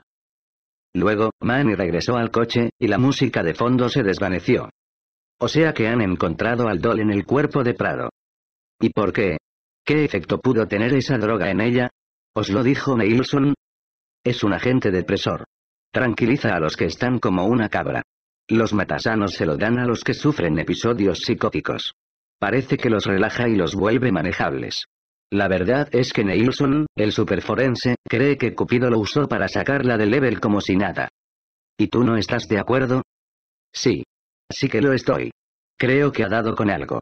Especialmente si ese aldol tiene los mismos efectos que el Roxy o el éxtasis líquido. Hemos visto mucha mierda por culpa de esas drogas de ligue, incluso delante de testigos. Cogen a una tía, la sacan de una discoteca medio inconsciente y se la folían tantas veces que ni siquiera sus nietas nacerán vírgenes. Luego, la desgraciada se despierta en algún motel apestoso igual que una bella durmiente, sin acordarse de nada y preguntándole al pervertido que se la ha tirado. ¿Dónde estoy? No, letrada, no es que no esté de acuerdo con Neilson. Es solo que me da escalofríos con todos esos tics que tiene. No deja de hacer cosas raras con los ojos. Sí, Puede que esté un poco sonado. Un poco. Chalado perdido es lo que está. Pero espera, todavía no te he contado las buenas noticias. Neilson da saltos de alegría porque resulta que ha encontrado otra droga en el cuerpo de Prado. Según parece, a la desgraciada se la endosaron con un gota a gota porque es la única manera de dosificarla. Seguramente todavía lo tenía puesto cuando murió. Se llama Microbaron. Al menos, ese es el nombre comercial. ¿Lo habías oído alguna vez? No. Ni yo. Se trata de un relajante muscular, pero no anestesia, solo paraliza. Y aquí está algo bueno. No tiene ningún efecto sobre el dolor. Uno sigue sintiéndolo todo, pero no puede moverse. ¿Qué te parece como perversión? Nilsson dice que ella tenía esa sustancia en el cuerpo cuando Cupido la abrió en canal y le arrancó el corazón. Dice que ha encontrado pruebas de que le habían sujetado los párpados con esparadrapo para que no tuviera más remedio que presenciar cómo el otro la despanzurraba. CJ se quedó sin palabras. Una escena le invadió el cerebro. Van le había abierto los ojos para que viera cómo le cortaba los pechos. Se llevó una mano protectora a los senos y recordó el lacerante dolor que la había traspasado, el grito que había dejado escapar una y otra vez, pero solo en su mente. La cabeza le dio vueltas, como si fuera a vomitar. Los dos cafés de la mañana se le revolvieron en el estómago, y tuvo que recostarse en su asiento. Transcurrieron unos segundos antes de que Manny preguntara. Letrada, ¿estás ahí? Sí, Manny. Solo estaba pensando, dijo con un hilo de voz. Tenía la cabeza entre las rodillas en un intento de que la sangre le acudiera al cerebro y barriera las imágenes que no podía seguir soportando. Tenía que ser más fuerte, inmunizarse. Estaba decidida a seguir hasta el final. Vale, pensaba que se había cortado la comunicación. Neilson cree que Prado no fue la única a quien se lo hizo. Ahora que sabe lo que debe buscar, ha decidido repetir las pruebas de toxicología de las otras nueve chicas. Es posible que hoy sepamos algo más. Tom me dijo que lo llamaría a las cuatro si antes no había tenido noticias suyas. Deberías hablar con él. CJ se incorporó. La sensación de mareo se le estaba pasando. Llamaré a Neilson directamente. Quiero echar un vistazo al cadáver de Prado. Es posible que tengamos que exhumar los otros, al menos los que no acabaron en el crematorio. También necesito que me deis información acerca del médico que expedió la receta de Aldola Bangling. Quiero saber quién lo estaba tratando y por qué. Eddie Bowman lo llamó ayer. Su nombre es Feinberg, creo, o Feinstein. Algo así. El tipo le dio a Bowman que consiguiera una orden judicial. Ni siquiera quiso reconocer que Bangling fuera paciente suyo. Ya sabes, prerrogativas médicas. Oh, no, detective, no puedo decirle a cuántas mujeres ha matado mi paciente. Eso no estaría bien. La gente debería poder hablar con su médico de esas cosas sin miedo a ir a la cárcel por haberle arrancado el corazón a una preciosidad, ¿no le parece? Está bien.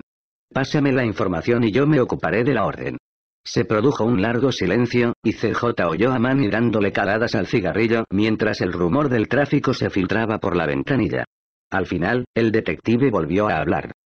Oye, letrada, dime que tenemos a ese jodido chiflado bien pillado. Sí, Manny, lo tenemos, respondió ella en voz baja. Bueno, ahora te toca a ti, letrada. Será mejor que hagas lo que más conviene a todos y frías a ese cabrón. Capítulo 36. CJ se dio palabras de ánimo ante el pequeño espejo del despacho y se dirigió al juzgado para despachar el trámite de un caso que tenía programado para el viernes siguiente.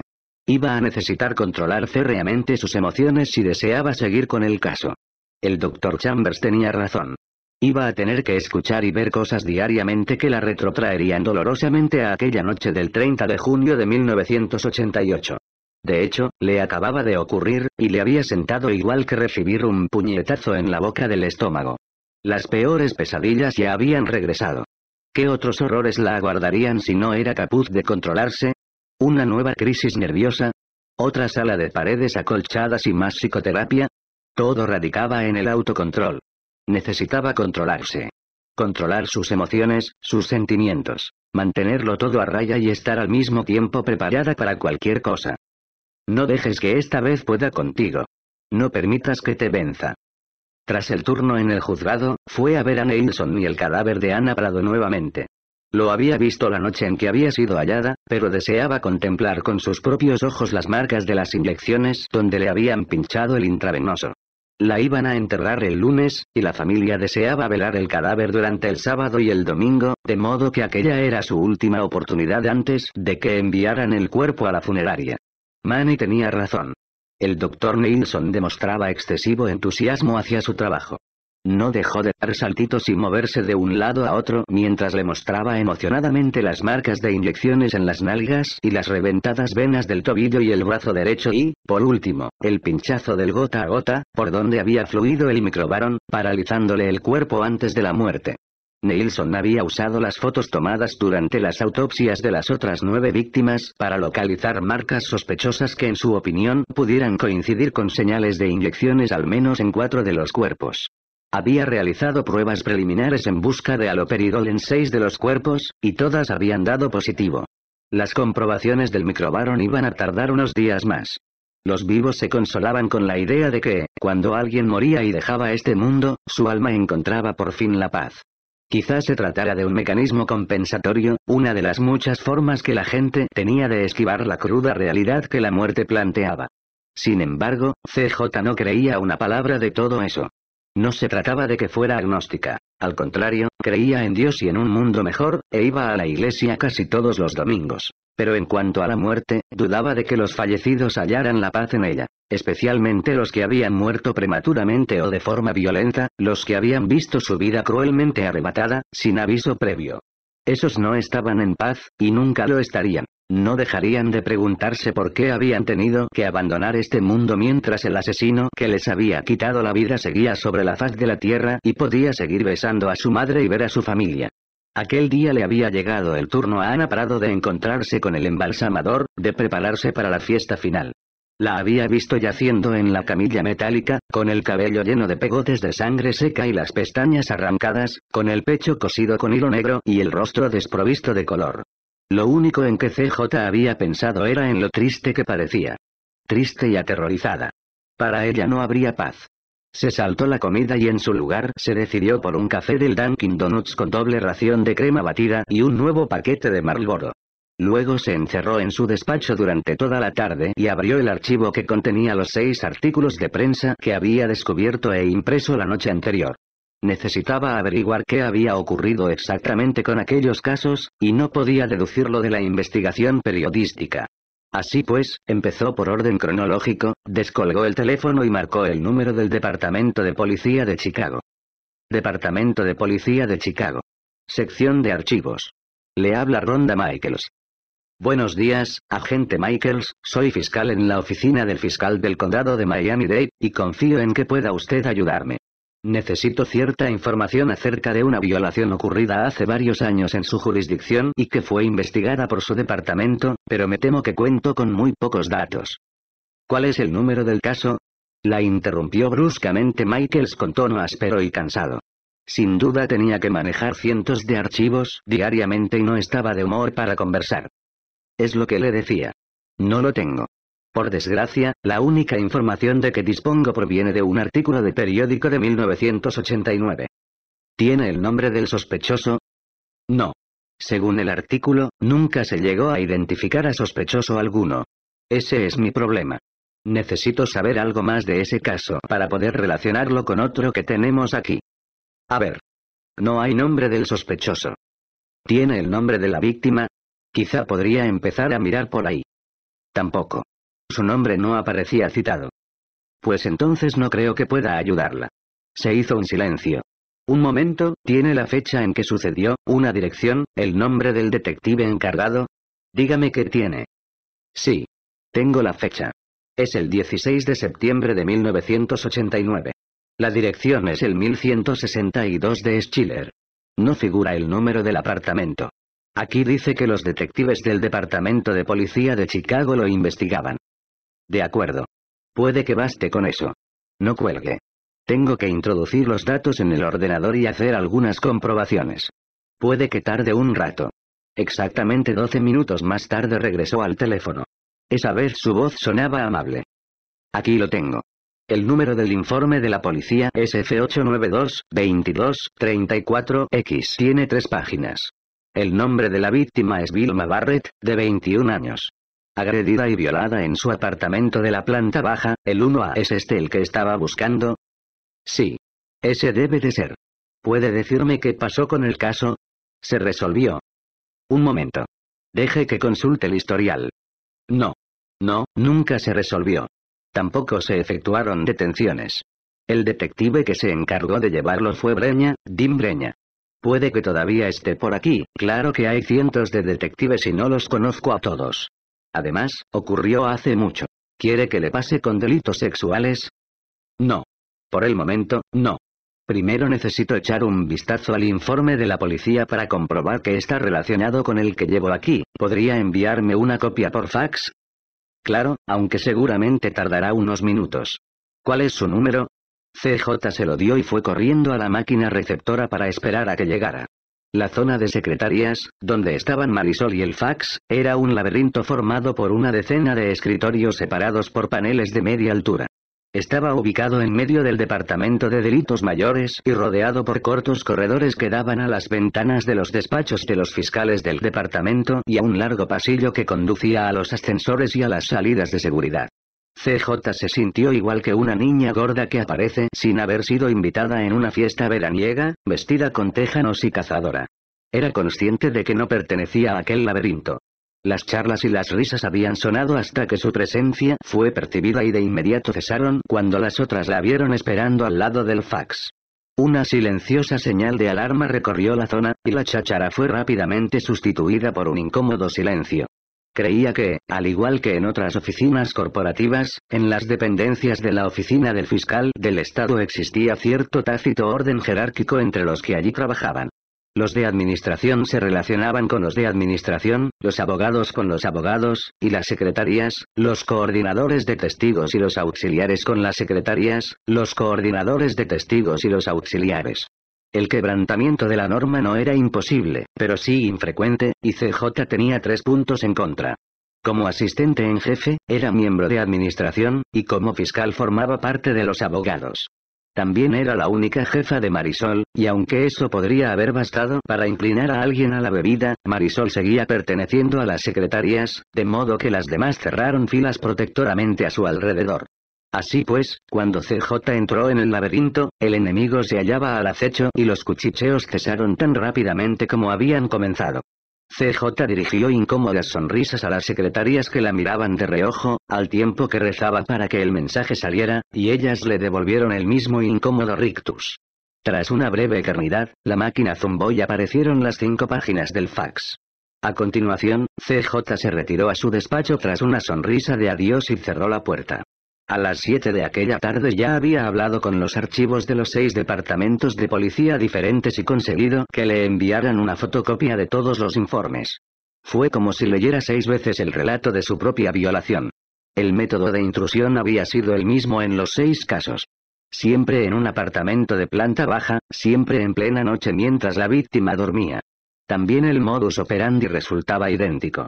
Primero, las víctimas amordazadas y atadas de pies y manos. Luego, agredidas por un musculoso desconocido oculto tras una careta de látex de payaso, con el pelo y las cejas de color rojizo y una gran sonrisa, o bien otra de alguien con la boca reluciente. El arma utilizada para reducirlas y aterrorizarlas había sido siempre un cuchillo de sierra. Los instrumentos de tortura habían diferido con cada víctima, pero siempre habían dejado cicatrices. Las víctimas habían descrito haber sido violadas con botellas de cerveza, con objetos retorcidos de metal o cepillos para el pelo. Todas las mujeres habían acabado brutalmente lesionadas, con graves heridas en las zonas vaginales y uterinas, y sus pechos habían sido sajados con el cuchillo. Sin embargo, el agresor no había dejado rastro alguno, ni semen, ni pelos, ni huellas. Ninguna prueba tangible. Las escenas del crimen estaban limpias y de ellas no se había podido conseguir indicio alguno. No obstante, no fue por las similitudes físicas de cada crimen que CJ supo con toda certeza que había sido cosa de Bangling, sino por los detalles que el violador había manifestado saber de cada una de las mujeres, los detalles íntimos que habían sido usados como arma de tortura psicológica. Sus restaurantes favoritos, sus perfumes, su tipo de jabón, la talla de sus vestidos, sus marcas preferidas, el nombre de sus novios y sus horarios de trabajo. De una estudiante de la UCLA había sabido hasta las notas que sacaba. De la camarera de Hollywood, el saldo de su visa de los últimos tres meses. Eso sin contar con sus fechas de aniversario y sus apodos. Había sido Vanlin. No le cabía duda. Ya no. Ninguno de los casos se había resuelto. No se habían encontrado pistas ni producido detenciones, no había habido sospechosos. Hasta ese momento. Pero ¿qué importaba ya? Sus pensamientos volvieron a la conversación que había mantenido con Bob Shur, de la oficina del fiscal de Queens, hacía solo dos días. Temía conocer la respuesta que intuía.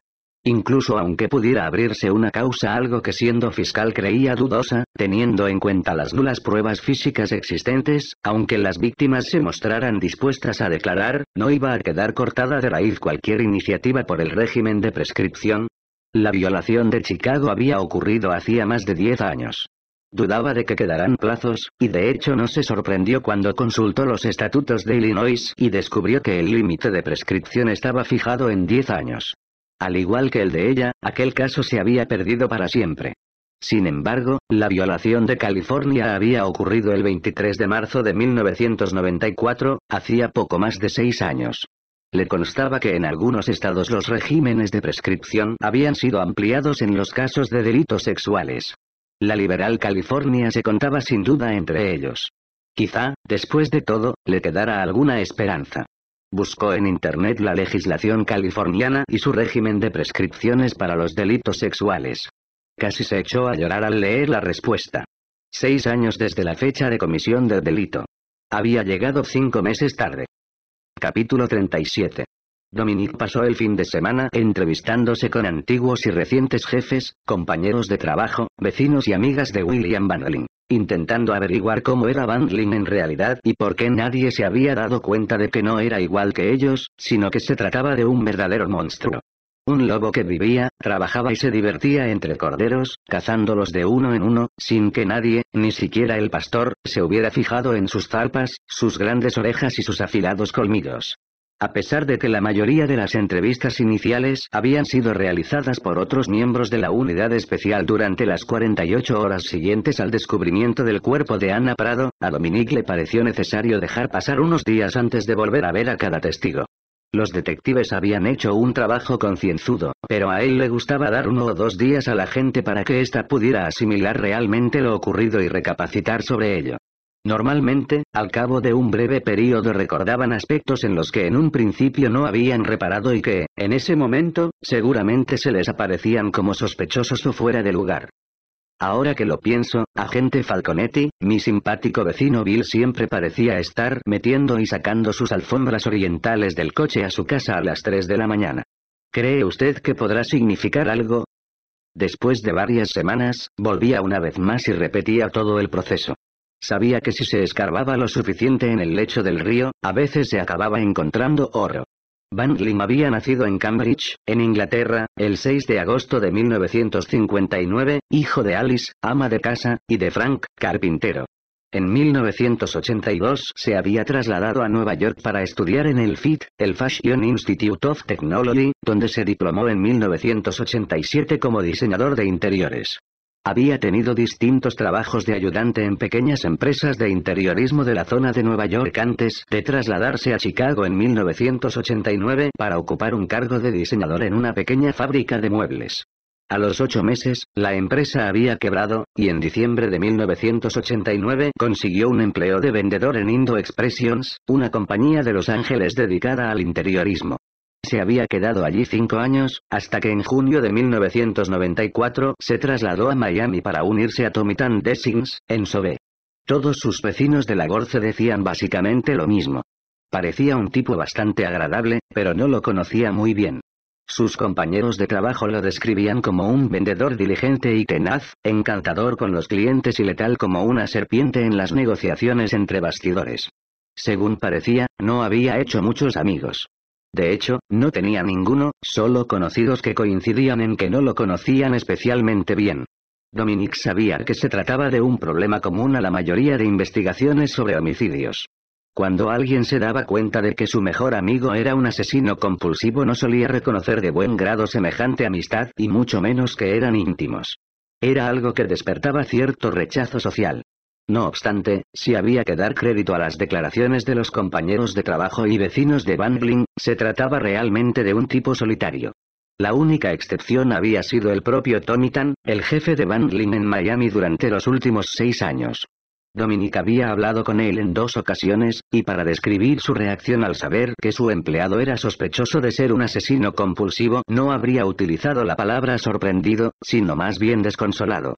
Durante la primera entrevista Van se había desmoronado y había empezado a llorar afortunadamente sobre el hombro de Héctor, uno de sus ayudantes, y no sobre el de Dominique. Durante la segunda había hecho lo mismo sobre el de Juan, otro de sus colaboradores. Aparte de señalar que Van Ling era un poco arrogante, rasgo que tan calificaba de enérgico y excitante, solo había tenido palabras de elogio hacia quien había sido el representante comercial que había sabido descubrir magníficas joyas ocultas por todo el mundo. Joyas compradas por cuatro céntimos en el tercer mundo y revendidas en el caprichoso universo capitalista por miles de dólares. Tan era un hombre rico. No resultaba extraño que apreciara tanto a Bangling. Aunque Dominique le había planteado la pregunta, Tan negó que entre los dos existiera cualquier relación sexual, y aseguró que Bangling era un tipo normal.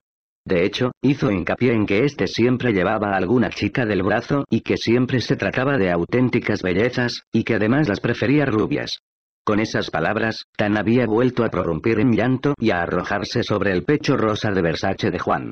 Y Dominic había dado por concluida la entrevista. No existía ninguna señora Bangling, ni tampoco una potencial futura señora Bangling. Por lo que la unidad especial había llegado a averiguar, tampoco había pequeños Bangling correteando por ahí. Era evidente que había tenido su ración de amiguitas y la unidad especial estaba siguiendo el rastro de casi todas, pero ninguna parecía haber ido más allá de la primera o segunda cita, y por una buena razón. La unidad especial había extraído un montón de detalles interesantes de las entrevistadas. Bandling era un tipo de gustos sexuales claramente pervertidos. Látigos, cadenas, sumisión, sadomasoquismo, cámaras de vídeo. La mayoría de las chicas con las que hablaron se habían llevado un buen susto, y eso que no había sido la primera vez para ellas, y Dominique estaba seguro de que tenían por costumbre ver todo tipo de cosas raras en los dormitorios. No obstante, sostenían una opinión unánime sobre Bill Bandling. Se trataba de un verdadero Dr. Jekyll y Mr. Hyde. Un verdadero caballero en las cenas caras y un verdadero hijo de puta en la cama. Tres de las chicas entrevistadas aparecían en las grabaciones caseras descubiertas por Bowman y Masterson. Cuando alguna de ellas se había quejado por considerar que aquello sobrepasaba la idea que tenían del sexo, él las había echado a patadas de su casa sin ni siquiera molestarse en pedirles un taxi o acompañarlas de vuelta. Incluso había puesto a una de patitas en la calle, totalmente desnuda y hecha un mar de lágrimas, dejándola que llamara a la puerta de los vecinos en busca de algo de ropa y de un teléfono. Ahora que lo pienso, agente Falconetti, tiene usted razón, sí que es posible que hubiera algo raro en mi vecino Bill. Bandling no tenía familia en Estados Unidos, y sus padres habían fallecido hacía cinco años en un accidente de tráfico en Londres. Los medios de comunicación se habían adelantado a la unidad especial con los familiares y amigos de Inglaterra, pero lo cierto era que ninguno recordaba casi al muchacho al que describían como callado Yosco. No había amigos del colegio ni personas próximas. No había nada de nada. El sábado por la noche, Dominique y Manny fueron a las discotecas donde se había visto por última vez a las chicas del muro. Crowbar, Liquid, Rumi, Barroom, Level, Amnesia. Volvieron a entrevistar a los camareros y al personal, mostrándoles esa vez una serie de fotografías en color. Bandling era conocido por frecuentar esos locales, y varios de los que allí trabajaban lo reconocieron como cliente habitual. Siempre vestido a la última y siempre con una despampanante rubia, diferente a la anterior. Sin embargo, y por desgracia, nadie lo relacionó con las víctimas del muro, y tampoco lo situaron fehacientemente en la misma discoteca la noche de la desaparición de las chicas. Donde sí encajaba Bandling era en la descripción que la agente Elizabeth Ambrose, la retratista del DPF, había preparado cuando empezaron a buscar un sospechoso para Cupido tras los tres primeros asesinatos. Un varón blanco de entre 25 y 55 años, solitario, bien parecido, inteligente, con un cargo laboral de responsabilidad. Claro que esa descripción podía corresponder a mucha gente, al propio Dominique, por ejemplo. A pesar de todo, las piezas empezaban a encajar, y el caso empezaba a construirse hecho a hecho. Un pulcro conjunto de sucesos que, grapados juntos, se podían leer igual que un buen libro. Las amiguitas de Bandling lo describían como un pervertido sexual, arrogante, violento y narcisista, que no sabía aceptar un rechazo. Por su parte, él manifestaba un comportamiento agresivo y con frecuencia sádico, además de una clara preferencia por las rubias. También se lo conocía por frecuentar las discotecas donde sus víctimas habían desaparecido. La receta de Aldol lo relacionaba con los narcóticos hallados en los cuerpos de al menos seis de las víctimas. Practicaba la taxidermia como pasatiempo el arte de vaciar cuerpos de animales y reconstruirlos, y por lo tanto trabajaba con escalpelos y cuchillas. En el cobertizo de su casa y en una de las probables armas del crimen se habían encontrado restos de sangre humana, sangre que Dominique estaba seguro de que coincidiría con la de Ana Prado, la del cadáver mutilado hallado en el matero de Bandling. ¿Cuál había podido ser la razón que había hecho que aquel hombre de éxito, apuesto y sano se convirtiera en semejante monstruo? Era la pregunta que todo el mundo se hacía. Sin embargo, Dominique no necesitaba contestarla para fundamentar su caso. La razón no tenía demasiada importancia, siempre y cuando no sirviera para sustentar una petición de inocencia por trastornos mentales, ya que los crímenes habían sido tan brutales y espantosos que un jurado bien podría pensar que ningún ser humano en su sano juicio habría podido cometerlos. Si a eso se añadía un sospechoso con un historial de enfermedades mentales, la fiscalía podía encontrarse ante un grave problema.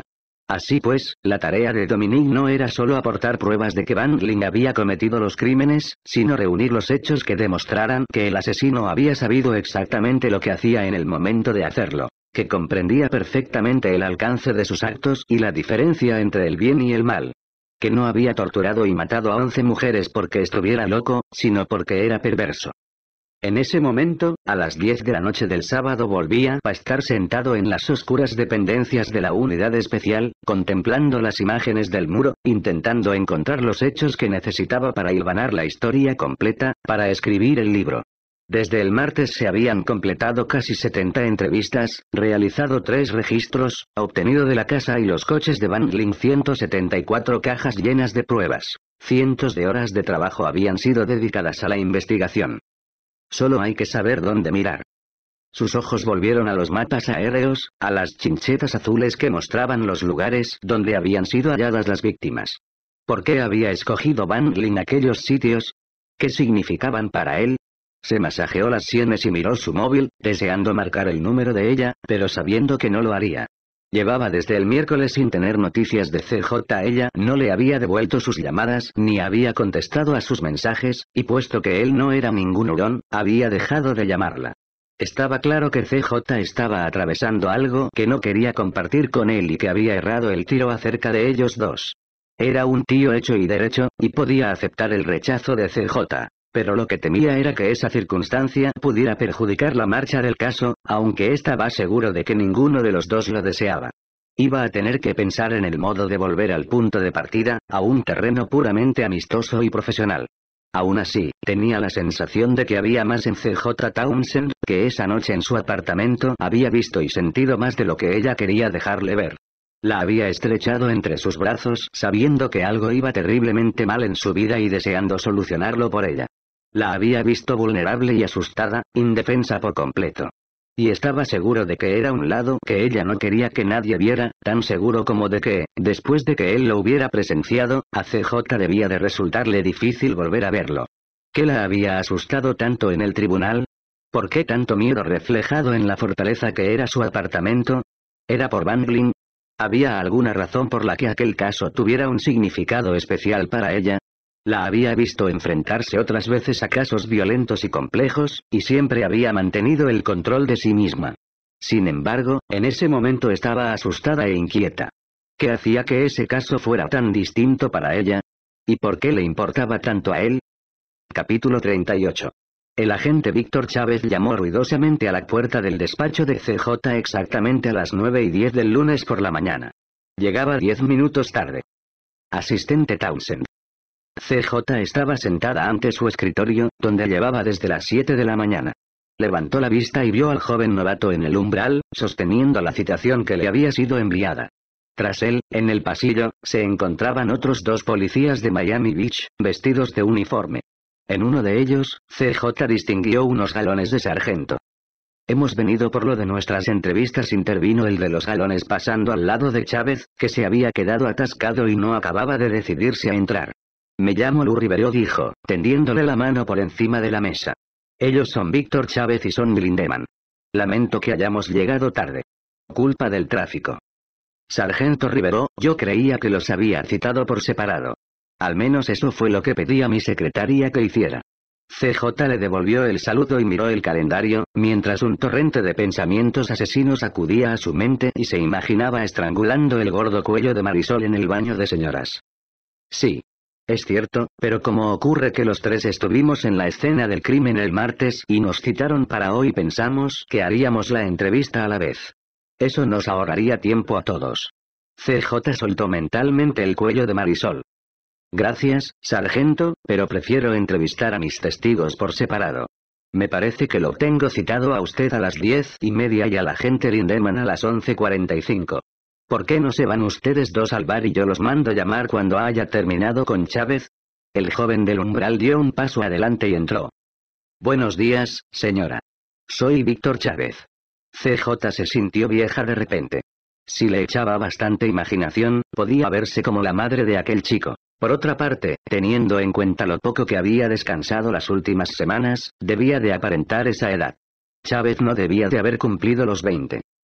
Siéntese, agente Chávez. Ah, sargento, por favor, cierre la puerta al salir. Muy bien, pues contestó Rivero mirando el cogote de Víctor Chávez. Que te diviertas, Víctor. No veremos dentro de un rato. Gracias, sargento. El agente se acomodó tranquilamente en una de las butacas de imitación de piel. Se trataba de un muchacho de buen ver, sin duda, de piel cetrina y facciones regulares. Por el tamaño de sus antebrazos, CJ se dio cuenta de que iba al gimnasio. Llevaba el oscuro cabello muy corto, al estilo de los alumnos recién salidos de la academia, y ella se preguntó cuánto tiempo hacía que patrullaba las calles. Chávez hinchó un globo con el chicle y lo hizo estallar. Quizá estuviera más relajado de lo debido, pensó CJ. Levante la mano derecha, le dijo, jura decir la verdad, toda la verdad y nada más que la verdad. Lo juro, respondió él, bajando la mano. En el regazo tenía su libreta de notas, el impreso de la detención y un informe de la policía. Cruzó despreocupadamente las piernas, y CJ vio que llevaba una pistolera en el tobillo, que era seguramente lo que él había pretendido que ella viera. El arma no era reglamentaria. Solo la del cinto. Estupendo. Un vaquero. Agente Chávez, ¿le habían entrevistado antes para la fiscalía? Le preguntó CJ sacando una libreta de notas, ¿se siente cómodo? Sí, señora. La verdad es que ya me han citado otras veces. Bien, pues vayamos a los preliminares. Ah, y deje de llamarme señora. Me hace sentir vieja. Sonrió, ¿cuánto hace que es policía? Desde febrero. ¿Febrero de qué año? De este.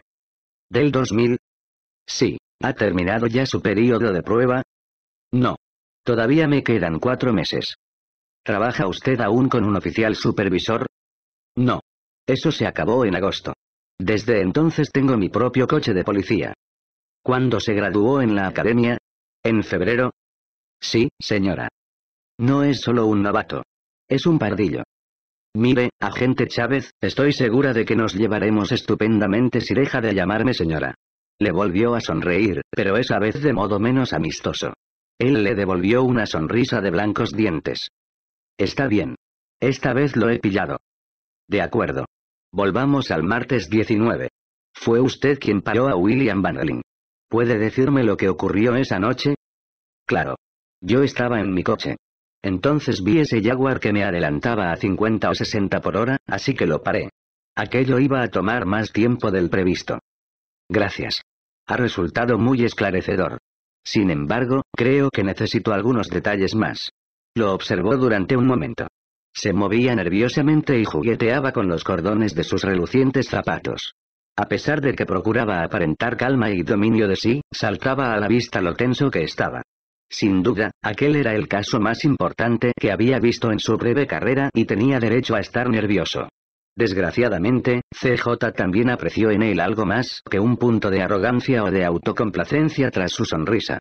Le constaba que los novatos recién salidos de la academia adoptaban una de dos actitudes durante el primer año.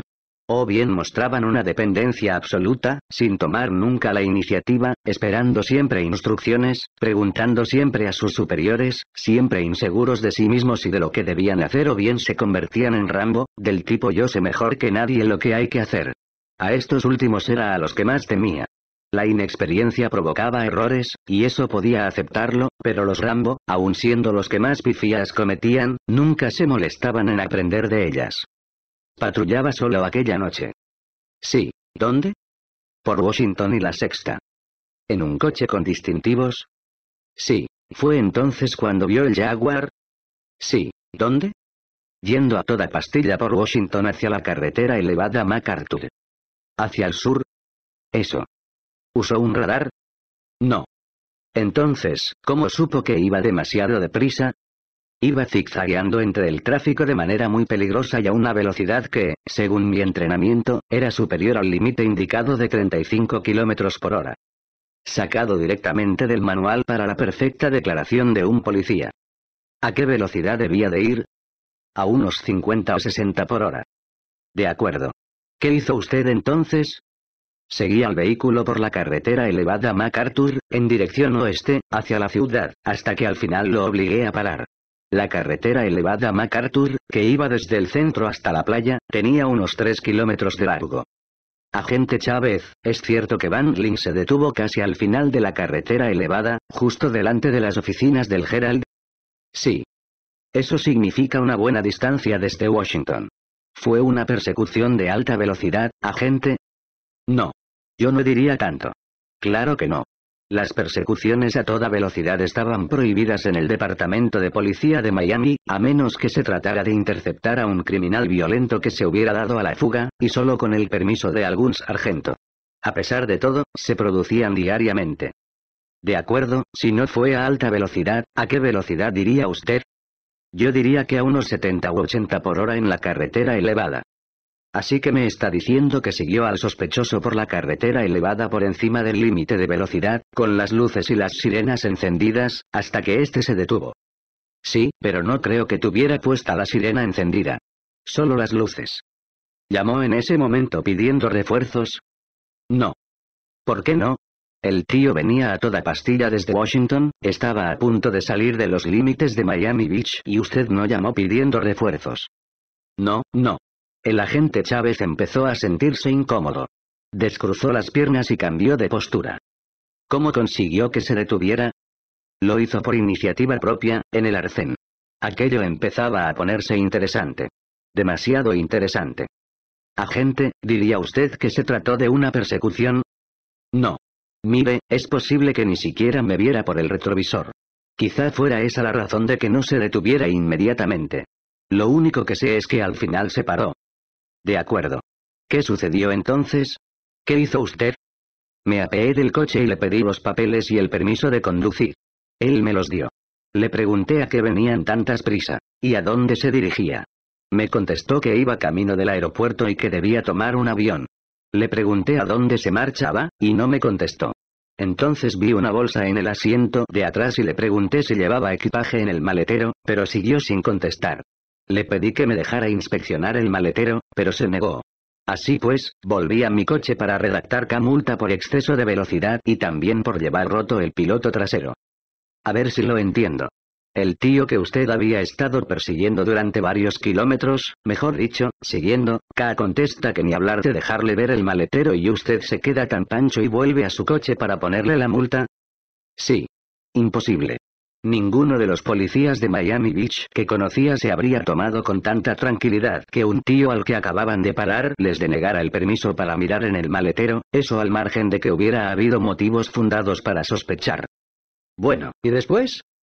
Pues me encamino hacia mi coche y cuando paso junto al maletero noto ese extraño hedor, puede que ha podrido a cadáver. No sé, algo así. Así pues, vuelvo a pedirle permiso, y él me dice que no y que tiene que marcharse. Yo le contesto que no va a ir a ninguna parte y llamo a una unidad canina de rastreo. Al cabo de un rato llega Beauchamp, de la Beach, con su perro Butch, que se pone como loco ante el maletero, así que lo abrimos a la fuerza. El resto es historia.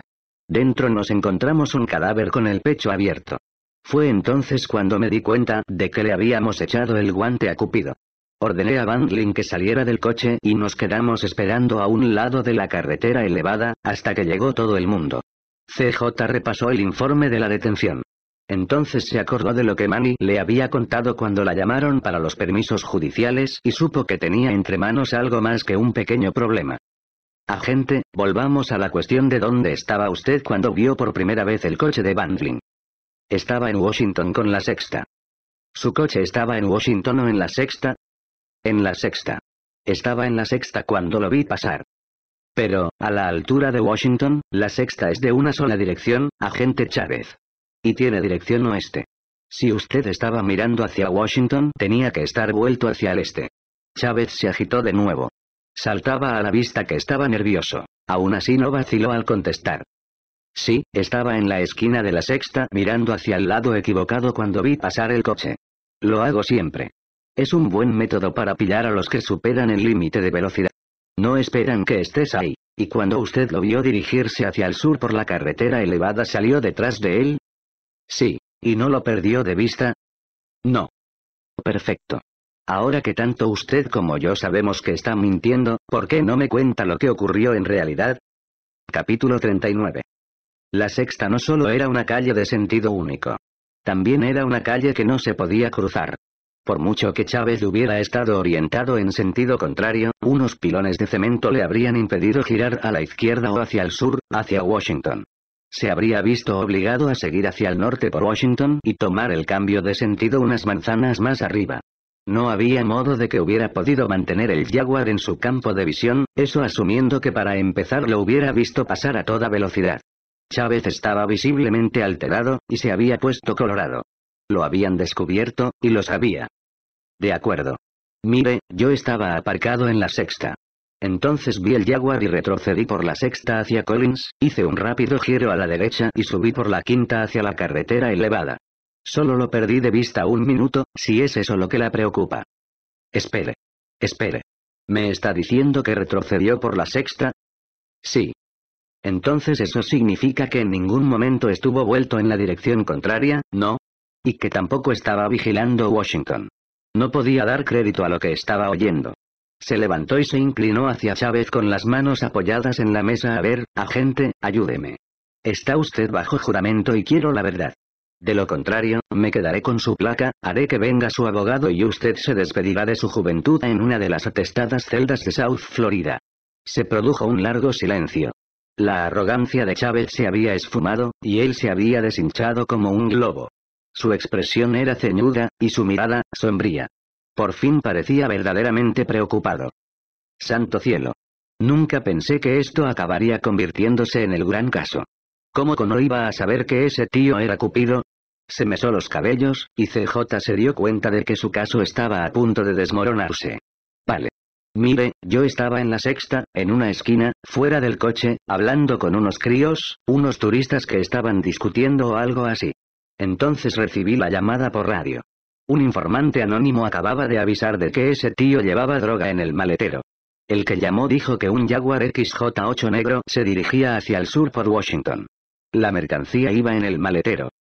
¿Un informante anónimo? CJ estaba sorprendida.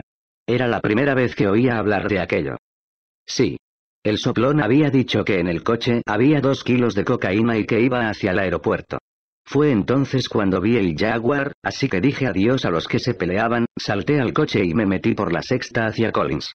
Giré en la quinta, pero se había esfumado. Sabía que tenía que haber cogido la carretera elevada rumbo al aeropuerto, así que me metí por MacArthur y al cabo de un kilómetro más o menos lo vi, pasado Star Island, más tranquilo que una vaca, y me dije. Este capullo se va a dar el piro y no voy a poder echarle el guante ni por exceso de velocidad. Así que lo paré antes de que saliera de Miami Beach y de mi jurisdicción. CJ volvió a sentarse. Tenía la boca seca y el corazón desbocado. Así que nunca lo vio yendo por encima del límite de velocidad, ¿no? Simplemente lo detuvo por la llamada de un informante anónimo, ¿es eso? Chávez no dijo una palabra.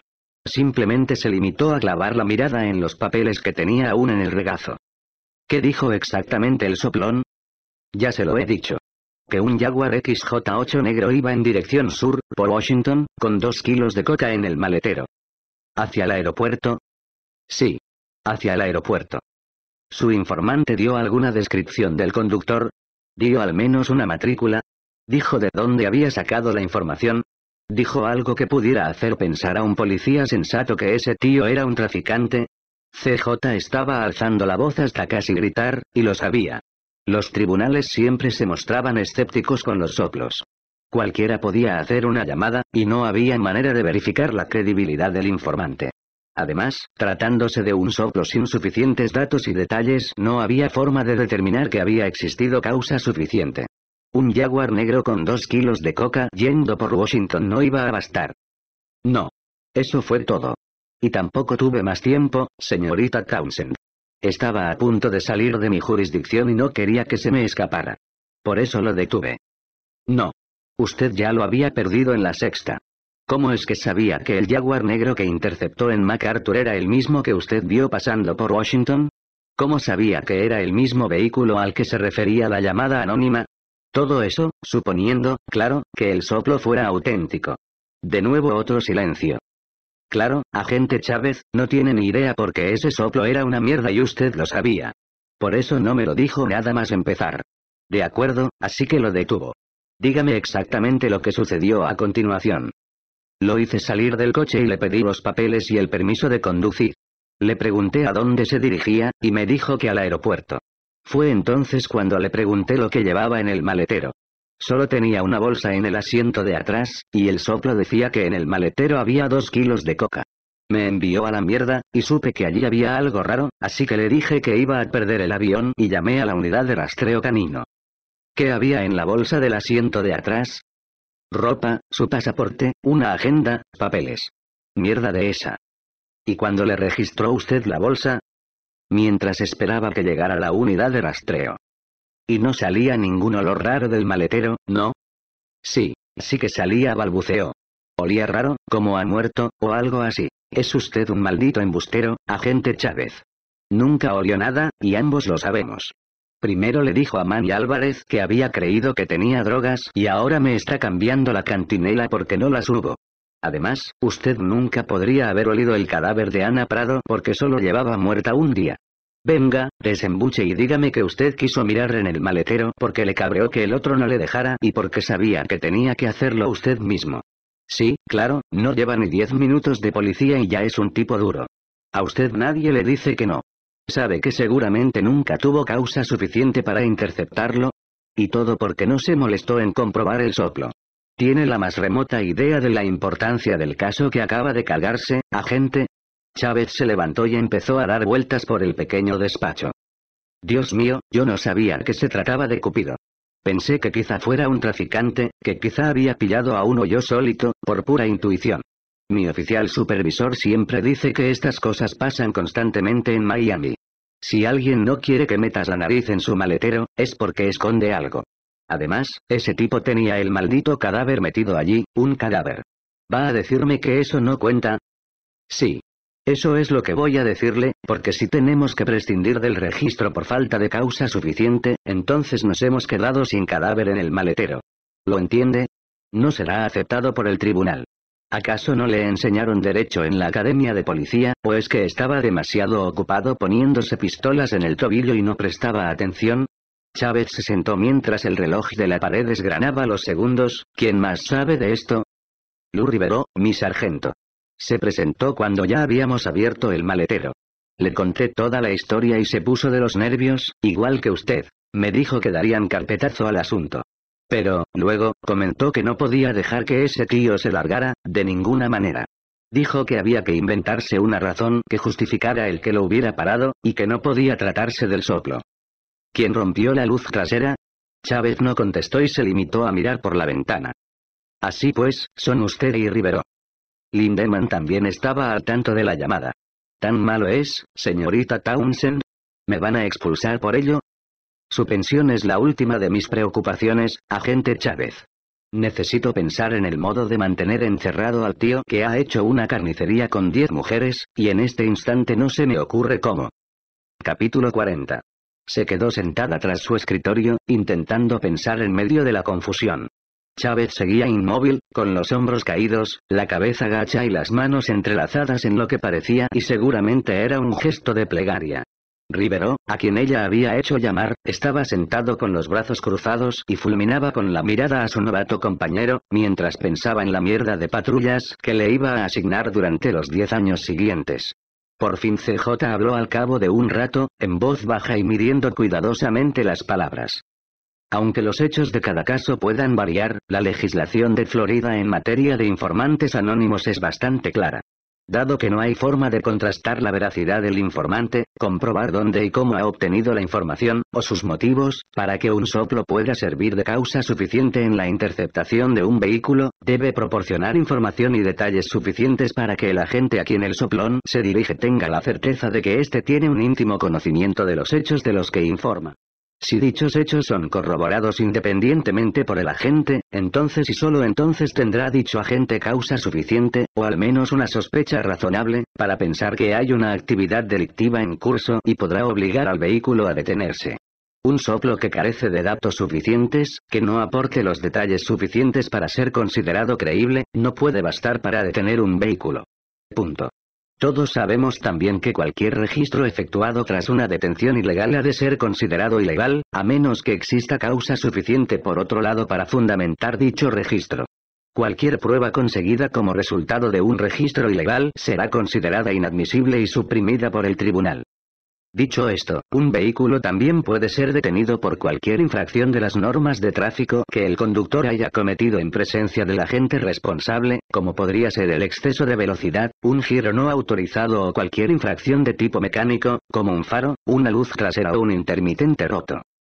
El agente Chávez me informó de que el 19 de septiembre, aproximadamente a las 8 y 15 de la tarde, estaba en su coche patrulla en South Beach, en el cruce de Washington con la sexta, y que en ese momento vio un Jaguar XJ8, matrícula TTRL 57, que se dirigía hacia el sur por Washington para tomar la carretera elevada MacArthur, conducido por un hombre blanco, rubio, de entre 30 y 40 años.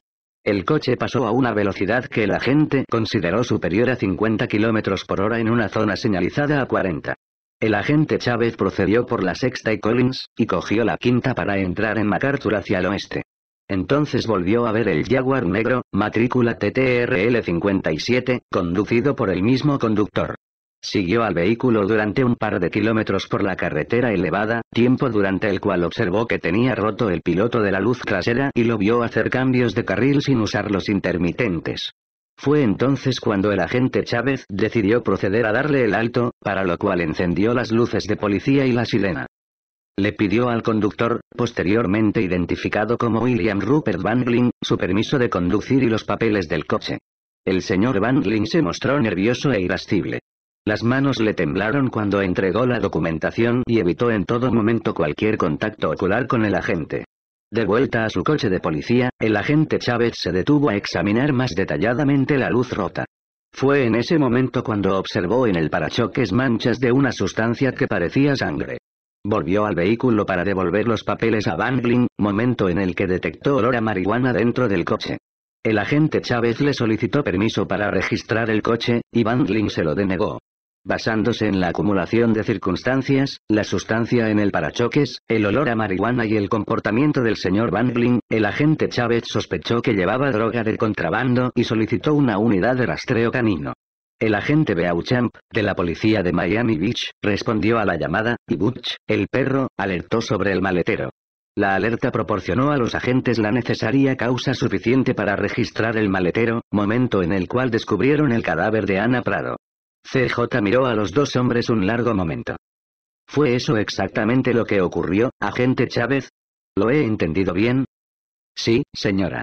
Eso fue exactamente lo que pasó. Ella miró a Rivero. ¿Es así como fue informado del incidente, sargento? Así fue. Muy bien. Sargento Rivero, ¿por qué no se termina usted el café con el agente Lindemann? Luego lo veré a él para tomarle declaración a las 12 en punto. Rivero se levantó para marcharse. Muchas gracias por su ayuda en este asunto, señorita Townsend. Sin duda volveremos a vernos durante las declaraciones. Miró tristemente a CJ y después a Chávez. Vámonos, Chávez.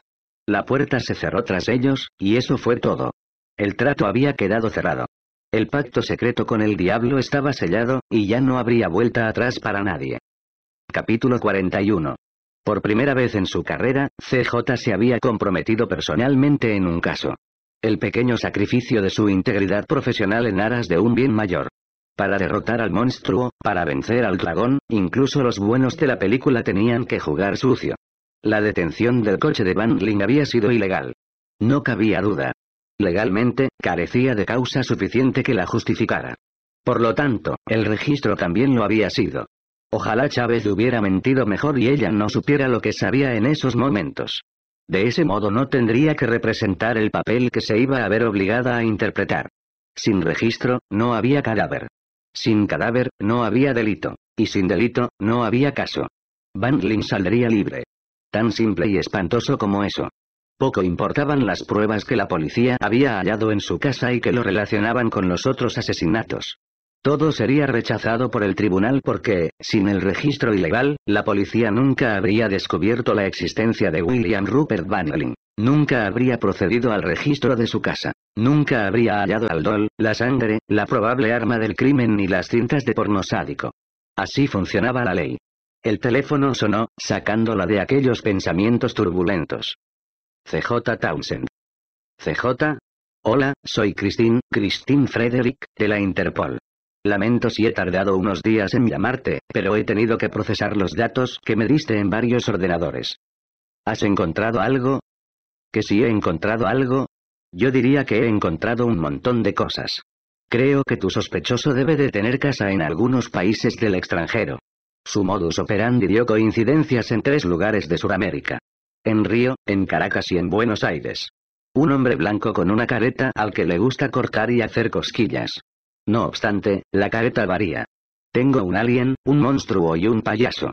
Luego encontré un bolo, un machete similar en Filipinas, donde había cuatro casos que coincidían con tus datos, aunque iban desde 1990 y uno hasta el 94. Nada desde esa fecha. Los archivos de los 80 estaban casi todos inactivos, así que no he podido encontrar nada tan atrás. Tampoco en Malasia había nada. En total hay una decena de víctimas en unos cuatro países. Eso es todo lo que hay en busca y captura. Sin embargo, no he llamado a los consulados o a los departamentos de policía para confirmarlo porque supuse que querrías hacerlo personalmente en caso de que este fulano encajara en el perfil, como así parece. Te enviaré por fax la documentación y así podrás verlo por ti misma. Diez mujeres más. No le hacía falta leer lo que Christine iba a mandarle para saber que el depredador llevaba el nombre de Bandling.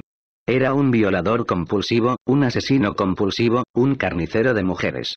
En total había violado y torturado a más de 17, y matado a otras 10, probablemente 11, y puede que a más. Sin Chávez, no tenía caso. Bandling se libraría del asesinato de Ana Prado. Además, dado que las violaciones en Estados Unidos habían prescrito, también se libraría de esas. En cuanto a las cometidas en el extranjero, CJ sabía que nunca sería acusado de ellas. La citación era idéntica. No había pruebas físicas que lo delataran, y el sistema de justicia de esos países no resultaba especialmente fiable. Bandling sin duda se libraría de sus crímenes en el extranjero. Sí, William Rupert Bandling iba a quedar libre. Libre para torturar y matar de nuevo, cosa que tarde o temprano volvería a hacer. Era solo cuestión de tiempo. Un pequeño sacrificio en aras de un bien mayor. No había forma de que pudiera escapar de aquel caso entonces ni nunca. Solo quedaba una cuestión pendiente, una cuestión que no podía pasar por alto, pero a la que dudaba que pudiera llegar a responder. ¿Quién había dado el soplo? Capítulo 42.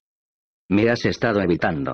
En el umbral de la puerta de su despacho se hallaba el agente especial Dominique Falconetti, con una bolsa del Dunkin' Donuts en una mano y un maletín negro en la otra, empapado de la cabeza a los pies. CJ hizo lo que pudo para fingirse escandalizada por su reproche y abrió la boca para protestar, pero guardó silencio y se recostó en su asiento. Culpable de los cargos, agente. No intentes negarlo, continuó él, así es.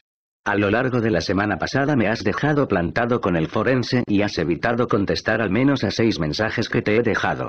Hablas con Manny, pero no conmigo, y por último, me citas para declarar el último.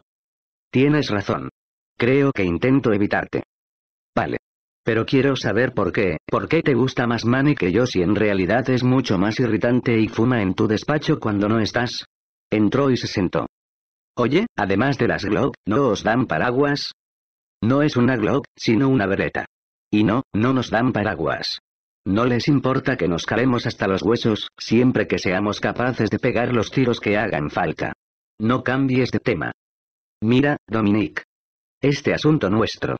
Deberíamos mantenerlo en el terreno estrictamente profesional y nada más. Tú eres mi investigador jefe en este caso, y no es buena idea que nos liemos. Lo siento, pero es que no sabía cómo decírtelo. Claro que sabías cómo. Has estado ensayando lo que ibas a decirme durante toda la semana. Apoyó las manos en el escritorio y se inclinó hacia ella. El pelo mojado se le pegaba a la frente en forma de rizos, y pequeñas gotas de agua le caían por las sienes y el cuello en surcos zigzagueantes. Olía nuevamente a jabón lever. CJ observó las gotas desapareciendo bajo la camisa azul empapada, que se le pegaba a la piel. Puede que te parezca arrogante, pero no te creo. Pensaba que nosotros. Vaciló un momento, y ella le miró los labios mientras Dominique buscaba las palabras adecuadas. Pensaba que había algo entre los dos. Y gracias a aquel beso no me cupo duda de que tú pensabas lo mismo. CJ notó que se ruborizaba y rezó para que a nadie se le ocurriera entrar en ese momento por la puerta, que seguía abierta. Bajó la mirada, hurtándola a los inquisidores ojos de Dominique. Dominique, escucha, yo, balbuceó mientras trataba de poner en orden sus ideas.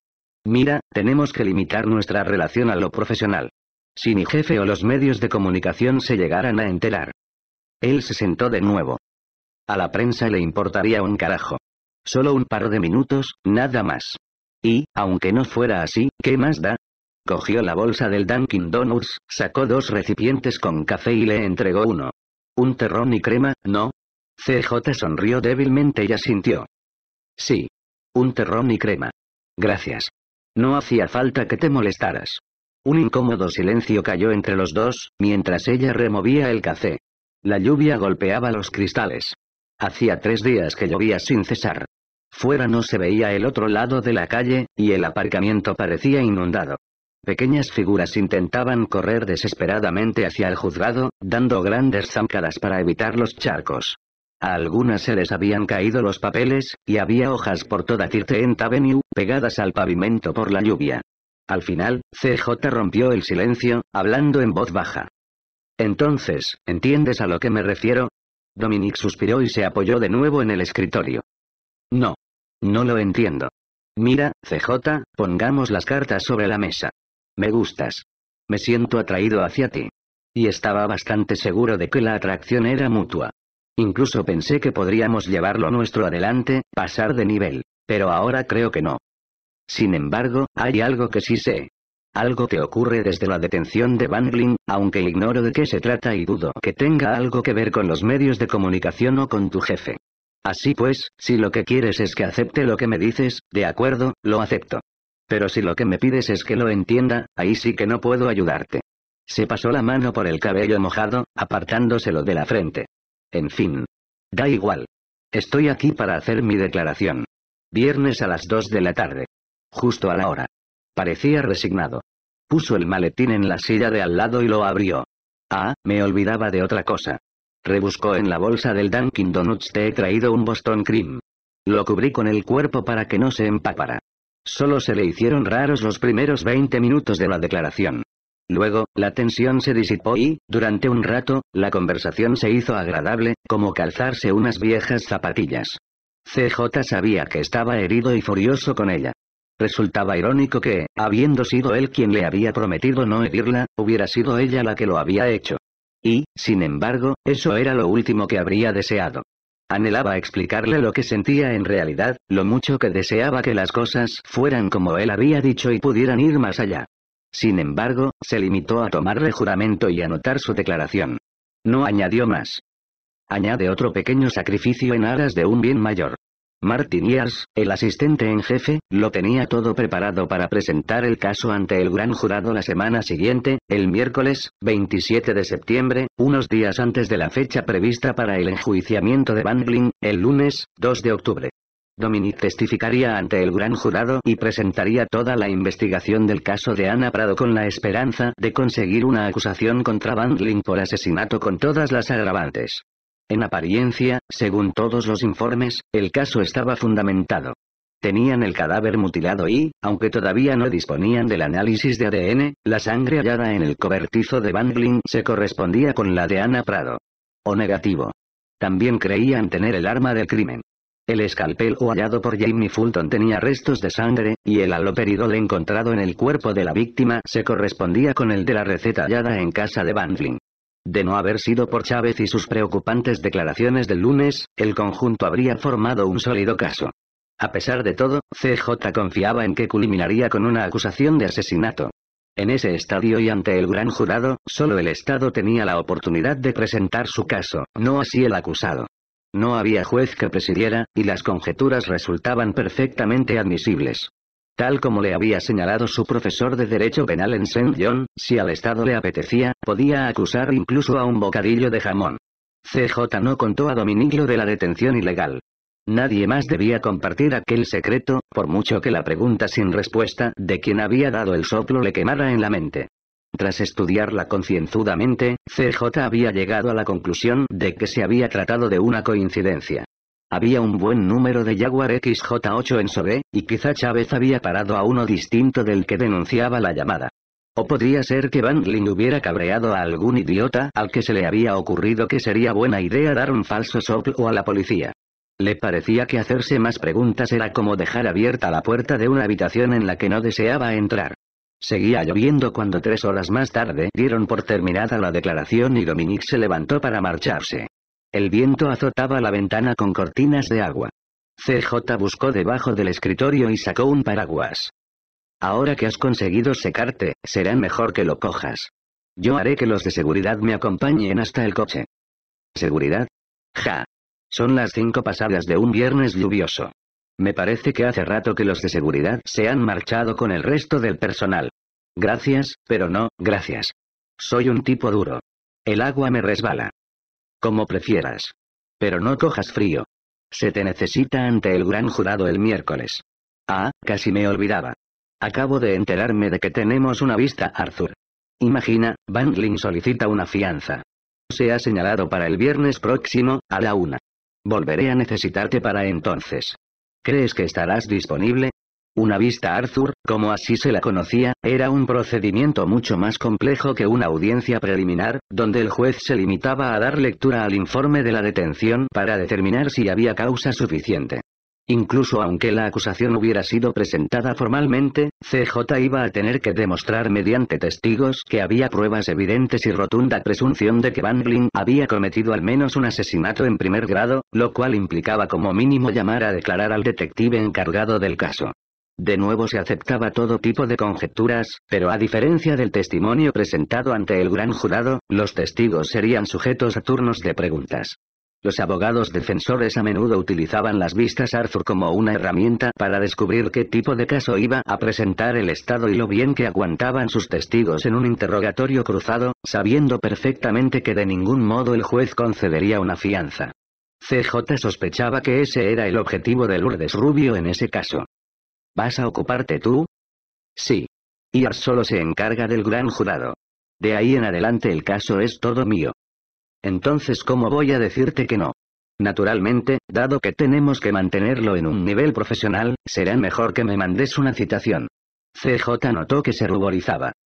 Muy gracioso. En fin, gracias por mantener nuestra amistad en el terreno de lo profesional. Nunca he dicho que lo entendiera. Solo que lo aceptaba. La diferencia es importante. Ella lo acompañó por el desierto laberinto de la zona de secretarías hasta las puertas de acceso de seguridad, frente a los ascensores. En la puerta, Dominique se volvió. Manny y yo hemos quedado para tomarnos una copa en el alibi y repasar algunos asuntos. Estás invitada si te apetece. Podemos seguir siendo profesionales alrededor de unas cervezas. Gracias, pero mejor no. Tengo un montón de asuntos por rematar. De acuerdo. Que pases un buen fin de semana, letrada. Supongo que nos veremos el miércoles, después del gran jurado. No te mojes, le dijo ella mientras las puertas del ascensor se cerraban, dejando desierto el oscuro pasillo de la oficina. Capítulo 43. El gran jurado tardó menos de una hora en aceptar la acusación de asesinato en primer grado contra Vandling.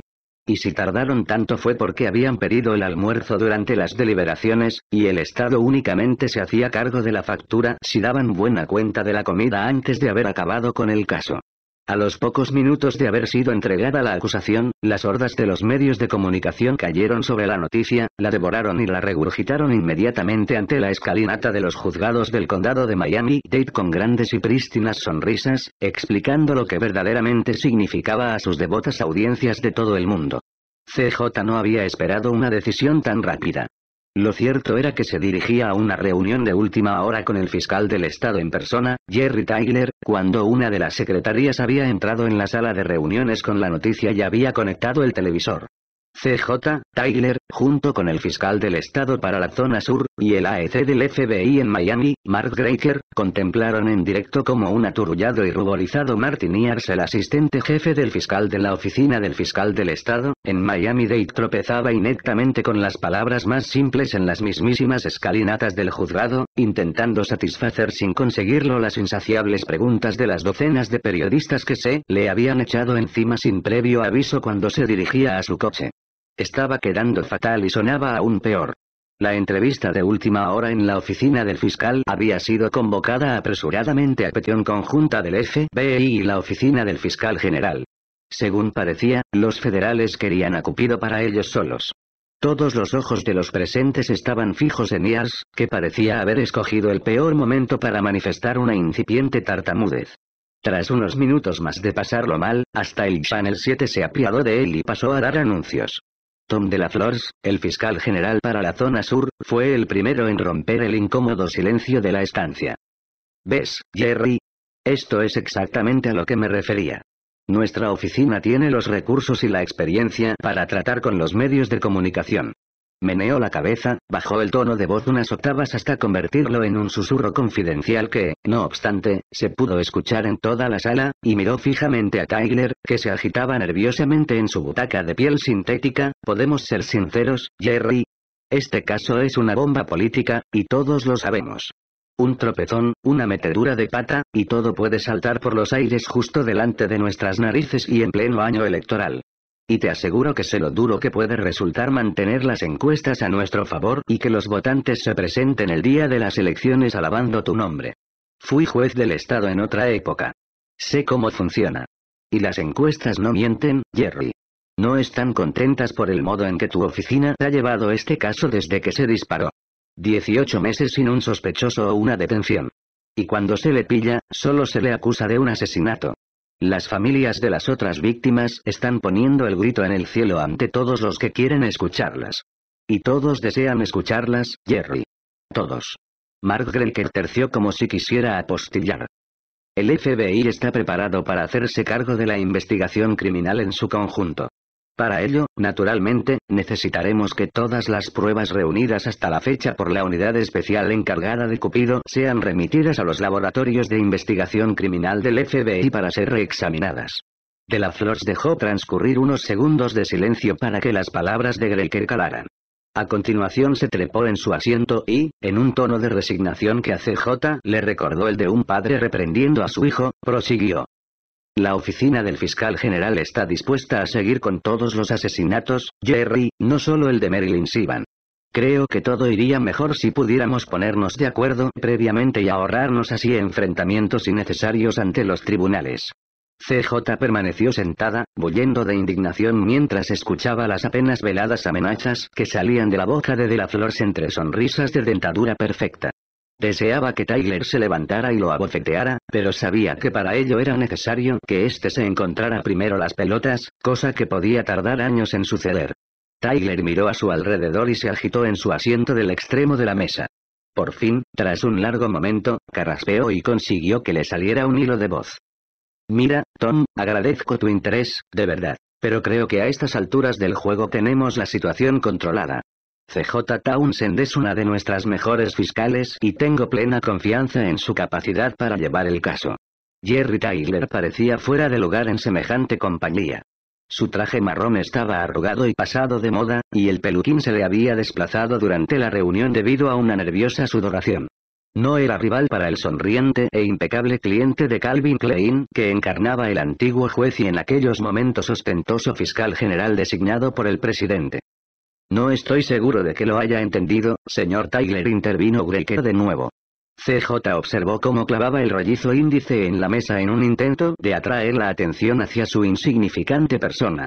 El FBI ha trabajado en cientos de casos de asesinos compulsivos. Disponemos de recursos sobrados para investigar los asesinatos de las 11 víctimas. Suficiente. CJ no pudo soportarlo más. Dirá usted de las 10 víctimas, agente Greker. Hasta el momento solo contamos con 10 cadáveres. Así que, a menos que el FBI sepa dónde se encuentran los restos de Morgan Weber, seguiremos teniendo 10 víctimas. Además, quizá yo pueda explicarle por qué no hemos detenido o inculpado prematuramente a nadie por los otros nueve asesinatos. Hasta la fecha no existe ninguna prueba física que relacione a Bandling con las nueve mujeres, y nuestra oficina actúa con prudencia al proseguir solo con el caso que verdaderamente podemos demostrar. Esto no es ninguna crítica hacia usted, señorita Townsend terció Tom de la Flores, pero CJ lo cortó en seco. Oh, sí. Sí que lo es. Es una crítica contra mí, contra mi criterio como fiscal y contra toda la oficina, señor de la Flores. E incluso asumiendo que mi oficina le pasara el caso al fiscal general, basándose en qué teoría afirmaría usted su jurisdicción. El asesinato de Marilyn Sivan ha sido el único que ha ocurrido en terreno federal. De la Flores parecía estupefacto. No había esperado ninguna réplica por parte de la fiscal, y solo unas mínimas protestas de Tyler. Tardó un minuto en recobrarse. Señorita Townsend, tengo entendido que en el cuerpo de todas las víctimas se ha hallado aloperidol. Es de suponer que dicha sustancia les fue administrada por su agresor, supuestamente el señor Vanling. Por lo tanto, según el Código de Estados Unidos, el señor Vanling ha incurrido en una empresa criminal continuada. Tom de la Flor había escogido el día equivocado y a la persona equivocada para intentar convencerla con su retorcida interpretación de la ley. La información sobre la droga es correcta, contestó CJ, pero, y corríjame si me equivoco, creo que para que exista una empresa criminal continuada se necesitan cinco o más conspiradores para formar la empresa. Así que, de nuevo, si el FBI sabe de otros sospechosos, estaríamos encantados de que nos lo comunicara. Sin embargo, por lo que me consta, solo tenemos a Bangling. Así pues, me temo que nos faltan cuatro sospechosos tanto para tener una empresa criminal como para caer bajo su jurisdicción, señor de la Flores. Bien. Ya lo había soltado y ya podía despedirse de cualquier futuro profesional en el gobierno federal, especialmente el tan ambicionado cargo de fiscal general. De la Flores la fulminó con la mirada desde el otro lado de la mesa. Bueno, supongo que deberé estudiarlo mejor, señorita Townsend. Tenga en cuenta que solo le estaba proponiendo una simple teoría legal. También existe el acta Hobbes. Se volvió hacia Tyler. Tengo que decirle que ya hemos recurrido a ella anteriormente y con éxito para procesar casos de robos a turistas, aquí, en el condado de Dade. Cierto, continuó CJ, pero eso fue solo por los robos. Su acta Hobbes sigue sin otorgarle jurisdicción sobre los asesinatos. De la Flores estaba más que molesto con la descarada impertinencia de CJ. Él era un político, no un fiscal, y seguramente no había pisado un tribunal ni tenido un código legal entre las manos durante los cuatro años que llevaba de fiscal general, de modo que no estaba preparado para discutir argucias legales. Recuperó el tono que había usado con Tyler. Si forma parte de un robo, servirá como mínimo para un buen argumento. Se lo puedo asegurar. Si su oficina quiere pelearse por la jurisdicción de este caso, siempre podemos seguir adelante con cada robo. ¿De qué robo está usted hablando, si es que se lo puedo preguntar? Tyler, el tímido, había vuelto a hablar. Puede preguntar, Jerry, claro que puede. Todas las víctimas fueron encontradas sin el corazón, incluyendo a la señorita Prado, ¿cierto? Así pues, todas ellas fueron objeto de un robo. Y en estos casos la ley es muy clara, señorita Townsend. Tenemos jurisdicción federal. Por lo tanto, podemos pasarnos años llevando a juicio al señor Van Lin inculpándolo individualmente por cada robo. Es más de lo que su oficina ha conseguido hasta ahora. Y, cuando nosotros hayamos acabado, siempre se lo podremos mandar desde Leavenworth para que lo juzguen por lo que al fin hayan conseguido reunir en su contra. Eso, Jerry, suponiendo que todavía sea el fiscal de este estado y tenga autoridad para tomar ese tipo de decisiones. Por lo tanto, ustedes lo meditan y me hacen saber si es posible que trabajemos en equipo antes de que siga adelante con mi idea. Entre tanto, dispongo de un mandamiento firmado por la juez Carol Kingsley que nos autoriza a tener acceso al domicilio y a los vehículos de Bandling y a cualquier prueba obtenida en registros anteriores. Arrojó un grueso fajo de papeles sobre la mesa. CJ no apartó los ojos de la acerada mirada de De Flores. Le enviaré copia de todos los documentos hallados, señor de la Flores. Yo personalmente le ilustraré acerca de las pruebas obtenidas y guardadas en el DPF, y, en cuanto a las pruebas del laboratorio, le enviaré copia de todos los informes. Para todo lo que no se refiera a cualquiera de estas cosas, será mejor que vayamos a ver los dos a la juez Kingsley porque, al margen de lo que yo desee cooperar, tengo un asesino al que meter en Chirona, y, a tenor de las amenazas que acabo de escuchar, creo que será mejor que me apresure a presentar un habeas corpus para conseguir que me devuelvan a mi acusado del país de nunca jamás de los tribunales federales donde se le pretende encausar por simple robo. Se levantó y cogió el mandamiento. Y ahora, si ustedes me perdonan, caballeros, tengo que empezar a copiar los documentos que han solicitado en el mandamiento. Jerry Tyler miró a CJ con envidia por todo lo que ella había dicho, deseando haber sido él quien lo dijera. A pesar de todo, se sentó un poco más erguido en su silla, con su arrugado traje marrón, y sonrió a un irritado y contrariado Mark Draker mientras Tom de la Flores salía hecho una furia de la sala de reuniones. Capítulo 44 CJ notó un molesto cosquilleo en las tripas mientras se acercaba a la sala 4-8 del tribunal, donde a la una y media iba a tener lugar la vista Arthur ante el juez Nelson Ilfaro. A cada piso que subía por la traqueteante escalera mecánica, el corazón le latía más a prisa y el cosquilleo del estómago se le acentuaba, igual que el aleteo de unas mariposas encerradas en una jarra de cristal, hasta que al final estuvo segura de que iba a vomitar. A pesar de que las palmas de las manos le sudaban por los nervios, humedeciendo las asas de su gran maletín de cuero, su rostro seguía imperturbable. El miedo salvaje que le retorcía las entrañas y se le aferraba a la garganta resultaba invisible para todos.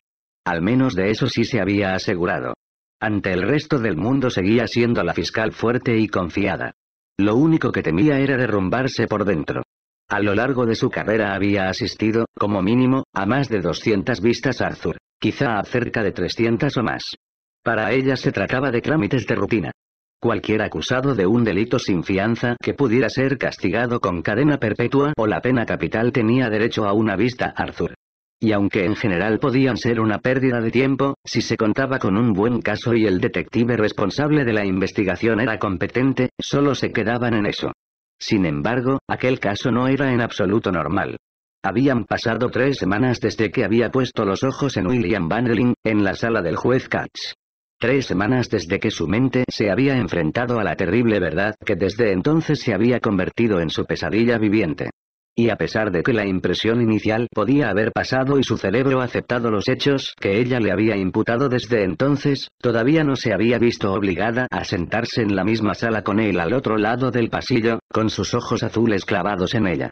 Apenas podía soportar la idea de que sus alientos, sus perfumes, sus presencias se mezclaran en el mismo aire sin tener otra escapatoria que salir corriendo del tribunal perseguida por la prensa y los furiosos martillazos del juez en el estrado. ¿Cuál sería su reacción al enfrentarse cara a cara con su agresor, a unos pocos pasos de su asiento? Se quedaría paralizada, mientras el miedo le atenazaba la garganta, y se vería obligada a boquear para no ahogarse, tal como le había ocurrido en la vista previa. Se derrumbaría y se echaría a llorar, como le había ocurrido todas las noches desde entonces. Se levantaría de repente y empezaría a gritar y a señalarlo con el dedo como si se tratara de una criatura salida de alguna película de terror, o simplemente sacaría su abrecartas de la cartera y lo apuñalaría directamente en el corazón antes de que los oficiales de vigilancia penitenciaria pudieran detenerla. Esas preguntas eran lo que la asustaba tanto y la razón de que las mariposas le hicieran cosquillas en el estómago. No tenía ni idea de cómo iba a reaccionar, y ni siquiera sabía si controlarse figuraba entre sus opciones. Abrió de par en par las grandes puertas de caoba del tribunal y, respirando hondo, entró en la abarrotada sala. Para aquel día había señalado siete casos para una vista Arthur, pero ninguno de los detenidos había sido conducido al estrado. El recinto del jurado donde se sentaban los inculpados, encadenados unos a otros, conocido como la caja, se hallaba vacío. CJ notó que se le quitaba un enorme peso de encima y se alegró al comprobar que podía respirar. Al menos por el momento. Cerca de las primeras filas de asientos, junto a la mesa del Ministerio Fiscal, distinguió la monda cabeza de Manny Álvarez. Con sus casi dos metros, no era difícil verlo sobrepasando a los letrados y detectives que revoloteaban alrededor de la mesa para echar un vistazo al programa del tribunal y evitar las fisgonas lentes de la docena de cámaras que llenaban el tribunal. Buscó por la sala los familiares hombros, el cabello castaño y la canosa perilla de Dominique, pero no vio señal de ellos. Entonces, notó que alguien le apoyaba una cálida mano sobre el hombro. ¿Andas buscándome? Era él. Iba vestido con traje azul y camisa blanca y llevaba una corbata azul oscuro y plata anudada al cuello. Se había peinado hacia atrás, pero un mechón se le había escapado y se le rizaba sobre la frente. Ofrecía una apariencia muy pulcra, muy profesional. Tenía muy buen aspecto. La verdad es que sí. Te buscaba.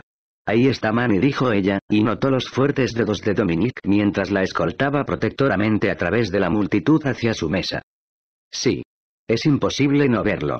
Incluso se ha puesto chaqueta y corbata por si necesitas llamarlo a declarar. Pero, antes de que te dejes impresionar, te aviso de que su americana apesta a naftalina y que lleva parches de ante en los codos.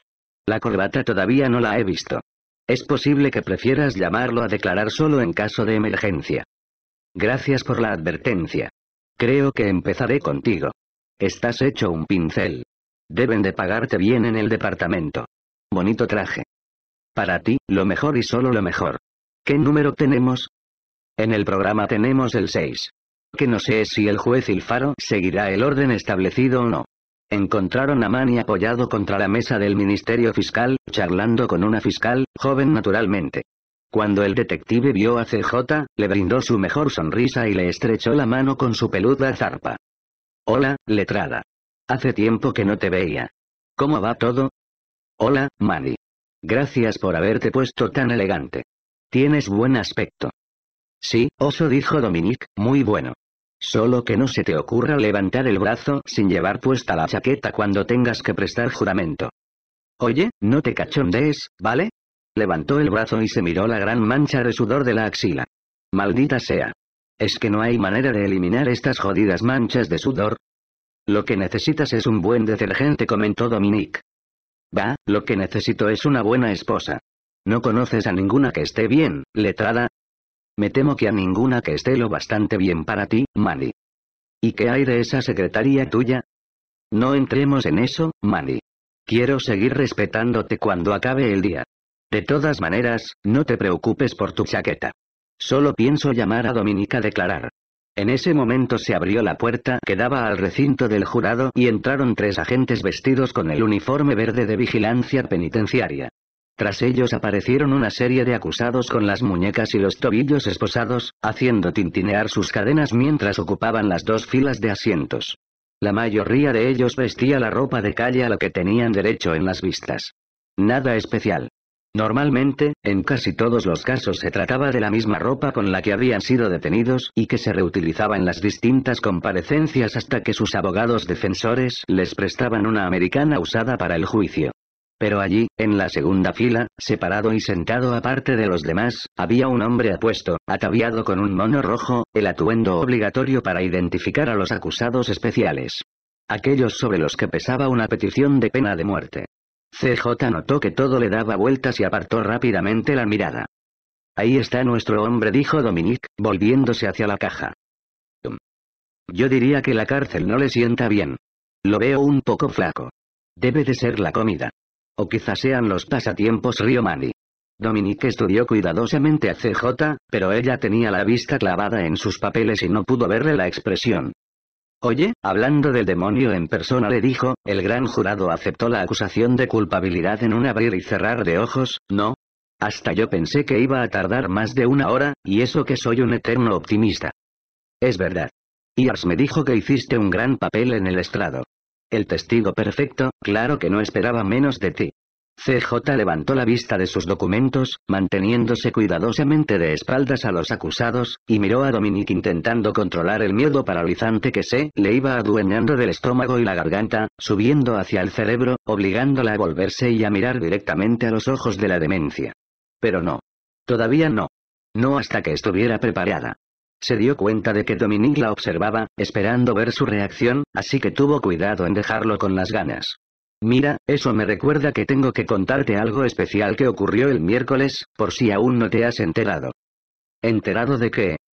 De la visita que nuestros amigos del centro nos hicieron a Jerry Tyler y a mí. ¿Los amigos del centro? Oh, no. Te refieres a los federales, ¿verdad? Justamente a ellos. ¿El FBI? Sí. Un tipo gordo y con malas pulgas llamado Graker, acompañado ni más ni menos que por el fiscal general en persona. ¿Tom de la Flores? El mismo que viste y calza. ¿Te estás quedando conmigo? ¿Qué querían? En pocas palabras, a Cupido. Todos en pie. Gritó una voz al lado del estrado, y el silencio se apoderó de la sala. Las pesadas puertas dobles de las dependencias del magistrado se abrieron, y el honorable juez Ilfaro entró camino del estrado, arrastrando su negra toga por el suelo. Te explicaré el resto de la historia después, susurró CJ. Me muero de ganas, repuso él. Siéntense. Ordenó el alguacil, y todos los presentes obedecieron. Buenas tardes, empezó el juez Ilfaro, aclarándose la garganta.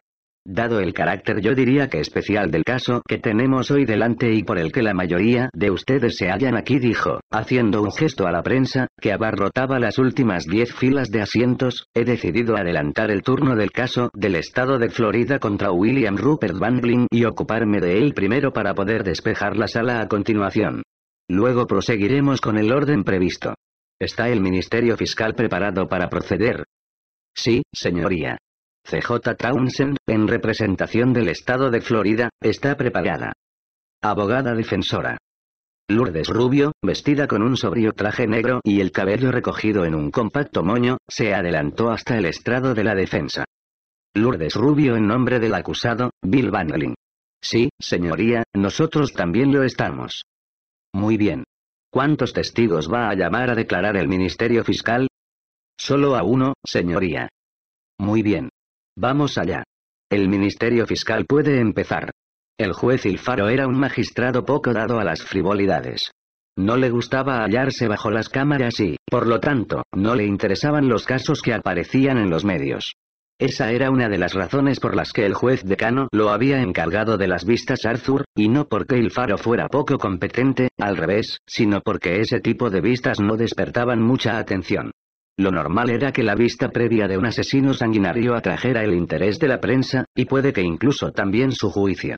Sin embargo, no ocurría todos los días que el caso de un asesino compulsivo que ocupaba los titulares de todos los diarios aterrizara en el tranquilo tribunal del juez Ilfaro. El Ministerio Fiscal llama al agente especial Dominique Falconetti. Dominique fue hasta el asiento de los testigos con los ojos de todos los presentes puestos en él y prestó juramento. Tras unas preguntas preliminares para establecer sus credenciales, CJ lo situó en la noche del 19 de septiembre, cuando había sido llamado para que acudiera a la carretera elevada. Dominique fue un testigo fácil. Conocía los elementos legales que ella necesitaba para fundamentar su caso y sabía qué hechos le servirían a CJ para argumentarlo. Aparte de la pregunta ¿y qué ocurrió a continuación?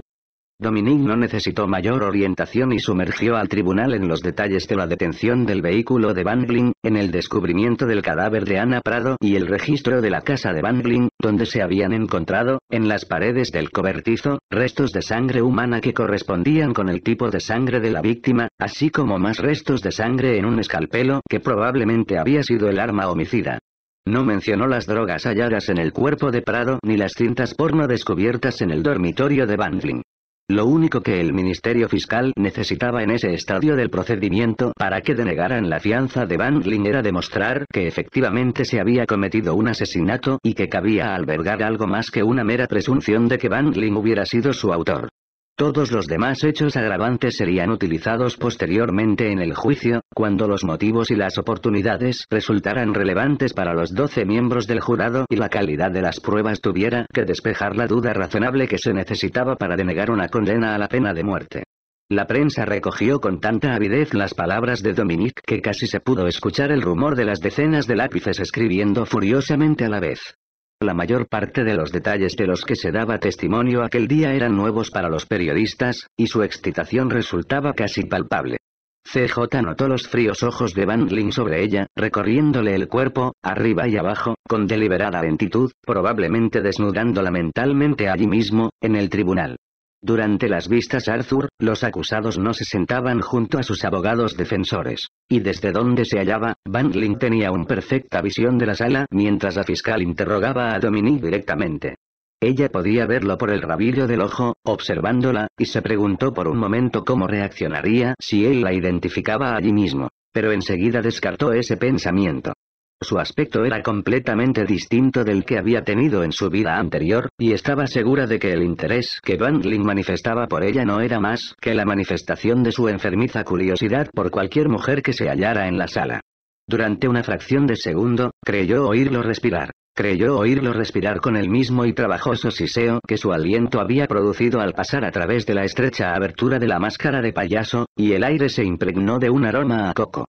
Sin embargo, expulsó aquellos pensamientos de su mente y se esforzó por regresar a la sala y prestar atención a las palabras de Dominique. No lo mires demasiado. No enloquezcas. Gracias, agente Falconetti dijo el juez Ilfaro cuando Dominique hubo acabado de declarar, ¿tiene la defensa alguna pregunta que hacer? Lourdes Rubio se levantó y se situó ante Dominique. Sí. Unas cuantas. Agente Falconetti, usted no fue el agente que practicó la detención, ¿verdad? No. De hecho, la interceptación inicial del vehículo del señor Bangling y el subsiguiente registro del maletero y descubrimiento del cadáver de Ana Prado había sido efectuado por agentes del Departamento de Policía de Miami Beach antes de que a usted lo llamaran a la escena del suceso, ¿correcto? Sí. Y la detención del vehículo del señor Bangling y el hallazgo del cadáver de la señorita Prado de hecho se produjeron de un modo bastante casual, ¿no es cierto? No. La interceptación del coche del señor Bangling se produjo debido a un exceso de velocidad, sumado a la observación de elementos mecánicos defectuosos por parte de un agente de policía de Miami Beach. A lo que me refiero es a que, antes del 19 de septiembre, su unidad especial no tenía el nombre de Bangling entre su lista de sospechosos por el caso Cupido, ¿verdad? No, no lo tenía. Lo cierto es que, antes de esa fecha, ningún miembro de la unidad especial había oído mencionar el nombre de William Van Así es. Por lo tanto, la detención del vehículo del señor Van en la carretera elevada MacArthur se produjo por pura casualidad, fue el resultado de una rutinaria actuación de nuestros estimados e irreprochables muchachos de azul de Miami Beach, ¿no? Su comentario levantó un coro de risas entre el público. Todo el mundo sabía que la reputación de la policía de Miami Beach no era siempre gloriosa. Y, claro, nunca se les ocurriría parar a alguien simplemente porque sí, ni registrar un maletero sin haber obtenido el oportuno consentimiento, ¿verdad que no? CJ se levantó. Protesto. Señoría, es argumentativo. No le gustaba el camino que Rubio estaba tomando, y se sentía algo más que incómoda. ¿Habrá hablado con Chávez o Rivero? ¿Sabrá algo del soplo anónimo, o es que solo se está marcando un farol? Se acepta. Déjelo, letrada. Ya sea donde quiera llegar. Si desea presentar un recurso de anulación, hágalo ante el juez encargado del caso, porque yo no voy a permitirle que argumente en mi sala. ¿Algo más, señorita Rubio? No, señoría. No hay más preguntas, pero me gustaría argumentar a favor de la fianza. Eso no será necesario, señorita Rubio. He escuchado todo lo que necesitaba escuchar. Basándome en las pruebas presentadas hoy aquí, concluyó que hay más que una probable presunción de que el delito de asesinato haya sido cometido por su defendido. Por lo tanto, su cliente ha de ser considerado por este tribunal como un peligro para la comunidad. En consecuencia, y para prevenir cualquier riesgo de huida, tendrá que permanecer en la cárcel sin fianza hasta que se celebre el juicio correspondiente. Señoría dijo Lourdes Rubio alzando la voz, opino que la detención del vehículo del señor Van se hizo ilegalmente y que, por lo tanto, también lo fue el registro de su maletero. Me gustaría argumentar este extremo. Perfecto. Tal como le he dicho, presente su recurso ante el juez Schaskel, pero no aquí. Al menos no sin los testimonios adecuados. No tengo más que añadir. Puedo por lo menos proponer formas alternativas de libertad. Claro. Adelante, dígame qué formas alternativas habría que aplicar para mantener a la comunidad a salvo de un sujeto acusado de 10 asesinatos. Señoría, mi cliente no ha sido encausado por ningún otro asesinato, y ese es el punto que me proponía subrayar. Ante los ojos de este tribunal y del público, mi defendido ya ha sido juzgado y condenado por ser el asesino compulsivo de 10 mujeres cuando, en realidad, solo se le acusa de la muerte de una mujer. Señorita Rubio, con una me basta y me sobra. El juez Ilfaro miró a Dominique. Agente Falconetti, ¿se considera el encausado sospechoso de los nueve asesinatos de Cupido? Sí, señoría, contestó Dominique. El juez sonrió burlonamente a Lourdes Rubio, pero la dejó argumentar inútilmente a favor de formas alternativas de libertad durante otros diez minutos. Cuando ella propuso un arresto domiciliario, se echó a reír. En la mesa del Ministerio Fiscal, con Dominique a su lado, CJ dejó escapar un suspiro de alivio.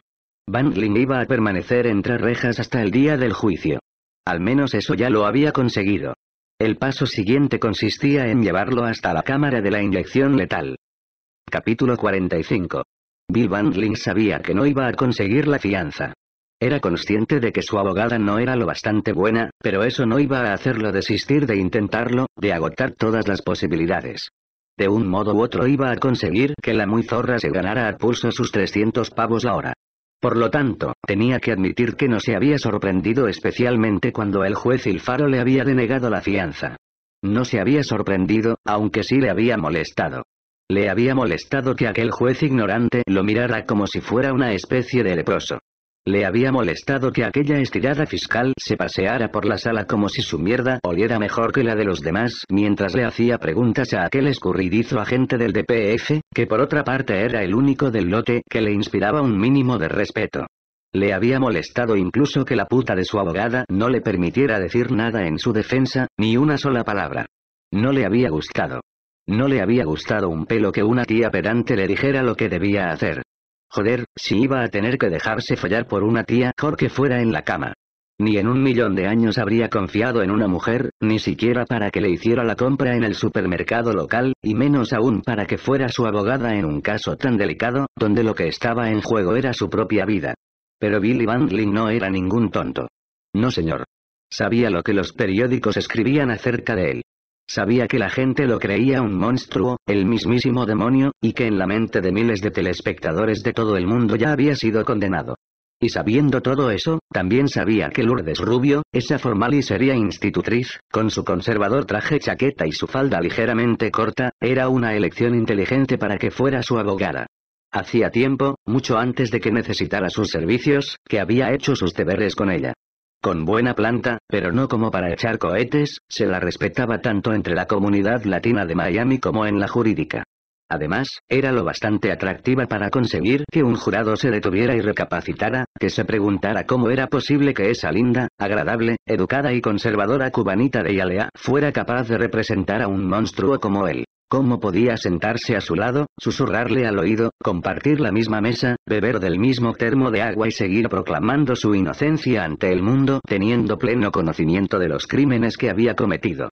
Bueno, si la simpática cubana no lo creía culpable de violación, tortura y asesinato, quizá fuera porque no lo era. Al fin y al cabo, ninguna mujer permitiría que un sociópata y violador compulsivo saliera en libertad. ¿O sí? En lo más profundo de sí mismo sabía que su planteamiento en ese punto había sido acertado, así como la elección de su abogada si se presentaba la necesidad de recurrir a una. Lo que más lo había contrariado era la perspectiva de permanecer encerrado un día más en aquella celda del otro lado de la calle, infestada de chinches y que apestaba a orines. Había tenido que apelar a toda su fuerza de voluntad para no gritar a aquel gordo de juez, repantigado en su barata butaca, a la altanera de la fiscal o a su propia abogada. Sin embargo, había permanecido sentado tal como su letrada le había pedido, con las manos esposadas y recogidas en fingida actitud de oración, mientras se mordía el carrillo para contener la sonrisa de desprecio que amenazaba con escapar de su piadoso rictus de jugador de póker. Había presenciado cómo se ensañaban con su libertad ante el juez. Había visto a su propia abogada solicitando vigilancia electrónica, arresto domiciliario, permisos de fin de semana, vigilancia para evitar un posible suicidio. Luego, había escuchado a la anodina fiscal rubia argumentando a favor del confinamiento en soledad, de la supresión de llamadas telefónicas y de la cancelación de todas las visitas de la prensa. Aquella CJ Townsend era definitivamente un hueso duro de roer. Había leído su nombre en los periódicos, pero durante la vista había tenido la oportunidad de echarle un buen vistazo. La había observado mientras charlaba con Falconetti en la mesa del fiscal y también cuando lo había interrogado. Y algo le había parecido extraño, algo que no había alcanzado a precisar. Algo en ella que le resultaba muy familiar. Capítulo 46. ¿Qué historia es esa de que los federales quieren quedarse con Cupido? CJ y Dominic se hallaban fuera de la sala del tribunal, ocultos en el pasillo de las dependencias del magistrado, mientras esperaban a que la prensa se dispersara. Aparte de ellos dos, el pasillo estaba desierto. El juez Ilfaro se las había arreglado para echar a todo el mundo de la sala una vez finalizada la vista de Bandling, a fin de poder acabar con las que todavía le quedaban. Aunque la mayoría de las agencias de noticias se habían marchado, algunos de los miembros menos respetables de la prensa seguían husmeando en busca de las migajas. De la Flor se presentó con un mandamiento firmado por una juez federal, Kingsley le dijo CJ. Lo quieren todo. Laboratorio, pruebas, documentos. Todo lo que tengamos. ¿Me tomás el pelo? Dominique, furioso, dio una palmada en la pared tan fuerte que resonó por el vacío pasillo. No se lo vamos a entregar, ¿verdad? Dime que no. Por la mirada de CJ supo la respuesta, maldita sea. ¿No podemos luchar? Ahí está el problema. La oficina del fiscal general quiere procesar a Cupido por los asesinatos, pero aparte del de Sivan, cuyo cadáver fue encontrado en terreno federal, carecen de jurisdicción. Eso quiere decir que sí, que podemos luchar. Y te puedo asegurar que De la Flores no se quedó precisamente contento de que le dijera lo mismo que te estoy diciendo a ti. De acuerdo. Si legalmente no pueden meter las narices en los otros nueve asesinatos, ¿por qué tenemos que entregarles todo lo que tenemos? ¿Solo por lo de Sivan? Bueno, sí y no. Quieren lo que tenemos para poder ir a por Van en el caso Sivan. Pero también quieren procesarlo, y no te lo pierdas, por los robos. ¿Los robos? ¿Qué robos? De la Flores quiere fama y gloria. quiere que su nombre aparezca en todos los periódicos. Así que si no puede procesar a Cupido por asesinato, está dispuesto a arrastrarlo de tribunal federal en tribunal federal por haber robado a sus víctimas sus ropas y sus corazones. De todas maneras, no sé exactamente qué se podrá leer en las acusaciones. Pretende ligarlo todo con el acta HOTS y presentarlo ante un tribunal federal durante unos años y hacer que Tyler parezca un bufón, cosa por otra parte nada difícil. Cuando Tyler pierda su reelección y De La Flor sea nombrado juez federal, puede que suelte a Bandling para que vaya a visitar su hogar natal y nosotros podamos acabar lo que empezamos. El acta HOTS. ¿De veras cree que puede estirarla hasta hacer creer que Cupido está perjudicando el comercio interestatal? Al menos lo va a intentar. ¿Y qué papel representa esa mierda de Greker en esto? Supongo que es la animadora particular de De La Flors. Se pasó la reunión sentado al fondo cantando. Yo puedo investigar mejor que vosotros, pero cuando las cosas se ponen serias no es nadie sin De La Flors. ¿Y qué hizo Tyler? ¿Tú qué crees? Después de haber invitado a los vampiros a café, rosquillas y una copa de A negativo, nada. O sea, que vamos a darles todo lo que tenemos. No todo. Solo copias de documentos, copias de los informes del laboratorio. Voy a endosarles tanto papel que, cuando hayan acabado, necesitarán lupas en lugar de gafas de lo mal que se les habrá quedado la vista. Le dije a De La Flors que se preparara para una pelea de las buenas y creía que iba a entregarle las pruebas. Fue entonces cuando decidió que se marchaba. Dominic sonrió y se inclinó hacia CJ, apoyando el brazo en la pared por encima de su hombro. Me gustas. No solo eres un pedazo de mujer, sino que tienes un pedazo de carácter. Ella se ruborizó. Gracias. Lo tomaré como un cumplido. Me alegro, porque eso es lo que es. La puerta del juez Ilfaro se abrió en ese momento, y entró. Manny. Dominica apartó rápidamente el brazo y miró al detective que llegaba con aire abatido. CJ notó que el corazón volvía a latirle normalmente. ¿Dónde has estado, oso? ¿No me dirás que concediendo entrevistas a los de Channel 7? Preguntó Dominique. ¿Te burlas? Aunque los dos canales me hacen reír, los de Cartoon Network tienen mejores personajes. ¿Qué hacéis vosotros dos aquí? Escondiéndonos. Por alguna razón, CJ notó que volvía a ponerse colorada. Dominic se apresuró a responder. CJ me estaba contando la visita que le hicieron los federales el miércoles. Parece que Graker se ha buscado un padrino, Tom de la Flors. El fiscal general quiere echarle el guante a Cupido, y se presentaron ante CJ con un mandamiento judicial.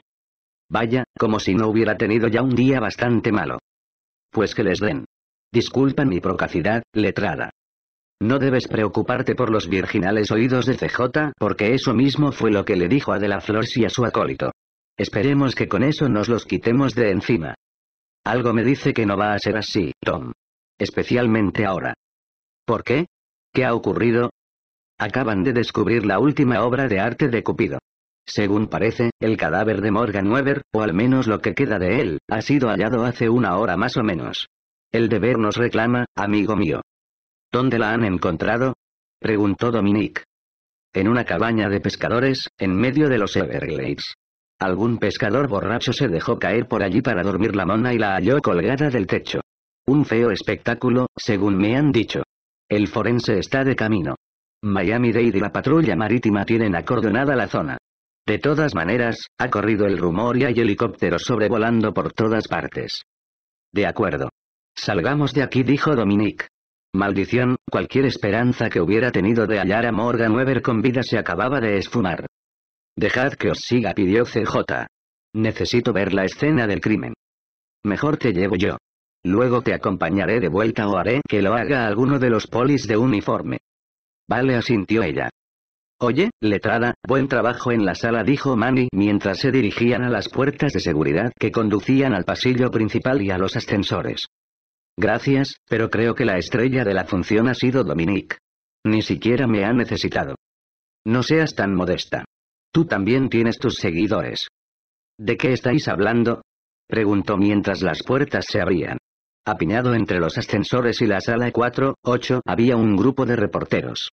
Saltaba a la vista que se habían enterado de lo de Morgan Weber, y tres corrieron hacia ellos con las cámaras en ristre. Habían olido la sangre. Bueno, yo diría que a nuestro psicópata le gustas, dijo Manny por lo bajo mientras ponía buena cara ante las cámaras. No te ha quitado los ojos de encima en toda la sesión. Capítulo 47. CJ tenía la impresión de que hacía una eternidad que no conseguía dormir ocho horas seguidas. Tras pasar el viernes por la noche en la espeluznante escena del crimen en los Everglades, donde habían sido hallados los restos de Morgan Weber, había acompañado a Dominique Yamani al laboratorio forense para asistir durante la madrugada del sábado a la autopsia del Dr. Neilson. Luego, había estado toda la tarde en su despacho intentando determinar si la cabaña de pescadores de los Everglades se hallaba en territorio federal o en terrenos del condado de Miami-Dade. Satisfecha por fin tras saber que se trataba de lo segundo, pasó el sábado por la noche aguantando los gritos del capullo de Tom de la Flores y de los capullos de sus asistentes del Departamento de Justicia. Solo cuando le desveló lo que había descubierto en el registro de la propiedad y lo amenazó con demandarlo por violación de propiedad y obstrucción a la justicia, el fiscal general se avino a retirar de la escena del crimen a los sabuesos del FBI mientras le juraba odio y venganza a ella y a su oficina por toda la eternidad. Aquello dejó a los chicos de azul de la unidad especial vitoreando su nombre. Pero, cuando por fin el sábado por la noche se metió en la cama, se hallaba tan agotada, física y emocionalmente, que ni siquiera sus pesadillas pudieron despertarla. Morgan Weber. 19 años. Rubia. Llena de vida. Hermosa. Muerta. Mientras CJ se dirigía el lunes por la mañana a los juzgados para asistir al señalamiento del juicio de Van Link por el asesinato de Ana Prado, las imágenes de la aspirante a modelo de Kentucky le bailaban en la cabeza. Después de haber contemplado aquel horror en la cabaña de pescadores, no podía quitárselas de la mente. Suspendida de varios hilos de pescar y colgada de las endebles vigas del techo, el pequeño cuerpo de Morgan Weber se balanceaba como un murciélago, con los brazos y las piernas extendidos, igual que una acróbata o una contorsionista, con la cabeza sujeta hacia atrás con alambres a una traviesa, como si quisiera imitar a un cisne. Llevaba tanto tiempo muerta que el cadáver no era más que un esqueleto con algunos fragmentos de carne negra y putrefacta adheridos en algunas partes. Habían conseguido una rápida identificación preliminar gracias a que habían hallado su permiso de conducir en el suelo, entre los restos de sangre. Sin embargo, la confirmación definitiva se había producido al comprobar sus registros dentales. Sabían que había sido obra de Cupido. A juzgar por la gran cantidad de sangre encontrada en el suelo y por el patrón de las salpicaduras, resultaba evidente que Morgan había sido asesinada estando colgada de los herales. La bestialidad y el salvajismo del crimen y la cuidadosa puesta en escena se correspondían con el estilo de Cupido. Sin embargo, e irónicamente, era su precisión, su atención al detalle y el cuidado puesto en la escenificación de sus víctimas lo que iba a ser su perdición en ese asesinato. Porque, por el modo en que Morgan Weber había sido hallada pendiendo de los invisibles sedales de pesca en el techo del oscuro chamizo, tenía el mismo aspecto de un pájaro en pleno vuelo, una visión estremecedoramente parecida a la de los pájaros disecados registrada en el cobertizo de Van Link por los técnicos forenses.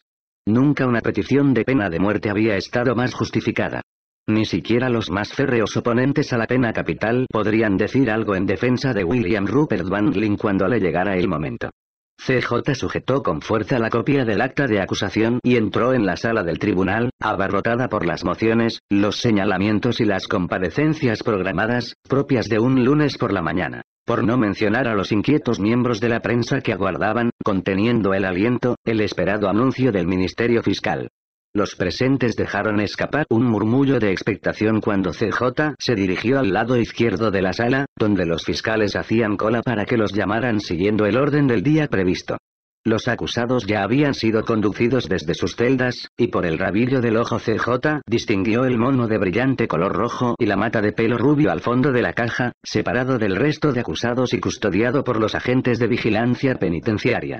Se esforzó por evitar todo contacto visual y clavó la mirada en el papel que sostenía entre sus sudorosas manos.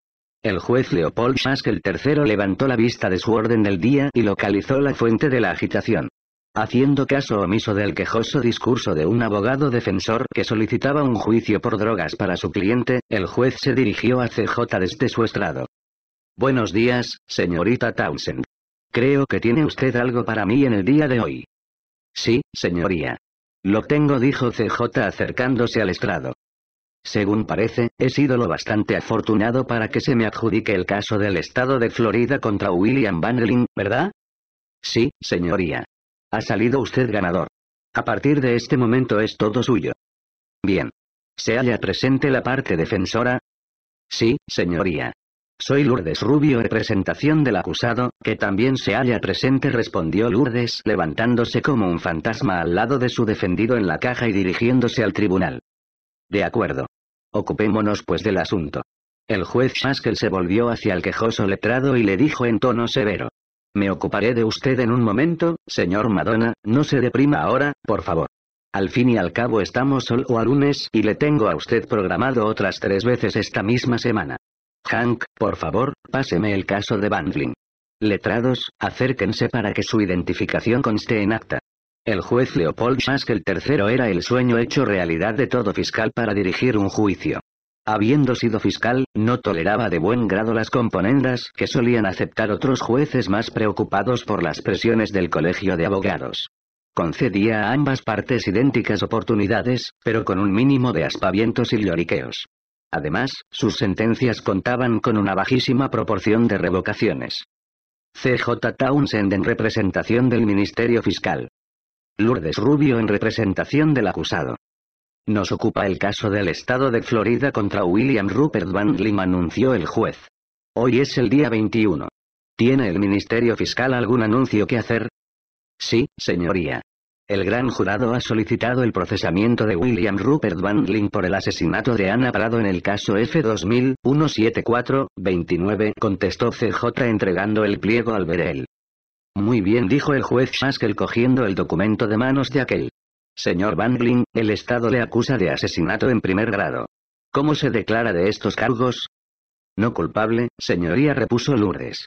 Van Link permaneció callado en su asiento. Renunciamos a la lectura formal de los cargos, solicitamos una declaración de no culpabilidad y un juicio mediante jurado.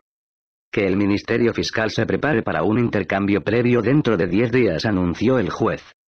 No, señoría, intervino Lourdes Rubio.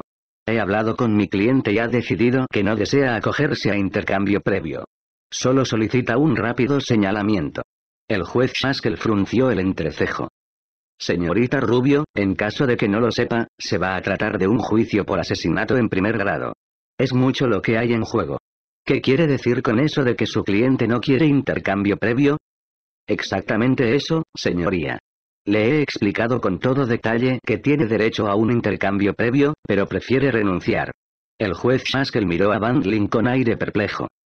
Señor Bandling, ha sido usted acusado de asesinato en primer grado. Tiene usted derecho a conocer las pruebas que el Ministerio Fiscal tiene contra usted y a hablar con los testigos que éste vaya a presentar para sustentar su caso. A esto en el estado de Florida se lo llama intercambio previo, y usted tiene derecho a usarlo si lo desea. Lo entiendo, contestó Van Lin sin dejar de mirar al magistrado. Si decide no participar en el intercambio previo, no podrá quejarse una vez se haya dictado sentencia. ¿Entiende lo que le digo? Habrá renunciado usted a su derecho a reclamar ese aspecto. Lo entiendo, señoría. Y aún así prefiere no participar en el intercambio previo y renuncia a interrogar a los testigos de la acusación. Así es, señoría. He hablado con mi abogada y estoy al corriente de mis opciones. No deseo beneficiarme del intercambio previo. El juez meneó la cabeza. Muy bien, pues. Señalemos una fecha. ¿Qué tenemos, Janine? Janine, la secretaria, miró el calendario. 12 de febrero del 2001 para el juicio. Fecha del informe. Miércoles, 7 de febrero. Lourdes Rubio carraspeó. Señoría, el señor Van Lin desea despachar este asunto lo más rápidamente posible y limpiar así su nombre. ¿No podríamos obtener una fecha más cercana? ¿Comprende que está usted ante un caso de asesinato en primer grado, señorita Rubio? Sí, señoría. Ha sido decisión de mi cliente. El juez puso cara de asombro. Muy bien. Nuestra misión es complacer. Janine, deme una fecha más próxima. El 18 de diciembre del 2000 para el juicio, señoría, y el 13 del mismo mes para los informes. Conforme. Quedan todos emplazados para diciembre. Feliz Navidad, feliz Anuka, feliz Kwanzaa. Ahora, señorita Rubio, confío en que no vendrá dentro de dos meses quejándose de que no ha tenido tiempo. Ha sido usted quien ha solicitado una fecha lo más temprana posible. Sí, señoría. No lo haré. Muy bien. Volveré a verlos en diciembre. Las mociones y recursos dentro de 30 días, por favor. Y no quiero sorpresas. Odio las sorpresas. Señoría intervino CJ, tengo una solicitud más para este tribunal. Me lo imaginaba, señorita Townsend. CJ se aclaró la garganta y entregó un documento al verel. Conforme a la legislación penal de Florida, el Estado presenta una declaración para manifestar que en este caso solicitará la aplicación de la pena capital. La muerte de William Rupert Bannerling. Capítulo 48. Ya tenía bastante. Ya no soportaba más aquel espectáculo. Menudo desabrido, el juez, mirando su orden del día en pleno discurso de aquella desgraciada abogada con tal de darse importancia y conseguir la atención de las cámaras. Y luego había aparecido de nuevo aquella zorra rubia, la señora fiscal culo prieto, compareciendo en medio del tribunal con su traje negro y sus gafas para hacer su gran anuncio, como si todas las miradas hubieran estado clavadas en ella. Y una mierda. Era él a quien querían ver. Ella solo era decorativa, la guinda del pastel. Oh, Impresióname con tu anuncio, señorita culo prieto. Me encantaría aflojarte ese culo. Sí, dame solo cinco minutos y te lo dejaré la mar de lindo y suelto. ¿Cómo se suponía que iba a conseguir un juicio justo con todos esos cretinos que se dedicaban a llamar la atención ante las cámaras, cuando era a él a quien debían su notoriedad? La verdad les importaba una mierda. Ni siquiera escuchaban cuando se la gritaban a la cara. Se recostó en su asiento y masculló mientras veía desarrollarse ante sus ojos el espectáculo, la farsa. Deseaba volverse y sonreír con la mejor de sus sonrisas a las jodidas cámaras. Quizá consiguiera cargarse alguna lente. Quizá consiguiera que alguna de esas monadas de reporteras le enviara una nota de amor a la cárcel. O, mejor aún, que fuera a visitarlo para hacerle una entrevista. Acércate al micro, cariño. Eso es, póntelo en la boca, trágatelo entérito. Sí, eso sí que sería amable por su parte. Y también podría aparecer con su cámara, claro que sí. Su mente empezó a divagar, y la polla se le puso dura bajo el mono rojo. Entonces la señorita culo prieto hizo su altanero anuncio. Y el Estado presenta una declaración para, bla, bla, bla que en este caso solicitará la aplicación de la pena capital. La muerte de William Rupert Bannerling. No era que no hubiera esperado aquel anuncio, como lo llamaban, sino que no lo esperaba ese día, en pleno circo. Aquel era el día del señalamiento. No le tocaba más que quedarse sentado sin decir palabra. Aquel era el día en que se presentaban los cargos. Punto. Al menos eso era lo que le había dicho aquella inútil de abogada. Así que querían condenarlo a muerte, ¿eh? Pues iban a necesitar una cuerda bien gorda y resistente para pillarlo por las pelotas. De eso no cabía duda. Iba a haber pelea. Sí, señor. Seguro. Escuchó el zumbido de la cámara enfocándole el rostro, y miró a culo prieto mientras salía altaneramente de la sala ante sus narices. Tan cerca que podría haberle tirado un escupitajo. Tan cerca que notó su perfume al pasar. Chanel número 5 tan cerca que le vio el perfil respingón y los suaves morritos. Entonces al Windy se le ocurrió una idea. Una idea maravillosa. Bill Bandling sonrió tímida y premeditadamente ante las cámaras porque en ese instante acababa de acordarse, por fin, de por qué la culo prieto de la fiscal le resultaba tan familiar. Capítulo 49. El laboratorio ha tardado unos días, pero al fin lo han identificado. El sedal que se usó con Morgan Weber es el mismo que se halló en el cobertizo, dijo Dominique. Estaban a lunes, 16 de octubre, y habían pasado exactamente dos semanas desde el señalamiento del juicio de Bandling. Manny, Eddie Bowmary, Chris Masterson, Jimmy Fulton y otros miembros de la unidad especial se hallaban sentados a la mesa de cerezo de la sala de reuniones de la sede del Departamento de Policía de Florida. CJ ocupaba la cabecera, al lado de Dominique. Estaban en plena reunión de estrategia. Eso es estupendo. Ahora dame las malas noticias. ¿Cuántas bobinas de ese sedal se han fabricado y vendido en los últimos diez años para ir de pesca por todo Florida? Preguntó Manny. Un montón. Estamos trabajando para averiguar el número aproximado, repuso Dominique. Otra buena noticia. Jimmy y Chris han acabado de examinar los archivos de la loca de Tony Tan y han averiguado que nuestro vendedor del año pasaba fuera seis meses al año, pero que ha sido tan amable de quedarse en casita los días de las desapariciones de todas las chicas. ¿No tenemos a nadie que lo haya identificado en compañía de alguna de ellas? Preguntó CJ. No. Solo algunas aspirantes a Jerry Springer, pero nada digno de crédito, contestó Dominique.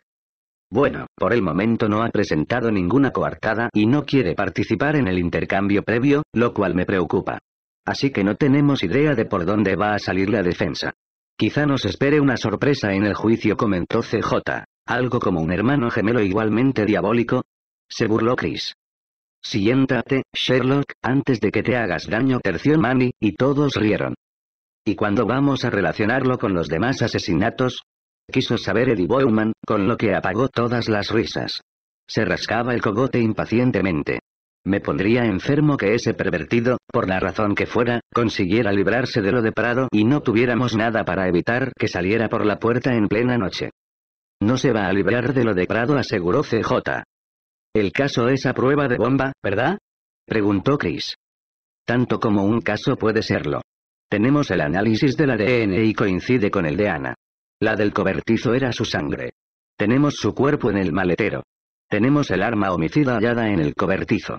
La mutilación del cuerpo y la extirpación del corazón es de una crueldad terrible, por no mencionar las drogas que usó para paralizarla y mantenerla consciente mientras la torturaba y mataba.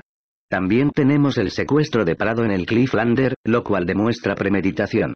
Todos son elementos agravantes que necesitaremos para que le apliquen la pena de muerte. Todo lo que me gustaría para sellar este caso es el corazón de Prado, por no hablar de los de las otras. Pero al menos en el caso de Prado tenemos lo suficiente para seguir adelante. ¿Y por qué no lo acusamos de los demás? Preguntó Bowman de nuevo, aparentemente molesto. A pesar de los 12 años que llevaba en la policía, a veces no entendía cómo funcionaba el sistema legal una vez que un caso perfectamente sustentado se lo endilgaban a un abogado y, a pesar de contar con un montón de declaraciones y una confesión de dos horas, por alguna triquiñuela legal el jurado tenía que hacer caso omiso de todo. Era algo que ocurría cada vez más y que cada vez lo cabreaba más. Uno esperaba recibir una mención honorífica y ver el propio nombre en una placa por el gran trabajo realizado en un caso, y al minuto siguiente estaba sentado en un tribunal escuchando un veredicto de inocencia en el mismo asunto. Por lo tanto, Bowman no se hacía ilusiones en el caso Bangling, a pesar de que la fiscal insistiera en lo a prueba de bomba que era.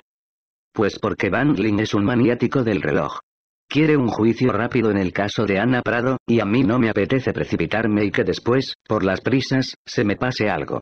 Si puedo hacer que lo condenen por lo de Prado, entonces puedo invocar la norma Williams y ligar ambos casos. De ese modo, aunque no tengamos pruebas físicas que lo vinculen con las demás víctimas, el jurado podrá enterarse de los asesinatos y de la culpabilidad de Van en uno de ellos. Naturalmente, todo sigue siendo circunstancial, y eso es algo que me pone nerviosa, especialmente con los jurados de Miami. Quiero pruebas tangibles, y lo del Seral puede ser un comienzo. Pero necesito alguna prueba que lo relacione con esas mujeres. Quiero el arma homicida, Eddie, la pistola que echa humo. Encuéntrame los trofeos que ha arrancado a sus víctimas. Encuéntrame sus corazones. Bueno, seguimos buscando, CJ. Pero, por lo que sabemos, lo mismo puede haberlos enterrado que habérselos comido. No veo por qué es tan necesario dar con ellos. Bowman volvió a rascarse el cogote. Oye, Bowman, ¿qué tienes? ¿Pulgas? Terció Manny. Quizá te estén criando en las orejas, porque parece que no escuchas lo que la fiscal te ha dicho. Va a ir a por él con los corazones o sin ellos. Dadle tiempo. No todos compartían el negro pesimismo de Bowman. Mira, Eddie, no creo que hiciera lo que dices, contestó CJ. Creo que los ha guardado en alguna parte, en algún lugar donde pueda contemplarlos y recordar. He hablado con Greg Chambers, el psiquiatra forense que consultamos en el caso del estrangulador de Tamiami. Todos los compulsivos arrancan trofeos de sus víctimas. Instantáneas, joyas, pasadores para el cabello, ropa interior, objetos personales. Según él, los corazones son el trofeo de Bandling. Encaja con su perfil. No destruiría algo que le ha costado tanto conseguir y para lo que ha montado tanta ceremonia. Deben de estar en algún sitio donde puedan conservarse y donde él pueda contemplarlos a placer y siempre que quiera, tocarlos y recordar.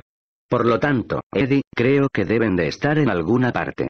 Solo nos hace falta saber dónde buscar. Entre tanto, he mandado una citación para que nos entreguen los historiales médicos de Van de Nueva York. Todavía no ha presentado una apelación por demencia, y no creo que el juez Haskell vaya a permitirme ver los historiales a menos que Van Lin apele a su estado mental. Sin embargo, los verdaderos diagnósticos de su condición médica y lo que le recetó su médico son directamente relevantes, y los conseguiré.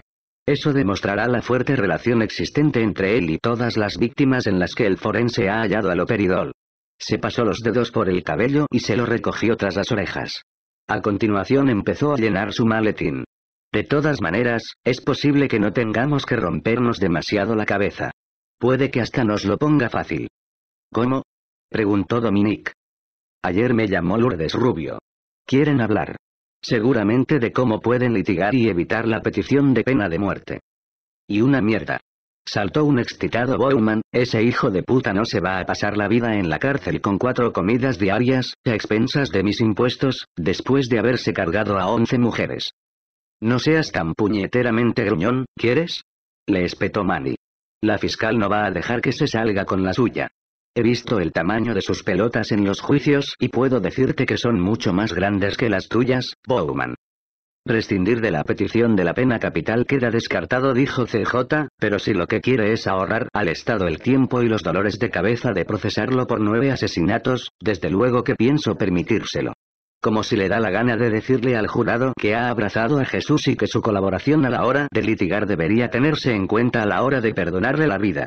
Esa argumentación no le valió de nada a Danny Rowling, de Gainesville, y dudo de que pueda servirle a Bangling.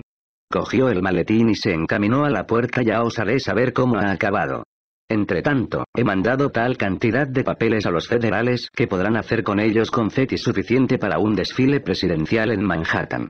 Cuando hayan acabado de leerlo todo, los acompañaré para que vean las pruebas el viernes. Se están poniendo bastante nerviosos, así que necesitaré que alguien me abra la sala de las pruebas y las prepare. ¿Algún voluntario? Sí. Bowman.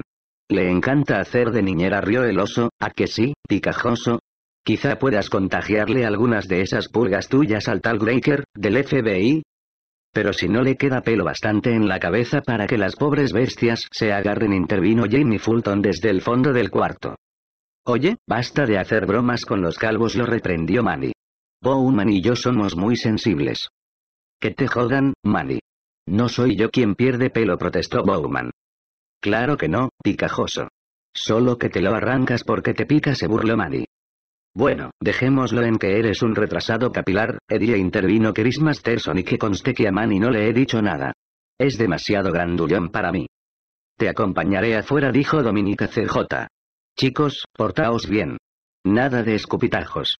Los dos salieron de la sala de reuniones y bajaron al vestíbulo.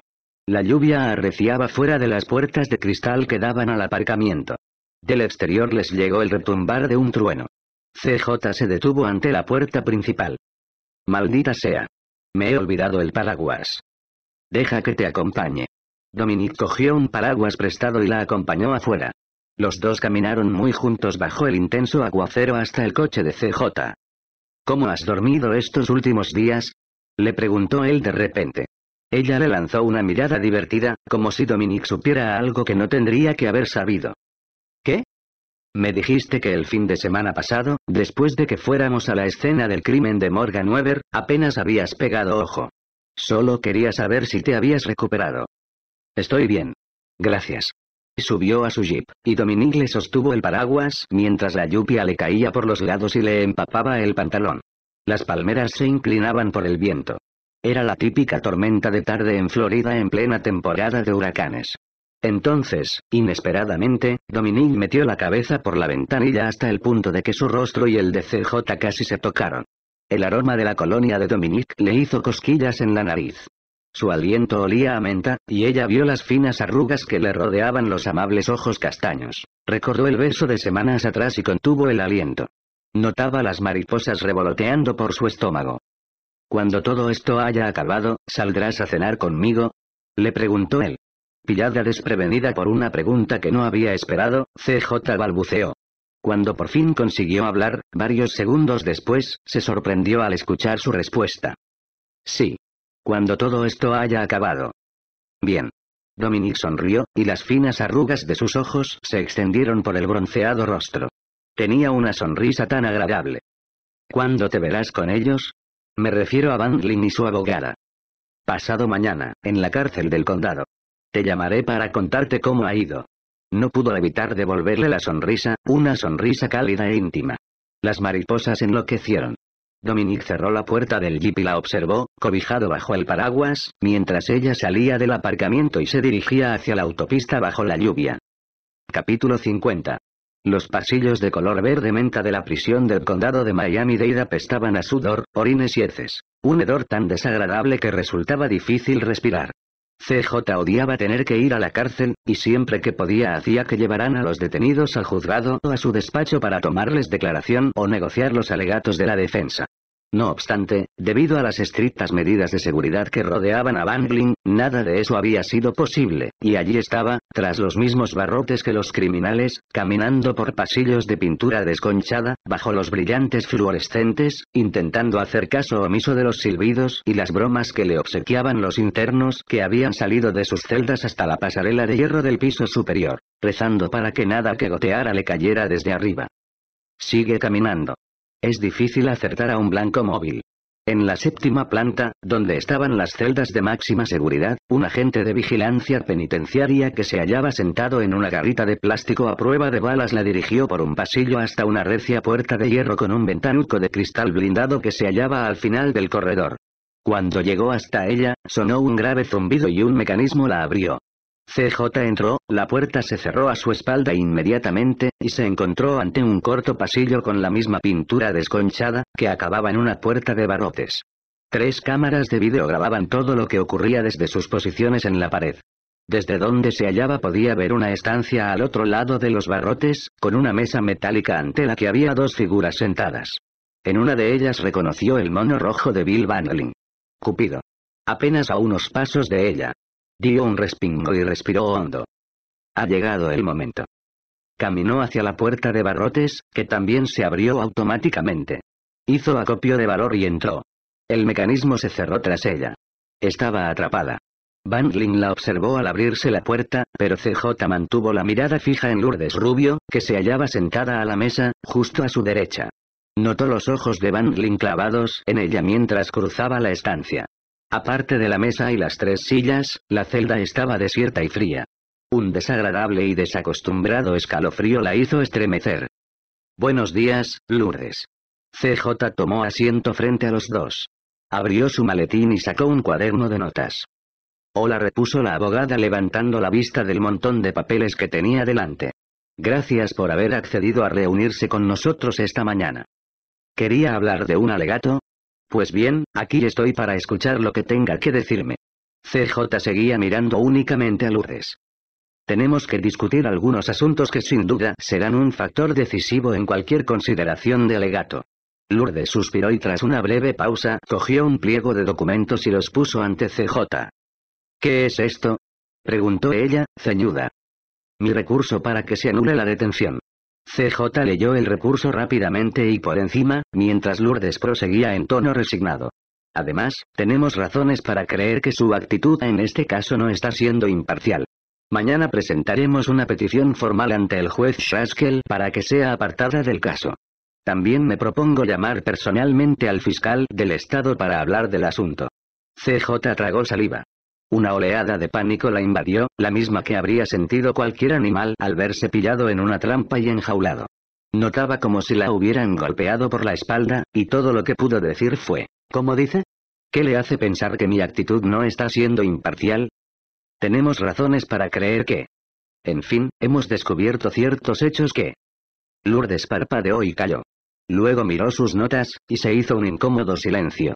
CJ no dejaba de notar en ningún momento los ojos de Bangling, fijos en ella, y percibía su olor, intenso en el frío aire. Sus largos dedos arañaban la pintura de la mesa de hierro a la que estaba esposado, y escamas de color verde aceituna revoloteaban hasta el suelo. Tenía la comisura de la boca torcida en una siniestra sonrisa, como si se dispusiera a reír. Su aspecto era el de un chaval que sabe algo que el resto de la clase ignora. CJ fijó su atención en Lourdes Rubio. Pero, por debajo de la mesa, las piernas empezaron a temblarle. La abogada habló despacio, sin levantar la mirada de sus notas. Sé que se cambió legalmente el nombre de Chloe Larson. También sé que hace 12 años fue víctima de una brutal violación en su apartamento de Nueva York. He leído los informes de la policía. Vaciló y esa vez miró a CJ. Me gustaría, antes que nada, decir que lamento lo que le ocurrió. Carraspeó y se subió las gafas en el puente de la nariz antes de continuar. Mi cliente asegura que él fue quien la violó. Cree que usted lo ha reconocido y que, sabiendo que el régimen de prescripciones hace imposible que sea juzgado por ese delito en Nueva York, busca venganza, vengarse de él. Creemos que usted está reteniendo pruebas en este caso porque sabe que mi cliente es inocente. Lourdes respiró profundamente, obviamente aliviada de haber terminado su exposición. Su elección de los pronombres para su discurso había resultado interesante. Van Lin sonreía abiertamente y asentía con la cabeza, como si su abogada fuera una predicadora soltando un sermón. Sus inquisidores ojos recorrieron el cuerpo de CJ. Ella se dio cuenta y se sintió inmediatamente sucia, como si la hubieran desnudado en una habitación llena de mirones. Se quedó sentada e inmóvil, estupefacta por lo que acababa de oír. ¿Qué podía decir? ¿Qué podía decir? Su mente corrió en busca de una respuesta. Se ruborizó, y un tenso silencio se apoderó de la estancia. Entonces Van Lin habló, le habló la voz de sus pesadillas, apenas a medio metro de distancia de ella. Todavía recuerdo a qué sabes, dijo la voz. Luego, sin dejar de sonreír, él se inclinó hacia CJ, abrió la boca lentamente, se pasó su larga y rosada lengua por los labios y cerró los ojos, como presa del éxtasis. Tum, tum. Qué bueno, Chloe. ¿O debería llamarte caramelito? Lourdes se sentó muy tiesa y le gritó, Señor Vanillin. Esto no lo ayuda. Cállese. Las piernas de CJ le temblaban incontroladamente, y tuvo que levantar un poco los pies para que no se oyera el entrechocar de sus tacones en el suelo de cemento. Sentía que estaba a punto de vomitar. El sudor le bañó todo el cuerpo, y le entraron unas ganas locas de huir corriendo. Le habían tendido una nueva emboscada. Sin embargo, no podía moverse. No podía levantarse porque aquel era el momento. El momento que había deseado. El momento tan temido. Habla ahora, o calla para siempre. CJ lo miró a los ojos y le mantuvo la vil mirada durante largos segundos. Van Ling mostraba una sonrisa lobuna, y los ojos le bailaban de excitación. Ella tuvo que hacer un esfuerzo para recuperar la voz de lo más hondo de las entrañas, pero cuando lo consiguió la halló tan potente y llena de determinación que incluso se sorprendió. No sé cómo ha averiguado lo de la agresión de que fui víctima, señor Vanilling. Realmente no lo sé. De los informes de la policía, supongo. De eso hace mucho tiempo. Pero su alegato resulta vomitivo, especialmente si en su mezquino y pequeño cerebro pensó que podría proporcionarle algún tipo de ventaja en esta negociación. Le había llegado el turno, y notó que la furia cobraba impulso en su interior y arrollaba a la débil Chloe que solo deseaba escapar. Se inclinó, acercándose a él, y aguantando la mirada de aquellos azules ojos vio en ellos un destello de sorpresa, un atisbo de confusión. Redujo su tono a un susurro y, aún así, no le cupo duda de que él la escuchaba perfectamente. Sin embargo, puedo asegurarle que nada, nada en este mundo me proporcionará más placer que ver cómo atan su pobre esqueleto a una camilla y le inyectan una dosis letal de veneno en las venas. Porque entonces sus asustados ojos buscarán desesperadamente a alguien entre la multitud de espectadores que se habrán reunido para ser testigos de su muerte, a quien sea que pueda ayudarlo a quitarse esa aguja del brazo, alguien capaz de detener el veneno que le recorrerá el cuerpo poniéndole punto final para siempre. Pero no encontrará a nadie que lo ayude. No lo encontrará. Solo a mí. Y tenga por seguro, señor Bangling, que allí estaré para verlo morir. De hecho, seré yo la que lo habrá tumbado en esa camilla. Es una lástima que ya no electrocuten a la gente. Me habría resultado mucho más placentero ver cómo el rostro se le desencajaba y se le derretía. Le dirigió una sonrisa implacable y se levantó para dirigirse a Lourdes Rubio, que contemplaba la escena boquiabierta. En cuanto a usted, señorita Rubio, acaba de protagonizar la mayor exhibición de falta de ética de la historia de la abogacía. Tenga por seguro que daré buena cuenta de lo ocurrido al juez Haskell tan pronto como llegue a mi despacho. Hasta es posible que la denuncie ante el colegio de abogados. Lourdes Rubio abrió la boca para protestar, pero CJ la interrumpió en un tono que temblaba de desprecio e indignación. En el futuro ni se le ocurra ponerse en contacto conmigo si no es a través de mociones por escrito presentadas ante el tribunal. No hay nada que deba decirme que no pueda hacerlo delante de un juez. Es usted tan despreciable como su cliente. Cogió su maletín, se dirigió a la puerta de barrotes y llamó al timbre para que el vigilante le abriera. Van se había puesto muy pálido, y gotas de sudor le perlaban la frente y le corrían por las mejillas. De repente, un alarido inhumano, que a CJ le recordó el de un gato siendo despellejado vivo, resonó en la celda. Por Dios, Bill, cállese. Gritó Lourdes Rubio. CJ siguió dándole la espalda, esperando a que la puerta se abriera. La furia de aquella voz le resultaba demasiado familiar, y empezó a rezar en silencio. Yo no he hecho nada. Aullaba Bangling, soy inocente, y tú lo sabes. No puedes condenar a muerte a un inocente. La puerta de barrotes se deslizó a un lado, y CJ salió de la celda intentando no echar a correr por el pasillo. Bangling se puso en pie de un salto, derribando y estrellando la silla de hierro contra el suelo de cemento y agitando las cadenas que lo mantenían sujeto a la pata de la mesa, mientras gritaba como un poseso. Escucha, mala puta. No podrás huir de mí. Acuérdate de lo que te digo, Chloe. Acuérdate, jodida zorra sabrosona. La verja se cerró de golpe tras ella, y CJ llamó al timbre de la puerta que daba a la zona de recepción exterior. En el interior de su garita blindada, el guardia levantó la mirada de la revista que estaba leyendo. Deprisa, deprisa. Abre ya. Las piernas le temblaban y apenas podía respirar. Aire. Necesitaba aire. La puerta zumbó. Van Lin gritaba y tiraba violentamente de la mesa. CJ se preguntó si alguna vez algún preso habría conseguido arrancarla. ¿Conseguiría llegar hasta ella antes de que el guardia dejara la revista y saliera de su cubículo? Doce años y todavía corres, Chloe. Pero te he encontrado. Te he encontrado, caramelito. Te dije que volvería y he vuelto para ti. Solo para ti. Los gritos enmudecieron cuando la pesada puerta de hierro se cerró tras ella. CJ llegó a los ascensores y pulsó el botón para bajar con manos temblorosas. Le pareció que pasaban horas hasta que pudo entrar, por fin sola, a pesar de que sabía que varias cámaras grababan todos sus movimientos. Notaba las piernas de gelatina, y tuvo que apoyarse en las paredes de metal para mantenerse en pie. Las puertas se abrieron y caminó rápidamente hasta la recepción para firmar en el libro de salidas. La mano que sujetaba el bolígrafo le temblaba tan violentamente que tuvo que sujetársela con la otra. ¿Está usted bien, señorita Townsend? El agente de vigilancia penitenciaria era Saltisker, que solía trabajar como agente de seguridad en los juzgados, acompañando a los detenidos. Sí, Sal. Estoy bien. Perfectamente bien. He tenido un mal día, eso es todo. Carraspeó y cogió el bolso que Sal le tendía por encima del mostrador. Sacó las gafas de sol y se las puso. Que tenga un buen día, señorita Townsend. Sal le abrió a distancia la última puerta de seguridad, y CJ salió a la brillante claridad del sol. Cruzó la calle a prisa, camino de su despacho, pasando al lado de las tres prostitutas que había visto al entrar, sentadas en los sucios peldaños de la cárcel. A su alrededor, todo adquiría tintes surrealistas, y tuvo que resistir la tentación de correr a toda prisa hacia la seguridad de su despacho. Actúa normalmente un poco más. Ya casi has llegado. Entonces podrás derrumbarte todo lo que quieras. Tras ella, una voz gritó desde la entrada de la cárcel. Era Lourdes Rubio, y sonaba frenética. Señorita Townsend. CJ. Por Dios, espere. Capítulo 51. No tengo nada que decirle. Por favor, por favor, concédame un instante. Lo siento. No sabía que iba a salir así, que diría esas cosas espantosas. Lourdes corría tras CJ, intentando que ella la mirara.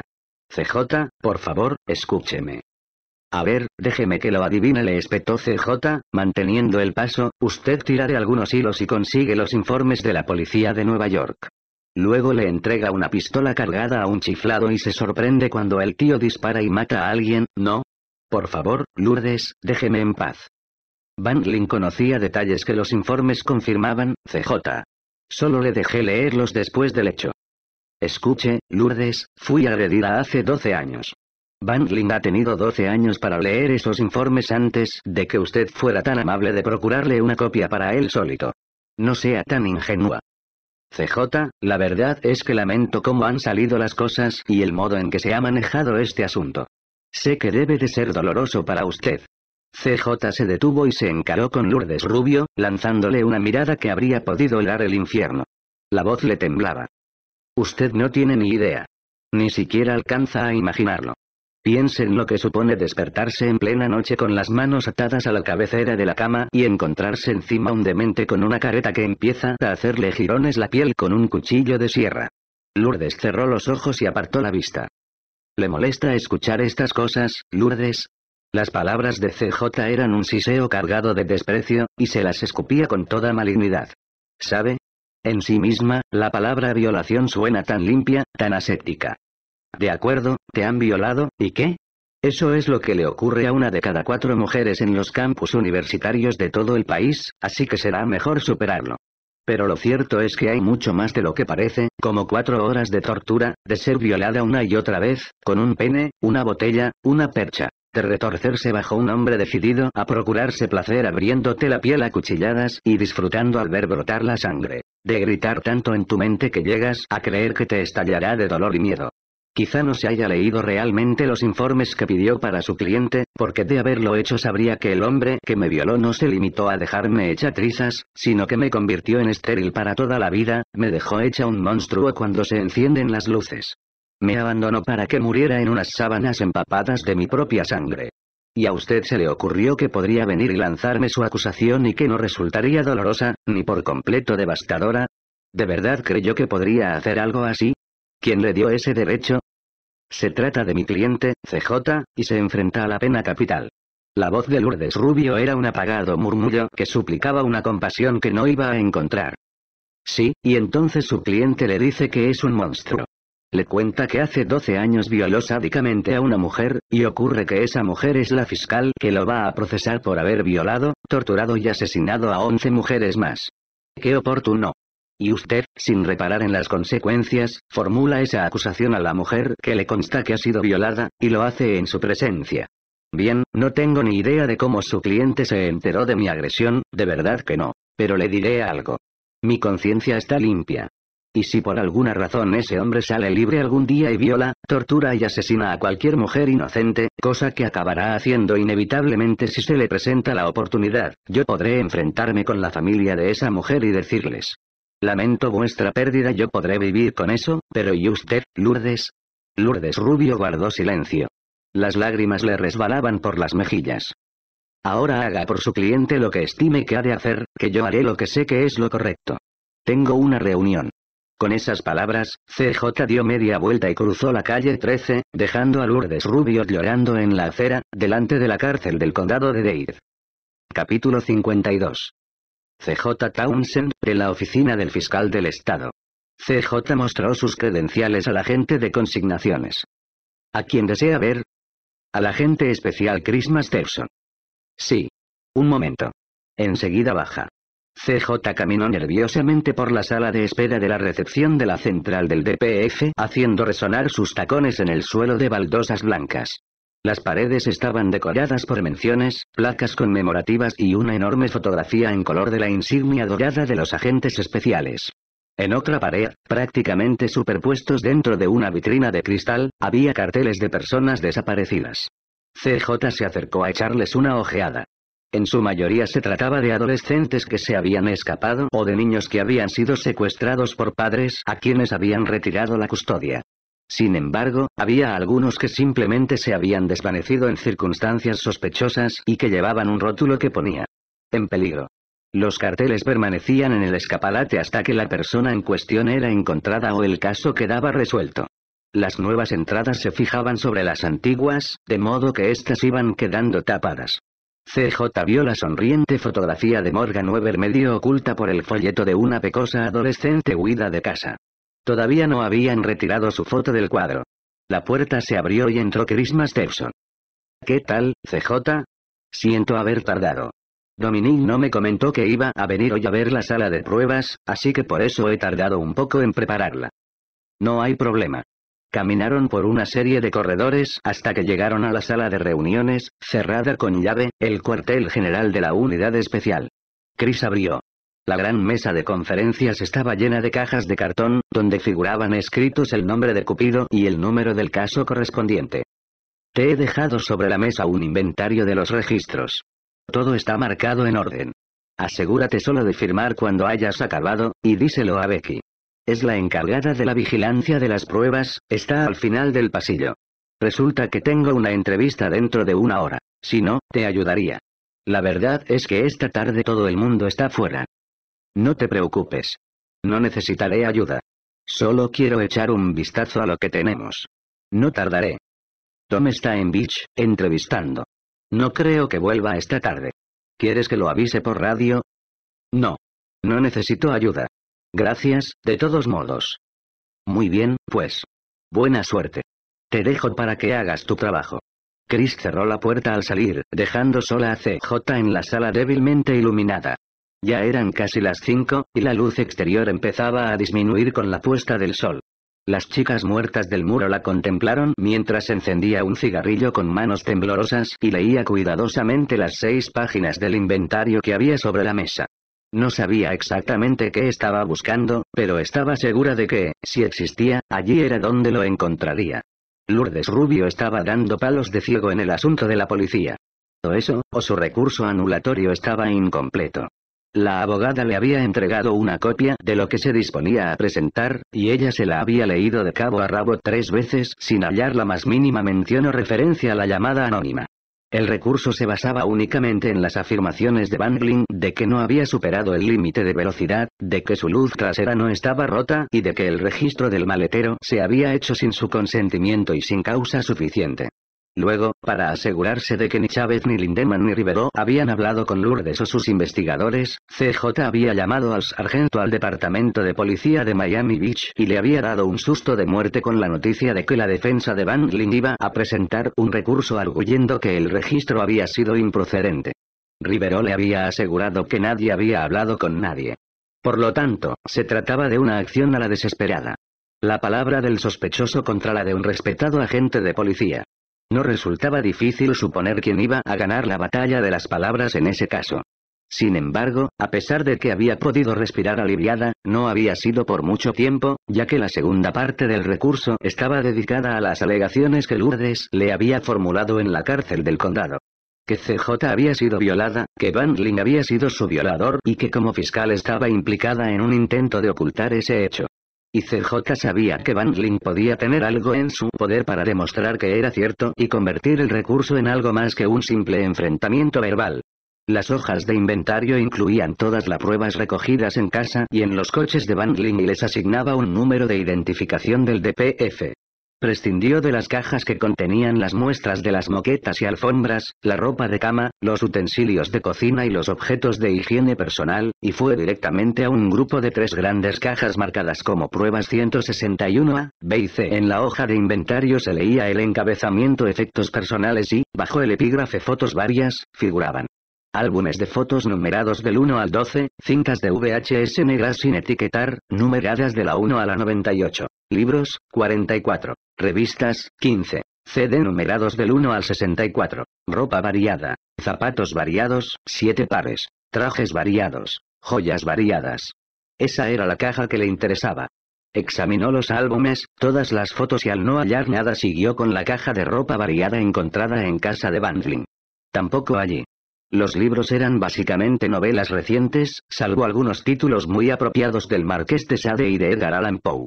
Las revistas iban del porno suave al duro. Playboy, Hustler, Chavez. Los CD eran de música pop. En cuanto a las cintas de vídeo, su oficina había recibido copia de cada una, y ella había pasado un fin de semana de mil demonios mirándolas todas. Tampoco había encontrado nada en ellas. En la tapa del último contenedor de plástico azul, pegada con cinta al documento de recibo, había una etiqueta donde se leía. DPF. Pruebas número 161C ítem 11. Ropa varía. No había más detalles descriptivos en las hojas de inventario. CJ abrió la tapa, que no estaba sellada, y contuvo el aliento. Allí, encima de todo, con su roja sonrisa y el arrugado pelo de poliéster, estaba la horrible careta de payaso. La reconoció al instante. La sangre se le heló en las venas y se estremeció incontrolablemente mientras los recuerdos la asediaban igual que fantasmas salidos de un viejo desván. El rostro al pie de su cama, iluminado por los destellos de los relámpagos que entraban en el dormitorio. El sonido de su aliento al escapar por la abertura de la boca. Notó el tacto de su enguantada mano en la piel, las cosquillas del pelo de la careta entre las piernas y en el bajo vientre. Olió el látex y su aliento a café rancio. Y notó el tacto de las bragas oprimiéndole la lengua, cuyo recuerdo le produjo arcadas. Cuando se le hubo pasado el aturdimiento, cogió la careta por los cabellos con sus enguantados dedos y la sostuvo en el aire, lejos de sí, como si se tratara del putrefacto cadáver de un animal. Sabía lo que tenía que hacer. Luego, la metió en una bolsa de plástico negra y cerró el contenedor. El último lote era una bolsa de plástico transparente marcada como DPF. 161C ítem 12. Joyería variada, dormitorio principal, cajón superior izquierdo. De la cómoda. Dejó la bolsa sobre la mesa, extendió su contenido cuidadosamente, sin abrirla, y lo examinó con detalle. Un reloj Tageuer, una pulsera de oro, un brazalete de oro trenzado, collares, gemelos, un anillo de oro de ónice de hombre, varios pendientes desparejados, y entonces lo vio.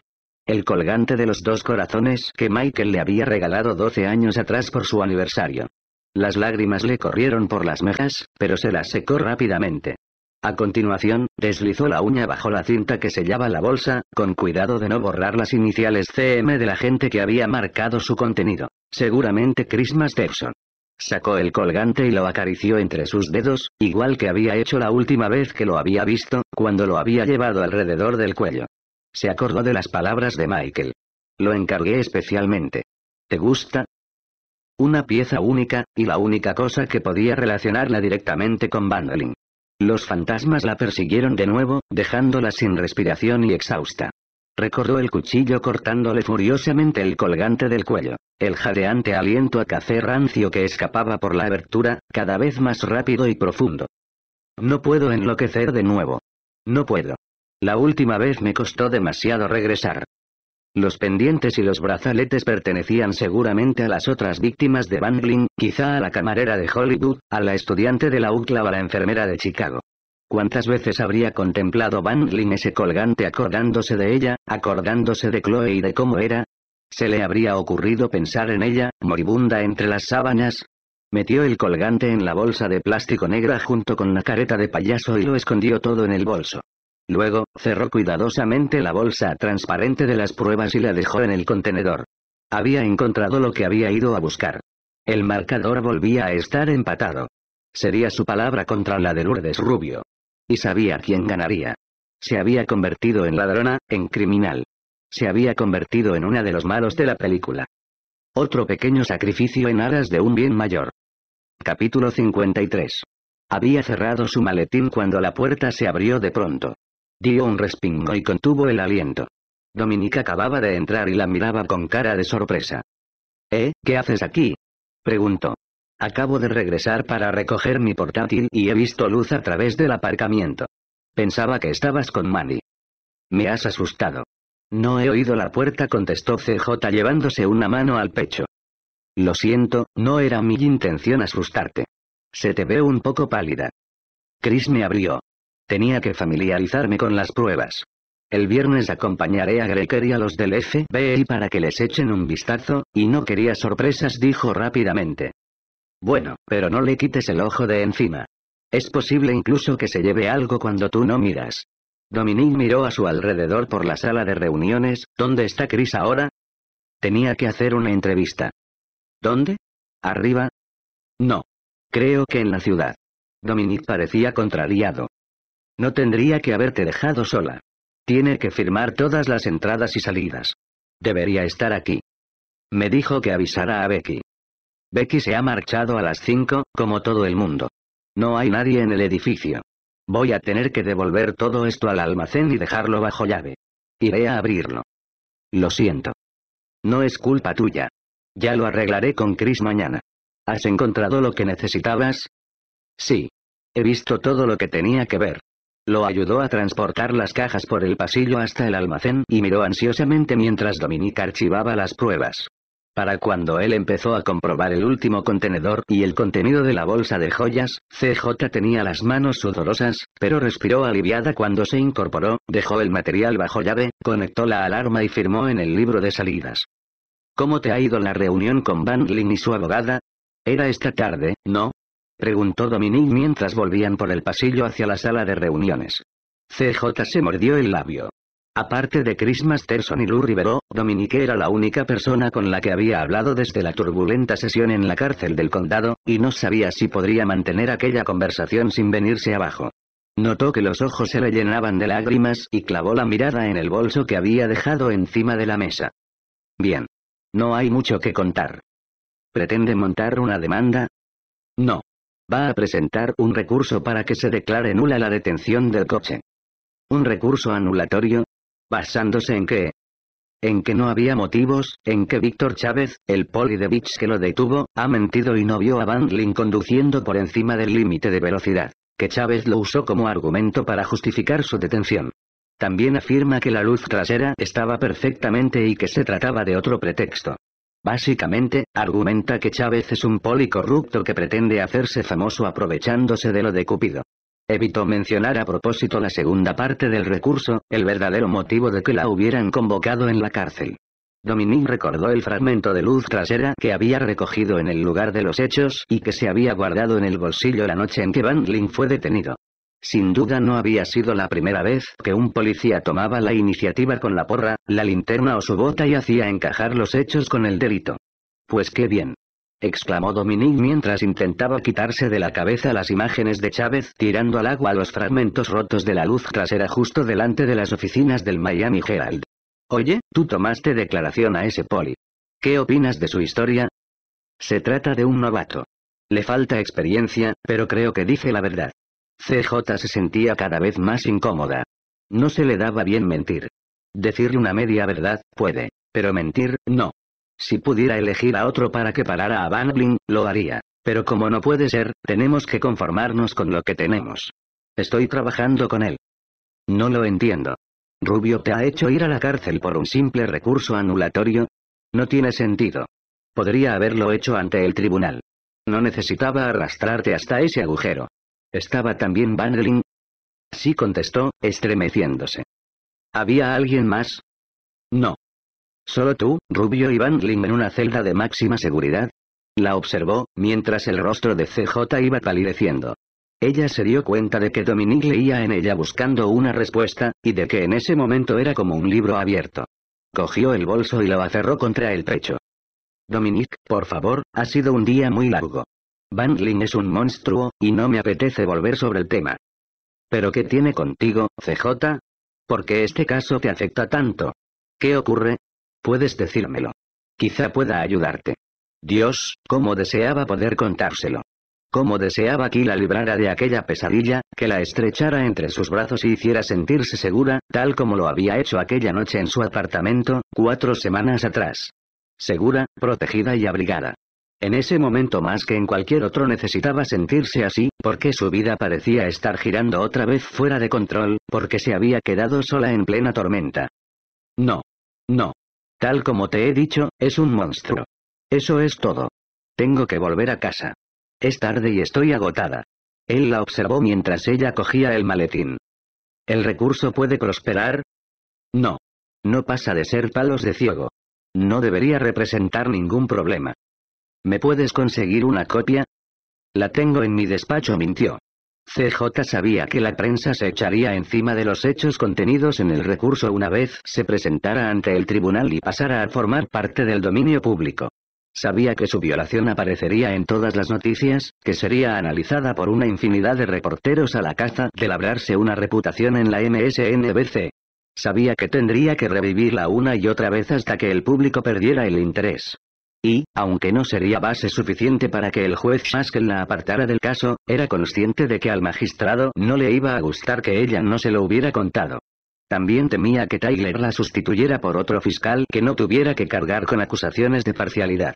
También sabía que debía sincerarse con Dominic antes de que las alegaciones se hicieran públicas y que le convenía empezar a practicar negarlas de plano sin echarse a llorar cada dos minutos. Pero esa noche no. Esa noche no podía. De acuerdo. Déjame que te acompañe, repuso Dominique. Sabía que era mejor no presionarla porque eso solo haría que CJ se distanciara aún más, así que decidió cambiar de conversación. Tenía pensado ir a buscar a Manny y ver si le apetece cenar algo. Me he pasado toda la tarde yendo de club en club por todo Miami, y en pleno día no ha sido muy divertido. Cerró la sala de reuniones y saludó con la mano al guardia de la garita, camino de la salida. Caminaron hasta el jeep en silencio, y CJ se metió en el coche. No iba a ser una despedida cariñosa como la del otro día. Gracias, Dominique se limitó a decir ella. Buenas noches, CJ. Llámame si necesitas algo, lo que sea. Ya lo sabes. Ella asintió y se alejó conduciendo.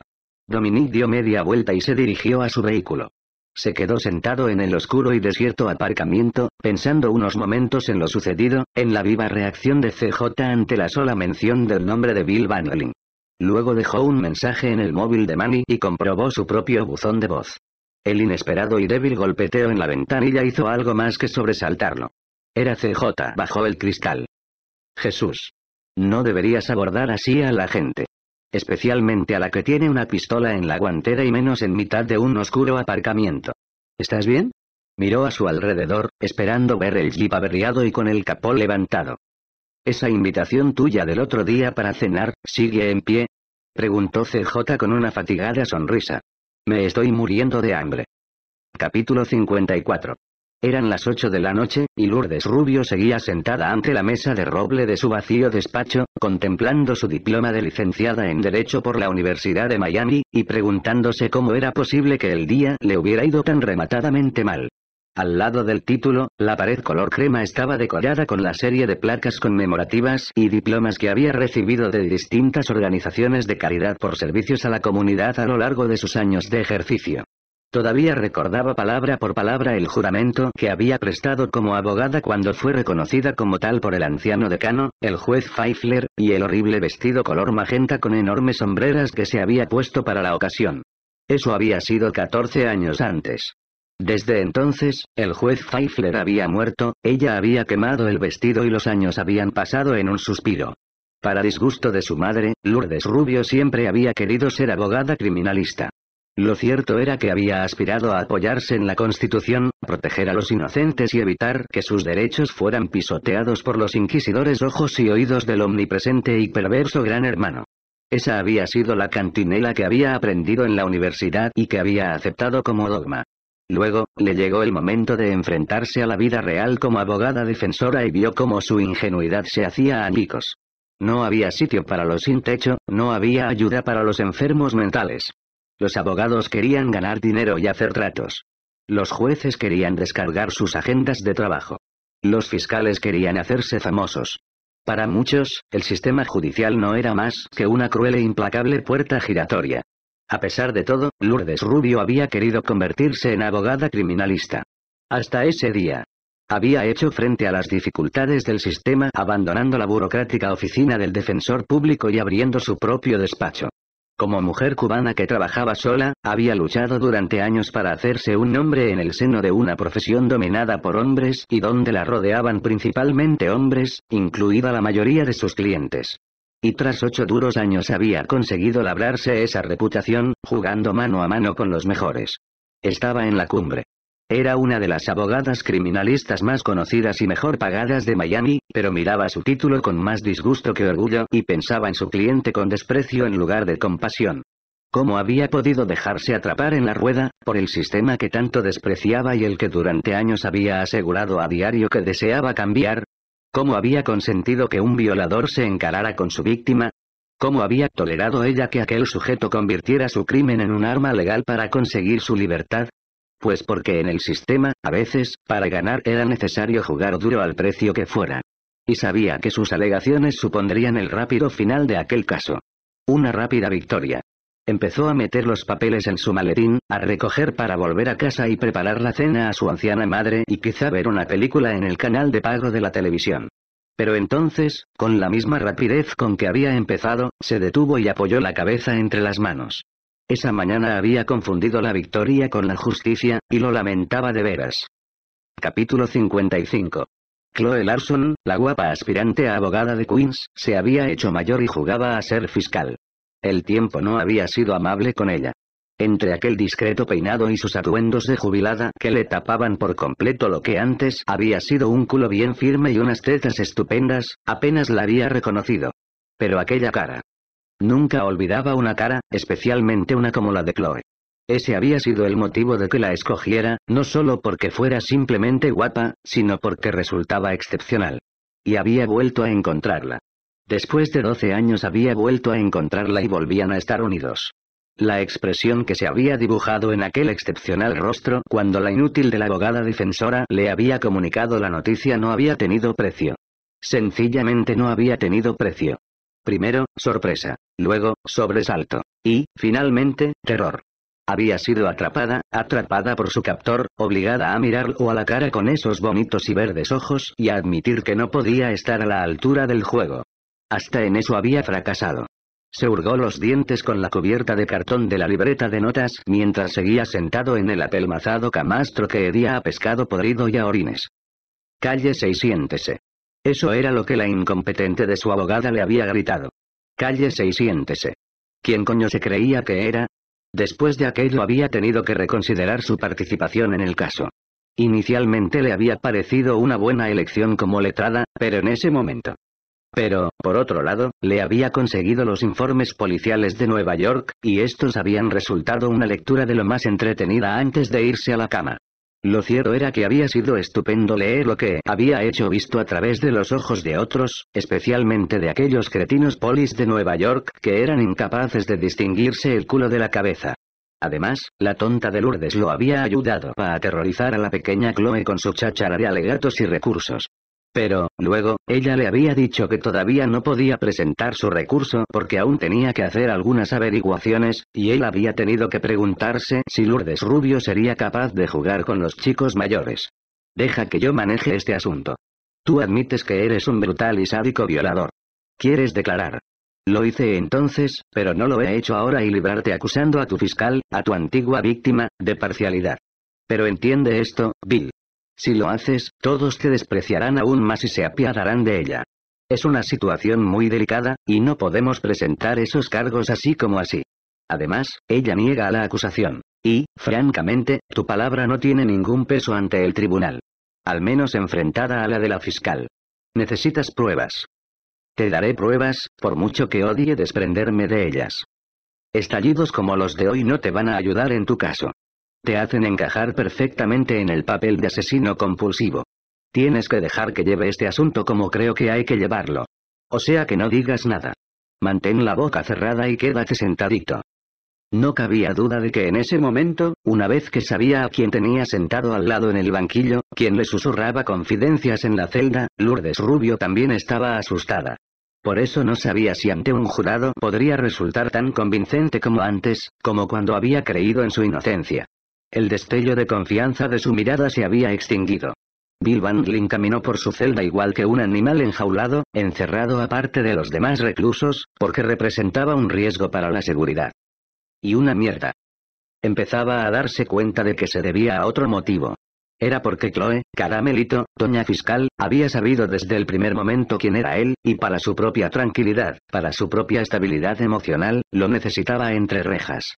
Cuantos más barrotes hubiera entre los dos, mejor dormiría ella. Sin embargo, había descubierto el juego de Chloe, y el asunto estaba liquidado. Lo cierto era que iba a resultarle divertido verla desmoronarse. Es una lástima que ya no electrocuten a la gente. Me habría resultado mucho más placentero ver cómo el rostro se le desencajaba y se le derretía. Oh, sí, había soltado su grandilocuente discurso. Pero él sabía que había sido solo porque él estaba esposado de pies y manos a aquella maldita mesa. Solo por eso ella había sido capaz de decirle esas cosas. Sabía que estaba asustada, asustada hasta la médula. Y tenía motivos para estarlo. Porque cuando saliera libre, la mataría. Capítulo 56. He iniciado una relación con Dominic Falconetti. ¿Desde cuándo? Greg Chambers había vuelto a su papel de terapeuta. Estaba tranquilamente sentado en su butaca, delante de su escritorio. El sol de la tarde entraba por las cortinas de persianilla y bañaba la consulta con una agradable luz acaramelada.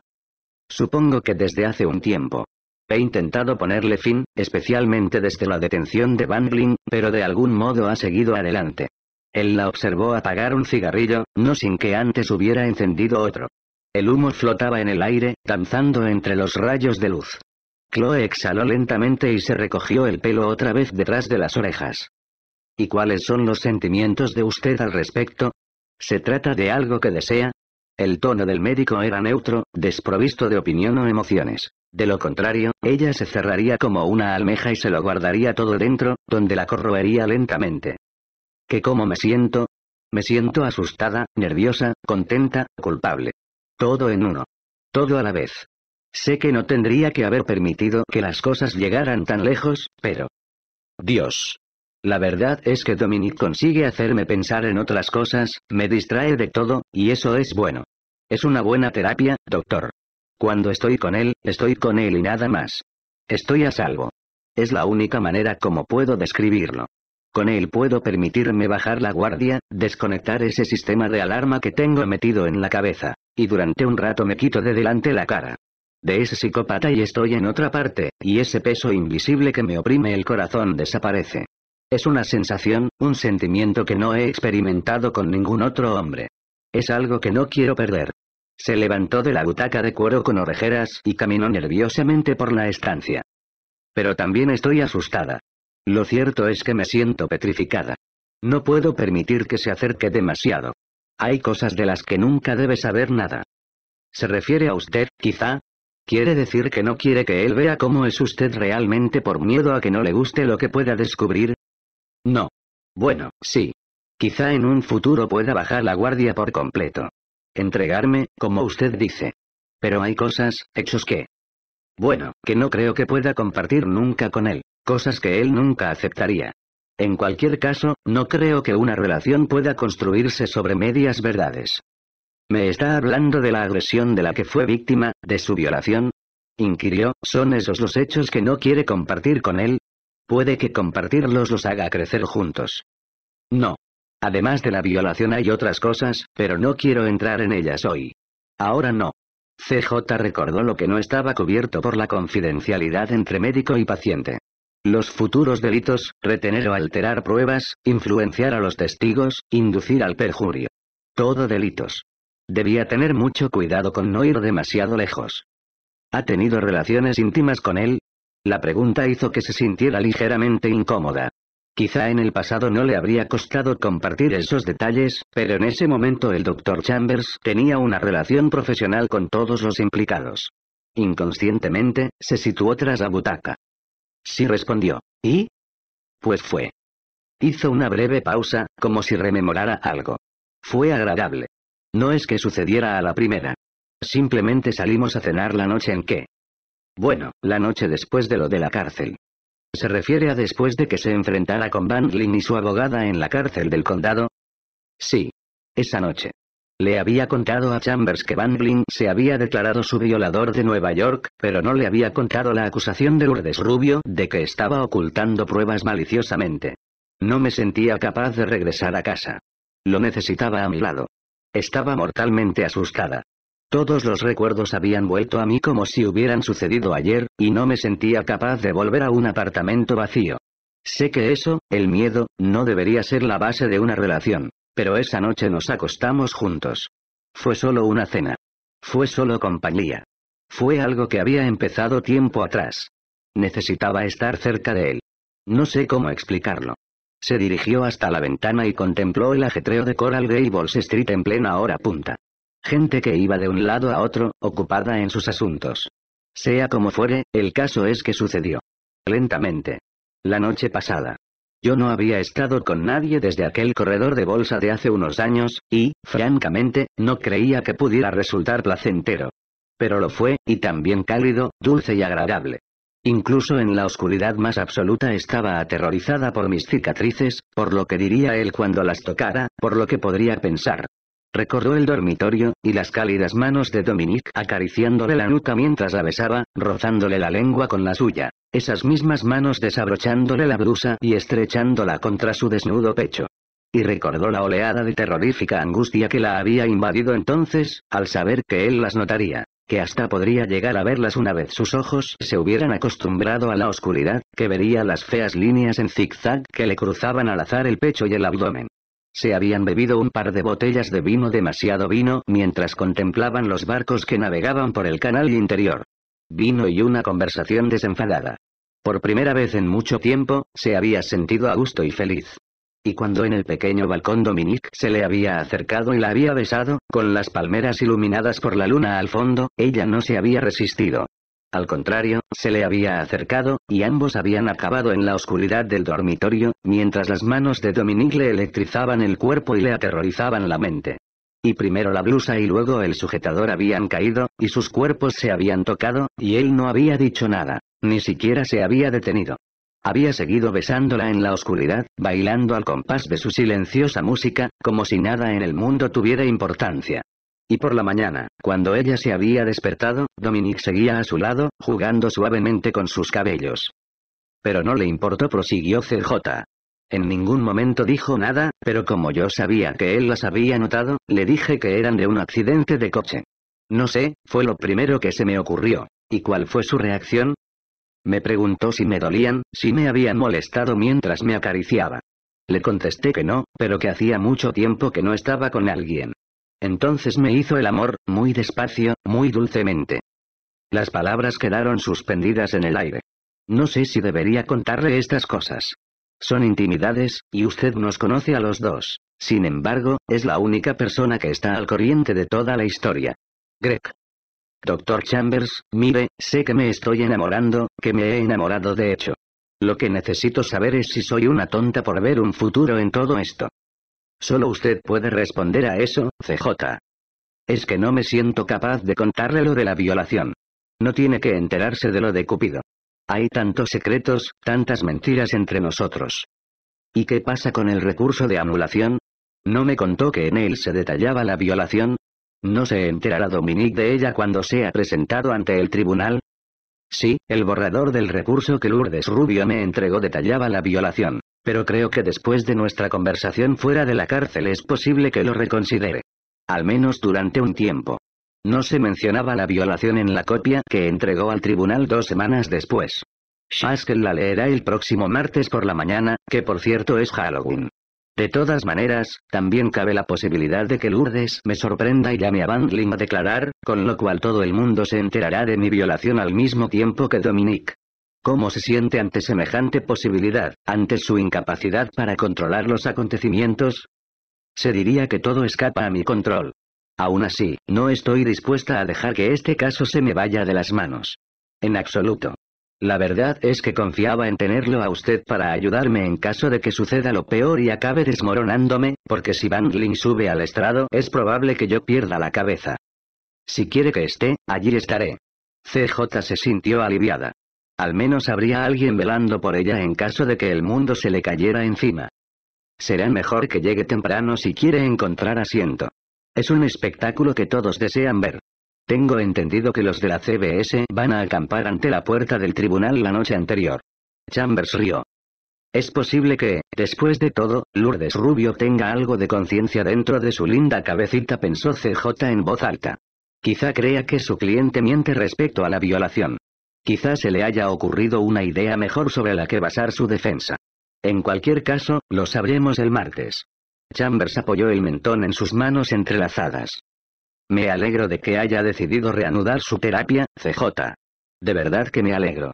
Me gustaría verla todos los miércoles por la tarde, al menos mientras este caso siga adelante. Creo que puede resultar más estresante de lo que se imagina. Ella sonrió. ¿Le parece que me estoy volviendo loca? ¿Me dan vueltas los ojos? ¿Hablo de manera incoherente o sueno poco legal? No hace falta que lleguemos tan lejos. Usted no comparte estos acontecimientos con nadie más, y ese es un factor que hay que tener en cuenta en la reanudación semanal de la terapia. Pero eso no significa que se esté volviendo loca, como usted dice. CJ asintió nerviosamente. Si la metamorfosis comenzaba de nuevo, ¿reconocería las señales, o necesitaría que alguien se las hiciera ver? Lo siento, empezó a decir en voz baja. Siento haber interrumpido la terapia de ese modo la pasada primavera sin hablarlo primero con usted. Quería comprobar si era capaz de salir del atolladero por mis propios medios. No diga más, lo entiendo. Lo importante es que ha reconocido que necesita ayuda y que no puede pasar por este trance usted sola. Bueno, dijo Chambers cambiando de conversación y haciendo que el difícil momento pasara tan rápidamente como había empezado. Cuénteme cómo va el caso. Todo lo demás parece ir funcionando. Los federales se han retirado un poco. Creo que De la Flor se está esperando para ver cómo funciona el recurso. Si pierdo, aparecerá corriendo para lincharme y presentar su acusación. Si gano. Bueno, si gano es posible que lo haga igualmente. Dependerá de dónde soplen los vientos de la política. Acabo de conseguir los historiales médicos de Nueva York de Bandling prosiguió. Por lo menos ya tenemos los diagnósticos.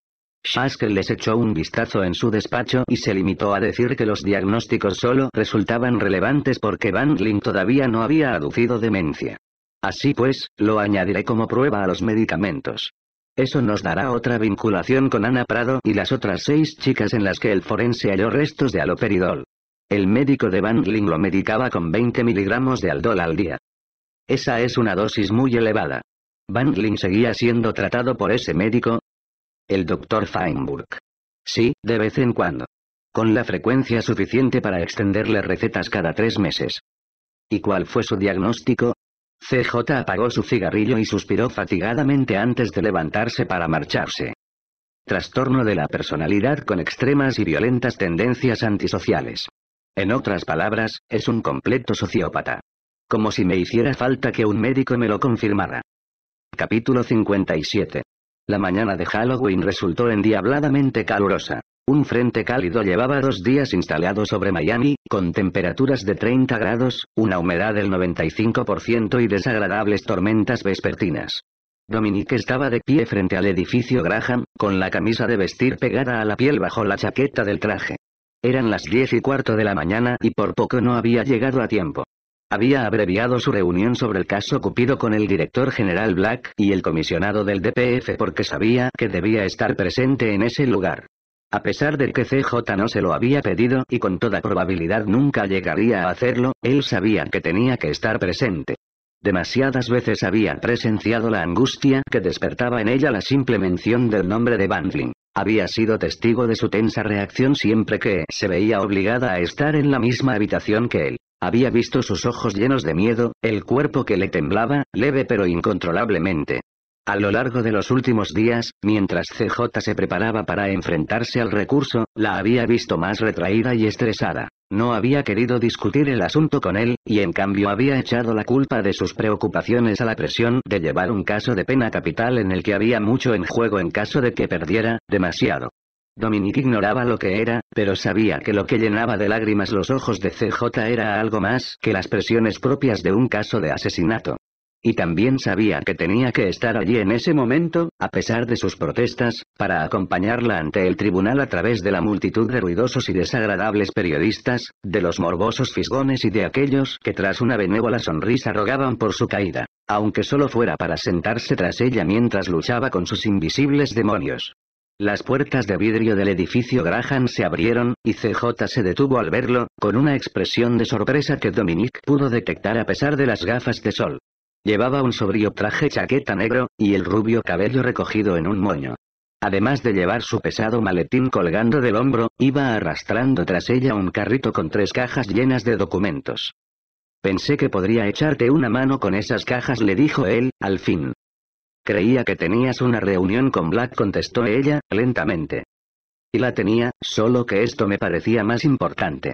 Era todo tan nuevo en esa relación en la que se habían embarcado. A pesar de que habían pasado la última noche juntos, no dejaba de existir un punto de incomodidad entre ellos. No estaba seguro de a dónde los conducía, ni siquiera si deseaba llegar a alguna parte, pero lo que sí sabía era que ella estaba preocupada por las apariencias, por la posibilidad de que aparecieran juntos. Por lo tanto se mantuvo a una prudente distancia de ella, mientras cruzaban la calle en silencio, camino del tribunal, y arrastraba las enormes cajas de expedientes tras él. Capítulo 58. Víctor Chávez estaba nervioso. ¿Qué demonios? Sudaba tinta con todos aquellos malditos reporteros merodeando a su alrededor igual que buitres, esperando poder abalanzarse sobre un pedazo de carne para llevárselo y picotearlo en sus nidos, esperando a que apareciera alguien y la pifiara en aquel caso para ser los primeros en informar. Permaneció sentado en el banco, a las puertas de la sala 2-8, esperando su turno para declarar. Todo el mundo estaba allí y todos lo observaban su sargento, su teniente y el resto de los chicos. No se trataba de que no hubiese testificado anteriormente. Lo cierto era que aquella era la tercera detención por la que tenía que presentarse, y creía que sabía cómo comportarse en el banquillo. Además, en las veces anteriores no la había pifiado. Sin embargo, en un caso como el de Cupido, todo se salía de lo normal. Iba a comparecer como testigo de la defensa en aquel estúpido recurso de anulación, para que no tuvieran en cuenta la detención que había practicado, para anular su registro. Sí, un tipo conducía por todo Miami con una chica muerta en el maletero y había que considerar nula su detención. ¿Qué coño quería decir eso? El sargento Rivero prácticamente no le había quitado el ojo de encima desde entonces. En esos momentos se veía obligado a informar hasta de cuando iba a mear estando de servicio. Que lo trataran como a un niño de teta resultaba de lo más molesto, pero sabía que sería mucho peor si metía la pata con aquel decisivo recurso, con las luces y las cámaras fijas en él. No solo perdería su trabajo, sino que sería objeto de una investigación, y el psicópata ese saldría libre. Debía recordar su papel palabra por palabra, hasta la última letra. Eso era lo más difícil, acordarse de cada jodido detalle, tal como la fiscal le había ordenado y en el orden en que lo había hecho. El problema cuando se inventan historias es que al final uno no sabe qué historia está contando, solía decirle su madre. Especialmente cuando todos se lo preguntaban, cuando todos querían saber cómo había detenido a Cupido en plena carretera. Y no eran sus compañeros, era todo el mundo en todas partes. Sus vecinos, sus compañeros de colegio, los desconocidos por la calle, las chicas en la playa, las chicas en la piscina, las chicas en los bares, las chicas de patrulla. Se había convertido en una celebridad. El poli que había pillado a Cupido.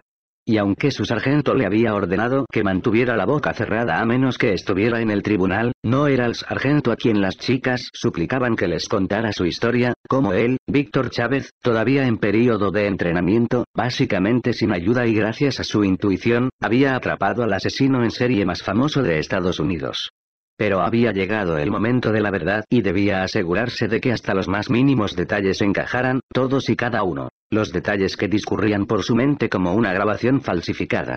Estaba sentado en el banco, vestido con su uniforme de la policía de Miami Beach, esperando el turno para subir al estrado, cuando las puertas de caoba se abrieron de repente y la voz del alguacil pronunció su nombre alto y claro. Capítulo 59. Van Lin ya se encontraba sentado tras la mesa de la defensa, al lado de Lourdes Rubio, vestido con su llamativo mono rojo, cuando la fiscal entró en la sala. CJ notó que su mirada la seguía mientras avanzaba hacia la mesa del Ministerio Fiscal y, con ayuda de Dominique, sacaba las carpetas con los documentos. A pesar de que no lo veía, sabía que Van Lin sonreía. Lo percibía. Concéntrate. Concéntrate igual que en cualquier otro caso. Dominic se sentó tras ella, con Manny y Jimmy Fulton, en primera fila. Chris Masterson y Eddie Bowman habían llegado tarde y no habían tenido más remedio que abrirse paso gracias a sus placas, para conseguir un hueco en las últimas filas, junto a Greg Chambers. Al otro extremo de la sala, con sus trajes negros de siempre, sus gafas oscuras y las manos en los bolsillos, estaban los Blues Brothers, Carmody y Stevens, junto con su director de orquesta, Greker. Aunque CJ no lo había visto, estaba segura de que Tom de la Flor se hallaba en alguna parte, o de que como mínimo habría enviado a un par de sus ayudantes con una reclamación federal en cada mano en caso de que ella perdiera. Como de costumbre, todas las cadenas de televisión estaban presentes, con sus cámaras dispuestas, así como los reporteros de los principales periódicos. Una sala completamente abarrotada. Lourdes no la había mirado al entrar, sino que había mantenido la cabeza gacha, concentrándose debidamente en lugar de dedicarse a leer los papeles que tenía delante. CJ todavía no sabía qué podía esperar de ella esa mañana y tenía un nudo en la garganta. La puerta que daba a las dependencias del juez se abrió, y Hank, el alguacil, se apresuró a gritar. El tribunal abre su sesión. Preside el honorable Leopold Schaskel III. Siéntense y guarden silencio. Desconecten sus móviles y alarmas. El juez Haskell subió al estrado y no perdió el tiempo con discursos ni declaraciones dirigidas a la ansiosa multitud. De hecho, ni pareció percatarse de su existencia. Con 10 años de experiencia como magistrado y otros 20 como fiscal había visto de todo, y contemplar su nombre en los titulares ya no lo impresionaba, sino que constituía una molesta parte de su trabajo. Se volvió hacia Lourdes y empezó sin más preámbulos. Bien, señorita Rubio, estamos reunidos aquí hoy para escuchar su recurso de anulación de la detención de su cliente y el subsiguiente registro en el caso del estado de Florida contra William Vandelin. He leído su escrito. Proceda y distráiganos. Llame a su primer testigo. Capítulo 60. Dado que se trataba de un recurso planteado por la defensa, era en ella sobre quien recaía la carga de la prueba. Le correspondía a Lourdes demostrar que la detención era nula, ya que el Ministerio Fiscal no tenía que defender su conformidad a derecho.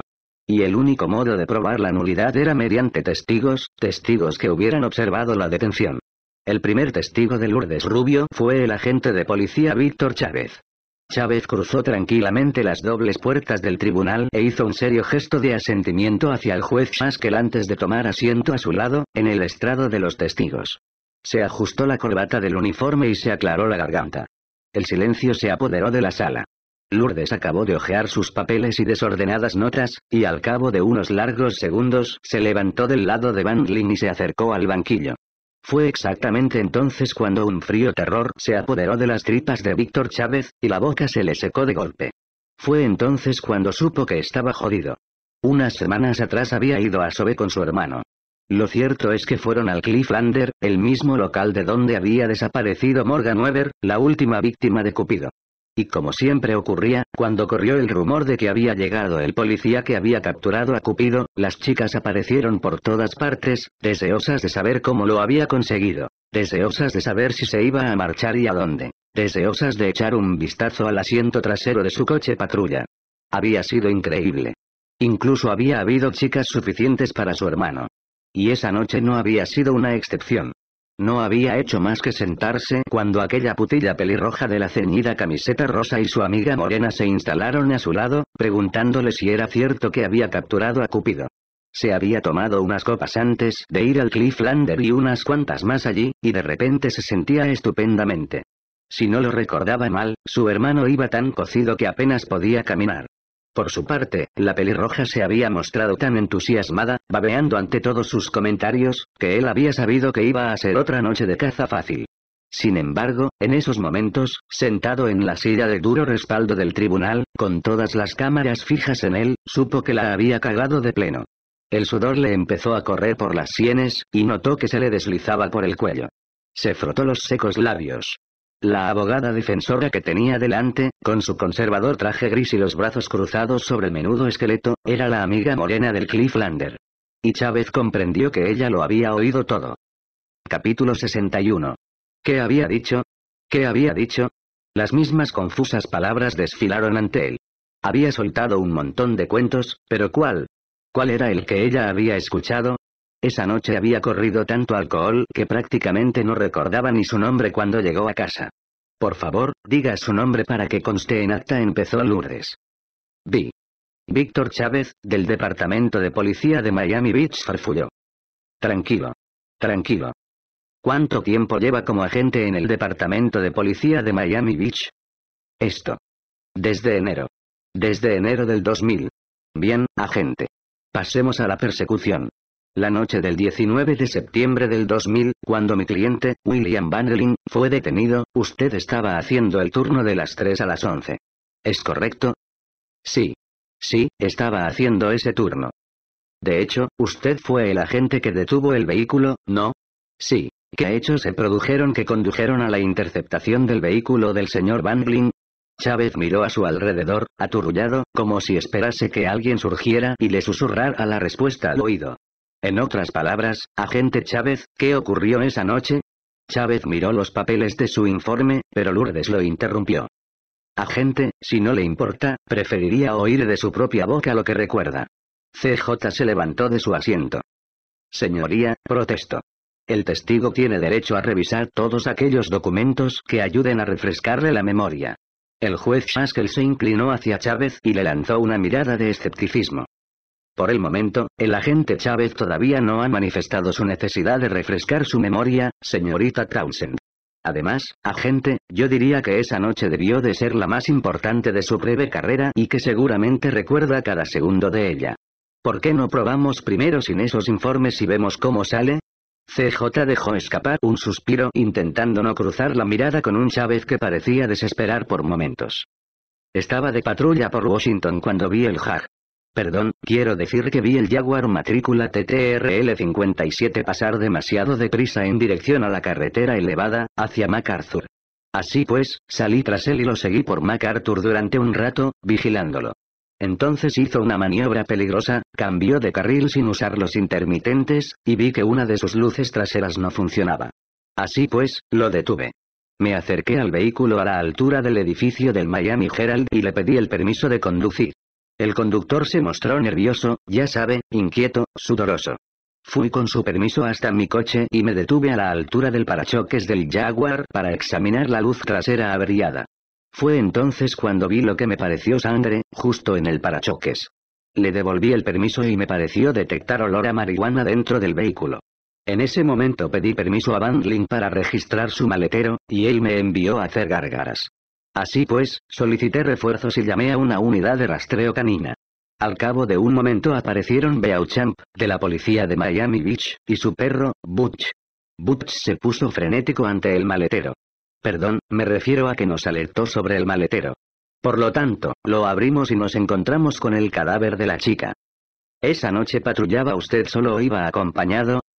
Esa noche iba solo. ¿A qué velocidad iba Bandling cuando usted lo vio por primera vez? Esto. A unos 70 kilómetros por hora en una zona señalizada a 40. ¿Y usted comprobó su velocidad con una pistola de radar? No. Ah. Entonces usted estaba circulando tras él y comprobó en su velocímetro que mi cliente circulaba a 70 kilómetros por hora, ¿no? No. Chávez se retorció en su asiento, incómodo. Entonces, ¿dónde estaba usted, agente Chávez, cuando vio que mi cliente circulaba por encima de la velocidad autorizada, cuando vio el Jaguar yendo 30 kilómetros demasiado deprisa por Washington? Me encontraba en la calle Sexta. En la Sexta con Washington. ¿Y en qué dirección miraba? Mi coche miraba en dirección este. Yo estaba fuera del coche. ¿Fuera de su coche? Agente, a ver si aclaramos las cosas. No estaba usted usando una pistola de radar. No seguía a mi cliente en su coche patrulla. Ni siquiera estaba usted subido en él, sino que se encontraba de pie en la esquina de una calle cuando vio pasar el vehículo de mi cliente, que apenas superaba el límite de velocidad. ¿Fue así? Sí. Y usted, a simple vista, con solo nueve meses de experiencia en la policía, fue capaz de determinar que ese coche negro circulaba a unos 20 kilómetros por encima del límite de velocidad establecido. Sí. Sí. Pude. Iba serpenteando por entre el tráfico. Procedía de manera temeraria. Justo como dice el manual. ¿Y usted qué estaba haciendo en ese momento fuera de su coche patrulla? Estaba poniendo paz en una pelea entre dos chavales que habían discutido.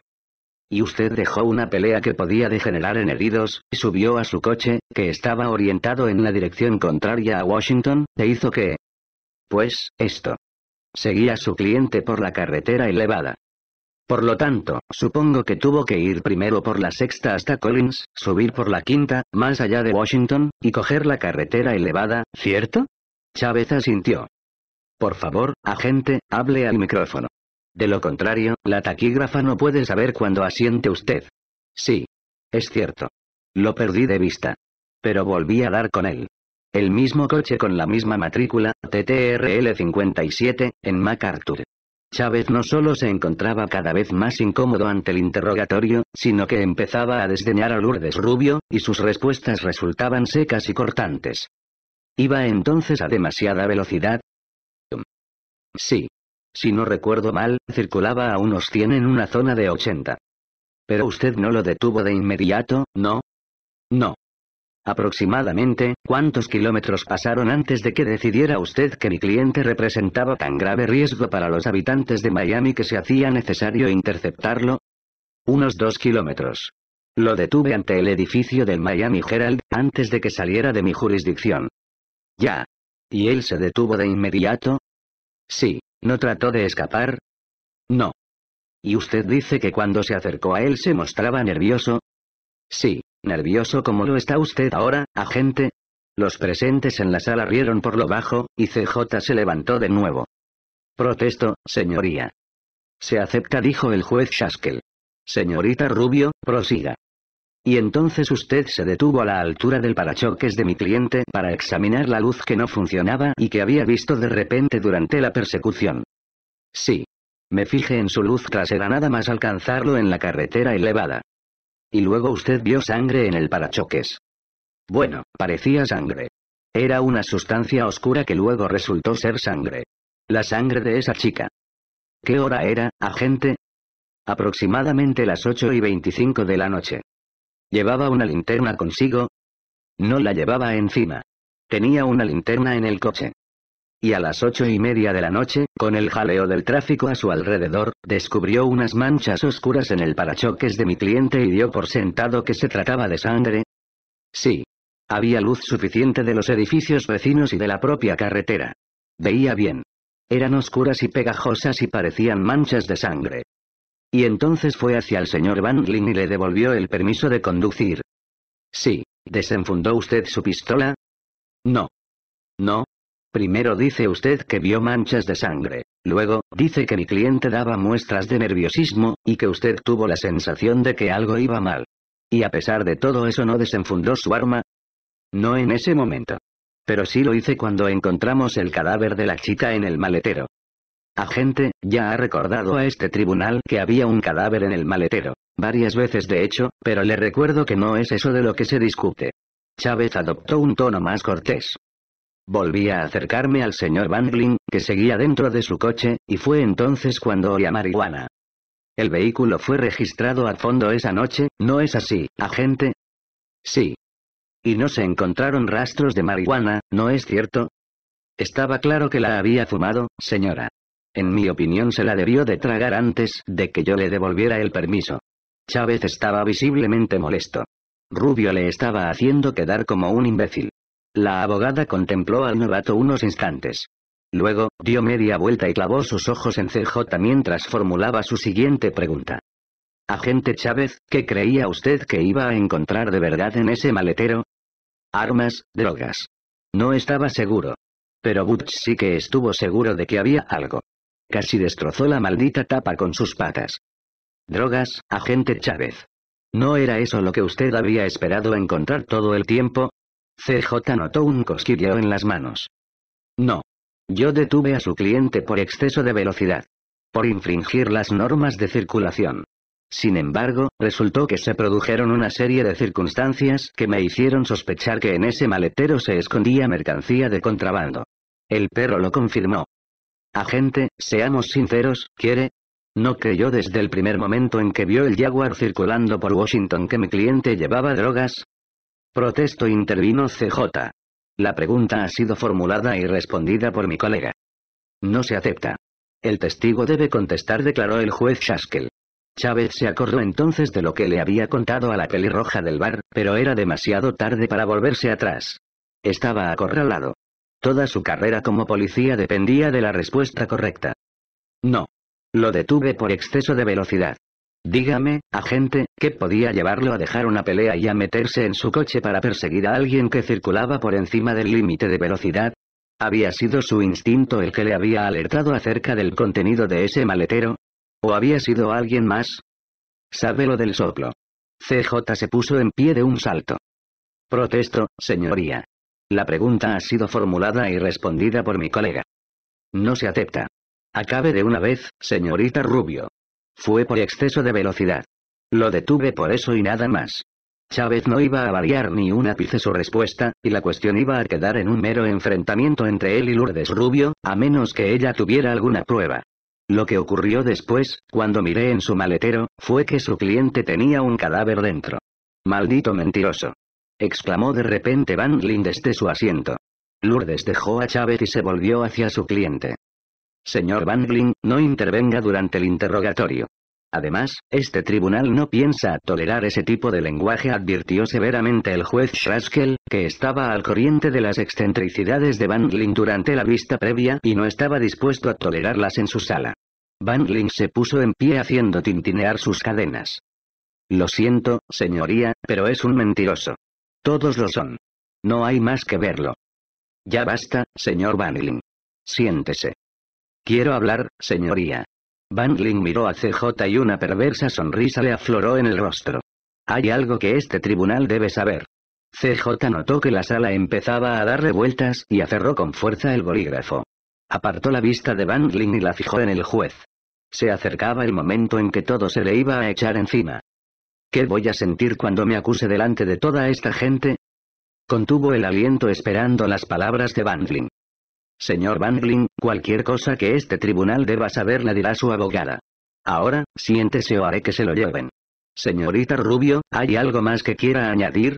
Lourdes Rubio contempló cómo su cliente se sentaba con la ayuda de dos forzudos agentes de vigilancia penitenciaria. Bangling no apartaba la vista de la fiscal, y una expresión de odio y aborrecimiento le deformaba un rostro que de otro modo habría resultado atractivo. Estaba disfrutando con sus trucos y añagachas, jugando al gato y al ratón, sé algo que nadie más sabe. Pues bien, no estaba dispuesta a permitírselo. No ese día. Y no con ella. No tengo nada más que añadir, señoría dijo bruscamente, y se sentó. Capítulo 62.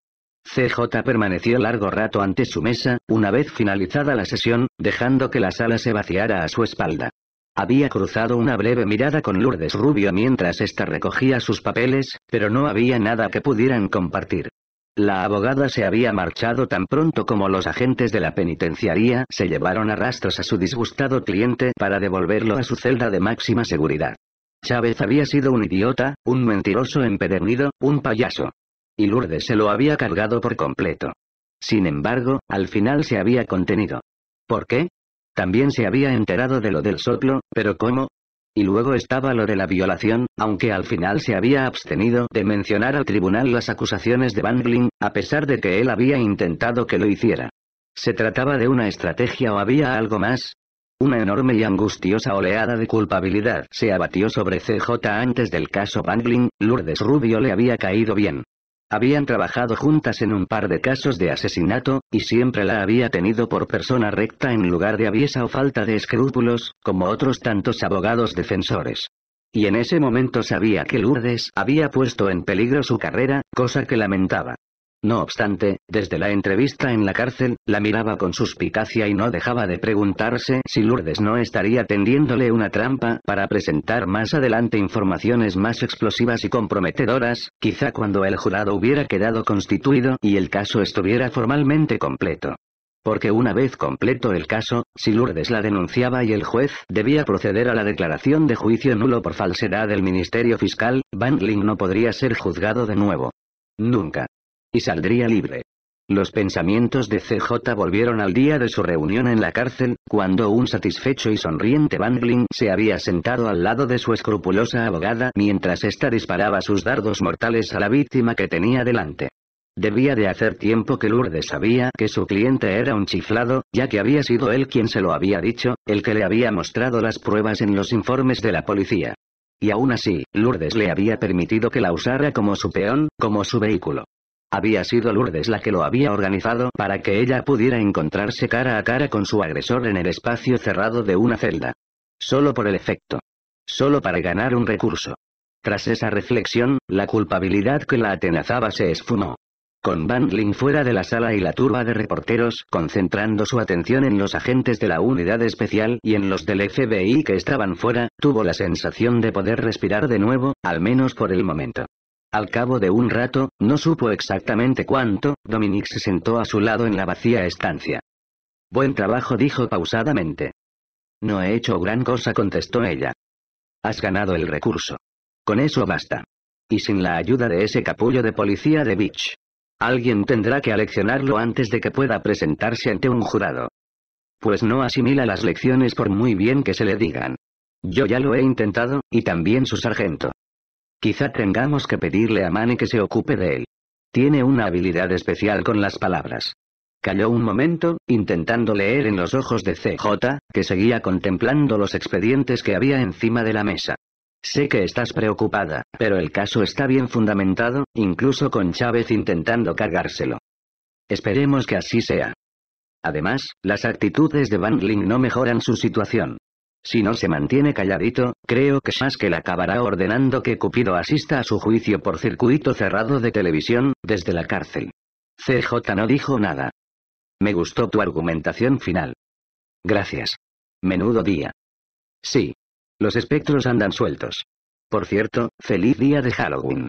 ¿Puedo ayudarte de vuelta a tu oficina? ¿Se ha ido ya todo el mundo? Sí. Casi todos. Creo que solo quedan Manny y algunos muchachos en el pasillo, con tu secretaria. Marisol está aquí. Me parece que ha venido a animarte. Lo dudo. Se ha quedado durante toda la vista, y ahora está hablando fuera con Manny. Lleva un atuendo interesante. Sí. Sus atuendos siempre lo son. De acuerdo. Acepto tu ayuda. Dominique cogió las carpetas de la mesa y las fue metiendo en las cajas, que amontonó una encima de otra en el carrito. Con una mano lo arrastró mientras en la otra llevaba el pesado maletín. Juntos se dirigieron a las puertas que daban al pasillo. ¿Qué tal si cenamos juntos esta noche? preguntó él. Me encantaría, contestó ella. Y esa vez no dudó. No dudó en absoluto. Capítulo 63. Lourdes Rubio abrió el cajón inferior de su escritorio y sacó una botella de Chivas Regal, la ambrosía que reservaba para las celebraciones y los veredictos favorables de inocencia. Sin embargo, ese día iba a servir para un propósito diferente.